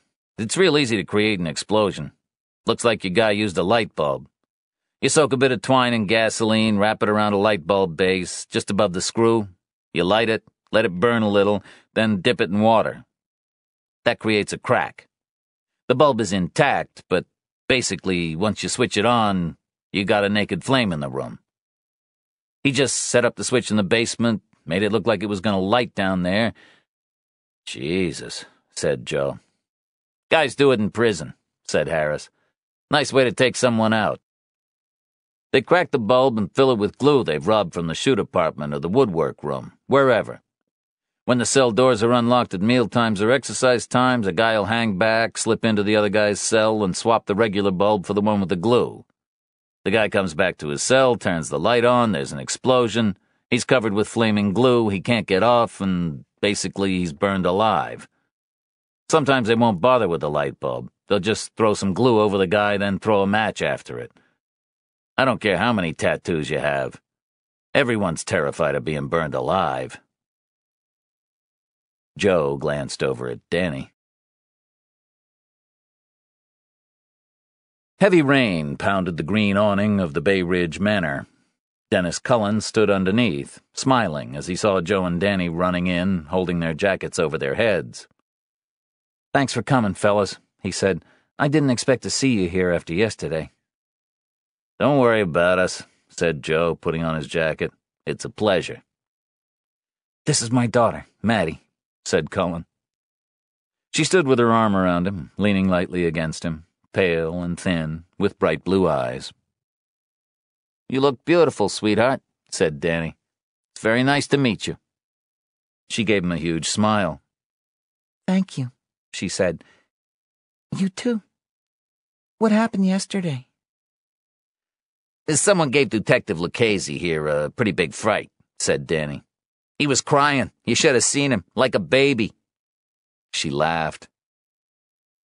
Your daddy's done some pretty cool things in this investigation we're working on, said Joe. Maddie smiled again and hugged Cullen's arm.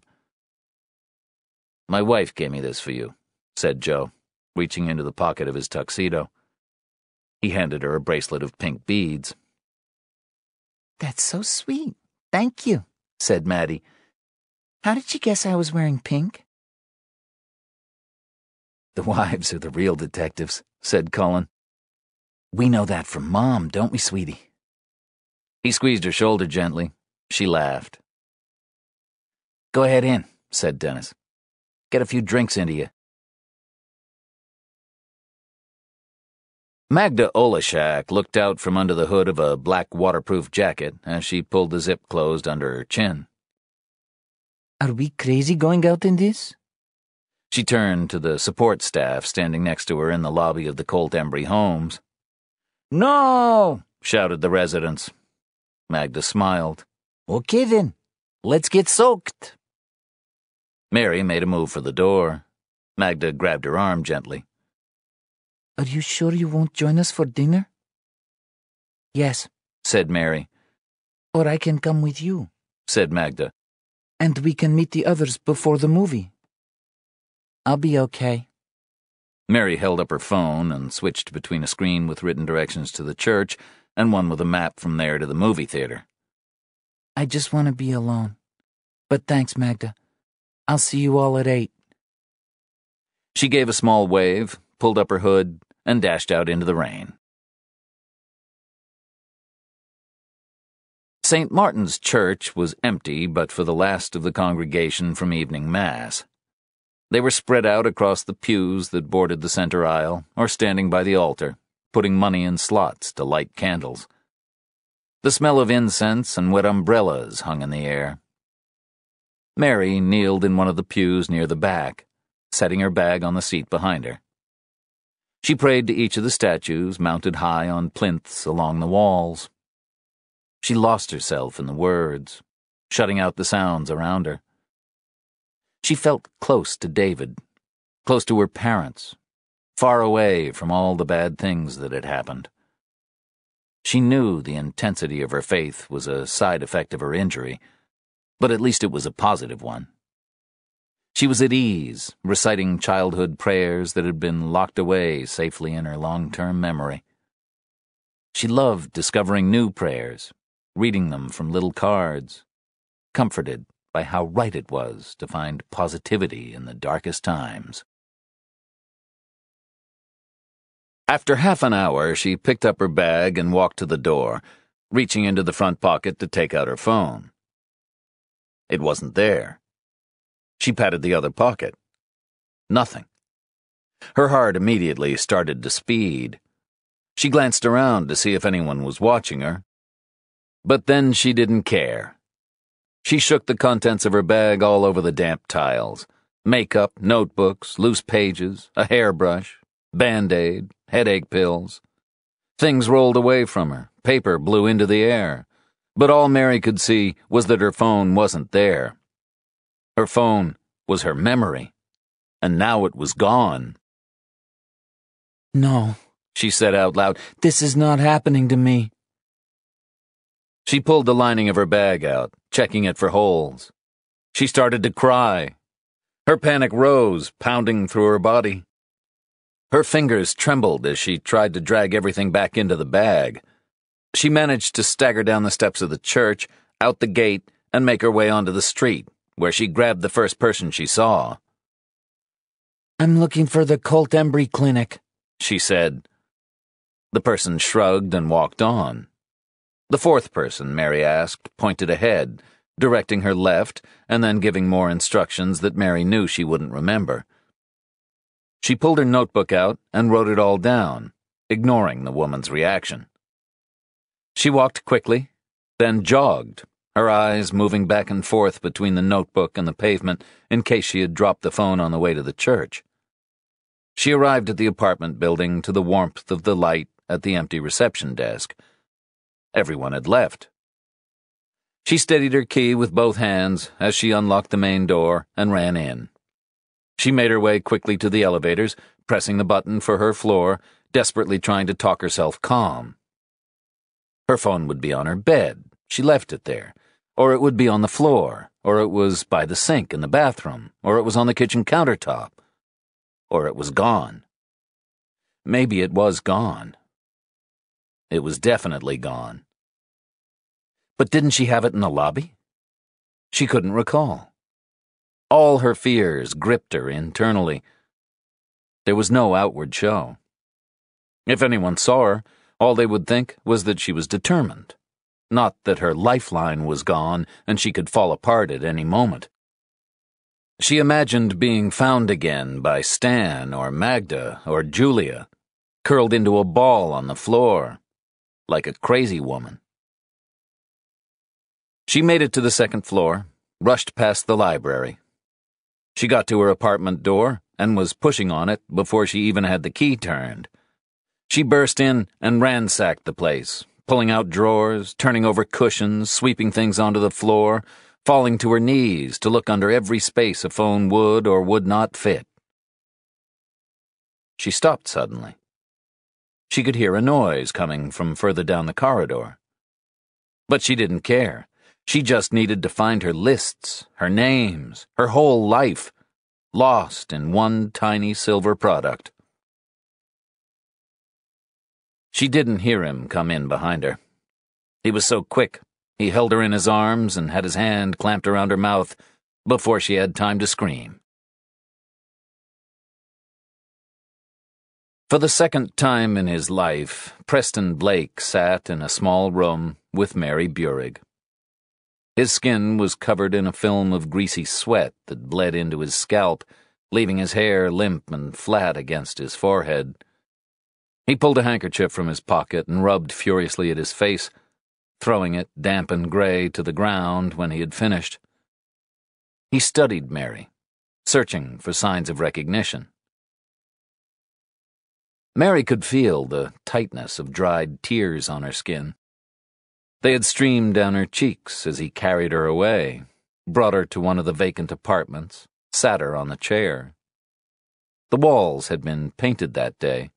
The carpet was covered in sheets. Most of the furniture was gone or protected with plastic covers. There was a ladder and paint pots in the corner, some machine she didn't recognize, brushes, newspapers, mugs, a radio. An overpowering smell of onion filled her nostrils. She looked around the room and saw one halved on a plate in the corner to absorb the paint fumes. It was dried out and useless. She couldn't stop shaking. She still had her coat on and pulled it around her to keep her warm, even though she knew that the cold wasn't the problem.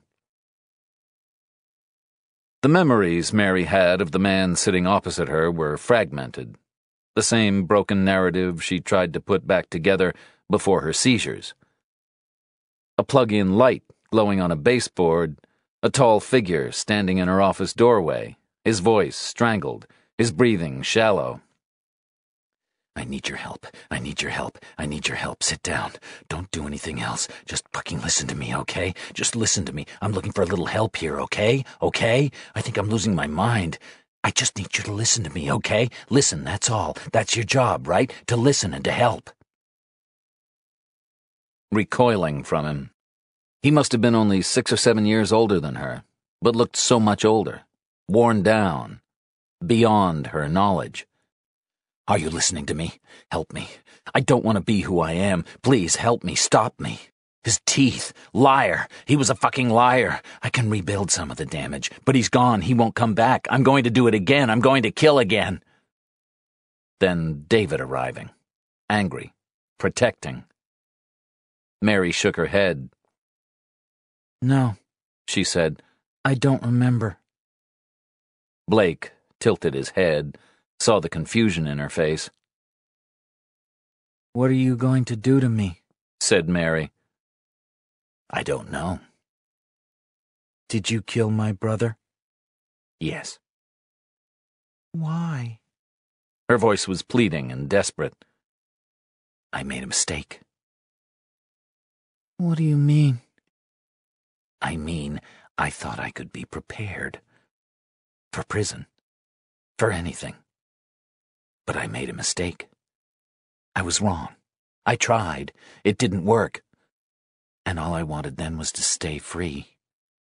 And I would have stopped killing. After you. Please don't. He stared at her. I didn't start out this way. I just. something snapped. I wanted confirmation, that's all. I tried to make friends with people you must have some people who care about you. Not everyone has friends. Not someone like me. Maybe beforehand, but not now. Maybe you left it too late. What?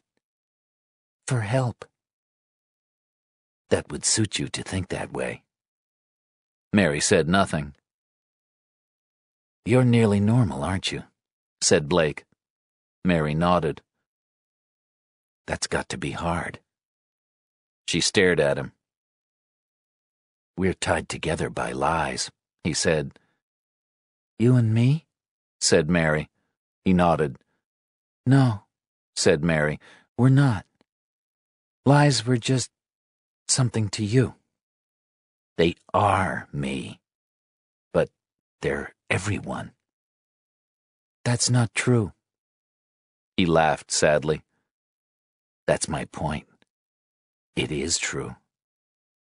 You called me a freak, remember? You kept screaming at me to get out and calling me a freak. I lost it. I know I did. But I'm not a freak. It turns out really I'm not. Everyone lies like me. No one wants to admit it. I'm just proving it. Push people far enough and they'll tell you the truth. But why do you have to push so far?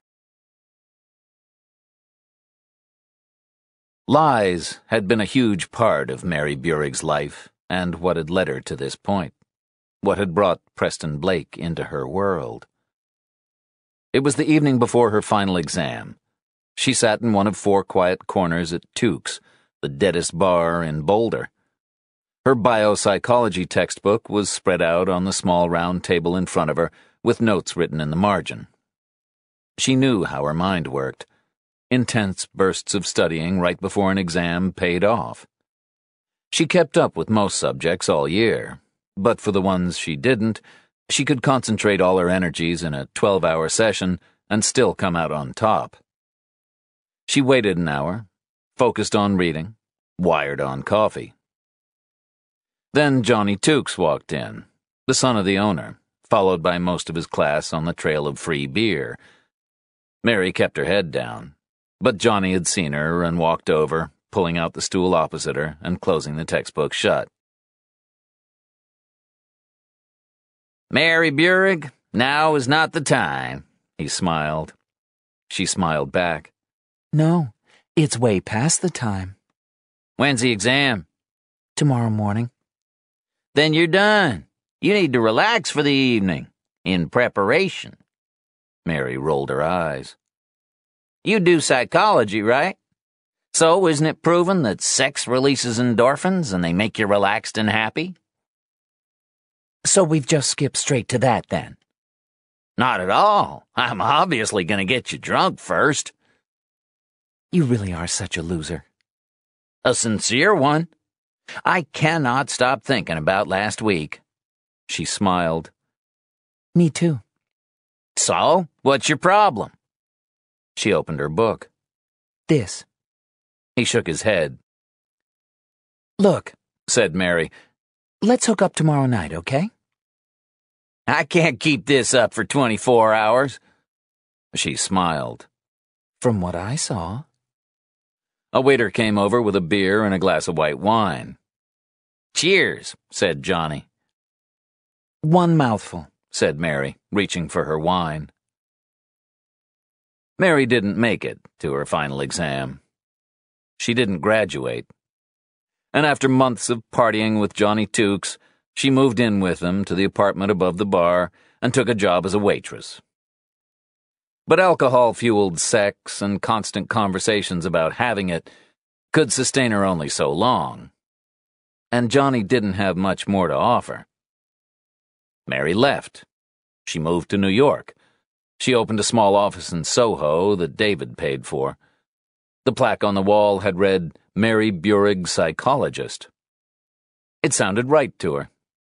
Her friend reproduced a University of Boulder certificate and created a master's certificate to go alongside it. He knew she was bright. She'd helped him get off drugs in his sophomore year. He knew she could help other people. David didn't agree with what his sister was doing, but he covered for her, then and right through their first meeting with Julia Embry.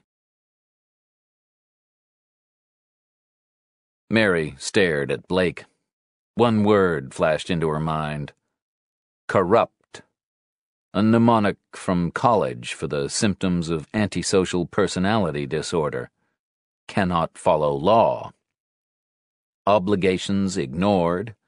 Remorseless. Recklessness. Underhandedness. Planning deficit.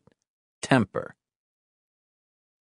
Mary realized she also ticked some of those boxes. Blake raised his voice. Did you hear me? I'm sorry, said Mary. I was thinking. I wonder how your brain works now, said Blake. So do I, she said. She looked away. Did it make a difference? What? Killing those people? Did it prove to you what you wanted it to prove? That you're normal? That everyone else is just like you? That you're not a freak? Everyone is just like me, he said. Everyone lies. Everyone who told me I was a freak was wrong. Why am I here? said Mary. Because I wanted to see you. Because I want to get away with my crimes now. Because I think it might be too late. You can't blame me for what you've done, said Mary. I want to give you something, he said. Mary started to shake. She was watching the gun in his right hand. And what I will give you is time. said Blake, standing up. With his left hand, he started to pull something from his pocket. She could see a flash of silver in the moonlight through the window. He was handing her back her phone, giving her a lifeline, letting her go. She reached out and took it from him. Suddenly, the door behind him flew open and he jerked around. Mary shut her eyes tight, aware of an explosion of light and gunshot. The window behind her shattered. She flung herself flat on the floor and clawed her way towards the door. Screams, more gunshot, footsteps, a terrible smell. She could feel something warm on her face, something trickle down her cheek. She wiped it away before it could reach her mouth. As soon as she got into the hallway, she ran. She could hear the random workings of the building that went on all day and all night, sounds she would never notice, only that now she was alone and it was dark and she was afraid. She cried quiet, desperate tears. She made it to the elevator bank. A sign told her it should not be used in the case of a fire. She thought about how quickly it would get her down to the first floor, to the lobby, to the outside. Then she imagined being trapped in there, Anyone could push a button on any floor and step into that tiny space with her. She turned her head and knew the only way to go was back towards the emergency stairs, back through the half finished renovation. She ran, under the eerie black void of missing ceiling tiles, exposed wires, conscious that all around her were doors to empty apartments. She burst through onto the landing and decided to go up a floor instead of down. She gripped hard to the banister, dragging herself up. She could hear her name being called urgently, over and over, echoing up the stairwell. She pressed her hands against her ears. Shut up, shut up, shut up. Everything was closing in on her. She didn't know what she'd seen. She could add it to all the other jumbled up thoughts and images her mind could no longer process. She hated it. She hated it so much. On the third floor, she found a vacant apartment and closed the door gently behind her. She was confused by its orientation. As she made her way to the window, she didn't know what view she would see. But what was there made her heart want to burst. The room overlooked the flower bed she had planted with David. She never knew what memory could take root, why one memory could stay and another would not. Tears streamed down her face. She wiped them away, and in the dark couldn't see that they were mixed with blood. She stayed at the window, thinking of her brother, his kindness, his smiling eyes, his. A shadow crossed the wet grass, and Mary slammed herself back against the wall. Her chest was tight with panic. She slid down the wall, then gripped the windowsill and slowly pulled herself up to take another look out. She slumped back down and stayed that way for over an hour before she decided she had to do something. The banquet hall was a sea of pink balloons floating out of the center of round tables with bright white cloths. The tables were starting to fill with women and young children. The older teenagers and men gathered at the bar. Rufo stood alone near the buffet table, dressed in a three button tuxedo, drinking a vodka. Boss, said Danny, slapping his back, now's the time to get that after picture taken for the Slimming magazine. Rufo cupped his hand around his ear. Is that a compliment I'm hearing? Joe walked over. Jesus, Sarge, nice threads. New haircut? See? said Rufo, turning to Danny. That's the way to do it. Brown Nose 101, said Danny. You gotta admit that's a great tux, said Joe. Get a room, you guys, said Danny. This, said Rufo, is our money. Two thousand dollars, I swear to God. This guy I was doing security work for, when he saw me drop all the weight, gave it to me as a gift. Sure, said Danny. No strings attached. Ring, ring, ring, ring. He put an imaginary phone to his ear. Hello? Sergeant Rufo? Hi. Yeah, listen, I got a few parking violations, first degree murder charges I could use your help with. No one can just do a nice thing for someone in your world, said Rufo. I'm going to the bar, said Danny. Drink? That's a nice thing. Joe nodded. I got one on the way, said Rufo. Maddie's a sweet little kid, said Joe. I hope she'll make it. Doesn't bear thinking about otherwise, said Rufo. Denny was surrounded on all sides by oversized college kids gripping their ID, their golden ticket to getting wasted. He was grateful only when they hid him from someone he really did not want to see. He grabbed his drinks and rushed back from the bar with his head bowed. I just saw one of my exes, he said, handing Joe his beer. Yeah? said Rufo. It happens all the time, said Joe. Someone from when Gina and I were on a break, said Danny. This girl was nuts. Every night out with her, she'd end up a drink in each hand, dancing on a table. You could be at a wake, she'd find a table to dance on. I carried her home more times than I can remember. In the end, I couldn't take any more, and it broke her heart.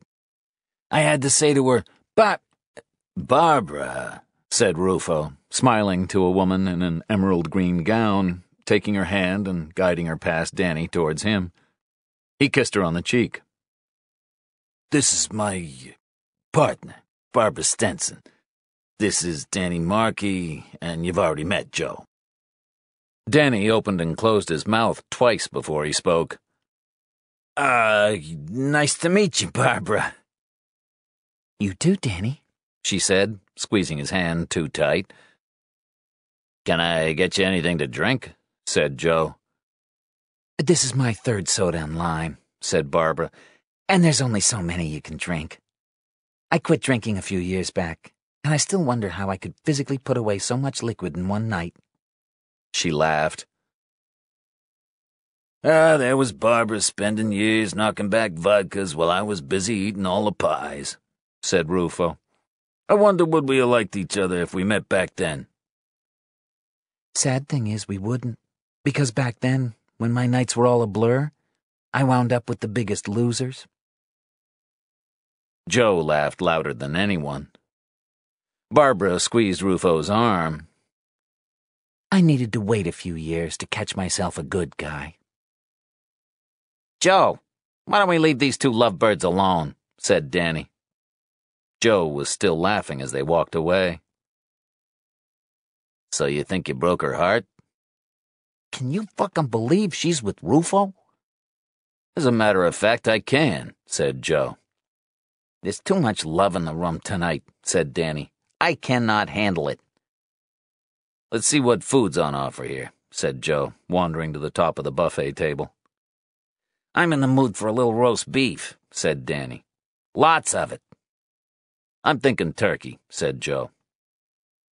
Joe and Danny sat at a table with two beers and two plates piled with food. Danny was eyeing Barbara Stenson, smiling and laughing with Rufo. What does she find so funny? said Danny. Joe glanced over. Probably the fact that you keep staring at her. That you treated her like shit, and now she can come back to haunt you. That you might actually be at her wedding to your boss. There's lots of things she could be laughing at right now. The idea that, shut the fuck up. Think about it, said Joe. She marries Rufo, he's at home bitching about work, she's never gonna take your side. I've gotta tell him. Are you out of your mind? Is that your phone? said Danny. Joe stared at him. I'm serious, said Danny. It's vibrating against my chair. Joe reached back to his jacket hanging on the back of his chair. He pulled out his phone and answered. Hello? Hello? Hello? He shook his head at Danny. He was about to hang up. Mary? I can't hear. You where? He listened. Okay. Your door's locked, right? Stay right where you are. Don't move, okay? And when you hang up, what I need you to do right away is call 911. Can you do that? They'll keep you on the line. He paused. No, no. They'll send some patrol officers over, and we'll be right behind them. You hang in there, okay? You'll be fine. Joe turned to Danny. Jesus Christ, that was Mary Burig. She said something about the perp being in her building, and she's on her own. But, you know, it's Mary. Joe shrugged. Come on, we better go check it out. Mary's thumbs hovered over the buttons 9 and 1. Outside in the hallway, someone was calling her name. Her heart pounded. She put the phone down. Joe and Danny pulled into the empty parking lot outside the Colt Embry homes. There were no patrol cars. The building was in darkness. What the fuck? said Joe. Maybe they pulled up around the back, said Danny. Why would they? said Joe. He turned to Danny. Shit, she never fucking called them. He grabbed the radio. Manhattan North Homicide Portable to Central K. Be advised we're at Colt Embry Homes on 21st Street in Astoria. We have a possible murder suspect at the location. We need backup. They ran to the side of the building. The front door was ajar. The lobby was empty, the lights off. Joe pointed behind the desk to where the ceiling of the short corridor was exposed, its floor tiles hanging by thick cables along both sides of the wall. Behind it was the fire door and stairs that would take them to Mary's apartment on the second floor. Joe walked up the stairs first, trying to limit the noise from his new dress shoes. Danny followed him. We're going direct to her place? Danny whispered. Yeah, said Joe. They reached the second floor landing. Joe stopped to retie the laces of his left shoe. Fuck these shoes. They walked down the hallway. Twice his right foot lost its grip, but he managed to keep his balance. He forgot to give his shoes to Anna before he came out. She would have scored the bottom of them with a penknife or roughed up the surface with an emery board. He brought his mind back to focus. The only thing he could hear were Danny's footsteps beside him and the buzz of the fluorescent light above. Mary heard footsteps approaching from the end of the hallway and the jangle of Stan's keys. She pushed open the door slowly and placed one bare foot onto a tile she was expecting to be cold. It was warm and wet. Her foot slid from under her. As her head hit the cold, hard floor, the last thing she saw was Stan's utility belt. Covered in blood. Joe and Danny opened all the vacant rooms along the second floor hallway and found no one. Mary's apartment door was wide open and her belongings strewn everywhere. Drawers were opened, cushions were turned over, bags were emptied. This does not look good, said Joe. Mary? said Danny. Mary? It didn't take long to search the small apartment. They found nothing. They ran upstairs to the floors above, throwing open the unlocked doors. They moved down the stairs, pushing through the back door into the lobby. Whoa, said Joe, pointing at a streak of blood on the tiled floor. That was not here when we got here. No way, said Joe. They ran towards the door. Where is she? said Danny. Joe glanced out into the dark. And where the hell's our backup? Look at that, said Danny. Two uniforms were taking their time walking up the path. Danny gestured them forward. They ran towards him. The woman who called this in is not here, said Danny, but we haven't searched the entire building. Perp goes by Preston Blake or Alan Motor. He's six foot tall, mid thirties, medium build, dark hair, heavily scarred chin. May be accompanied by a female, Mary Burig, late twenties, five four, slim build, long dark hair, very pale blue eyes. Unknown method of escape. Magda Oleshak ran through the parking lot of the Colt Embry homes, past the patrol cars that had just arrived, and straight into a uniform standing at the door. What's happened? She said. Oh, are you? said the officer.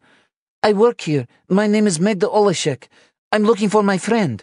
We were going to the movies over two hours ago. I thought she was in the group. Someone said she was. I should have checked. Is she okay? Is she in there? Why are you here? Her name is Mary. We were responding to a possible break in. Please, ma'am, I'm going to have to ask you to step back. If you could go talk to one of my colleagues. He pointed to a second patrol car that was pulling into the lot. They'll take care of you. It's not safe for you to be in the building right now. Joe dialed Rufo's number from his cell phone. Boss, it's Joe. We're at Colt Embry. Looks like Blake was here. No sign of Mary Burig. We got some blood on the floor, that's it. You think the perp's still in the building? We don't know. We're waiting on more backup from the 114. Let me round up the guys from the bar. Be right over. Julia Embry pulled up to the scene in her car and jumped out. Magda got out of the patrol car and ran towards her. Is it Mary? said Julia. Her eyes were sunken in her pale face. I don't know, said Magda, crying. I don't know what's happening. Oh, God, I hope Mary's okay, said Julia. She started to run towards the building. Magda held her back. They're not going to let you in. Why not? I need to get in there. I need to see what's going on. Everyone's at the movie. Mary had left, but was to follow on from the church. I left one of the girls to wait for her in the foyer. She said Mary was there. I mean, it was the cinema. It was dark. I, I should have checked. It's not your fault, said Julia. I should go to the church. Don't go anywhere, said Julia. The police will tell us what we need to do. I've been trying Mary's phone, but she's not answering, said Magda. This is so terrible, said Julia. She watched the detectives moving around inside the lobby. There's nothing we can do. Someone has to tell us something. Joe ran through the lobby and hammered on the glass door for the uniform to stand out of the way. He jogged down the path to Julia and Magda. Detective Lucchesi, said Julia, what's going on? Where's Mary? We're trying to find her, said Joe. She called us. Someone broke in. Oh, my God, said Julia. Mrs. Embry, are there keys to all the apartments? Yes, they're in my office. I can't let you go in there right now, but if you could let me know where they are. Bottom left hand drawer of my bureau, inside a makeup bag. Okay, that's great. Are your security cameras operational? No, said Julia. Sorry, they're temporarily down because of the rewiring. Okay, said Joe. What I'm going to need you to do is one of the uniformed officers is going to take you and Miss Zolashak to the 114th precinct.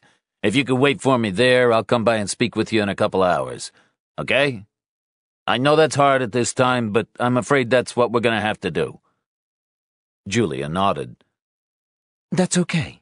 We can do that. Rufo stood in the lobby with the rest of the task force. Most of them were straight from the benefit. I'm feeling a little overdressed for this particular party, said Rufo. March of the fucking penguins. And someone open the door, get the fumes out, Jesus. Joe walked over. What happened? said Rufo. We got here. No Mary, said Danny. And she hadn't called 911. We called it into the 114 20 minutes later when we got here, said Joe. We're waiting for more of them to show. Rufo looked down. One streak of blood. That's it. Crime scene's on the way, said Joe. So talk me through this again, said Rufo. She called, Said there was someone in the building. Said specifically it was Blake? Yeah, said Joe. I have to ask the question. This Mary is challenged. So, can we believe what she's telling us? I mean, could this be all in her head? No way. I heard her voice, said Joe. She was terrified. I don't think she's going to be that freaked out by something she's imagined. If I find out I could have stayed at the bar, said Rencher. How many apartments are there? said Rufo. Twenty. Some of them are empty. They're being renovated, said Joe. Then there's a communal room on every floor opposite the elevators. A library, a dining room, a TV room. Right, said Rufo. They haven't all been searched. Let's go. Where's Bobby and Martinez? said Joe. Martinez is not exactly in great shape. I told him to stay where he was, said Rufo. I left him hanging out with some old lady. Bobby didn't show, said Pace. I think he's doing security at a runway show in Bryant Park. Joe shook his head. Mary lay in the darkness, deprived of most of her senses. Her body was cold and numb, her eyes useless, her ears ringing with the endless drone of an engine. Just a short trip. Everything'll be fine. Nothing to worry about, he had said. Twice. But he was shaking, and he knew she'd made the phone call, and he couldn't look at her. When he reached over her, a droplet of sweat had trickled down his face and landed stinging into her eye. He didn't notice. She could not stop crying. Where are you taking me? Where? Please be quiet. Please, please. He kept saying it over and over. I can't, she screamed. I can't. He stayed silent just glancing back at her every now and then to make sure she hadn't twisted her way out of the restraints. She was curled on her side, her legs tied together at the ankles, her hands bound tight at the wrist. I am all alone in this world now, she roared. I have no one. I have no one. Why are you doing this to me? Why, why, why? She started retching. Try not to throw up, You'll have to stay that way. I can't stop. He hadn't gagged her because she looked so fragile. He knew she was the type to be sick. She pitched forward and retched again. Her mind couldn't handle any more. Her body was taking up the fight. She had felt so close to being taken away from danger. And now she was in total blackness, with rain hammering loudly on the roof and on the windows, drilling into her head making her struggle harder and harder to be heard. Words didn't work. He didn't want to hear them. She knew she could stop speaking, but she had no control over the rest. Her sobs cut right through him, agonizing wails that trailed off into whimpers, like a sick child without the voice to express her pain. But Mary did have a voice. She just lost the will to use it. Hope was a white light to Mary. It was a guide. It was visitation and resurrection and redemption and ascendance. It was all good things. Here, in the dark, she searched for it inside. There was no other way. Prayers ran quickly through her mind to St. Joseph, St. Pio, St. Anthony, St. Jude. She moved on to the Rosary, Ten decades, fluent words her memory had never let go of. She finished with the Confiteor. I confess to Almighty God and to you, my brothers and sisters, that I have sinned through my own fault, in my thoughts and in my words, in what I have done and in what I have failed to do. She thought about what she had done and what she had failed to do. It was 5 a.m. when Joe and Danny got back to the office. Rencher, Blaskow, Martinez, and Pace were all still at their desks. Joe rubbed his eyes. Anyone got anything? said Joe. Nada, said Rencher. A hangover, said Martinez. Already? Yeah, and some grandma's phone number, said Rencher. Anyone get a hold of Stanley Frake? said Joe.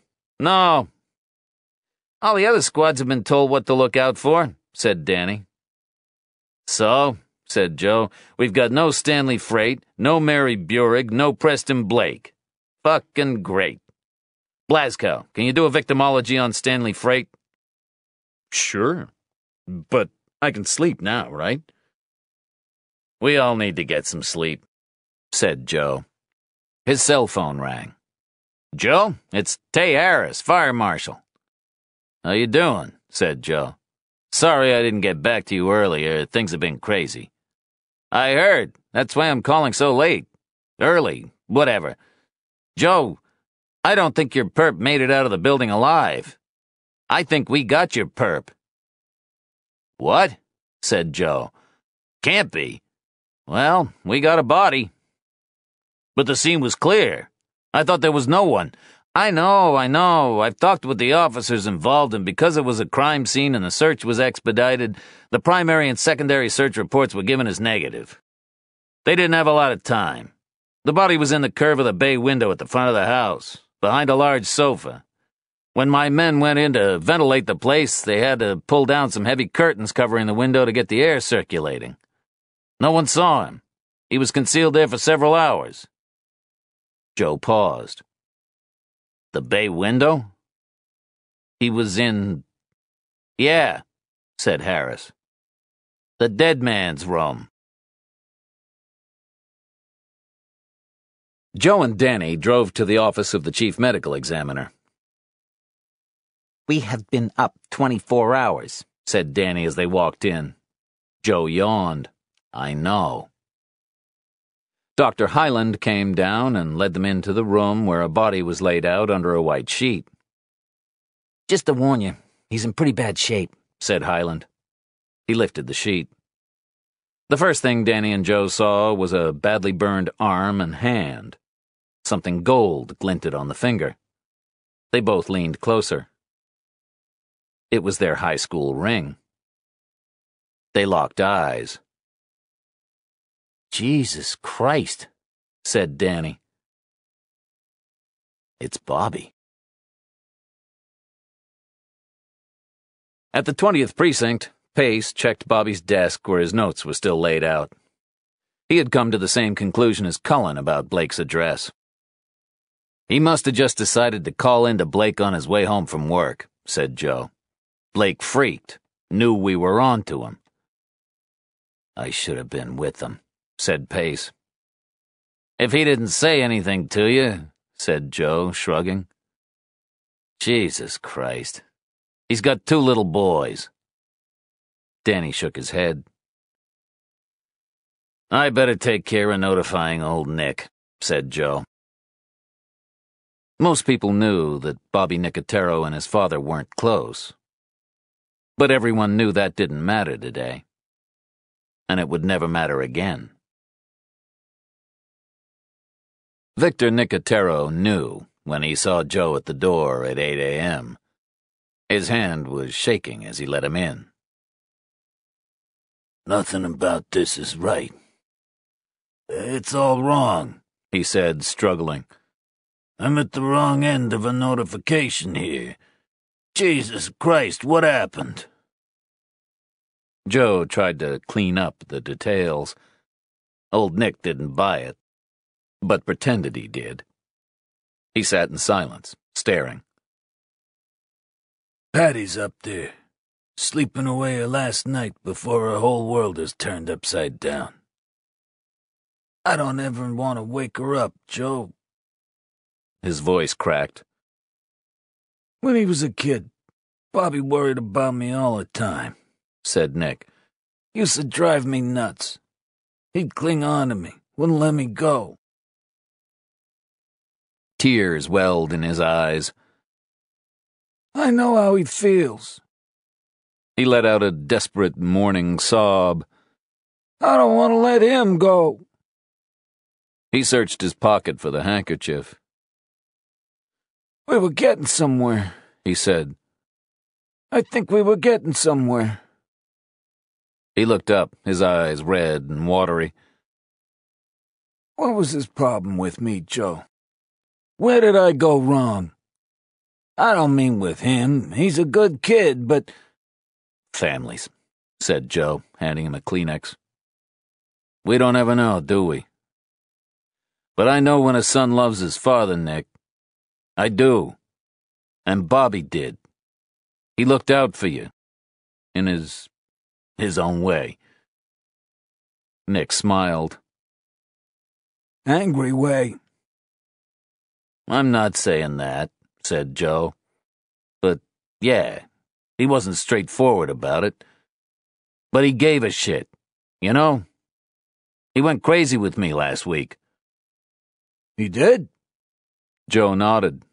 Yep, made me take it outside. Nick smiled. That's my boy. He wouldn't do that if he didn't give a damn, said Joe. The office was quiet. No one knew what to say. Pace had gone home. Cullen had arrived in. I can't believe they just didn't find him, he said. It was chaos, said Joe. We didn't want them tramping all over any evidence. We didn't know what could be in there. Yeah. Blake's whole life was run from that home. The dental work for Valtry, the. Whoa, said Joe. Did you see any dental stuff down there? Yeah, said Danny. Remember? The pliers, the burrs. Yeah, but there were no teeth, no models, no porcelain, none of that shit we saw in the lab. He looked at Danny. We need to get back to the house. I think he's got Mary in there. Danny and Joe parked the car on Remsen Street and walked to Willow Street. They stopped a short distance from Preston Blake's house. Our only way in is through the basement door under the stoop, said Joe, pointing. The collapse has blocked everything off from the back entrance. They walked up to the door. It was padlocked and had a Gravel-Ply tag slapped on it from the fire department and a number to call if you wanted to gain access. I'll call the ESU, said Danny. Fifteen minutes later, two emergency services guys showed up and broke through the door into the damp basement, the smell of smoke still strong in the air. There it is, said Joe. The trap door down to the basement he doesn't fucking have. An overpowering stench hit them as soon as they lifted it. They jerked their heads away. Danny clamped a hand over his mouth. Jesus Christ, said Joe. That is fucking. Danny took his hand down, wiping the tears that streamed from his eyes. Unbelievable. That is. He breathed out. Christ. He stared down at the vertical ladder. I'll go first, said Joe. Shine that flashlight down there. He held the beam steady as Joe climbed down. He handed him the flashlight and followed him into the small, cramped space. What the fuck is this? said Danny. Joe swept the flashlight left to right, its beam broken up by the bars of a prison cell. A TV was mounted on the wall in front of it. Joe reached out for the light switch beside it. No! shouted Danny. No switches! Jesus Christ, said Joe, snapping his hand back. You scared the shit out of me. Danny walked over to the cell, his throat constricting, as he closed in on the source of the smell. In the corner, beside the bed, lay a bucket of human waste, the liquid almost evaporated, the solids breaking down, covered with breeding maggots. Adult flies swarmed around it, landing along the rim, traveling back and forth to a plate of spoiled food on a tray by the door. Joe shone the light on the pale china and could see the tiny olive green specks of excrement they left behind. Danny rushed out towards the ladder, but managed to ride out the nausea without throwing up. Why would anyone live like this? said Danny holding his handkerchief loosely over his face. He's a broken man, said Joe. Probably came down here only after the first victim. The guy hates himself, probably thinks this is all he deserves. What he deserves is his head shoved into that bucket, said Danny. He choked back another wave of nausea. You're making yourself sick. I have got to get out of here. Look, said Joe. He pointed to the dull plaster models of teeth scattered from a box on the bed. He shone the flashlight across two shelves mounted above it with neat rows of tiny animal skulls, jewels glistening in the cavities. Pinned to the wall above a small desk was a single cracked and yellowed handwritten note, the top of it ripped from a lined spiral notebook. Joe leaned in to read it. The wicked are estranged from the womb. They go astray as soon as they be born, speaking lies. Their poison is like the poison of a serpent.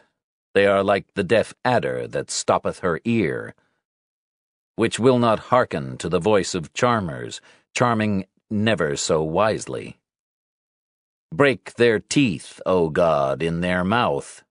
Break out the great teeth of the young lions, O Lord. The rest of the industrial gray walls had been covered with photocopies of the same script, side by side, edges overlapping, layer upon layer. I bet that's the note, said Joe. From Sonia Ruling. That was his kiss off. Danny shook his head. It is so fucked up. Jesus Christ. Joe crouched down and looked under the bed. Wallets, he said. He pulled some of them out, looking through them at the faces of the unchosen victims. If they only fucking knew. And upstairs you had this beautiful, shiny home? Jesus Christ, said Danny. You never know, do you? said Joe. What shit people hide beneath the surface. Where are you, you fucking freak? shouted Danny. Rufo sat at his office with his head in his hands. Joe and Danny knocked and went in. I'm in shock here, said Rufo. I can't believe Bobby. I know, said Joe. He looked down. He probably went there because I was giving him a hard time. Wanted to check it out before he came to me with the information. Don't be an idiot, said Rufo gently. Where we at now? We found Blake's fucking dungeon, but no one in it, said Joe. Stanley Freight's home has been searched and nothing's come up so far. No sightings of Mary. All we can hope is that Blake does something to draw attention to himself, said Rufo. Our first contact with him was because he reached out to us. Yeah, said Joe. But I think that was his way of putting himself forward as the exact opposite of what he was this pathological lying thing. He knew he was good at it. He could get close to us, get off on the whole victim role, and maybe find some shit out at the same time. Rufo let out a breath. You know, Blake was the one who got in touch with Artie Blackwell about that article, said Joe. Artie told you that? said Danny. Joe nodded. Yeah. Maybe our near death experience brought something out in him. Cullen rushed into the room. Guys, I found something. I don't really know what to make of it, but you might want to take a look. What's this about? said Julia Embry, struggling to pull out the seat opposite Joe in a canteen reeking of disinfectant and vegetables. Joe helped her with the seat. It's about your son, Robin. She held a hand to her chest. Robin? I know you never got any answers from that night, and the driver was never caught. Oh, my God, she said, raising her hand to her mouth. Did you find out who? Joe nodded. Yes, I did. And if you want, I can let you know.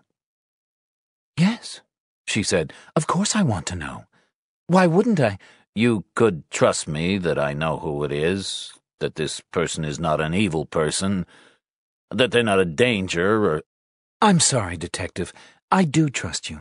You seem like a good person. But you know I've never got closure. And I need closure. And if it's right here staring me in the face, I'm going to take it. Why wouldn't I? Because it's gonna come as a shock. Who? She said. Who did this to Robin? Just tell me. Stanley Freight. Her eyes registered shock, but her whole face seemed to collapse with sadness and disappointment. Joe could barely look at her. He pulled a clean handkerchief from his pocket. He was going to hand it to her, but her head was slumped onto her folded arms on the table, and she was sobbing so hard he could barely move. He tapped her arm lightly and put the handkerchief in front of her.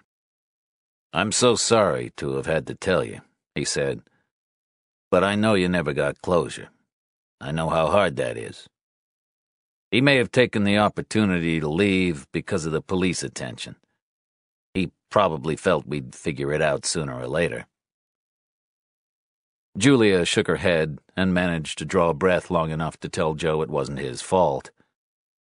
She reached out and dragged the handkerchief towards her, covering her entire face with it, then wiping her eyes and blowing her nose before she looked up at him. She broke down again, and it was several minutes before she could speak. Joe sat quietly, looking out the window, listening to the sounds in the parking lot outside. The Christmas lights in the house, She said, were. she sobbed. Robin and I always put them up. Then, when Robin died, my husband. But when he left me, it was Stan who helped. He could do that with me and not. How could he do that? Why am I even thinking of Christmas lights right now? That's the first thing I thought of. Stanley must have made the decision never to come forward for whatever reason. And then he realized he couldn't live with that guilt. It takes a split second to decide to keep on driving. And there's no going back. The next best thing for him was to reach out to you in some other way. I guess that eased his mind. I'm just guessing. You see all kinds of things in your job. Do you think what he did not coming forward was wrong? Joe shrugged. Stan made a huge mistake. He'd worked hard to get where he was at that time. He was thinking of his own family. He wasn't thinking, Of mine. Of me. But he's such a she choked on the words, kind man. I don't doubt that. How did you know it was him? When we picked him up for mailing the letters for Mary, I thought we'd got our guy. He looked guilty. And when he was in the interview room, it was like he was relieved. But when we told him why we'd taken him in, he seemed surprised.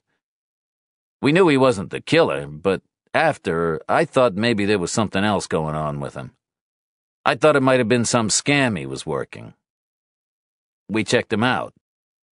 We reached out to the detectives on the case, and they had the last few letters of the truck company's name that a witness had seen leaving the crime. She'd got one of them wrong. He shrugged. We put it together. Stan was here from the start of the building project. The clinic, said Julia. He offered us rates that I know were below his usual. He was never late. He was polite. He was loyal.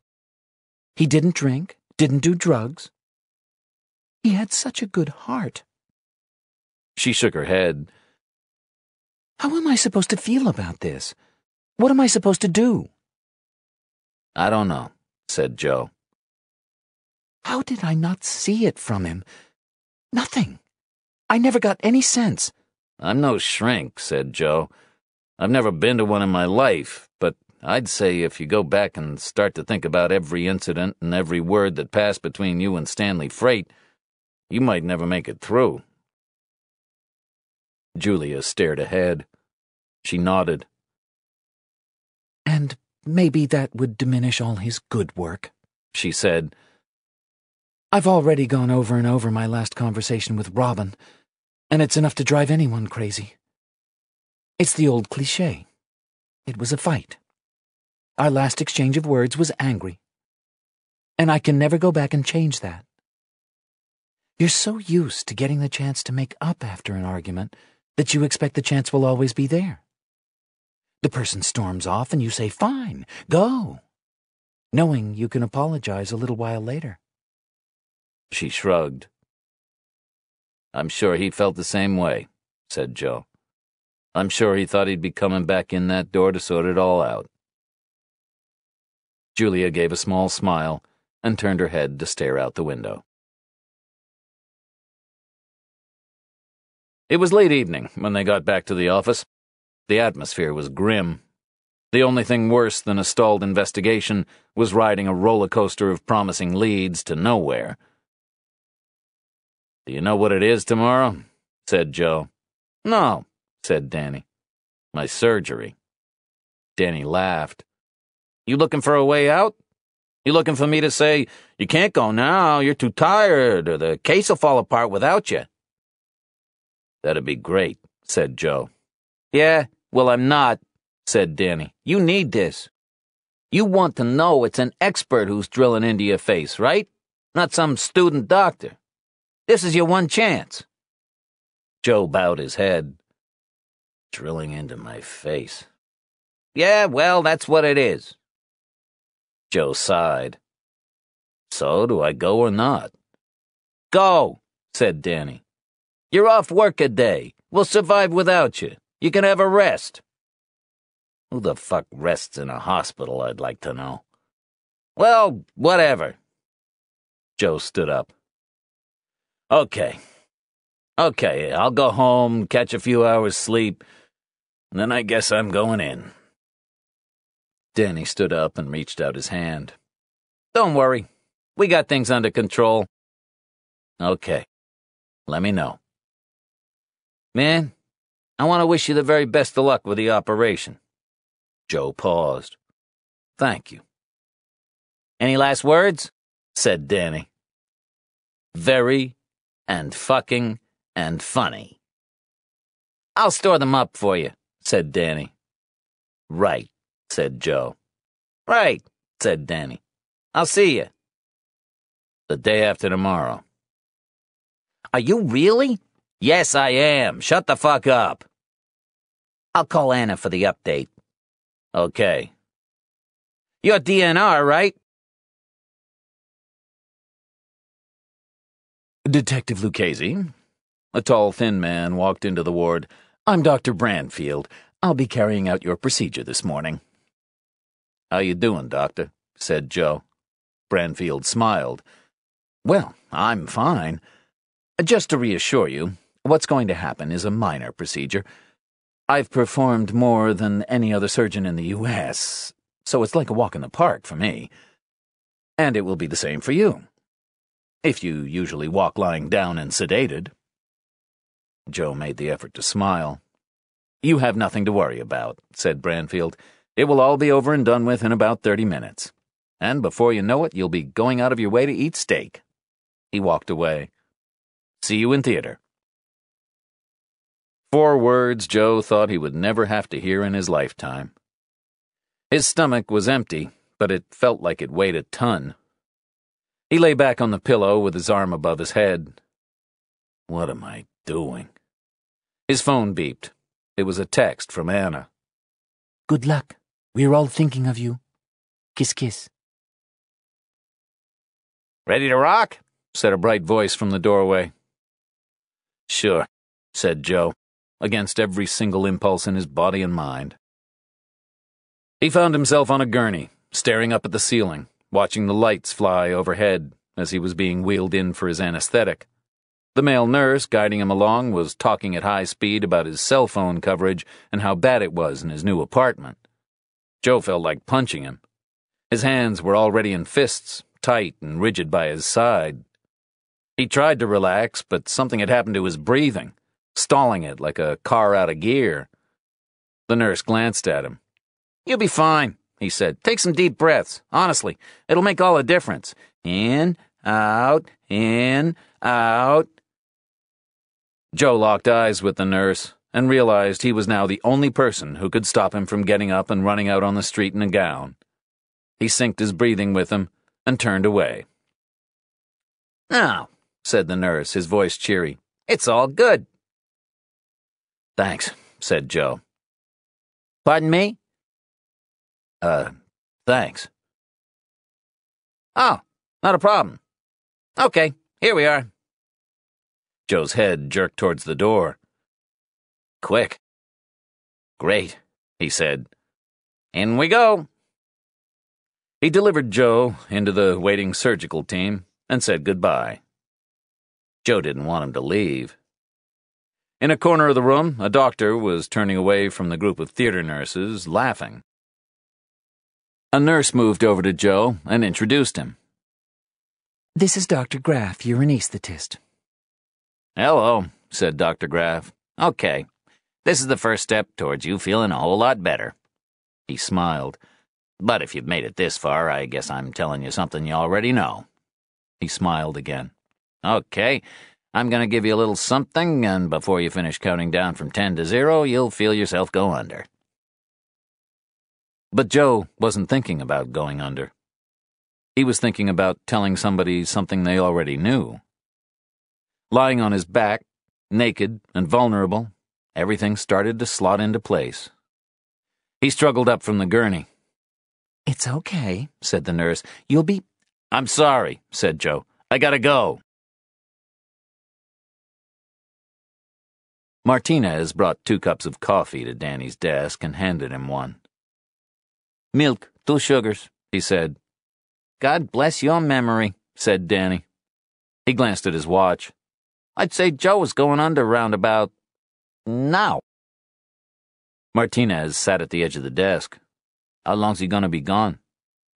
Just a day or two, said Danny. I'd hate to have anything done to my face, said Martinez, stroking his jaw. Anyone fucking with you like that? I don't even get the whole laser eye surgery thing. Totally freaks me out. Yeah, well, I guess Joe's desperate. Danny's cell phone rang. Yeah? Get the hell over to the hospital. Joe? said Danny. Holy shit, aren't you in surgery? Where are you right now? Not dressed enough to be standing in a hospital hallway on a payphone, said Joe. Have you been administered any medication? Just hurry the fuck up. You got clothes there? No, I'm gonna do this one naked. Of course I got clothes. I just need to find my room. I'm on my way. But what about your surgery? But he didn't wait for an answer. The drive through Westchester was familiar to Joe. He had stayed in his father's house in Rye with Sean when they came back from Ireland. Today they were seven miles further from the city in a quiet stretch of countryside, a perfect setting for the second Colt Embry Clinic. They followed the blacktop road that curved through the half finished gardens and led to the main building. They walked past the empty reception desk and stopped at a stack of signs, edged in protective cardboard leaning against the walls. They had yet to be mounted, but showed with a neat black arrow the way to Julia Embry's office. They knocked, but opened the door without waiting. Julia jumped and half staggered up from her chair. Where's Mary? Joe was shouting. Julia was pale. She nodded.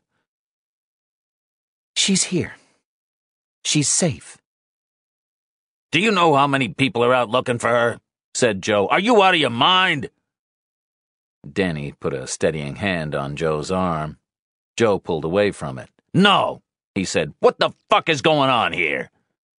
Julia started to cry. No fucking tears, said Joe. Quit it with the fucking tears. Joe, come on, said Danny. Calm down. He turned to Julia. Mrs. Embry, we're glad Mary is safe. Thank you. Where is she? In the new apartments. I moved her out here early. I couldn't watch her go through any more. I know she was the one who got in contact with you, and I know you've been kind to her. But her life has been turned upside down, and I didn't want her to go through any more. I couldn't face it. Is Stan here too? Yes. Jesus Christ, said Joe. Julia sat back down in her chair. You have a close family, Detective. I read about you, she said. And it's a different dynamic than when you don't. Stan? Mary? They can disappear without people paying too much attention. They have no family to panic when they're gone. How many missing person reports are filed? Let me stop you right there, said Joe. I'm genuinely concerned. Have I come across as someone who thinks human beings are disposable? Julia's face burned. She avoided his stare. I'm sorry. No, no, you haven't. Thank you, said Joe. Because you need to know there are a lot of people in my line of work who care. Me, my partner, the entire task force. We care about the people we meet. You think I come in contact with someone like Mary Burig, she disappears, and we're all gonna forget about her? Yeah, you might be able to sleep at night knowing she's safe, but maybe I can't. Maybe I'll wake up wondering what I did wrong. What if it was you? How would you feel? I'm sorry. He shook his head. Look, I can't argue with what you want to do with the clinic, said Joe. And what you have done, how many people you've helped. There should be a million of these clinics all over the country. Thank you, said Julia. That means a lot. Tears welled up in her eyes. I don't know how I got into this mess. I'm sorry. She looked up at him. How did you know? I see people cry a lot, said Joe. I see real tears and fake ones. When I told you about Stan and Robin, I saw real tears. But I knew you were crying for another reason. I got the impression I was telling you something you already knew. Does that make sense? You know, sometimes you see people cry at a funeral, and you just get from them that something else is going on? That's what it's like. She smiled sadly. You're right. I was crying for something else. For what? Because it reminded me yet again that I had a son who wanted to die. What? Robin drove straight into Stan's path. And you believe that? said Joe. Yes. Life was unbearable at home. I knew he wasn't well. It was all too much for him. He had attempted suicide before. Stan confirmed what I had suspected. How did you know about Stan? said Joe. He broke down and told me. It was as simple as that. After he'd been working for me for years. He said he just couldn't take the guilt. He said me being nice to him made it worse. He couldn't just leave because he knew how important he was to me, but he couldn't stay because every day he felt like a fraud. How did you react when he told you? Well, I was devastated. But you recovered, said Joe. Julia looked up at him. You recovered when you realized you had someone for the rest of your life that would do anything to make up for taking away your child. I'm not that cynical said Julia. Come on, said Joe. You knew what you were doing. It's not like that, said Julia. Stan had become a really dear friend. I lost my son. I lost my husband. I could not lose someone else. I just couldn't. No one could bring Robin back. Stan wasn't a bad person. There was nothing to be gained by shutting him out. It sounds to me like a little circle of people. Of friends, said Julia. Families have blood ties. We had different loyalties. But we were all friends. Okay. What happened that night at the clinic? The killer came back for Mary. No one was in the building except me. I heard noises in one of the apartments, so I walked in. He swung around and his gun went off. It was a reflex. He wasn't aiming. He missed me. I was screaming. Mary was screaming. Stan came rushing in and. Stan shot him. It was self defense. It all happened so fast. Joe's face was impassive. Inside, he was raging. What happened to Mary? It was also confusing. The noise, the gunshots. She crawled past us and ran down the hallway. We were all in shock. She hid in one of the rooms. I ran after her. Where was Stan? He wrapped the body in the sheets that were in the room, then in plastic, and buried him. Joe shook his head. So that's when Mary called us. Julia nodded. I guess so. I told Stan to find her and take her away to the new clinic. She'd made it down to the supply room in the lobby. You probably ran past it on your way in. Danny let out a breath. It was terrible, said Julia. It nearly broke Stan's heart having to take her away the way he did. He had to restrain her. Someone he cares about so much. You and Stan are gonna have to come with us, said Joe. And we need to see Mary. She's just outside. Please, though, let me call Magda Olishak and tell her. Maybe you can bring Mary to her. I don't want her having to come to the police station. Okay, said Danny. Mary was kneeling in front of the flower beds, slamming her hands on top of them, weeping and crying out her brother's name. Joe walked across the grass towards her and watched her destroy the freshly planted flowers, leaving orange and yellow petals strewn across the soil. Joe hunkered down beside her. Mary? She looked up at him, tears shining in her pale eyes. Mary? Did you see something? Tears spilled down her cheeks. Joe laid a gentle hand on her shoulder. You're not in any trouble, Mary. She shook her head. I have to be. No, said Joe. You don't. She bowed her head and cried harder and harder. Julia turned to Joe. This clinic is my life. I just didn't want it associated with any negative publicity. We're just about to open this one. There's a lot at stake. A lot of people's lives depend on us. I am so terribly sorry for how this has ended, but it was for the best intentions. She paused. Do you know what it's like to want something at all costs?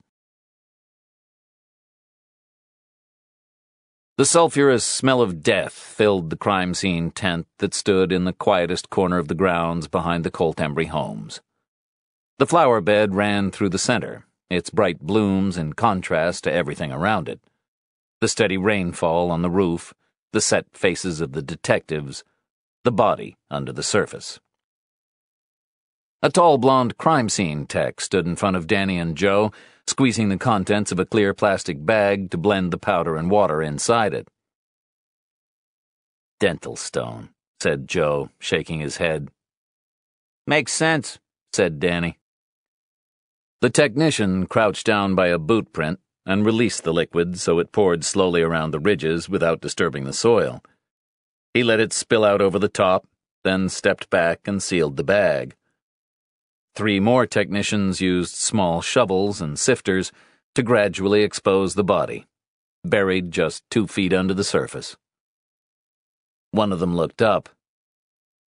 So someone finished him off for you. Joe looked through him. Least you got him, said the tech. Joe shrugged. You know what? I have a funeral to go to Saturday. The guy you're digging up there killed one of my men. We did not get him. Not the way we wanted. I was ready for a perp walk, said Danny.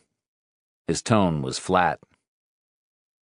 Joe stared at the leather cuff on Blake's stone white wrist, his hand half pushing through the soil, as if he was trying to reach out. The beetle, said Joe. I was right. He had all that leather in his house. Nice work, detective, said Danny. Come on, said Joe. Let's go get some air. Sean was sitting alone at the dinner table when Joe got back. Where's your mom? I don't know. I heard about Tara. Sean nodded. How you doing? Sean smiled at him. Dad, it's okay. You don't have to talk to me about stupid stuff when, like, old Nick's son has died and you nearly got. How you are doing is what I'd like to know, said Joe, shrugging. He grabbed a plate and helped himself to spaghetti. I'm okay, said Sean. Good, said Joe. My heart will go on. He was smiling. Joe laughed. Look, about college. Sean's smile faded. Yeah? Well? Look, I'm going to college, Dad, okay? I have another few months before my applications have to be in. I need to think about it. But you are going. That is what you want. Sean rolled his eyes. Of course it's what I want. It's just it was all too much trying to think about it. I mean, it's deciding where I want to live for the next few years, what I want to do with my life. That's big stuff. Joe breathed out. Well, I'm glad. How are you? said Sean. Joe raised his eyebrows. Me? I'm great. Sean didn't question him. Joe's cell phone rang. Private number. He stood up and walked into the darkened living room.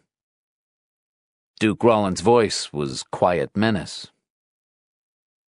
The grave was a beautiful touch. Yeah, I thought you'd like it, said Joe. You got your old friend to take a little trip here, didn't you? I guess he did as you told him. Paid some teenage dirtbag to dig right alongside Donnie. There's not a whole hell of a lot of space there. Probably fit a small woman. Or a child. Joe said nothing. He can't be much of a friend if you sent him my way, said Duke. Joe's heart pounded as he thought of Patty Nicotero, already bereaved. Rawlins' voice was quieter when he spoke again.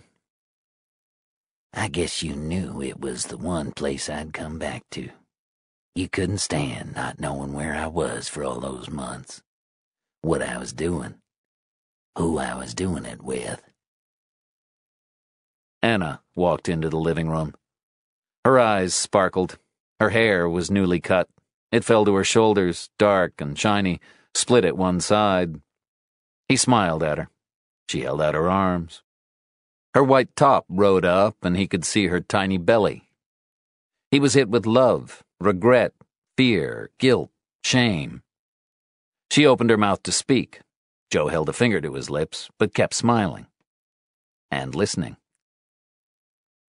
It's a powerful thing to be up close, sucked into the dead space of a killer, having to touch him, observe him, get answers from him, invest in him. Most people saw Duke Rawlins only in a photograph in a newspaper, from a safe remove, where they couldn't sense what was rotting from inside him.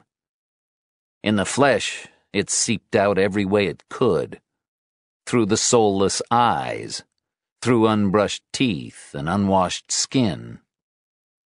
Joe had forced Anna to cross that boundary unprepared. She was torn from the comfortable world Joe had helped create and plunged into Duke Rawlins' twisted little universe. It felt like an illusion now, that Joe had sold her some bullshit dream he could never follow through on. Joe looked at Anna, and a shiver ran up his spine. Duke Rawlins had stalked her, held her, breathed on her, carried her, struck her, drawn a knife across her perfect skin. Anna turned to leave and looked back at Joe over her shoulder, her eyes lighting up, her smile going right to his heart. He hung up the phone. One thing Rawlins hadn't done. He hadn't broken her. You have been listening to The Caller by Alex Barclay. Read by Jeff Harding.